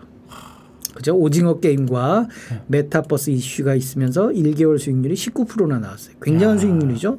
예, 주식으로 19% 벌기 쉽지 않잖아요. 그쵸. 예, 그러면 구성 종목을 한번 볼까요? 예, 웹툰 드라마. 잠깐만요. 예. 밑으로 내리면 이제 이렇게 올랐네요. 그렇죠. 구성 종목을 보면 아 CJ ENM 그렇죠. 네이버, 스튜디오 드래곤, 카카오, 제이 컨텐트리, 초록뱀 미디어 다 제작과 관련된 이런 기업들이죠. 초록뱀 아직도 있네요. 네, 그래서 어, 이런 기업들이 최근에 그런 K 컨텐츠 예. 어, 오징어 게임과 마이네임 이슈로 있으면서 이렇게 주가가 급등세를 너무 보여준 추워요. 예, 그런 측면들. 어떤 색깔, 색깔이 너무 추워요. 아 오늘은 좀 내렸지만 메이플 스토리 지금 10, 19% 빠졌어요. 예, 19% 19% 빠졌으면 메이크 메이 이 A 스토리는 19% 빠졌지만 비중이 4%밖에 안 되잖아요. 그러면 그 19% 빠져봐야 어, 1%도 안 빠지는 거죠. ETF는. 근데 이거 1%도 안 빠지고 1%도 뭐 안 오르고 할 거면 그냥 빼는 게 낫지 않나요? 어 그, 그렇지만 이게 규정상 10종목 이상을 담도록 아, 되어 있어요. 아, 억지로 넣- 억지로 넣었을 수 그리고. 만약에 A 스토리가 빠지면 카카오라든지 스튜디오 드래곤의 비중이 더 올라가겠죠. 예. 음. 그럼 부담이 더 커지는 거예요. ETF의 장점은 이 4%를 보유했지만 그래도 이런 애들이 있어서 CJ ENM의 비중이 14%밖에 안 되는 거예요. 음. 만약에 이 4%가 없으면 CJ ENM이 20% 30%면 개별 종목처럼 리스크가 커지는 거죠. 음. 그러니까 전반적인 웹툰과 드라마 제작사의 어, 평균적인 그런 주가를 보되 이왕이면 CJ ENM, 네이버, 스튜디오 드래곤, 카카오의 비중이 좀 더 높으니 이 종목의 주가 변동성이 조금 더 영향을 받는 거죠. 오늘 보시면 CJ ENM, 네이버, 뭐 스튜디오 드래곤, 카카오가 상대적으로 밑에 있는 종목보다 선방했죠. 네. 대형주들이에요. 대형주들은 약세장에서도 상대적으로 선방하거든요. 그렇기 때문에 이 ETF는 그렇게 많이 안 빠졌을 수 있는 거예요. 네. 근데 어. J 컨텐츠나 만약에 A 스토리를 내가 개별주를 샀으면 더 많이 손해를 볼 수 있는 거죠. 오늘 몇 프로 빠졌는지 위에 한번 볼까요? 네, 3.44%. 아, 많이 빠졌네, 많이 빠졌어요. 많이 빠졌지만 밑에 있는 개별 종목들보다는 덜 빠지는 거죠. 음, 영향을 그죠? 별로 못 줬네요. 예, J 컨텐트리보다 덜 빠졌잖아요. 이름이 뉴예요. 예, 뉴. 예, NE, NEW. 이름이 예, 뉴 드라마 뉴 회사가 제작사. 아, 드라마 그래요? 제작사. 네. 예. 이게 이제 디즈니 플러스라고 어, OTT 있죠. 예, 넷플릭스와 함께 디즈니 플러스가 한국에 상륙한다고 그래요. 음. 그래서 한국에 상륙하면서 관련 컨텐츠 산업들의 어떤 주가 상승세가 최근에 많이 이어졌거든요. 네. 근데 이제 이런 흐름들이 항상 오를 수는 없거든요. 그러니까 오늘 내가 NEW를 만약에 보유했으면 7% 빠지는 건데 ETF를 샀기 때문에 4%도 안 빠진 거예요. 스튜디오 드래곤보다 덜 빠졌잖아요. 오늘 따지고 보면 스튜디오 드래곤이 3.77% 빠졌는데 아. 얘는 3.한 4, 5% 빠졌으니까 상대적으로 덜 빠진다. 덜 빠지는 매력이 굉장히 좋은 거죠. 이것도 CJ ENM 드라마 사업본부 그렇죠. 물적 분할을 한 거죠. 음. 그래서 OTT가 이제 새로운 이슈들이 많이 되다 보니까 관련 기업들이 어, 강한 상승 모멘텀을 가져줬는데 오늘은 조정을 많이 보여주는 그런 하루였나 보네요. 음. 그래서 우리가 이 재밌잖아요. 웹툰이나 드라마 관련해서 투자를 하고 싶은데 뭔 종목을 사지? 어 그래. 차라리 난 그냥 ETF를 살 거야. 이렇게 판단할 수 있다는 거죠. 우리 그 아, 럭셔리라고 한번 쳐볼래요? 럭셔리. 럭셔리 럭셔리. 네. 럭셔리 어, 럭셔리. 럭셔리 질이라고 아세요? 네? 럭셔리 질 럭셔리 질은 뭐죠? 사람 이름이에요. 럭셔리 질. 아 그런 사람이 있어요? 예. 어 그래요. 어 이게 이제 글로벌 럭셔리 S&P라고요. 한번 보실래요? 강남을 주- 예. 꽉 쥐고 있는 조폭입니다. 아 그러세요? 네. 한번 만나보고 싶네요. 못 만나요. 아 왜요? 창작 창작 캐릭터라. 아 그래요. 네. 여기 보면 속았어요. 여기 보면 S&P 글로벌 럭셔리 인덱스예요. 예. S&P는 미국의 지수죠. 스탠다드 앤 푸어스의 글로벌 럭셔리 인덱스 지수를 추종하는 유형을 보면 해외 주식형이라고 돼 있어요. 어, 해외 주식형. 그러니까 국내 주식형이 아닌 거잖아. 예. 그러면 15.4% 세금 내잖아. 예. 이런 건 어디에? 연금 계좌에. 연결되죠. 시가총액이 546억이에요. 예. 그러면 상장 폐지와 무관하다. 무관하다. 그렇죠. 50억 50억만 보면 되겠네요. 그렇죠. 50억보다는 좀 보통은 다 높, 높죠. 높게 50억 한 100억 이상 정도. 100억 을 한번 봐- 봐서 100억보다 높으면 뭐 그냥 네. 캐캐캐캐. 그렇지. 상장 폐지 없어. 이렇게 보시면 되겠죠. 그래서 18,580원에서 11,760원. 어, 돋보이는데요? 연수익률이 45%. 럭셔리질 미쳤는데요? 럭셔리는 뭘 포함하고 있겠어요? 굿즈. 그렇죠. 루이비통. 이런 흐름 럭셔리, 봐봐요. 럭셔리 흐름, 산업이 흐름 봐봐요. 어, 쭉쭉쭉 올라가고 있어요. 쭉쭉쭉. 네. 그냥 왜냐면 구두가 됐어요, 이렇게. 예, 가방백을 계속 올려도 산다는 거죠. 아. 왜 사는 걸까요? 중토봉을 한번 볼까요? 비싸도 사는 거죠. 루이비통 계리율이. 계리율이 한 1.5% 벌어졌다는 거죠. 네. 그건 뭐냐? 실제 가격보다 1.5% 정도 비싸다는 거죠. 약간 좀 버블이 있는 거죠. 예, 인기가 있으니까 이래요. 요새 LP라고 있잖아요. 예. LP는 뭘까요? Liquidity Provider. 어. 유동성 공급자. 뭐냐면 매수와 매도 간의 격차가 세게 벌어졌어요. 예. 그러면 매매가 안 되잖아요. 예. 사고 싶은 애는 18,400원에 걸어놓고 팔고 싶은 애는 18,800원에 걸어놓고 상상 안 돼요. 400원 거래가 안 돼요. 이럴 때 LP가 들어와요. 예. 리코더티 프로바이더가 18,500원, 18,500뭐 얼마 이런 아시겠습니까? 식으로 딱 들어와요. 네. 그러면서 채, 100주 이상 주문을 딱 걸어줘요. 예. 그러면서 이렇게 체결이 되는 거예요. 그래서 LP가 중간에서 역할을 하면서 거래가 이루어진 거죠. 지금 짜증 나신 분도 계세요. 아, 그거는 이제 이렇게 아무래도 이제 그 뭐 거래가 잘 안 되거나 이러면 뭐 그렇게 하소연하시는 거죠. 네. 그래서 여기 NAV 한번 볼까요? 괴리율이 얼만큼 벌어졌나요? NAV가 어, 안 보이네요. NA가 됐어요. 왜 NAV가. 이게 노 앤서거든요? 예. 왜 그럴까요? V가 없어서 그런 거일까요? 이게 미국 시장에서 거래되거나 유럽에서 거래되잖아요. 어, 예. 근데 지금은 아직 미국이나 유럽장이 열리기 전이잖아요. 예. 그러니까 이 NAV 가치가 안 나오는 거죠. 음. 그런데 봐봐요. 어 계속 1개월 수익률도 한 2%대 되고 예. 뭐 그렇게 되는 거죠. 1년 수익률은 한 45% 정도. 6개월 이후부터는 그냥 고만고만했네요. 사실은 뭐 그냥. 그렇죠. 고만고만. 많이 올라왔으니까. 한 개, 한 개. 예, 그러니까 뭐 6개월 전에가 좀 많이 좀 여자분들에게 올랐고. 이런 말씀을 드리고 싶네요. 예. 어, 구찌백을 사느니 글로벌 럭셔리 S&P를 좀 관심 가져라. 오. 예, 내가 구찌 사는 것처럼 18,520원에 구찌 회사 뭐 루이비통 회사를 선택을 하는 거니까. 근데 구찌 좋은 모델, 음. 인기 있는 모델을 어, 백화점 오픈런을 달려가지고 네. 사면은 잘 보관하면은 더 비싸게 팔 수도 있잖아요. 그래서 요즘 그 이제 이 명품이 인플레이션 해지 기능들을 해요. 네. 그러니까 인플레이션이 연 한 3% 정도 이야기를 하는데요. 네. 어 구찌나 루이비통 가격이 연 3% 이상 가격을 올려버리니까 예. 어 가지고 있으면 이게 인플레이션 해지가 된다는 그런 어떤 이슈들 때문에 많이들 이제 명품들을 구매하시고 또 명품샵에 이제 줄 서서 있는 거잖아요. 네. 그래서 뭐 시리얼로 뭐 좋은 것들이거나 뭐 희귀 상품들은 막 리셀해서 크게 수익을 내는 거죠. 네. 합성이라는 걸 한번 쳐보실래요? 합성? 네. 아 여기 합성이라고 써 있네요. 합성은 뭘까요? 합성 의류, 응? 합성 피업, 합성 뭐, 옷, 합성. 합성은 뭐냐면 증권사에서 운용하는 거예요. 음. 자산운용사에서 ETF 펀드를 운용하잖아요. 네. 합성은 증권사가 운영해요. 합성이요? 예. 왜 합성 아니요? 합성? 합성, 합성이라고 써 있는 거예요. 그래프가 합성인가? 아니에요. 그러니까 운용을 증권사에서 운영하면 합성이라고 표현을 하는 거예요. 어. 그래서 밑에 쭉 내려 보실래요? 구성 종목에 보면 예. 수압이라고 써 있죠.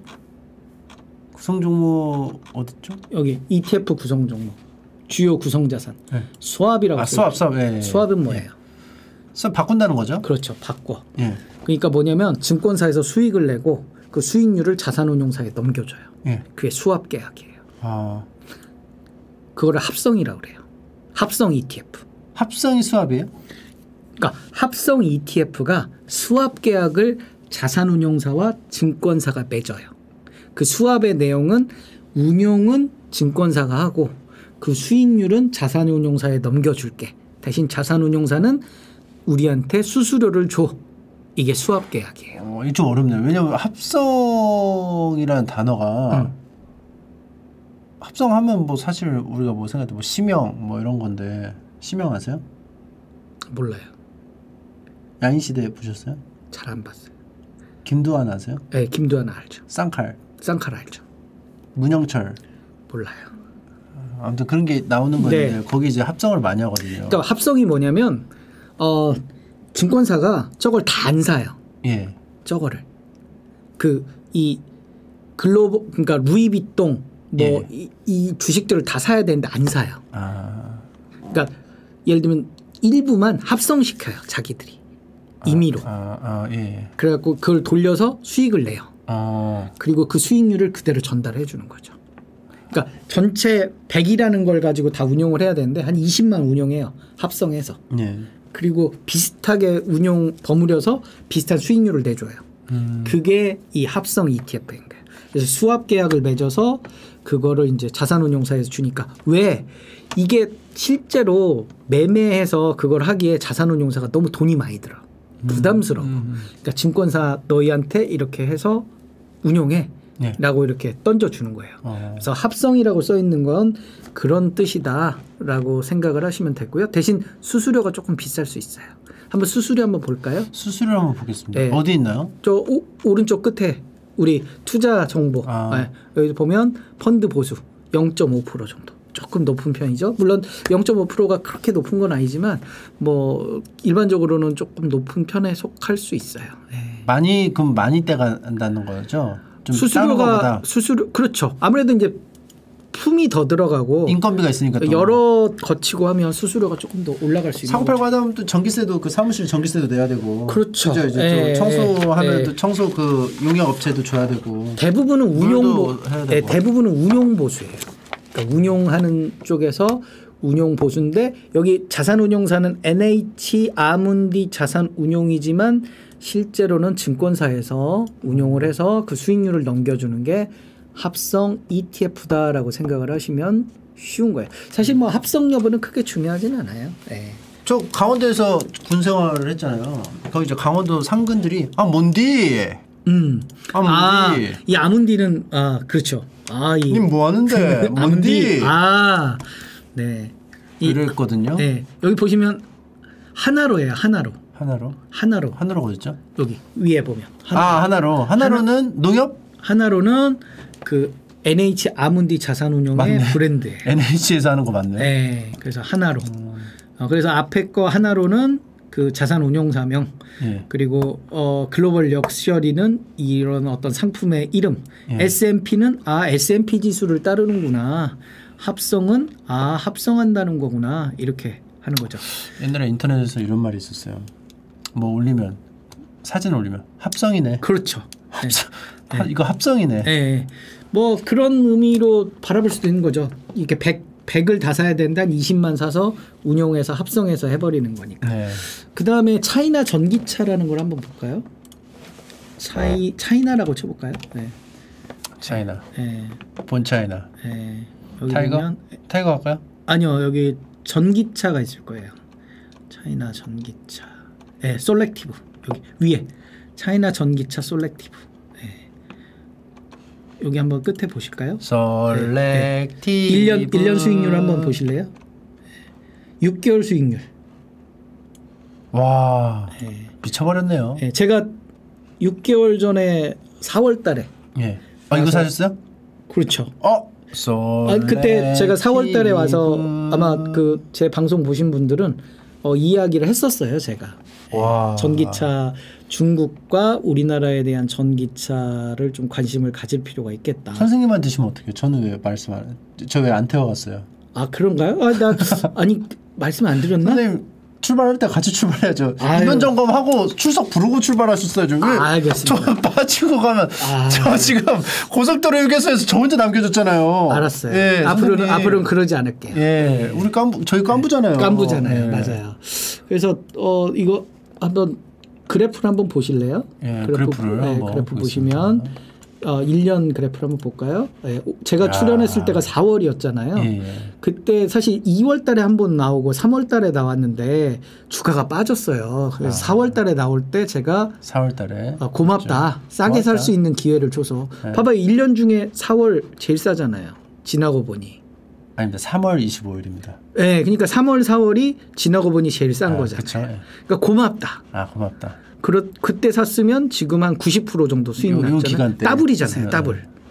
그죠? 예, 6개월 사이에 더블이니까 이런 측면에서는 우리가 좀 어, 이렇게 오히려 ETF 이렇게 빠졌을 때 고맙다. 예. 어. 우리가 어, 10% 20% 마이너스 됐을 때마다 ETF잖아요. 이게 진짜 고마워 버리네. 이게 진짜 고마운 적은 거- 별로 없었던 것 같은데 이게 실- 진짜 고마워져 버렸네요. 그렇죠. 어. 그러니까 우리가 그렇게 하락을 했을 때 예. 손절매할 게 아니라 ETF라면 좀 더 공격적으로 투자해보자. 우리 그 이말년 선생님이 사신 ETF 2차 전지라고 한번 쳐볼까요? 음, 그럴까요? 2차 전지. 제가 산 거, 제가 지금 아직도 보유하고 있습니다. 제가 한 2천만 원 가량 갖고 있을 예, 거예요. 예. 음.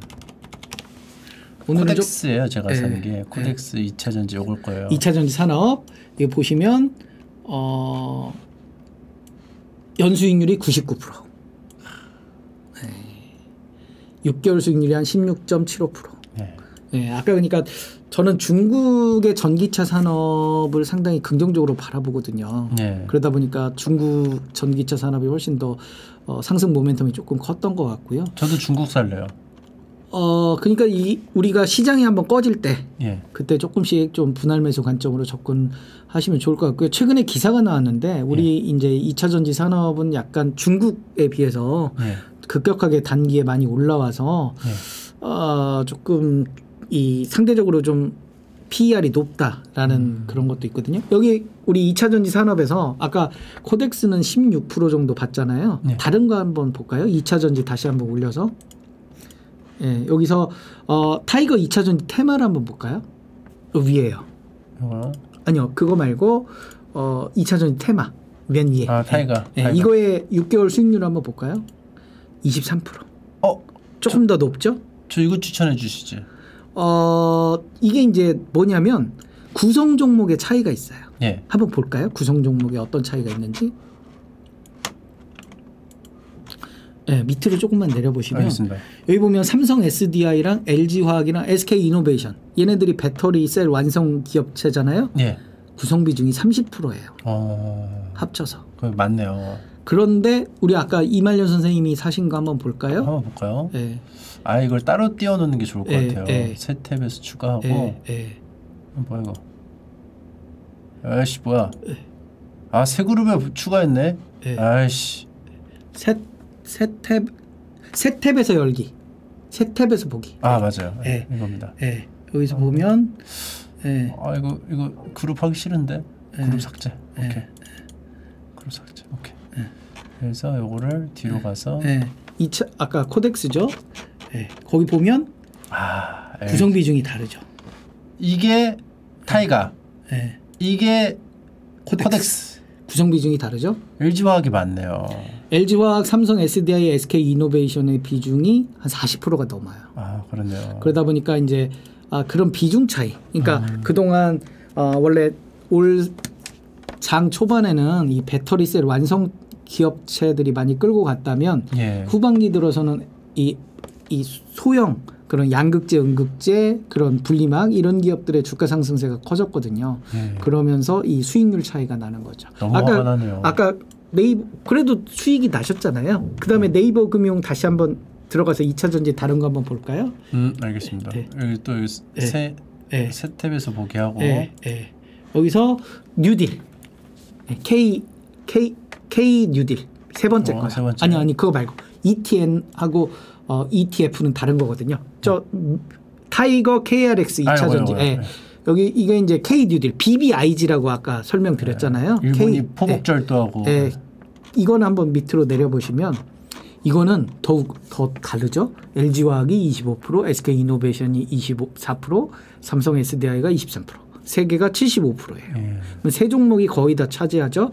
오른쪽에 어떤 이 수익률을 보면 6개월 어? 수익률이 아 이거 73%. 6개월이 별로 안 되네. 예. 안 하기 잘했다. 그러니까 K뉴딜 안 하기 잘했네요. 아니 아니죠. 이게 꼭 얘가 꼭뭐 상대적으로 예. 어, 지금은 이렇지만 앞으로 수익률은 또 모르는 거예요. 음.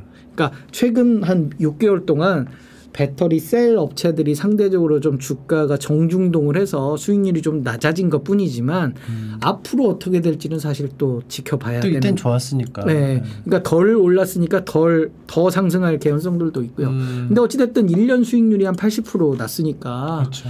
우리가 그 야, 뚝 올라갔네 뚝. 그렇죠. 무슨 하롱베이 그거 네. 네, 네. 그러니까 우리가 이제 어찌됐든 이렇게 주가가 빠질 때마다 좀 긍정적인 모멘텀으로 바라보는 게 어떻겠느냐. ETF잖냐. 네. ETF가 하락할 때마다 고맙다.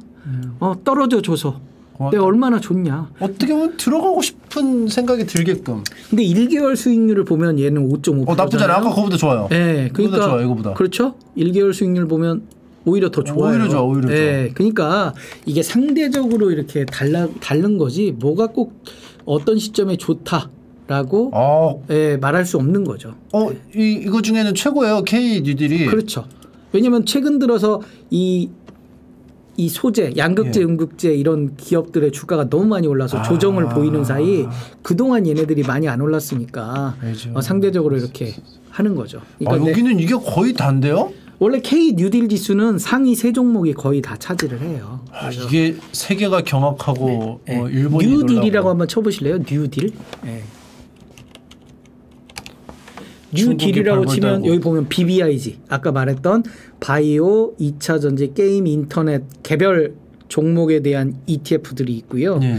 BBIG는 이 바이오, 2차 전지, 게임, 인터넷 중에 상위 세 종목들을 음. 모아놓으면 12종목이 되잖아요. 예. 그 12종목을 모아놓은 게 BBIG K 뉴딜이에요. 그래서 우리가 어, BBIG K 뉴딜은 그 BBIG의 가장 상위 종목들. 최근 들어서 이제 다시 주- 복구를 좀 했네요. 주식 시장이 이제 좀 횡보를 보이고 좀 조정을 보이면서 음. 이렇게 이제 손해가 조금 최근 들어서 나는 거죠. 음. 예, 그래서 어, 이렇게 금리 상승 시기 그리고 테이퍼링 이슈들이 벌어지면서 우리가 조금 에, 그동안 성장주들이 좀 조정을 보이는 그런 흐름들을 보여주는 거죠. 그래서 저 바이오 기업들 바이오 K 뉴딜 한번 보실래요? 바이오? 예, 바이오 보시면 밑으로 내리시면 어 하롱베이가 아 이건 이제 하루 하루의 흐름이니까요. 예. 네. 한 1년 보시면 또 다를 수 있어요. 네. 그러니까 바이오 기업들이 최근에 많이 좀 조정을 보이고 있거든요. 예. 그런 어, 공매도 이슈들도 좀 있고 시장이 하락하면서 아무래도 어, 버블이 많이 껴있는 섹터들이 바이오다 보니까 이런 부분들이 조정을 많이 보여주거든요. 아니, 반대로 마, 이제 마리아나 해구가 예, 반대로 이제 강세장을 갈 땐 또 상승 흐름을 보여줄 수도 있기 때문에 예, 어떤 이렇게 항상 이렇게 손해 보는 것들이 앞으로 계속 손해 볼 거냐 그런 부분들은 또 아니기 때문에 그렇죠. 우리가 좀 지켜볼 필요가 있고요. 어, 일단 구성 예, 구성 종목들 한번 보실래요? 구성 종목들 보시면 바이오 기업들의 대장주들이 많이 담고 있어요. 음, 셀트리온. 네, 삼성 바이오로 셀트리온이 최근 들어서 많이 내렸잖아요. 그런 부분들이 좀 반영을 아무래도 보이는 그런 이슈들이 있는 거예요. 셀트리온 한번 봐도 될까요? 네. 셀트리온이 한 어. 하롱베이가 되네. 이 하롱베이 이 셀트리온 영향이 크네요. 전 전반적으로 바이오가 다 이렇게 됐나 봐요. 그렇죠. 25% 정도 저기 반영 비중이 있으니까. 공매도 때문에 그런 건가요? 어 아무래도 이제 셀트리온이 최근 들어서 치료제 이슈로 많이 올랐거든요. 예. 그러니까 어, 코로나 19 치료제에 대한 어떤 기대감이 주가가 한 40만 원대까지 올랐는데 어, 오히려 이제 외국에서 치료제들이 나오면서 그런 부분들이 약간 실망 매물로 좀 나온 그런 이슈들이 조금 있지 않나라는 생각이 들어요. 어 기대감이 쫙 올라갔다가 슬슬슬슬슬슬슬슬슬 어뭐 한다고 쓱 올라갔다 슬슬슬슬 계속 슬슬슬 바이오 기업들의 특징이 그래요. 별거 없으면 슬슬슬 그렇죠. 하겠네요. 계속 그렇죠. 슬슬 슬. 그러니까 어떤 모멘텀이 있어야 되는 거죠. 모멘텀이 있어야만 한 번씩 급등을 하고 또 조정을 하면서 이렇게 가는데 어떤 이벤트가 없으면 이렇게 흘러내리는 거죠. 음. 이 거래량도 같이 보면 좋은데 거래량 밑에 보시면 네. 어, 주가가 흘러내릴 때는 거래량이 거의 없어요. 아 그러네요. 예. 예. 그러면서 어, 오히려 상승할 때 거래량이 한 번씩 터지는 거고요. 이것도 이게 이 큰 걸 봐서 그렇지 여기도 엄청난 폭이었다는 거잖아요. 그죠? 이때 당시. 그렇죠. 그 당시만 그러니까 쪼개 보면 또 지금 이니 하고 올라간 건데. 그렇죠. 예. 그러니까 어, 그동안 사실 셀트리온은 굉장히 충성 그런 투자자들이 많았어요. 음. 왜냐하면 장기간 상승하는 흐름을 보여줬고 매년 또 주식 배당을 해주거든요. 예. 그래서 주식 배당을 하고 그 부분에 대해서 또 배당받고 이런 부분들이 충성 그런 어떤 투자자들이 많았는데 최근 들어서 이렇게 주가 조정을 좀 세게 하면서 셀트리온에 대한 좀 어, 약간 이 부정적인 그런 투자자들도 조금 늘어나는 안타까운 상황이긴 한 거죠. 셀트리온. 그래서 우리가 어, 기본적으로 저는 이 개별 바이오 종목을 사는 것보다는 예. ETF 특히 그 바이오 섹터는 ETF를 좀 강조를 드리고 싶어요. 덜 내린다. 예. 그리고 리스크가 아, 좀 완화된다. 우리가 대표적인 바이오 어, 좀 소위 먹튀라고 해야 되나요? 기업이 아. 신라젠, 신라젠. 신라제. 예, 신라젠이 지금 거래가 되는지 모르겠어요. 안 될 아직은 안 되지 않나요? 예, 여기 10년 차트를 한번 보시면 예, 어마무시하죠. 15만 심정지가 왔어요. 예. 이. 야, 이게 거래 정지가 됐어요. 삐. 예, 상장 폐지 우려감이 있으면서 아. 어 이게 임상을 한참 하다가 임상을 관뒀어요. 그러면서 아이고. 어, 이게 이제 미국 어떡해. 뭐 미국 진출한다 뭐 이런 얘기까지 있었는데 이게 15만 2,300원에 산 사람들도 있을 거잖아요.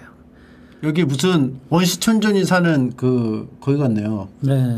그러니까 15만 2,300원에 샀는데 지금 12,100원이니까 네. 10분의 1 토막도 안 돼요. 그러면 1,000만 원 샀으면 지금 100만 원도 안 되거든요. 음. 이런 우울한 상황을 ETF로 만약에 투자했으면 10분의 1 토막이 될까요? 안 될 거예요. 그러니까 바이오 기업 일수록 헬스케어, 바이오 이게 거의 구성 종목들이 비슷하거든요. 예. 그렇다라고 하면 저는 바이오 기업들은 웬만하면 ETF 중심으로 해서 좀 덜 오르는 측면도 있지만 그래도 이렇게 대세 상승은 가거든요. 또 강세장에서 가장 화끈한 게 바이오니까 바이오를 ETF 중심으로 가는 게 어떻겠느냐 뭐 이런 생각들을 좀 드리고 싶어요. 예. 아이고 이거 그러니까- 진짜 안타깝네요. 이거 투자하신 분들 많을 텐데. 그렇죠. 예. 그러니까 사실 신라젠이 어, 몇 년 전만 하더라도 가장 뜨거웠던 종목이에요. 2018년이니까 얼마 안 되잖아요. 그렇죠. 그래서 화려했던 그런 흐름을 이어가다가 저 이런 것도 모르고 살았네요. 이런 게 있었는지. 예, 근데 이제 이렇게 되면서 좀 이게 이제 좀 속상함이 있는 거죠. 그래서 우리가 바이오 기업들의 따뜻 이렇게 뜨거운 화끈함 이런 것만 노리고 투자를 하는데 어, 사실은 좀 조심해야 될 구간이다. 밑으로 한번 내려보실래요? 네. 밑으로 내리, 내려보시면 실적 한번 보세요. 어. 영업이익, 당기 순이, 적자가 굉장히 누적이 많이 되어 있잖아요. 예, 예. 예. 이런 사실 이런 재무제표만을 보고 우리가 공격적으로 투자할 수 있을 거냐 사실 고민스러워요. 저는 개인적으로 이렇게 빨간색이 보이는 종목들은 아예 분석을 안 해요. 영업 이익률 보세요. 예. 손해인 거죠. 20만. 예. 예. 아니 이 이런 기업들은 기본적으로 완제품이 나와야 돼요. 네. 완제품이 나와야 매출이 발생되는데 그, 그 오랜 기간에 이렇게 적자를 유지하면서 가는 거거든요. 네. 적자를 유지하면서 가는 게 과연 버틸 수 있느냐. 막 맞아가면서 앞으로 조금씩 가는 건데 네. 도착을 못하면 그냥 맞은 채로 그냥 그러니까 죽어버리는 거죠. 단기 순이 순손실이 천억이 났어요. 천억을 메꿔야 되잖아요. 네. 그러면 천억을 어떻게 메꾸겠어요? 결국 투자자한테 돈 벌리거나 어디서 대출 받거나 해야 되는데 대출도 뭔가 대출 받을 건덕지가 있어야 되잖아요. 저렇게 계속 적자가 나는데 내가 사야 될 거냐? 자 적자인데 시가총액 한번 볼까요? 아까 막 1조 이러던데요? 그렇죠. 시가총액이 1조예요. 그러면 옛날에 10조가 넘었다는 얘기잖아요. 그죠. 근데도 지금 1조예요. 적자가 이렇게 심한데. 사실 어 기업 가치 그런 어떤 수익성 측면에서는 상당히 계산하기 쉽지 않은 그런 상황이긴 해요. 음. 그렇게 해서 그렇기 때문에 이런 기업들을 담고 있는 섹터들은 웬만하면 좀 ETF로 해서 뭐 그래 덜 벌지만 그래도 안전하게 빠져나오는 게 어떻겠느냐라는 측면에서 좀 바라보는 게 좋을 것 같아요. 여기 CMO라고 있어요. CMO. 여기 CMO. CMO. 아까 그 기업 계열 한번 보실래요? 예. 여기 CMO. CMO는 어, 위탁 생산이에요. 음, 음. 그러니까 그 어떤 약을 이렇게 예를 들면 코로나 19 치료제를 아니면 백신을 여기서 만들어라. CMO, CMO가 이 위탁 생산 반도체로 치면 파운드리 같은 음. 그런 역할을 하는 게 CMO예요. 저 궁금한 게 있는데요. 신라젠이 신라젠이에요? 신라젠이에요? 어 처음 접하는 질문이라서 예. 보통은 이제 그냥 붙여서 있, 있죠 신라젠 이렇게 하나에 그냥 뭐 신라젠 이런 건 아니고 어 글쎄요 신라젠 뭔지는 한번 회사에 물어봐야 될것 라젠이 있었는데 뭐 또 만들어서 신라젠이 됐는지 그럴 수도 있겠는데요. 신라의 젠인지 예. 아, 앞에 말이 좀 더 설득력이 있을 것 같긴 해요. 제 생각에 신라젠 같아요 왜냐면은 예. 젠이 제네 제네레이션 뭐 그렇죠. 이런 뭐 예, 어떤 예. 뭐 의약품 뭐 예. 세대 뭐뭐 그런 뭐 제노베 뭐 이런 뭐 이런 뜻이라 신라 줄여서 신라젠이지 않을까? 여기 보면 관리 종목이라고 되어 있어요. 예. 오른쪽 기업 계획 옆에. 예. 관리 종목은 클릭이 안 되나? 예, 관리 아, 종목은 관리한다. 거래소가 관리한다. 군대로 치면 관심사병. 아. 관리 종목 하다가 1년 후에 어떤 그 악재 요소가 해소가 안 되면 상장 폐지. 어, 이렇게 가는 거죠. 알겠습니다. 현진 소재라고 한번 쳐볼래요? 현진 소재가 있나 지금? 여기는 왜 아직까지 와서 계속 달고 있어요? 주주니까 아니 이게 속상하니까 아니 이게 거래가 한 1년 가, 가까이 멈췄는 1년 넘게 멈췄는데 거래가 재개할 수 있잖아요. 근데 종토방에는 와가지고 계속 뭔가를 주주니까 음. 1조면 주주들이 엄청나게 지금 물려 있는 많으니까. 거예요. 그러니까 속상함도 있고 거의 카페네요 카페. 예, 거기에 이제 서로 이제 의견도 교환하고 어떻게 대응할 것인가 뭐 이런 것도 하고 뭐 음. 그런 거죠. 그래서 사실은 어 우리가 주식 투자하면서 이렇게 상장 폐지를 당하거나 아니면 이런 우울함이 있다는 게 저는 굉장히 힘들더라고요. 예. 예, 그러니까 화끈함은 있는데 잘못하면 큰 손해를 볼 수 있기 때문에 그런 측면에서 좀 고민해 볼 수 있는 그런 이슈들이 아닌가 싶어요. 시- 현진 소재라고 한번 쳐보실래요? 아 아직 살아 있네요. 저 선생님 그 네. 질문이 있는데요. 네. 지금 몇 단계예요? 아, 이 2단계입니다. 아, 2단계요. 네 네. 현진 소재 한번 10년 한번 그걸 볼래요? 여기도 관리 종목이죠? 어. 쭉 봐봐요. 162원. 아, 이거는 뭐 중간에 멈춘 게 아니고 그냥 0으로 가버렸네요. 예. 아니요, 지금 거래가 정지가 됐으니까. 아, 162원이네요. 예. 그래도 이것도 213억 원이 있어요. 예, 시가총액. 밑으로 한번 내려보실래요? 예. 이 의견 거절이라고 되어 있죠? 음, 아, 그러네요. 예, 감사 의견을 거절하겠다. 예. 너네 회계장부를 우리 확인할 수가 없어. 라는 거죠. 의견 승낙을 받아야 되나요? 아니요, 그냥 감사 보고서를 이렇게 주면 그거는 이렇게 오케이인 거예요. 음, 근데 의견을 거절하면 상장 폐지 사유가 돼요. 음, 그래서 아까 그 저기 앞 앞으로 한번 넘어가 보시면 네. 밑으로 좀 내려 보실래요? 예, 여기도 그렇죠. 아이고. 적자가 예. 이렇기 때문에 투자가 쉽지 않은 거죠. 피바람이. 예. 그래서 우리가 2단계 구성 종목까지 봤고요. 그다음에 이제 아까 ETF로 넘어가서 세 번째 단계는 3년간의 차트 분석을 해보는 거예요. 음, 그래서 차, 예, 차트의 흐름 아까 우리 럭셔리 보면 꾸준하게 이렇게 상승하는 흐름들을 보고 IT ETF 같은 경우는 이렇게 반도체 상황에 따라서 이렇게 그래서 개별 종목의 어떤 아까 우리 바이오에서 보면 네. 셀트리온의 주가와 ETF의 주가를 이렇게 비교해서 이렇게 흐름도 한번 개별 종목과 어떤 차이가 나는지 이런 것들도 한번 분석을 해보는 게 아, 차트 분석. 그리고 네 번째로는 괴리율. 아까 NAV, Net Asset Value 우리 봤었죠. 네. 그래서 Net Asset Value와 실제 그 ETF 가격 간의 차이 이런 부분들을 아, 괴리율이라고 한다. 괴리율이 심하면 거래소는 공시를 통해서 괴리율이 심하다라는 걸 알려줘요. 그리고 괴리율이 심하면 시간이 지나면 괴리율은 원래의 가치인 NAV, Net Asset Value, 펀드의 기초 가격에 수렴하더라 라고 보는 거고요. 네. 그다음에 다섯 번째는 최근 3년간의 분배금을 봐요. 분배금. 예, 분배금은? 예, 분배금은 배당금이라고 하는데요. 이거는 네이버 포털에 잘 안 나와요. 세이브로라는 사이트를 한번 들어가 보실래요? 세이브로. 예, 한 네이버 포털에 세이브로라고 아니 여기 그냥 여기 네이버 금융에서 세이브로를 치시면 돼요. 예. 그래서 아니요. 그 메인 페이지. 그냥 네이버에서 세이브로. 예. 여기 보면 예탁원에서 운영하는 사이트인데요. 여기 ETF라고 위에 보이시죠? 예, 거기에서 ETF를 쳐보시고요. 여기 상단에 네. 그렇죠. 거기서 어, ETF 종합 오른 왼편에 ETF 권리 행사 정보 위에 예, 보면 분배금 지급 현황. 음. 예, 여기서 체크를 하셔서 각각의 분배금들을 우리가 언제 뭘 줬는지 확인해 보실 수 있는 거. 종 아까 소프트웨어 한번 아 우리 그 2차 전지 한번 아, 분배금? 어떻게 줬는지 한번 볼까요? 종목명 예. 코덱스 2차 전지 나와라. 여기 있네요. 예. 예. 기간은 한 3년 할까요? 예. 3년. 3년. 예. 조회. 조회. 예. 그러면 아 이렇게 나한테 어, 4월 1년, 30일마다 2년, 1년. 60원, 60원, 113원 이렇게 배당 분배금을 줬구나. 사실 60원이면 그렇게 많이 준 건 아니죠. 덴버껌 하나 사 먹고 10원 아, 아껴 놓을 수 있겠네요. 예, 60원. 다보탑 그려져 있는 거. 근데 고배당이라고 한번 쳐볼까요? 고배당? 아 부동산 인프라라고 한번 쳐볼까요? 거기에 아까 종목명에 여기다가요? 예.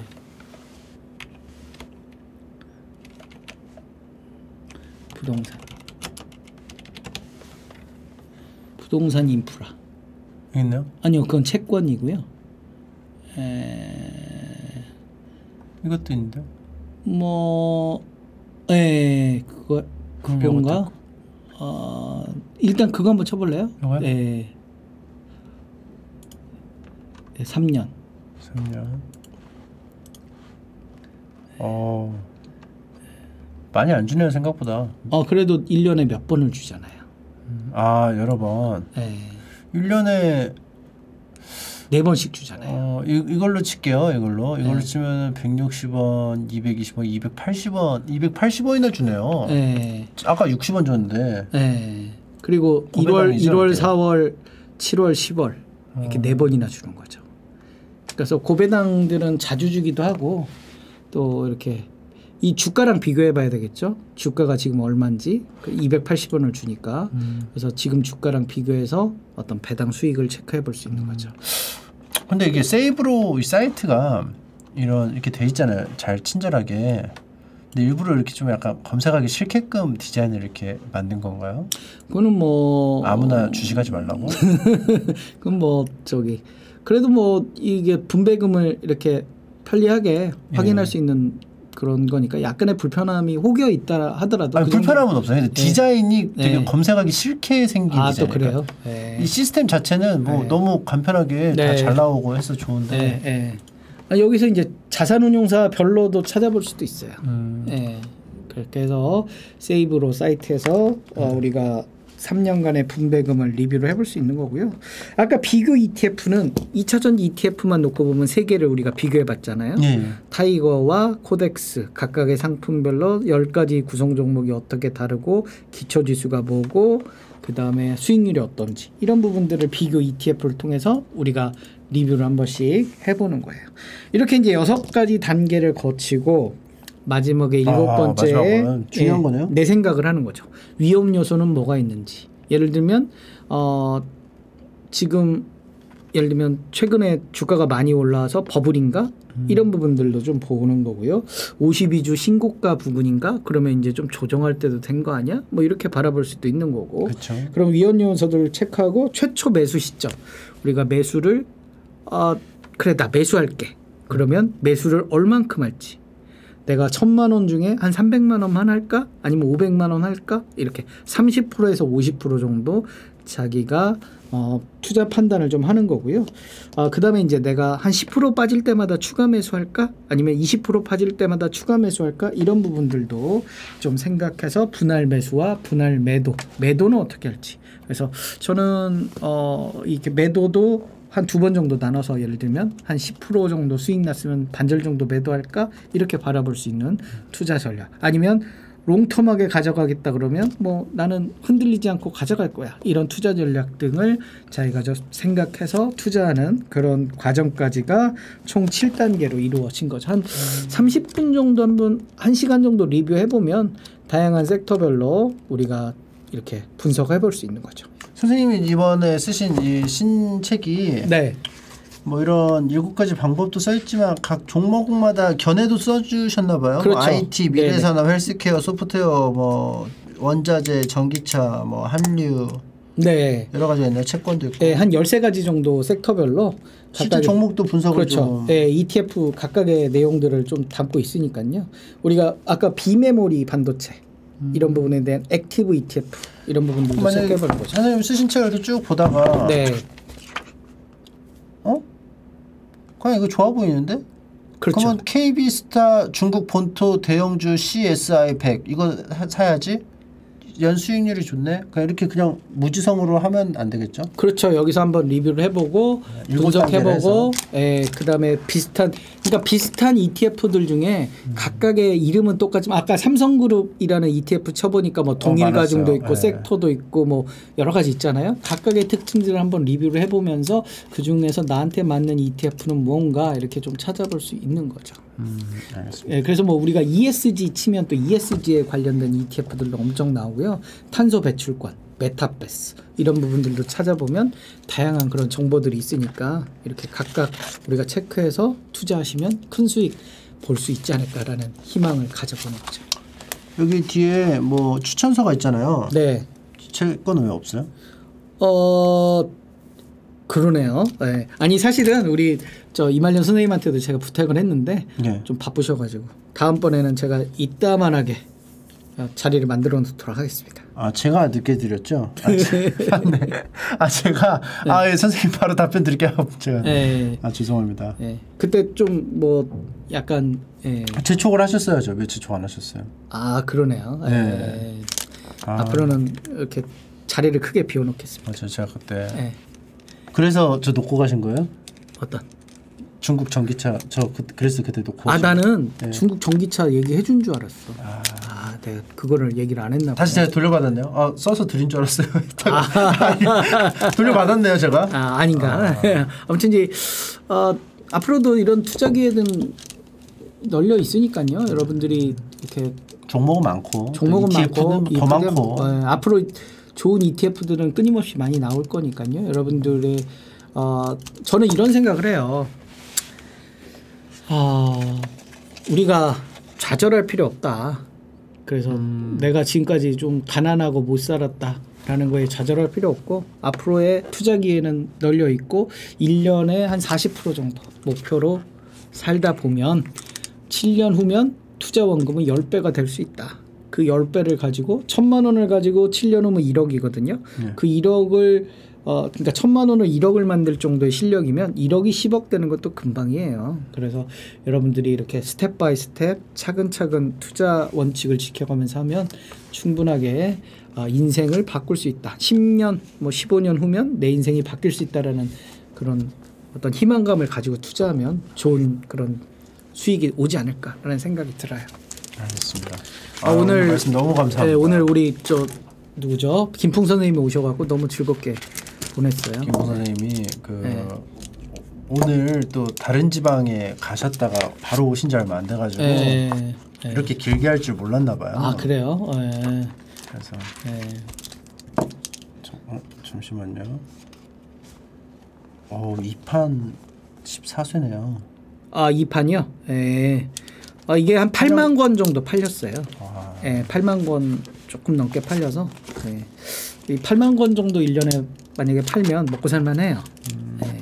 회사가 좀 출판사가 다르네요. 지금 잘 안 해줬나요 여기서? 아니 잘 해 줬어요. 아니 이게 뭐냐면 바뀌었죠? 아 계약을 이거를 저 따로 예전에 해놔 가지고 제가 이 출판사를 한번 바꿨거든요. 네. 그러니까 사실은 어, 여기는 미리 계약이 되어 있었고 길벗. 예, 길벗이 되어 있었고 이거는 비즈니스 북스. 예, 제가 기존에 다른 출판사에서 바꿔서 네. 어, 사실 이게 별개예요. 그리고 내년에는 제가 또 비즈니스 북스에서 한 권을 더 내야 돼요. 지금 음. 계약이 되어 있어서. 그럼 길벗이 좀 서운하지 않을까요?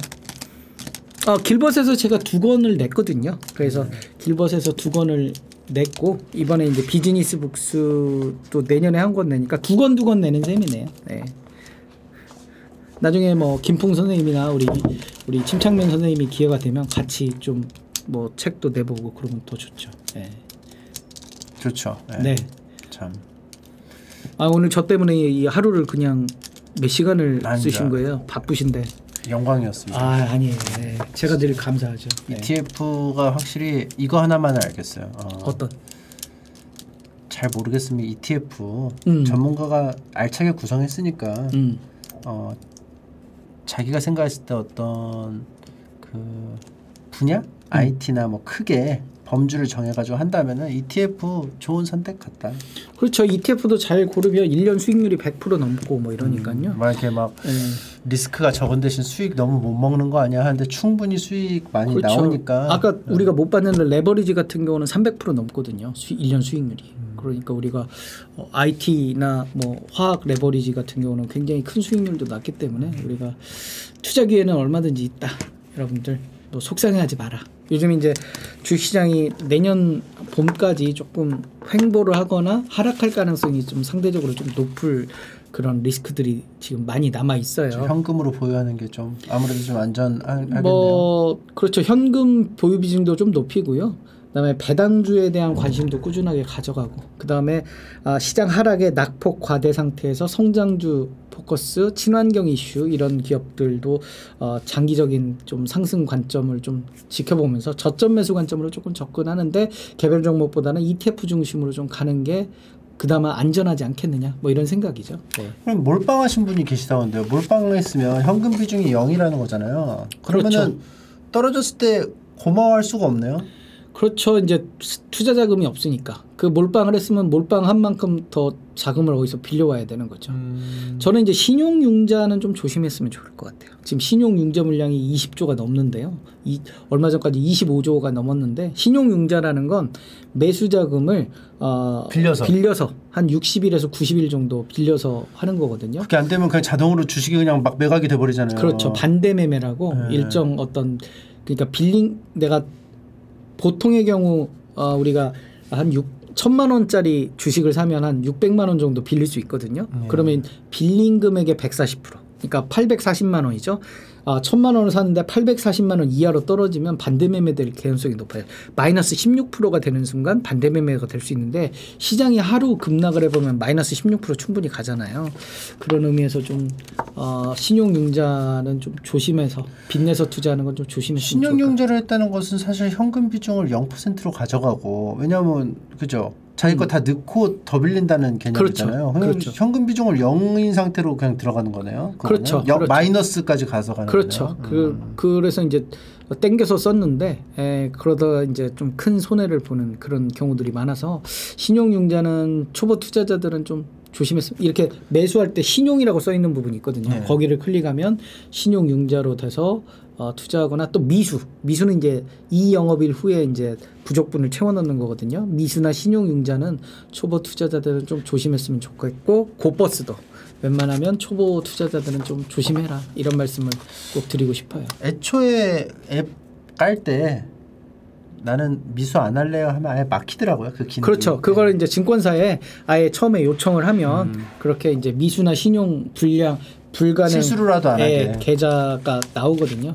그렇게 하면 좋을 것 같고요. 저는 마이너스 통장 같은 경우는 나쁘지 않다라고 생각을 해요. 마이너스 음. 한도를 늘려놓고 혹여 손해일 때마다 이 마이너스 통장 1년에 뭐 이자 한 3, 4% 되니까요. 2, 3% 되니까 마이너스 통장도 주- 오히려 신용 융자보다 좀 어, 활용 면에서는 나쁘지 않지 않나 이런 생각이 들어요.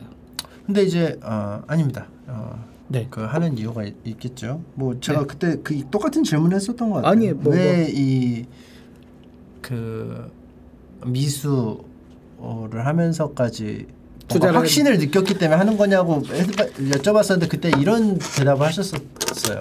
짧게 하고 하려고 했는데 그게 빼지 못하는 상황이 벌어져서 일단 그 당시에는 그러니까 우리가 이렇게 가장 큰 실수라는 게 이게 아닌데도 맞다 맞다 맞다 이렇게 자기가 계속 자기 이렇게 주문을 외다 보면 맞는 것처럼 보여요. 그러다가 음. 이제 이 손에 나고 나, 나다 보면 이제 내가 아는 거지. 아 실수했구나. 아. 근데 이미 이제 되돌리기 어려운 늦었고. 거죠. 예. 그래서 약간의 어떤 주식 투자도 중독성이 강하잖아요. 예. 그래서 중독성이 강하기 때문에 좀 긴 호흡으로 투자하는 습관. 이 아무래도 이제 신용융자나 미수를 하게 되면 조급해지거든요. 빨리 수익을 내야 되고 빨리 그걸 해야 되고 그러다 보니까 공격적인 그런 종목들 주가 급등한 종목에 많이 투자를 하면서 큰 손해를 볼 수도 있기 때문에 좀 조심하는 그런 투자 전략이 어떤가 싶어요. 아 내가 그 우리 우리 우리 이말년 선생님, 침착맨 선생님이랑 종목 예전에 우리가 2, 3, 4월 때 얘기할 때 차이나 이야기를 제가 어, 안 드렸다고 하면 이 자리에서 다시 사과드리겠습니다. 아, 네. 아닙니다. 저그 추천 안 하신 걸로 사과를 하실 필요가 전혀 없죠. 제가 그 자꾸 소인배처럼 아, 아니에요. 해서 예. 죄송한데 다음엔 데리고 가세요. 아 그럼요. 예, 우리가 꼭 같이 해서 큰 수익 나눠서 우리가 빌딩 사는 그날까지. 예. 예. 데리고 가셨는데 만약에 떨어지면 원망해도 되나요? 아, 이제- 아, 죄송합니다. 아, 네. 아, 이제- 그, 예. 아, 아, 그러지 않겠습니다. 아 그러면 이제 저기 아, 제가 맛있는 짬뽕 사겠습니다. 아, 알겠습니다. 예.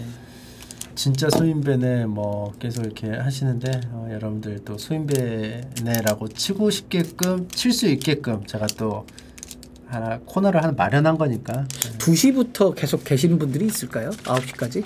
지금 8시 40분. 충분히 계실 수 있죠. 6시간 넘었는데요. 근데 오늘은 시청자분이 많아 가지고 아마 계시는 분들이 근데 계실 오늘은 거예요. 김풍 선생님이 초반에 많이 달려줘서 그런지 피로도가 별로 없어요. 아 저요? 아니면 저도 선생님요? 그렇고 아, 우리 이말년 선생님도 그렇고 지난번에는 우리가 상당히 이렇게 지쳐갔는데 오늘은 음. 그렇게 지친 게 우리 이말년 선생님도 그렇게 지쳐 보이지 김보. 선생님은 가짜예요 가짜. 가짜가 가짜. 뭐죠? 어 진짜인 것처럼 보이지만 네. 사실 길게 가지 못해요. 아 그래요? 네. 어. 아 나는 여기서 배운 몇 가지 단어들이 있는데요. 참교육. 참교육. 예, 우리 이말년 선생님을 어, 침착맨 선생님을 참교육 시켰다 했는데 사실 참교육이 뭔지 몰랐어요. 참교육이라면 네. 혼쭐을 낸다는 그니까. 예. 근데 내가 저기 어, 우리 끝까지 가서 음. 그냥 진절머리 나게 한 다음에 음. 그냥 스스로 깨닫게 하는 방법입니다. 네. 나중에 뭐 여행도 다니시고 그러시나요? 여행도 뭐 얼마 전에 이제 경주를 또 다녀왔습니다. 아, 다녀오셨어요? 아, 제가 또 선물을 안 사왔네요. 아니에요. 아니에요. 국내 여행은 안 사와도 되죠? 아 그럼요. 그래서 제가 원래 네. 라디오도 하고 그랬는데 네. 그 주변인들 선물 안 사왔어요. 아 잘하셨어요. 네. 한두 끝도 없어요. 네. 그래서 뭐 이렇게 여행도 사실 저는 여행 다니는 걸 되게 좋아했는데 이 코로나 때문에 사실 많이 아 섭섭민수라 그러는데 섭섭하지 않아요. 네. 어 섭섭하신 것 같은데요? 아니에요, 아니에요. 아니에요? 네. 이러, 이러다 또 섭섭민수로 또 이렇게 브랜드 또 지어지는 거 아닌가 모르겠어요. 섭섭민수로 이름 붙으면 섭섭하신가요? 아니 아니 하도 아, 안 섭섭 민수 아, 섭섭하다는 얘기가 딱 한 줄 나왔는데 그것만 읽으신 거 보니까 섭섭하신 것 아니 같은데 아니에요? 아니 뭐 서운 민수도 있고 안섭섭 민수도 있고 예. 아, 소민수도 있고 아 예, 어. 대단해요 이 우리 그 이 침투부에 계신 분들은 위치가 넘치시죠? 섬섬옥수도 있네 아, 섬섬옥수도 예, 읽어주시는 이, 이 내용들이 되게 이렇게 꿀팁이고 깨알 같아요 예. 아무튼 이- 저는 나온 유튜브 채널 중에 침착맨이 제일 즐거웠던 것 같아요 재밌고 내가 아 그렇게 하면 또 다른 채널 또 섭섭하잖아요. 아 또 섭섭이네요 아니 근데 재밌었던 채널 중에 하나다. 아 근데 이렇게 제가 아까 이렇게 모자도 쓰고 오고 아 우리 그 PD님이 선물해 주셔가지고 이거. 예. 아이 참 예. 이것도 선물로 아 근데 내가 선물을 아, 받은 선물 거- 받은 거라서? 선물 받은 네, 거라서 예. 다음에 우리 침착맨님을 위한 모자도 하나 이렇게 선물을 하도록 하겠습니다 이렇게. 이렇게 하는 건가? 이렇게 어. 예, 이렇게 이렇게 윗자리도 돌아다닐 것 같아 저도 이제 네. 그 shark 2대 shark인가요? 예. baby shark. 음. 예. 그래서 어 샤크 병건이라는데. 그리고 또 옷도 이게 이렇게 해가지고 네. 바다 위에 이렇게 저 잡아 예. 목만 물고 있는 것 같아요. 음. 그래서 어 오늘 사실은 그 우리 그 뭐라 그러죠? 이 추억의 게임 라떼는 말이야. 이거를 어 저는 고민을 많이 했어요. 내가 이거를 그리고 이거 아까 처음에 내가 써야 되나 말아야 되나도 아. 고민을 되게 많이 했고 근데 즐거움을 줄 수 있다면 그 뭐가 되든 이렇게 제가 할 수 있지 않을까 그런 생각이 들어서 야 근데 이렇게 장시간 또 기다려 주시니까 감사하네요. 네. 네, 참 오늘 너무 재밌었고 다음에 또 기회 되면 저 네. 게임 한번 가르쳐 주시면 네. 어, League of Legends 아 좋아요. 뭔지 모르지만 네. 가르쳐 주시면 알겠습니다. 게임 좋아하세요? 안 해봐서 안 모르, 아, 안안 해봐서 좋아하시- 모르겠어요. 저의 재능을. 근데 아까 내가 이거 해보니까 새로운 재능이 있네. 게임을 잘하시더라고요. 네, 아날로그 이렇게 재능이 있네. 그렇습니다. 네. 자 그러면은 다음에 또 한번 모시는 걸로. 하고 아이 저야 감사하죠. 늘 저희는 주시면 물러가겠습니다. 아, 예. 너, 어, 알찬 시간이 되셨는지 모르겠습니다. 그럼 가보겠습니다. 안녕. 아유 감사합니다 선생님. 감사합니다. 감사합니다.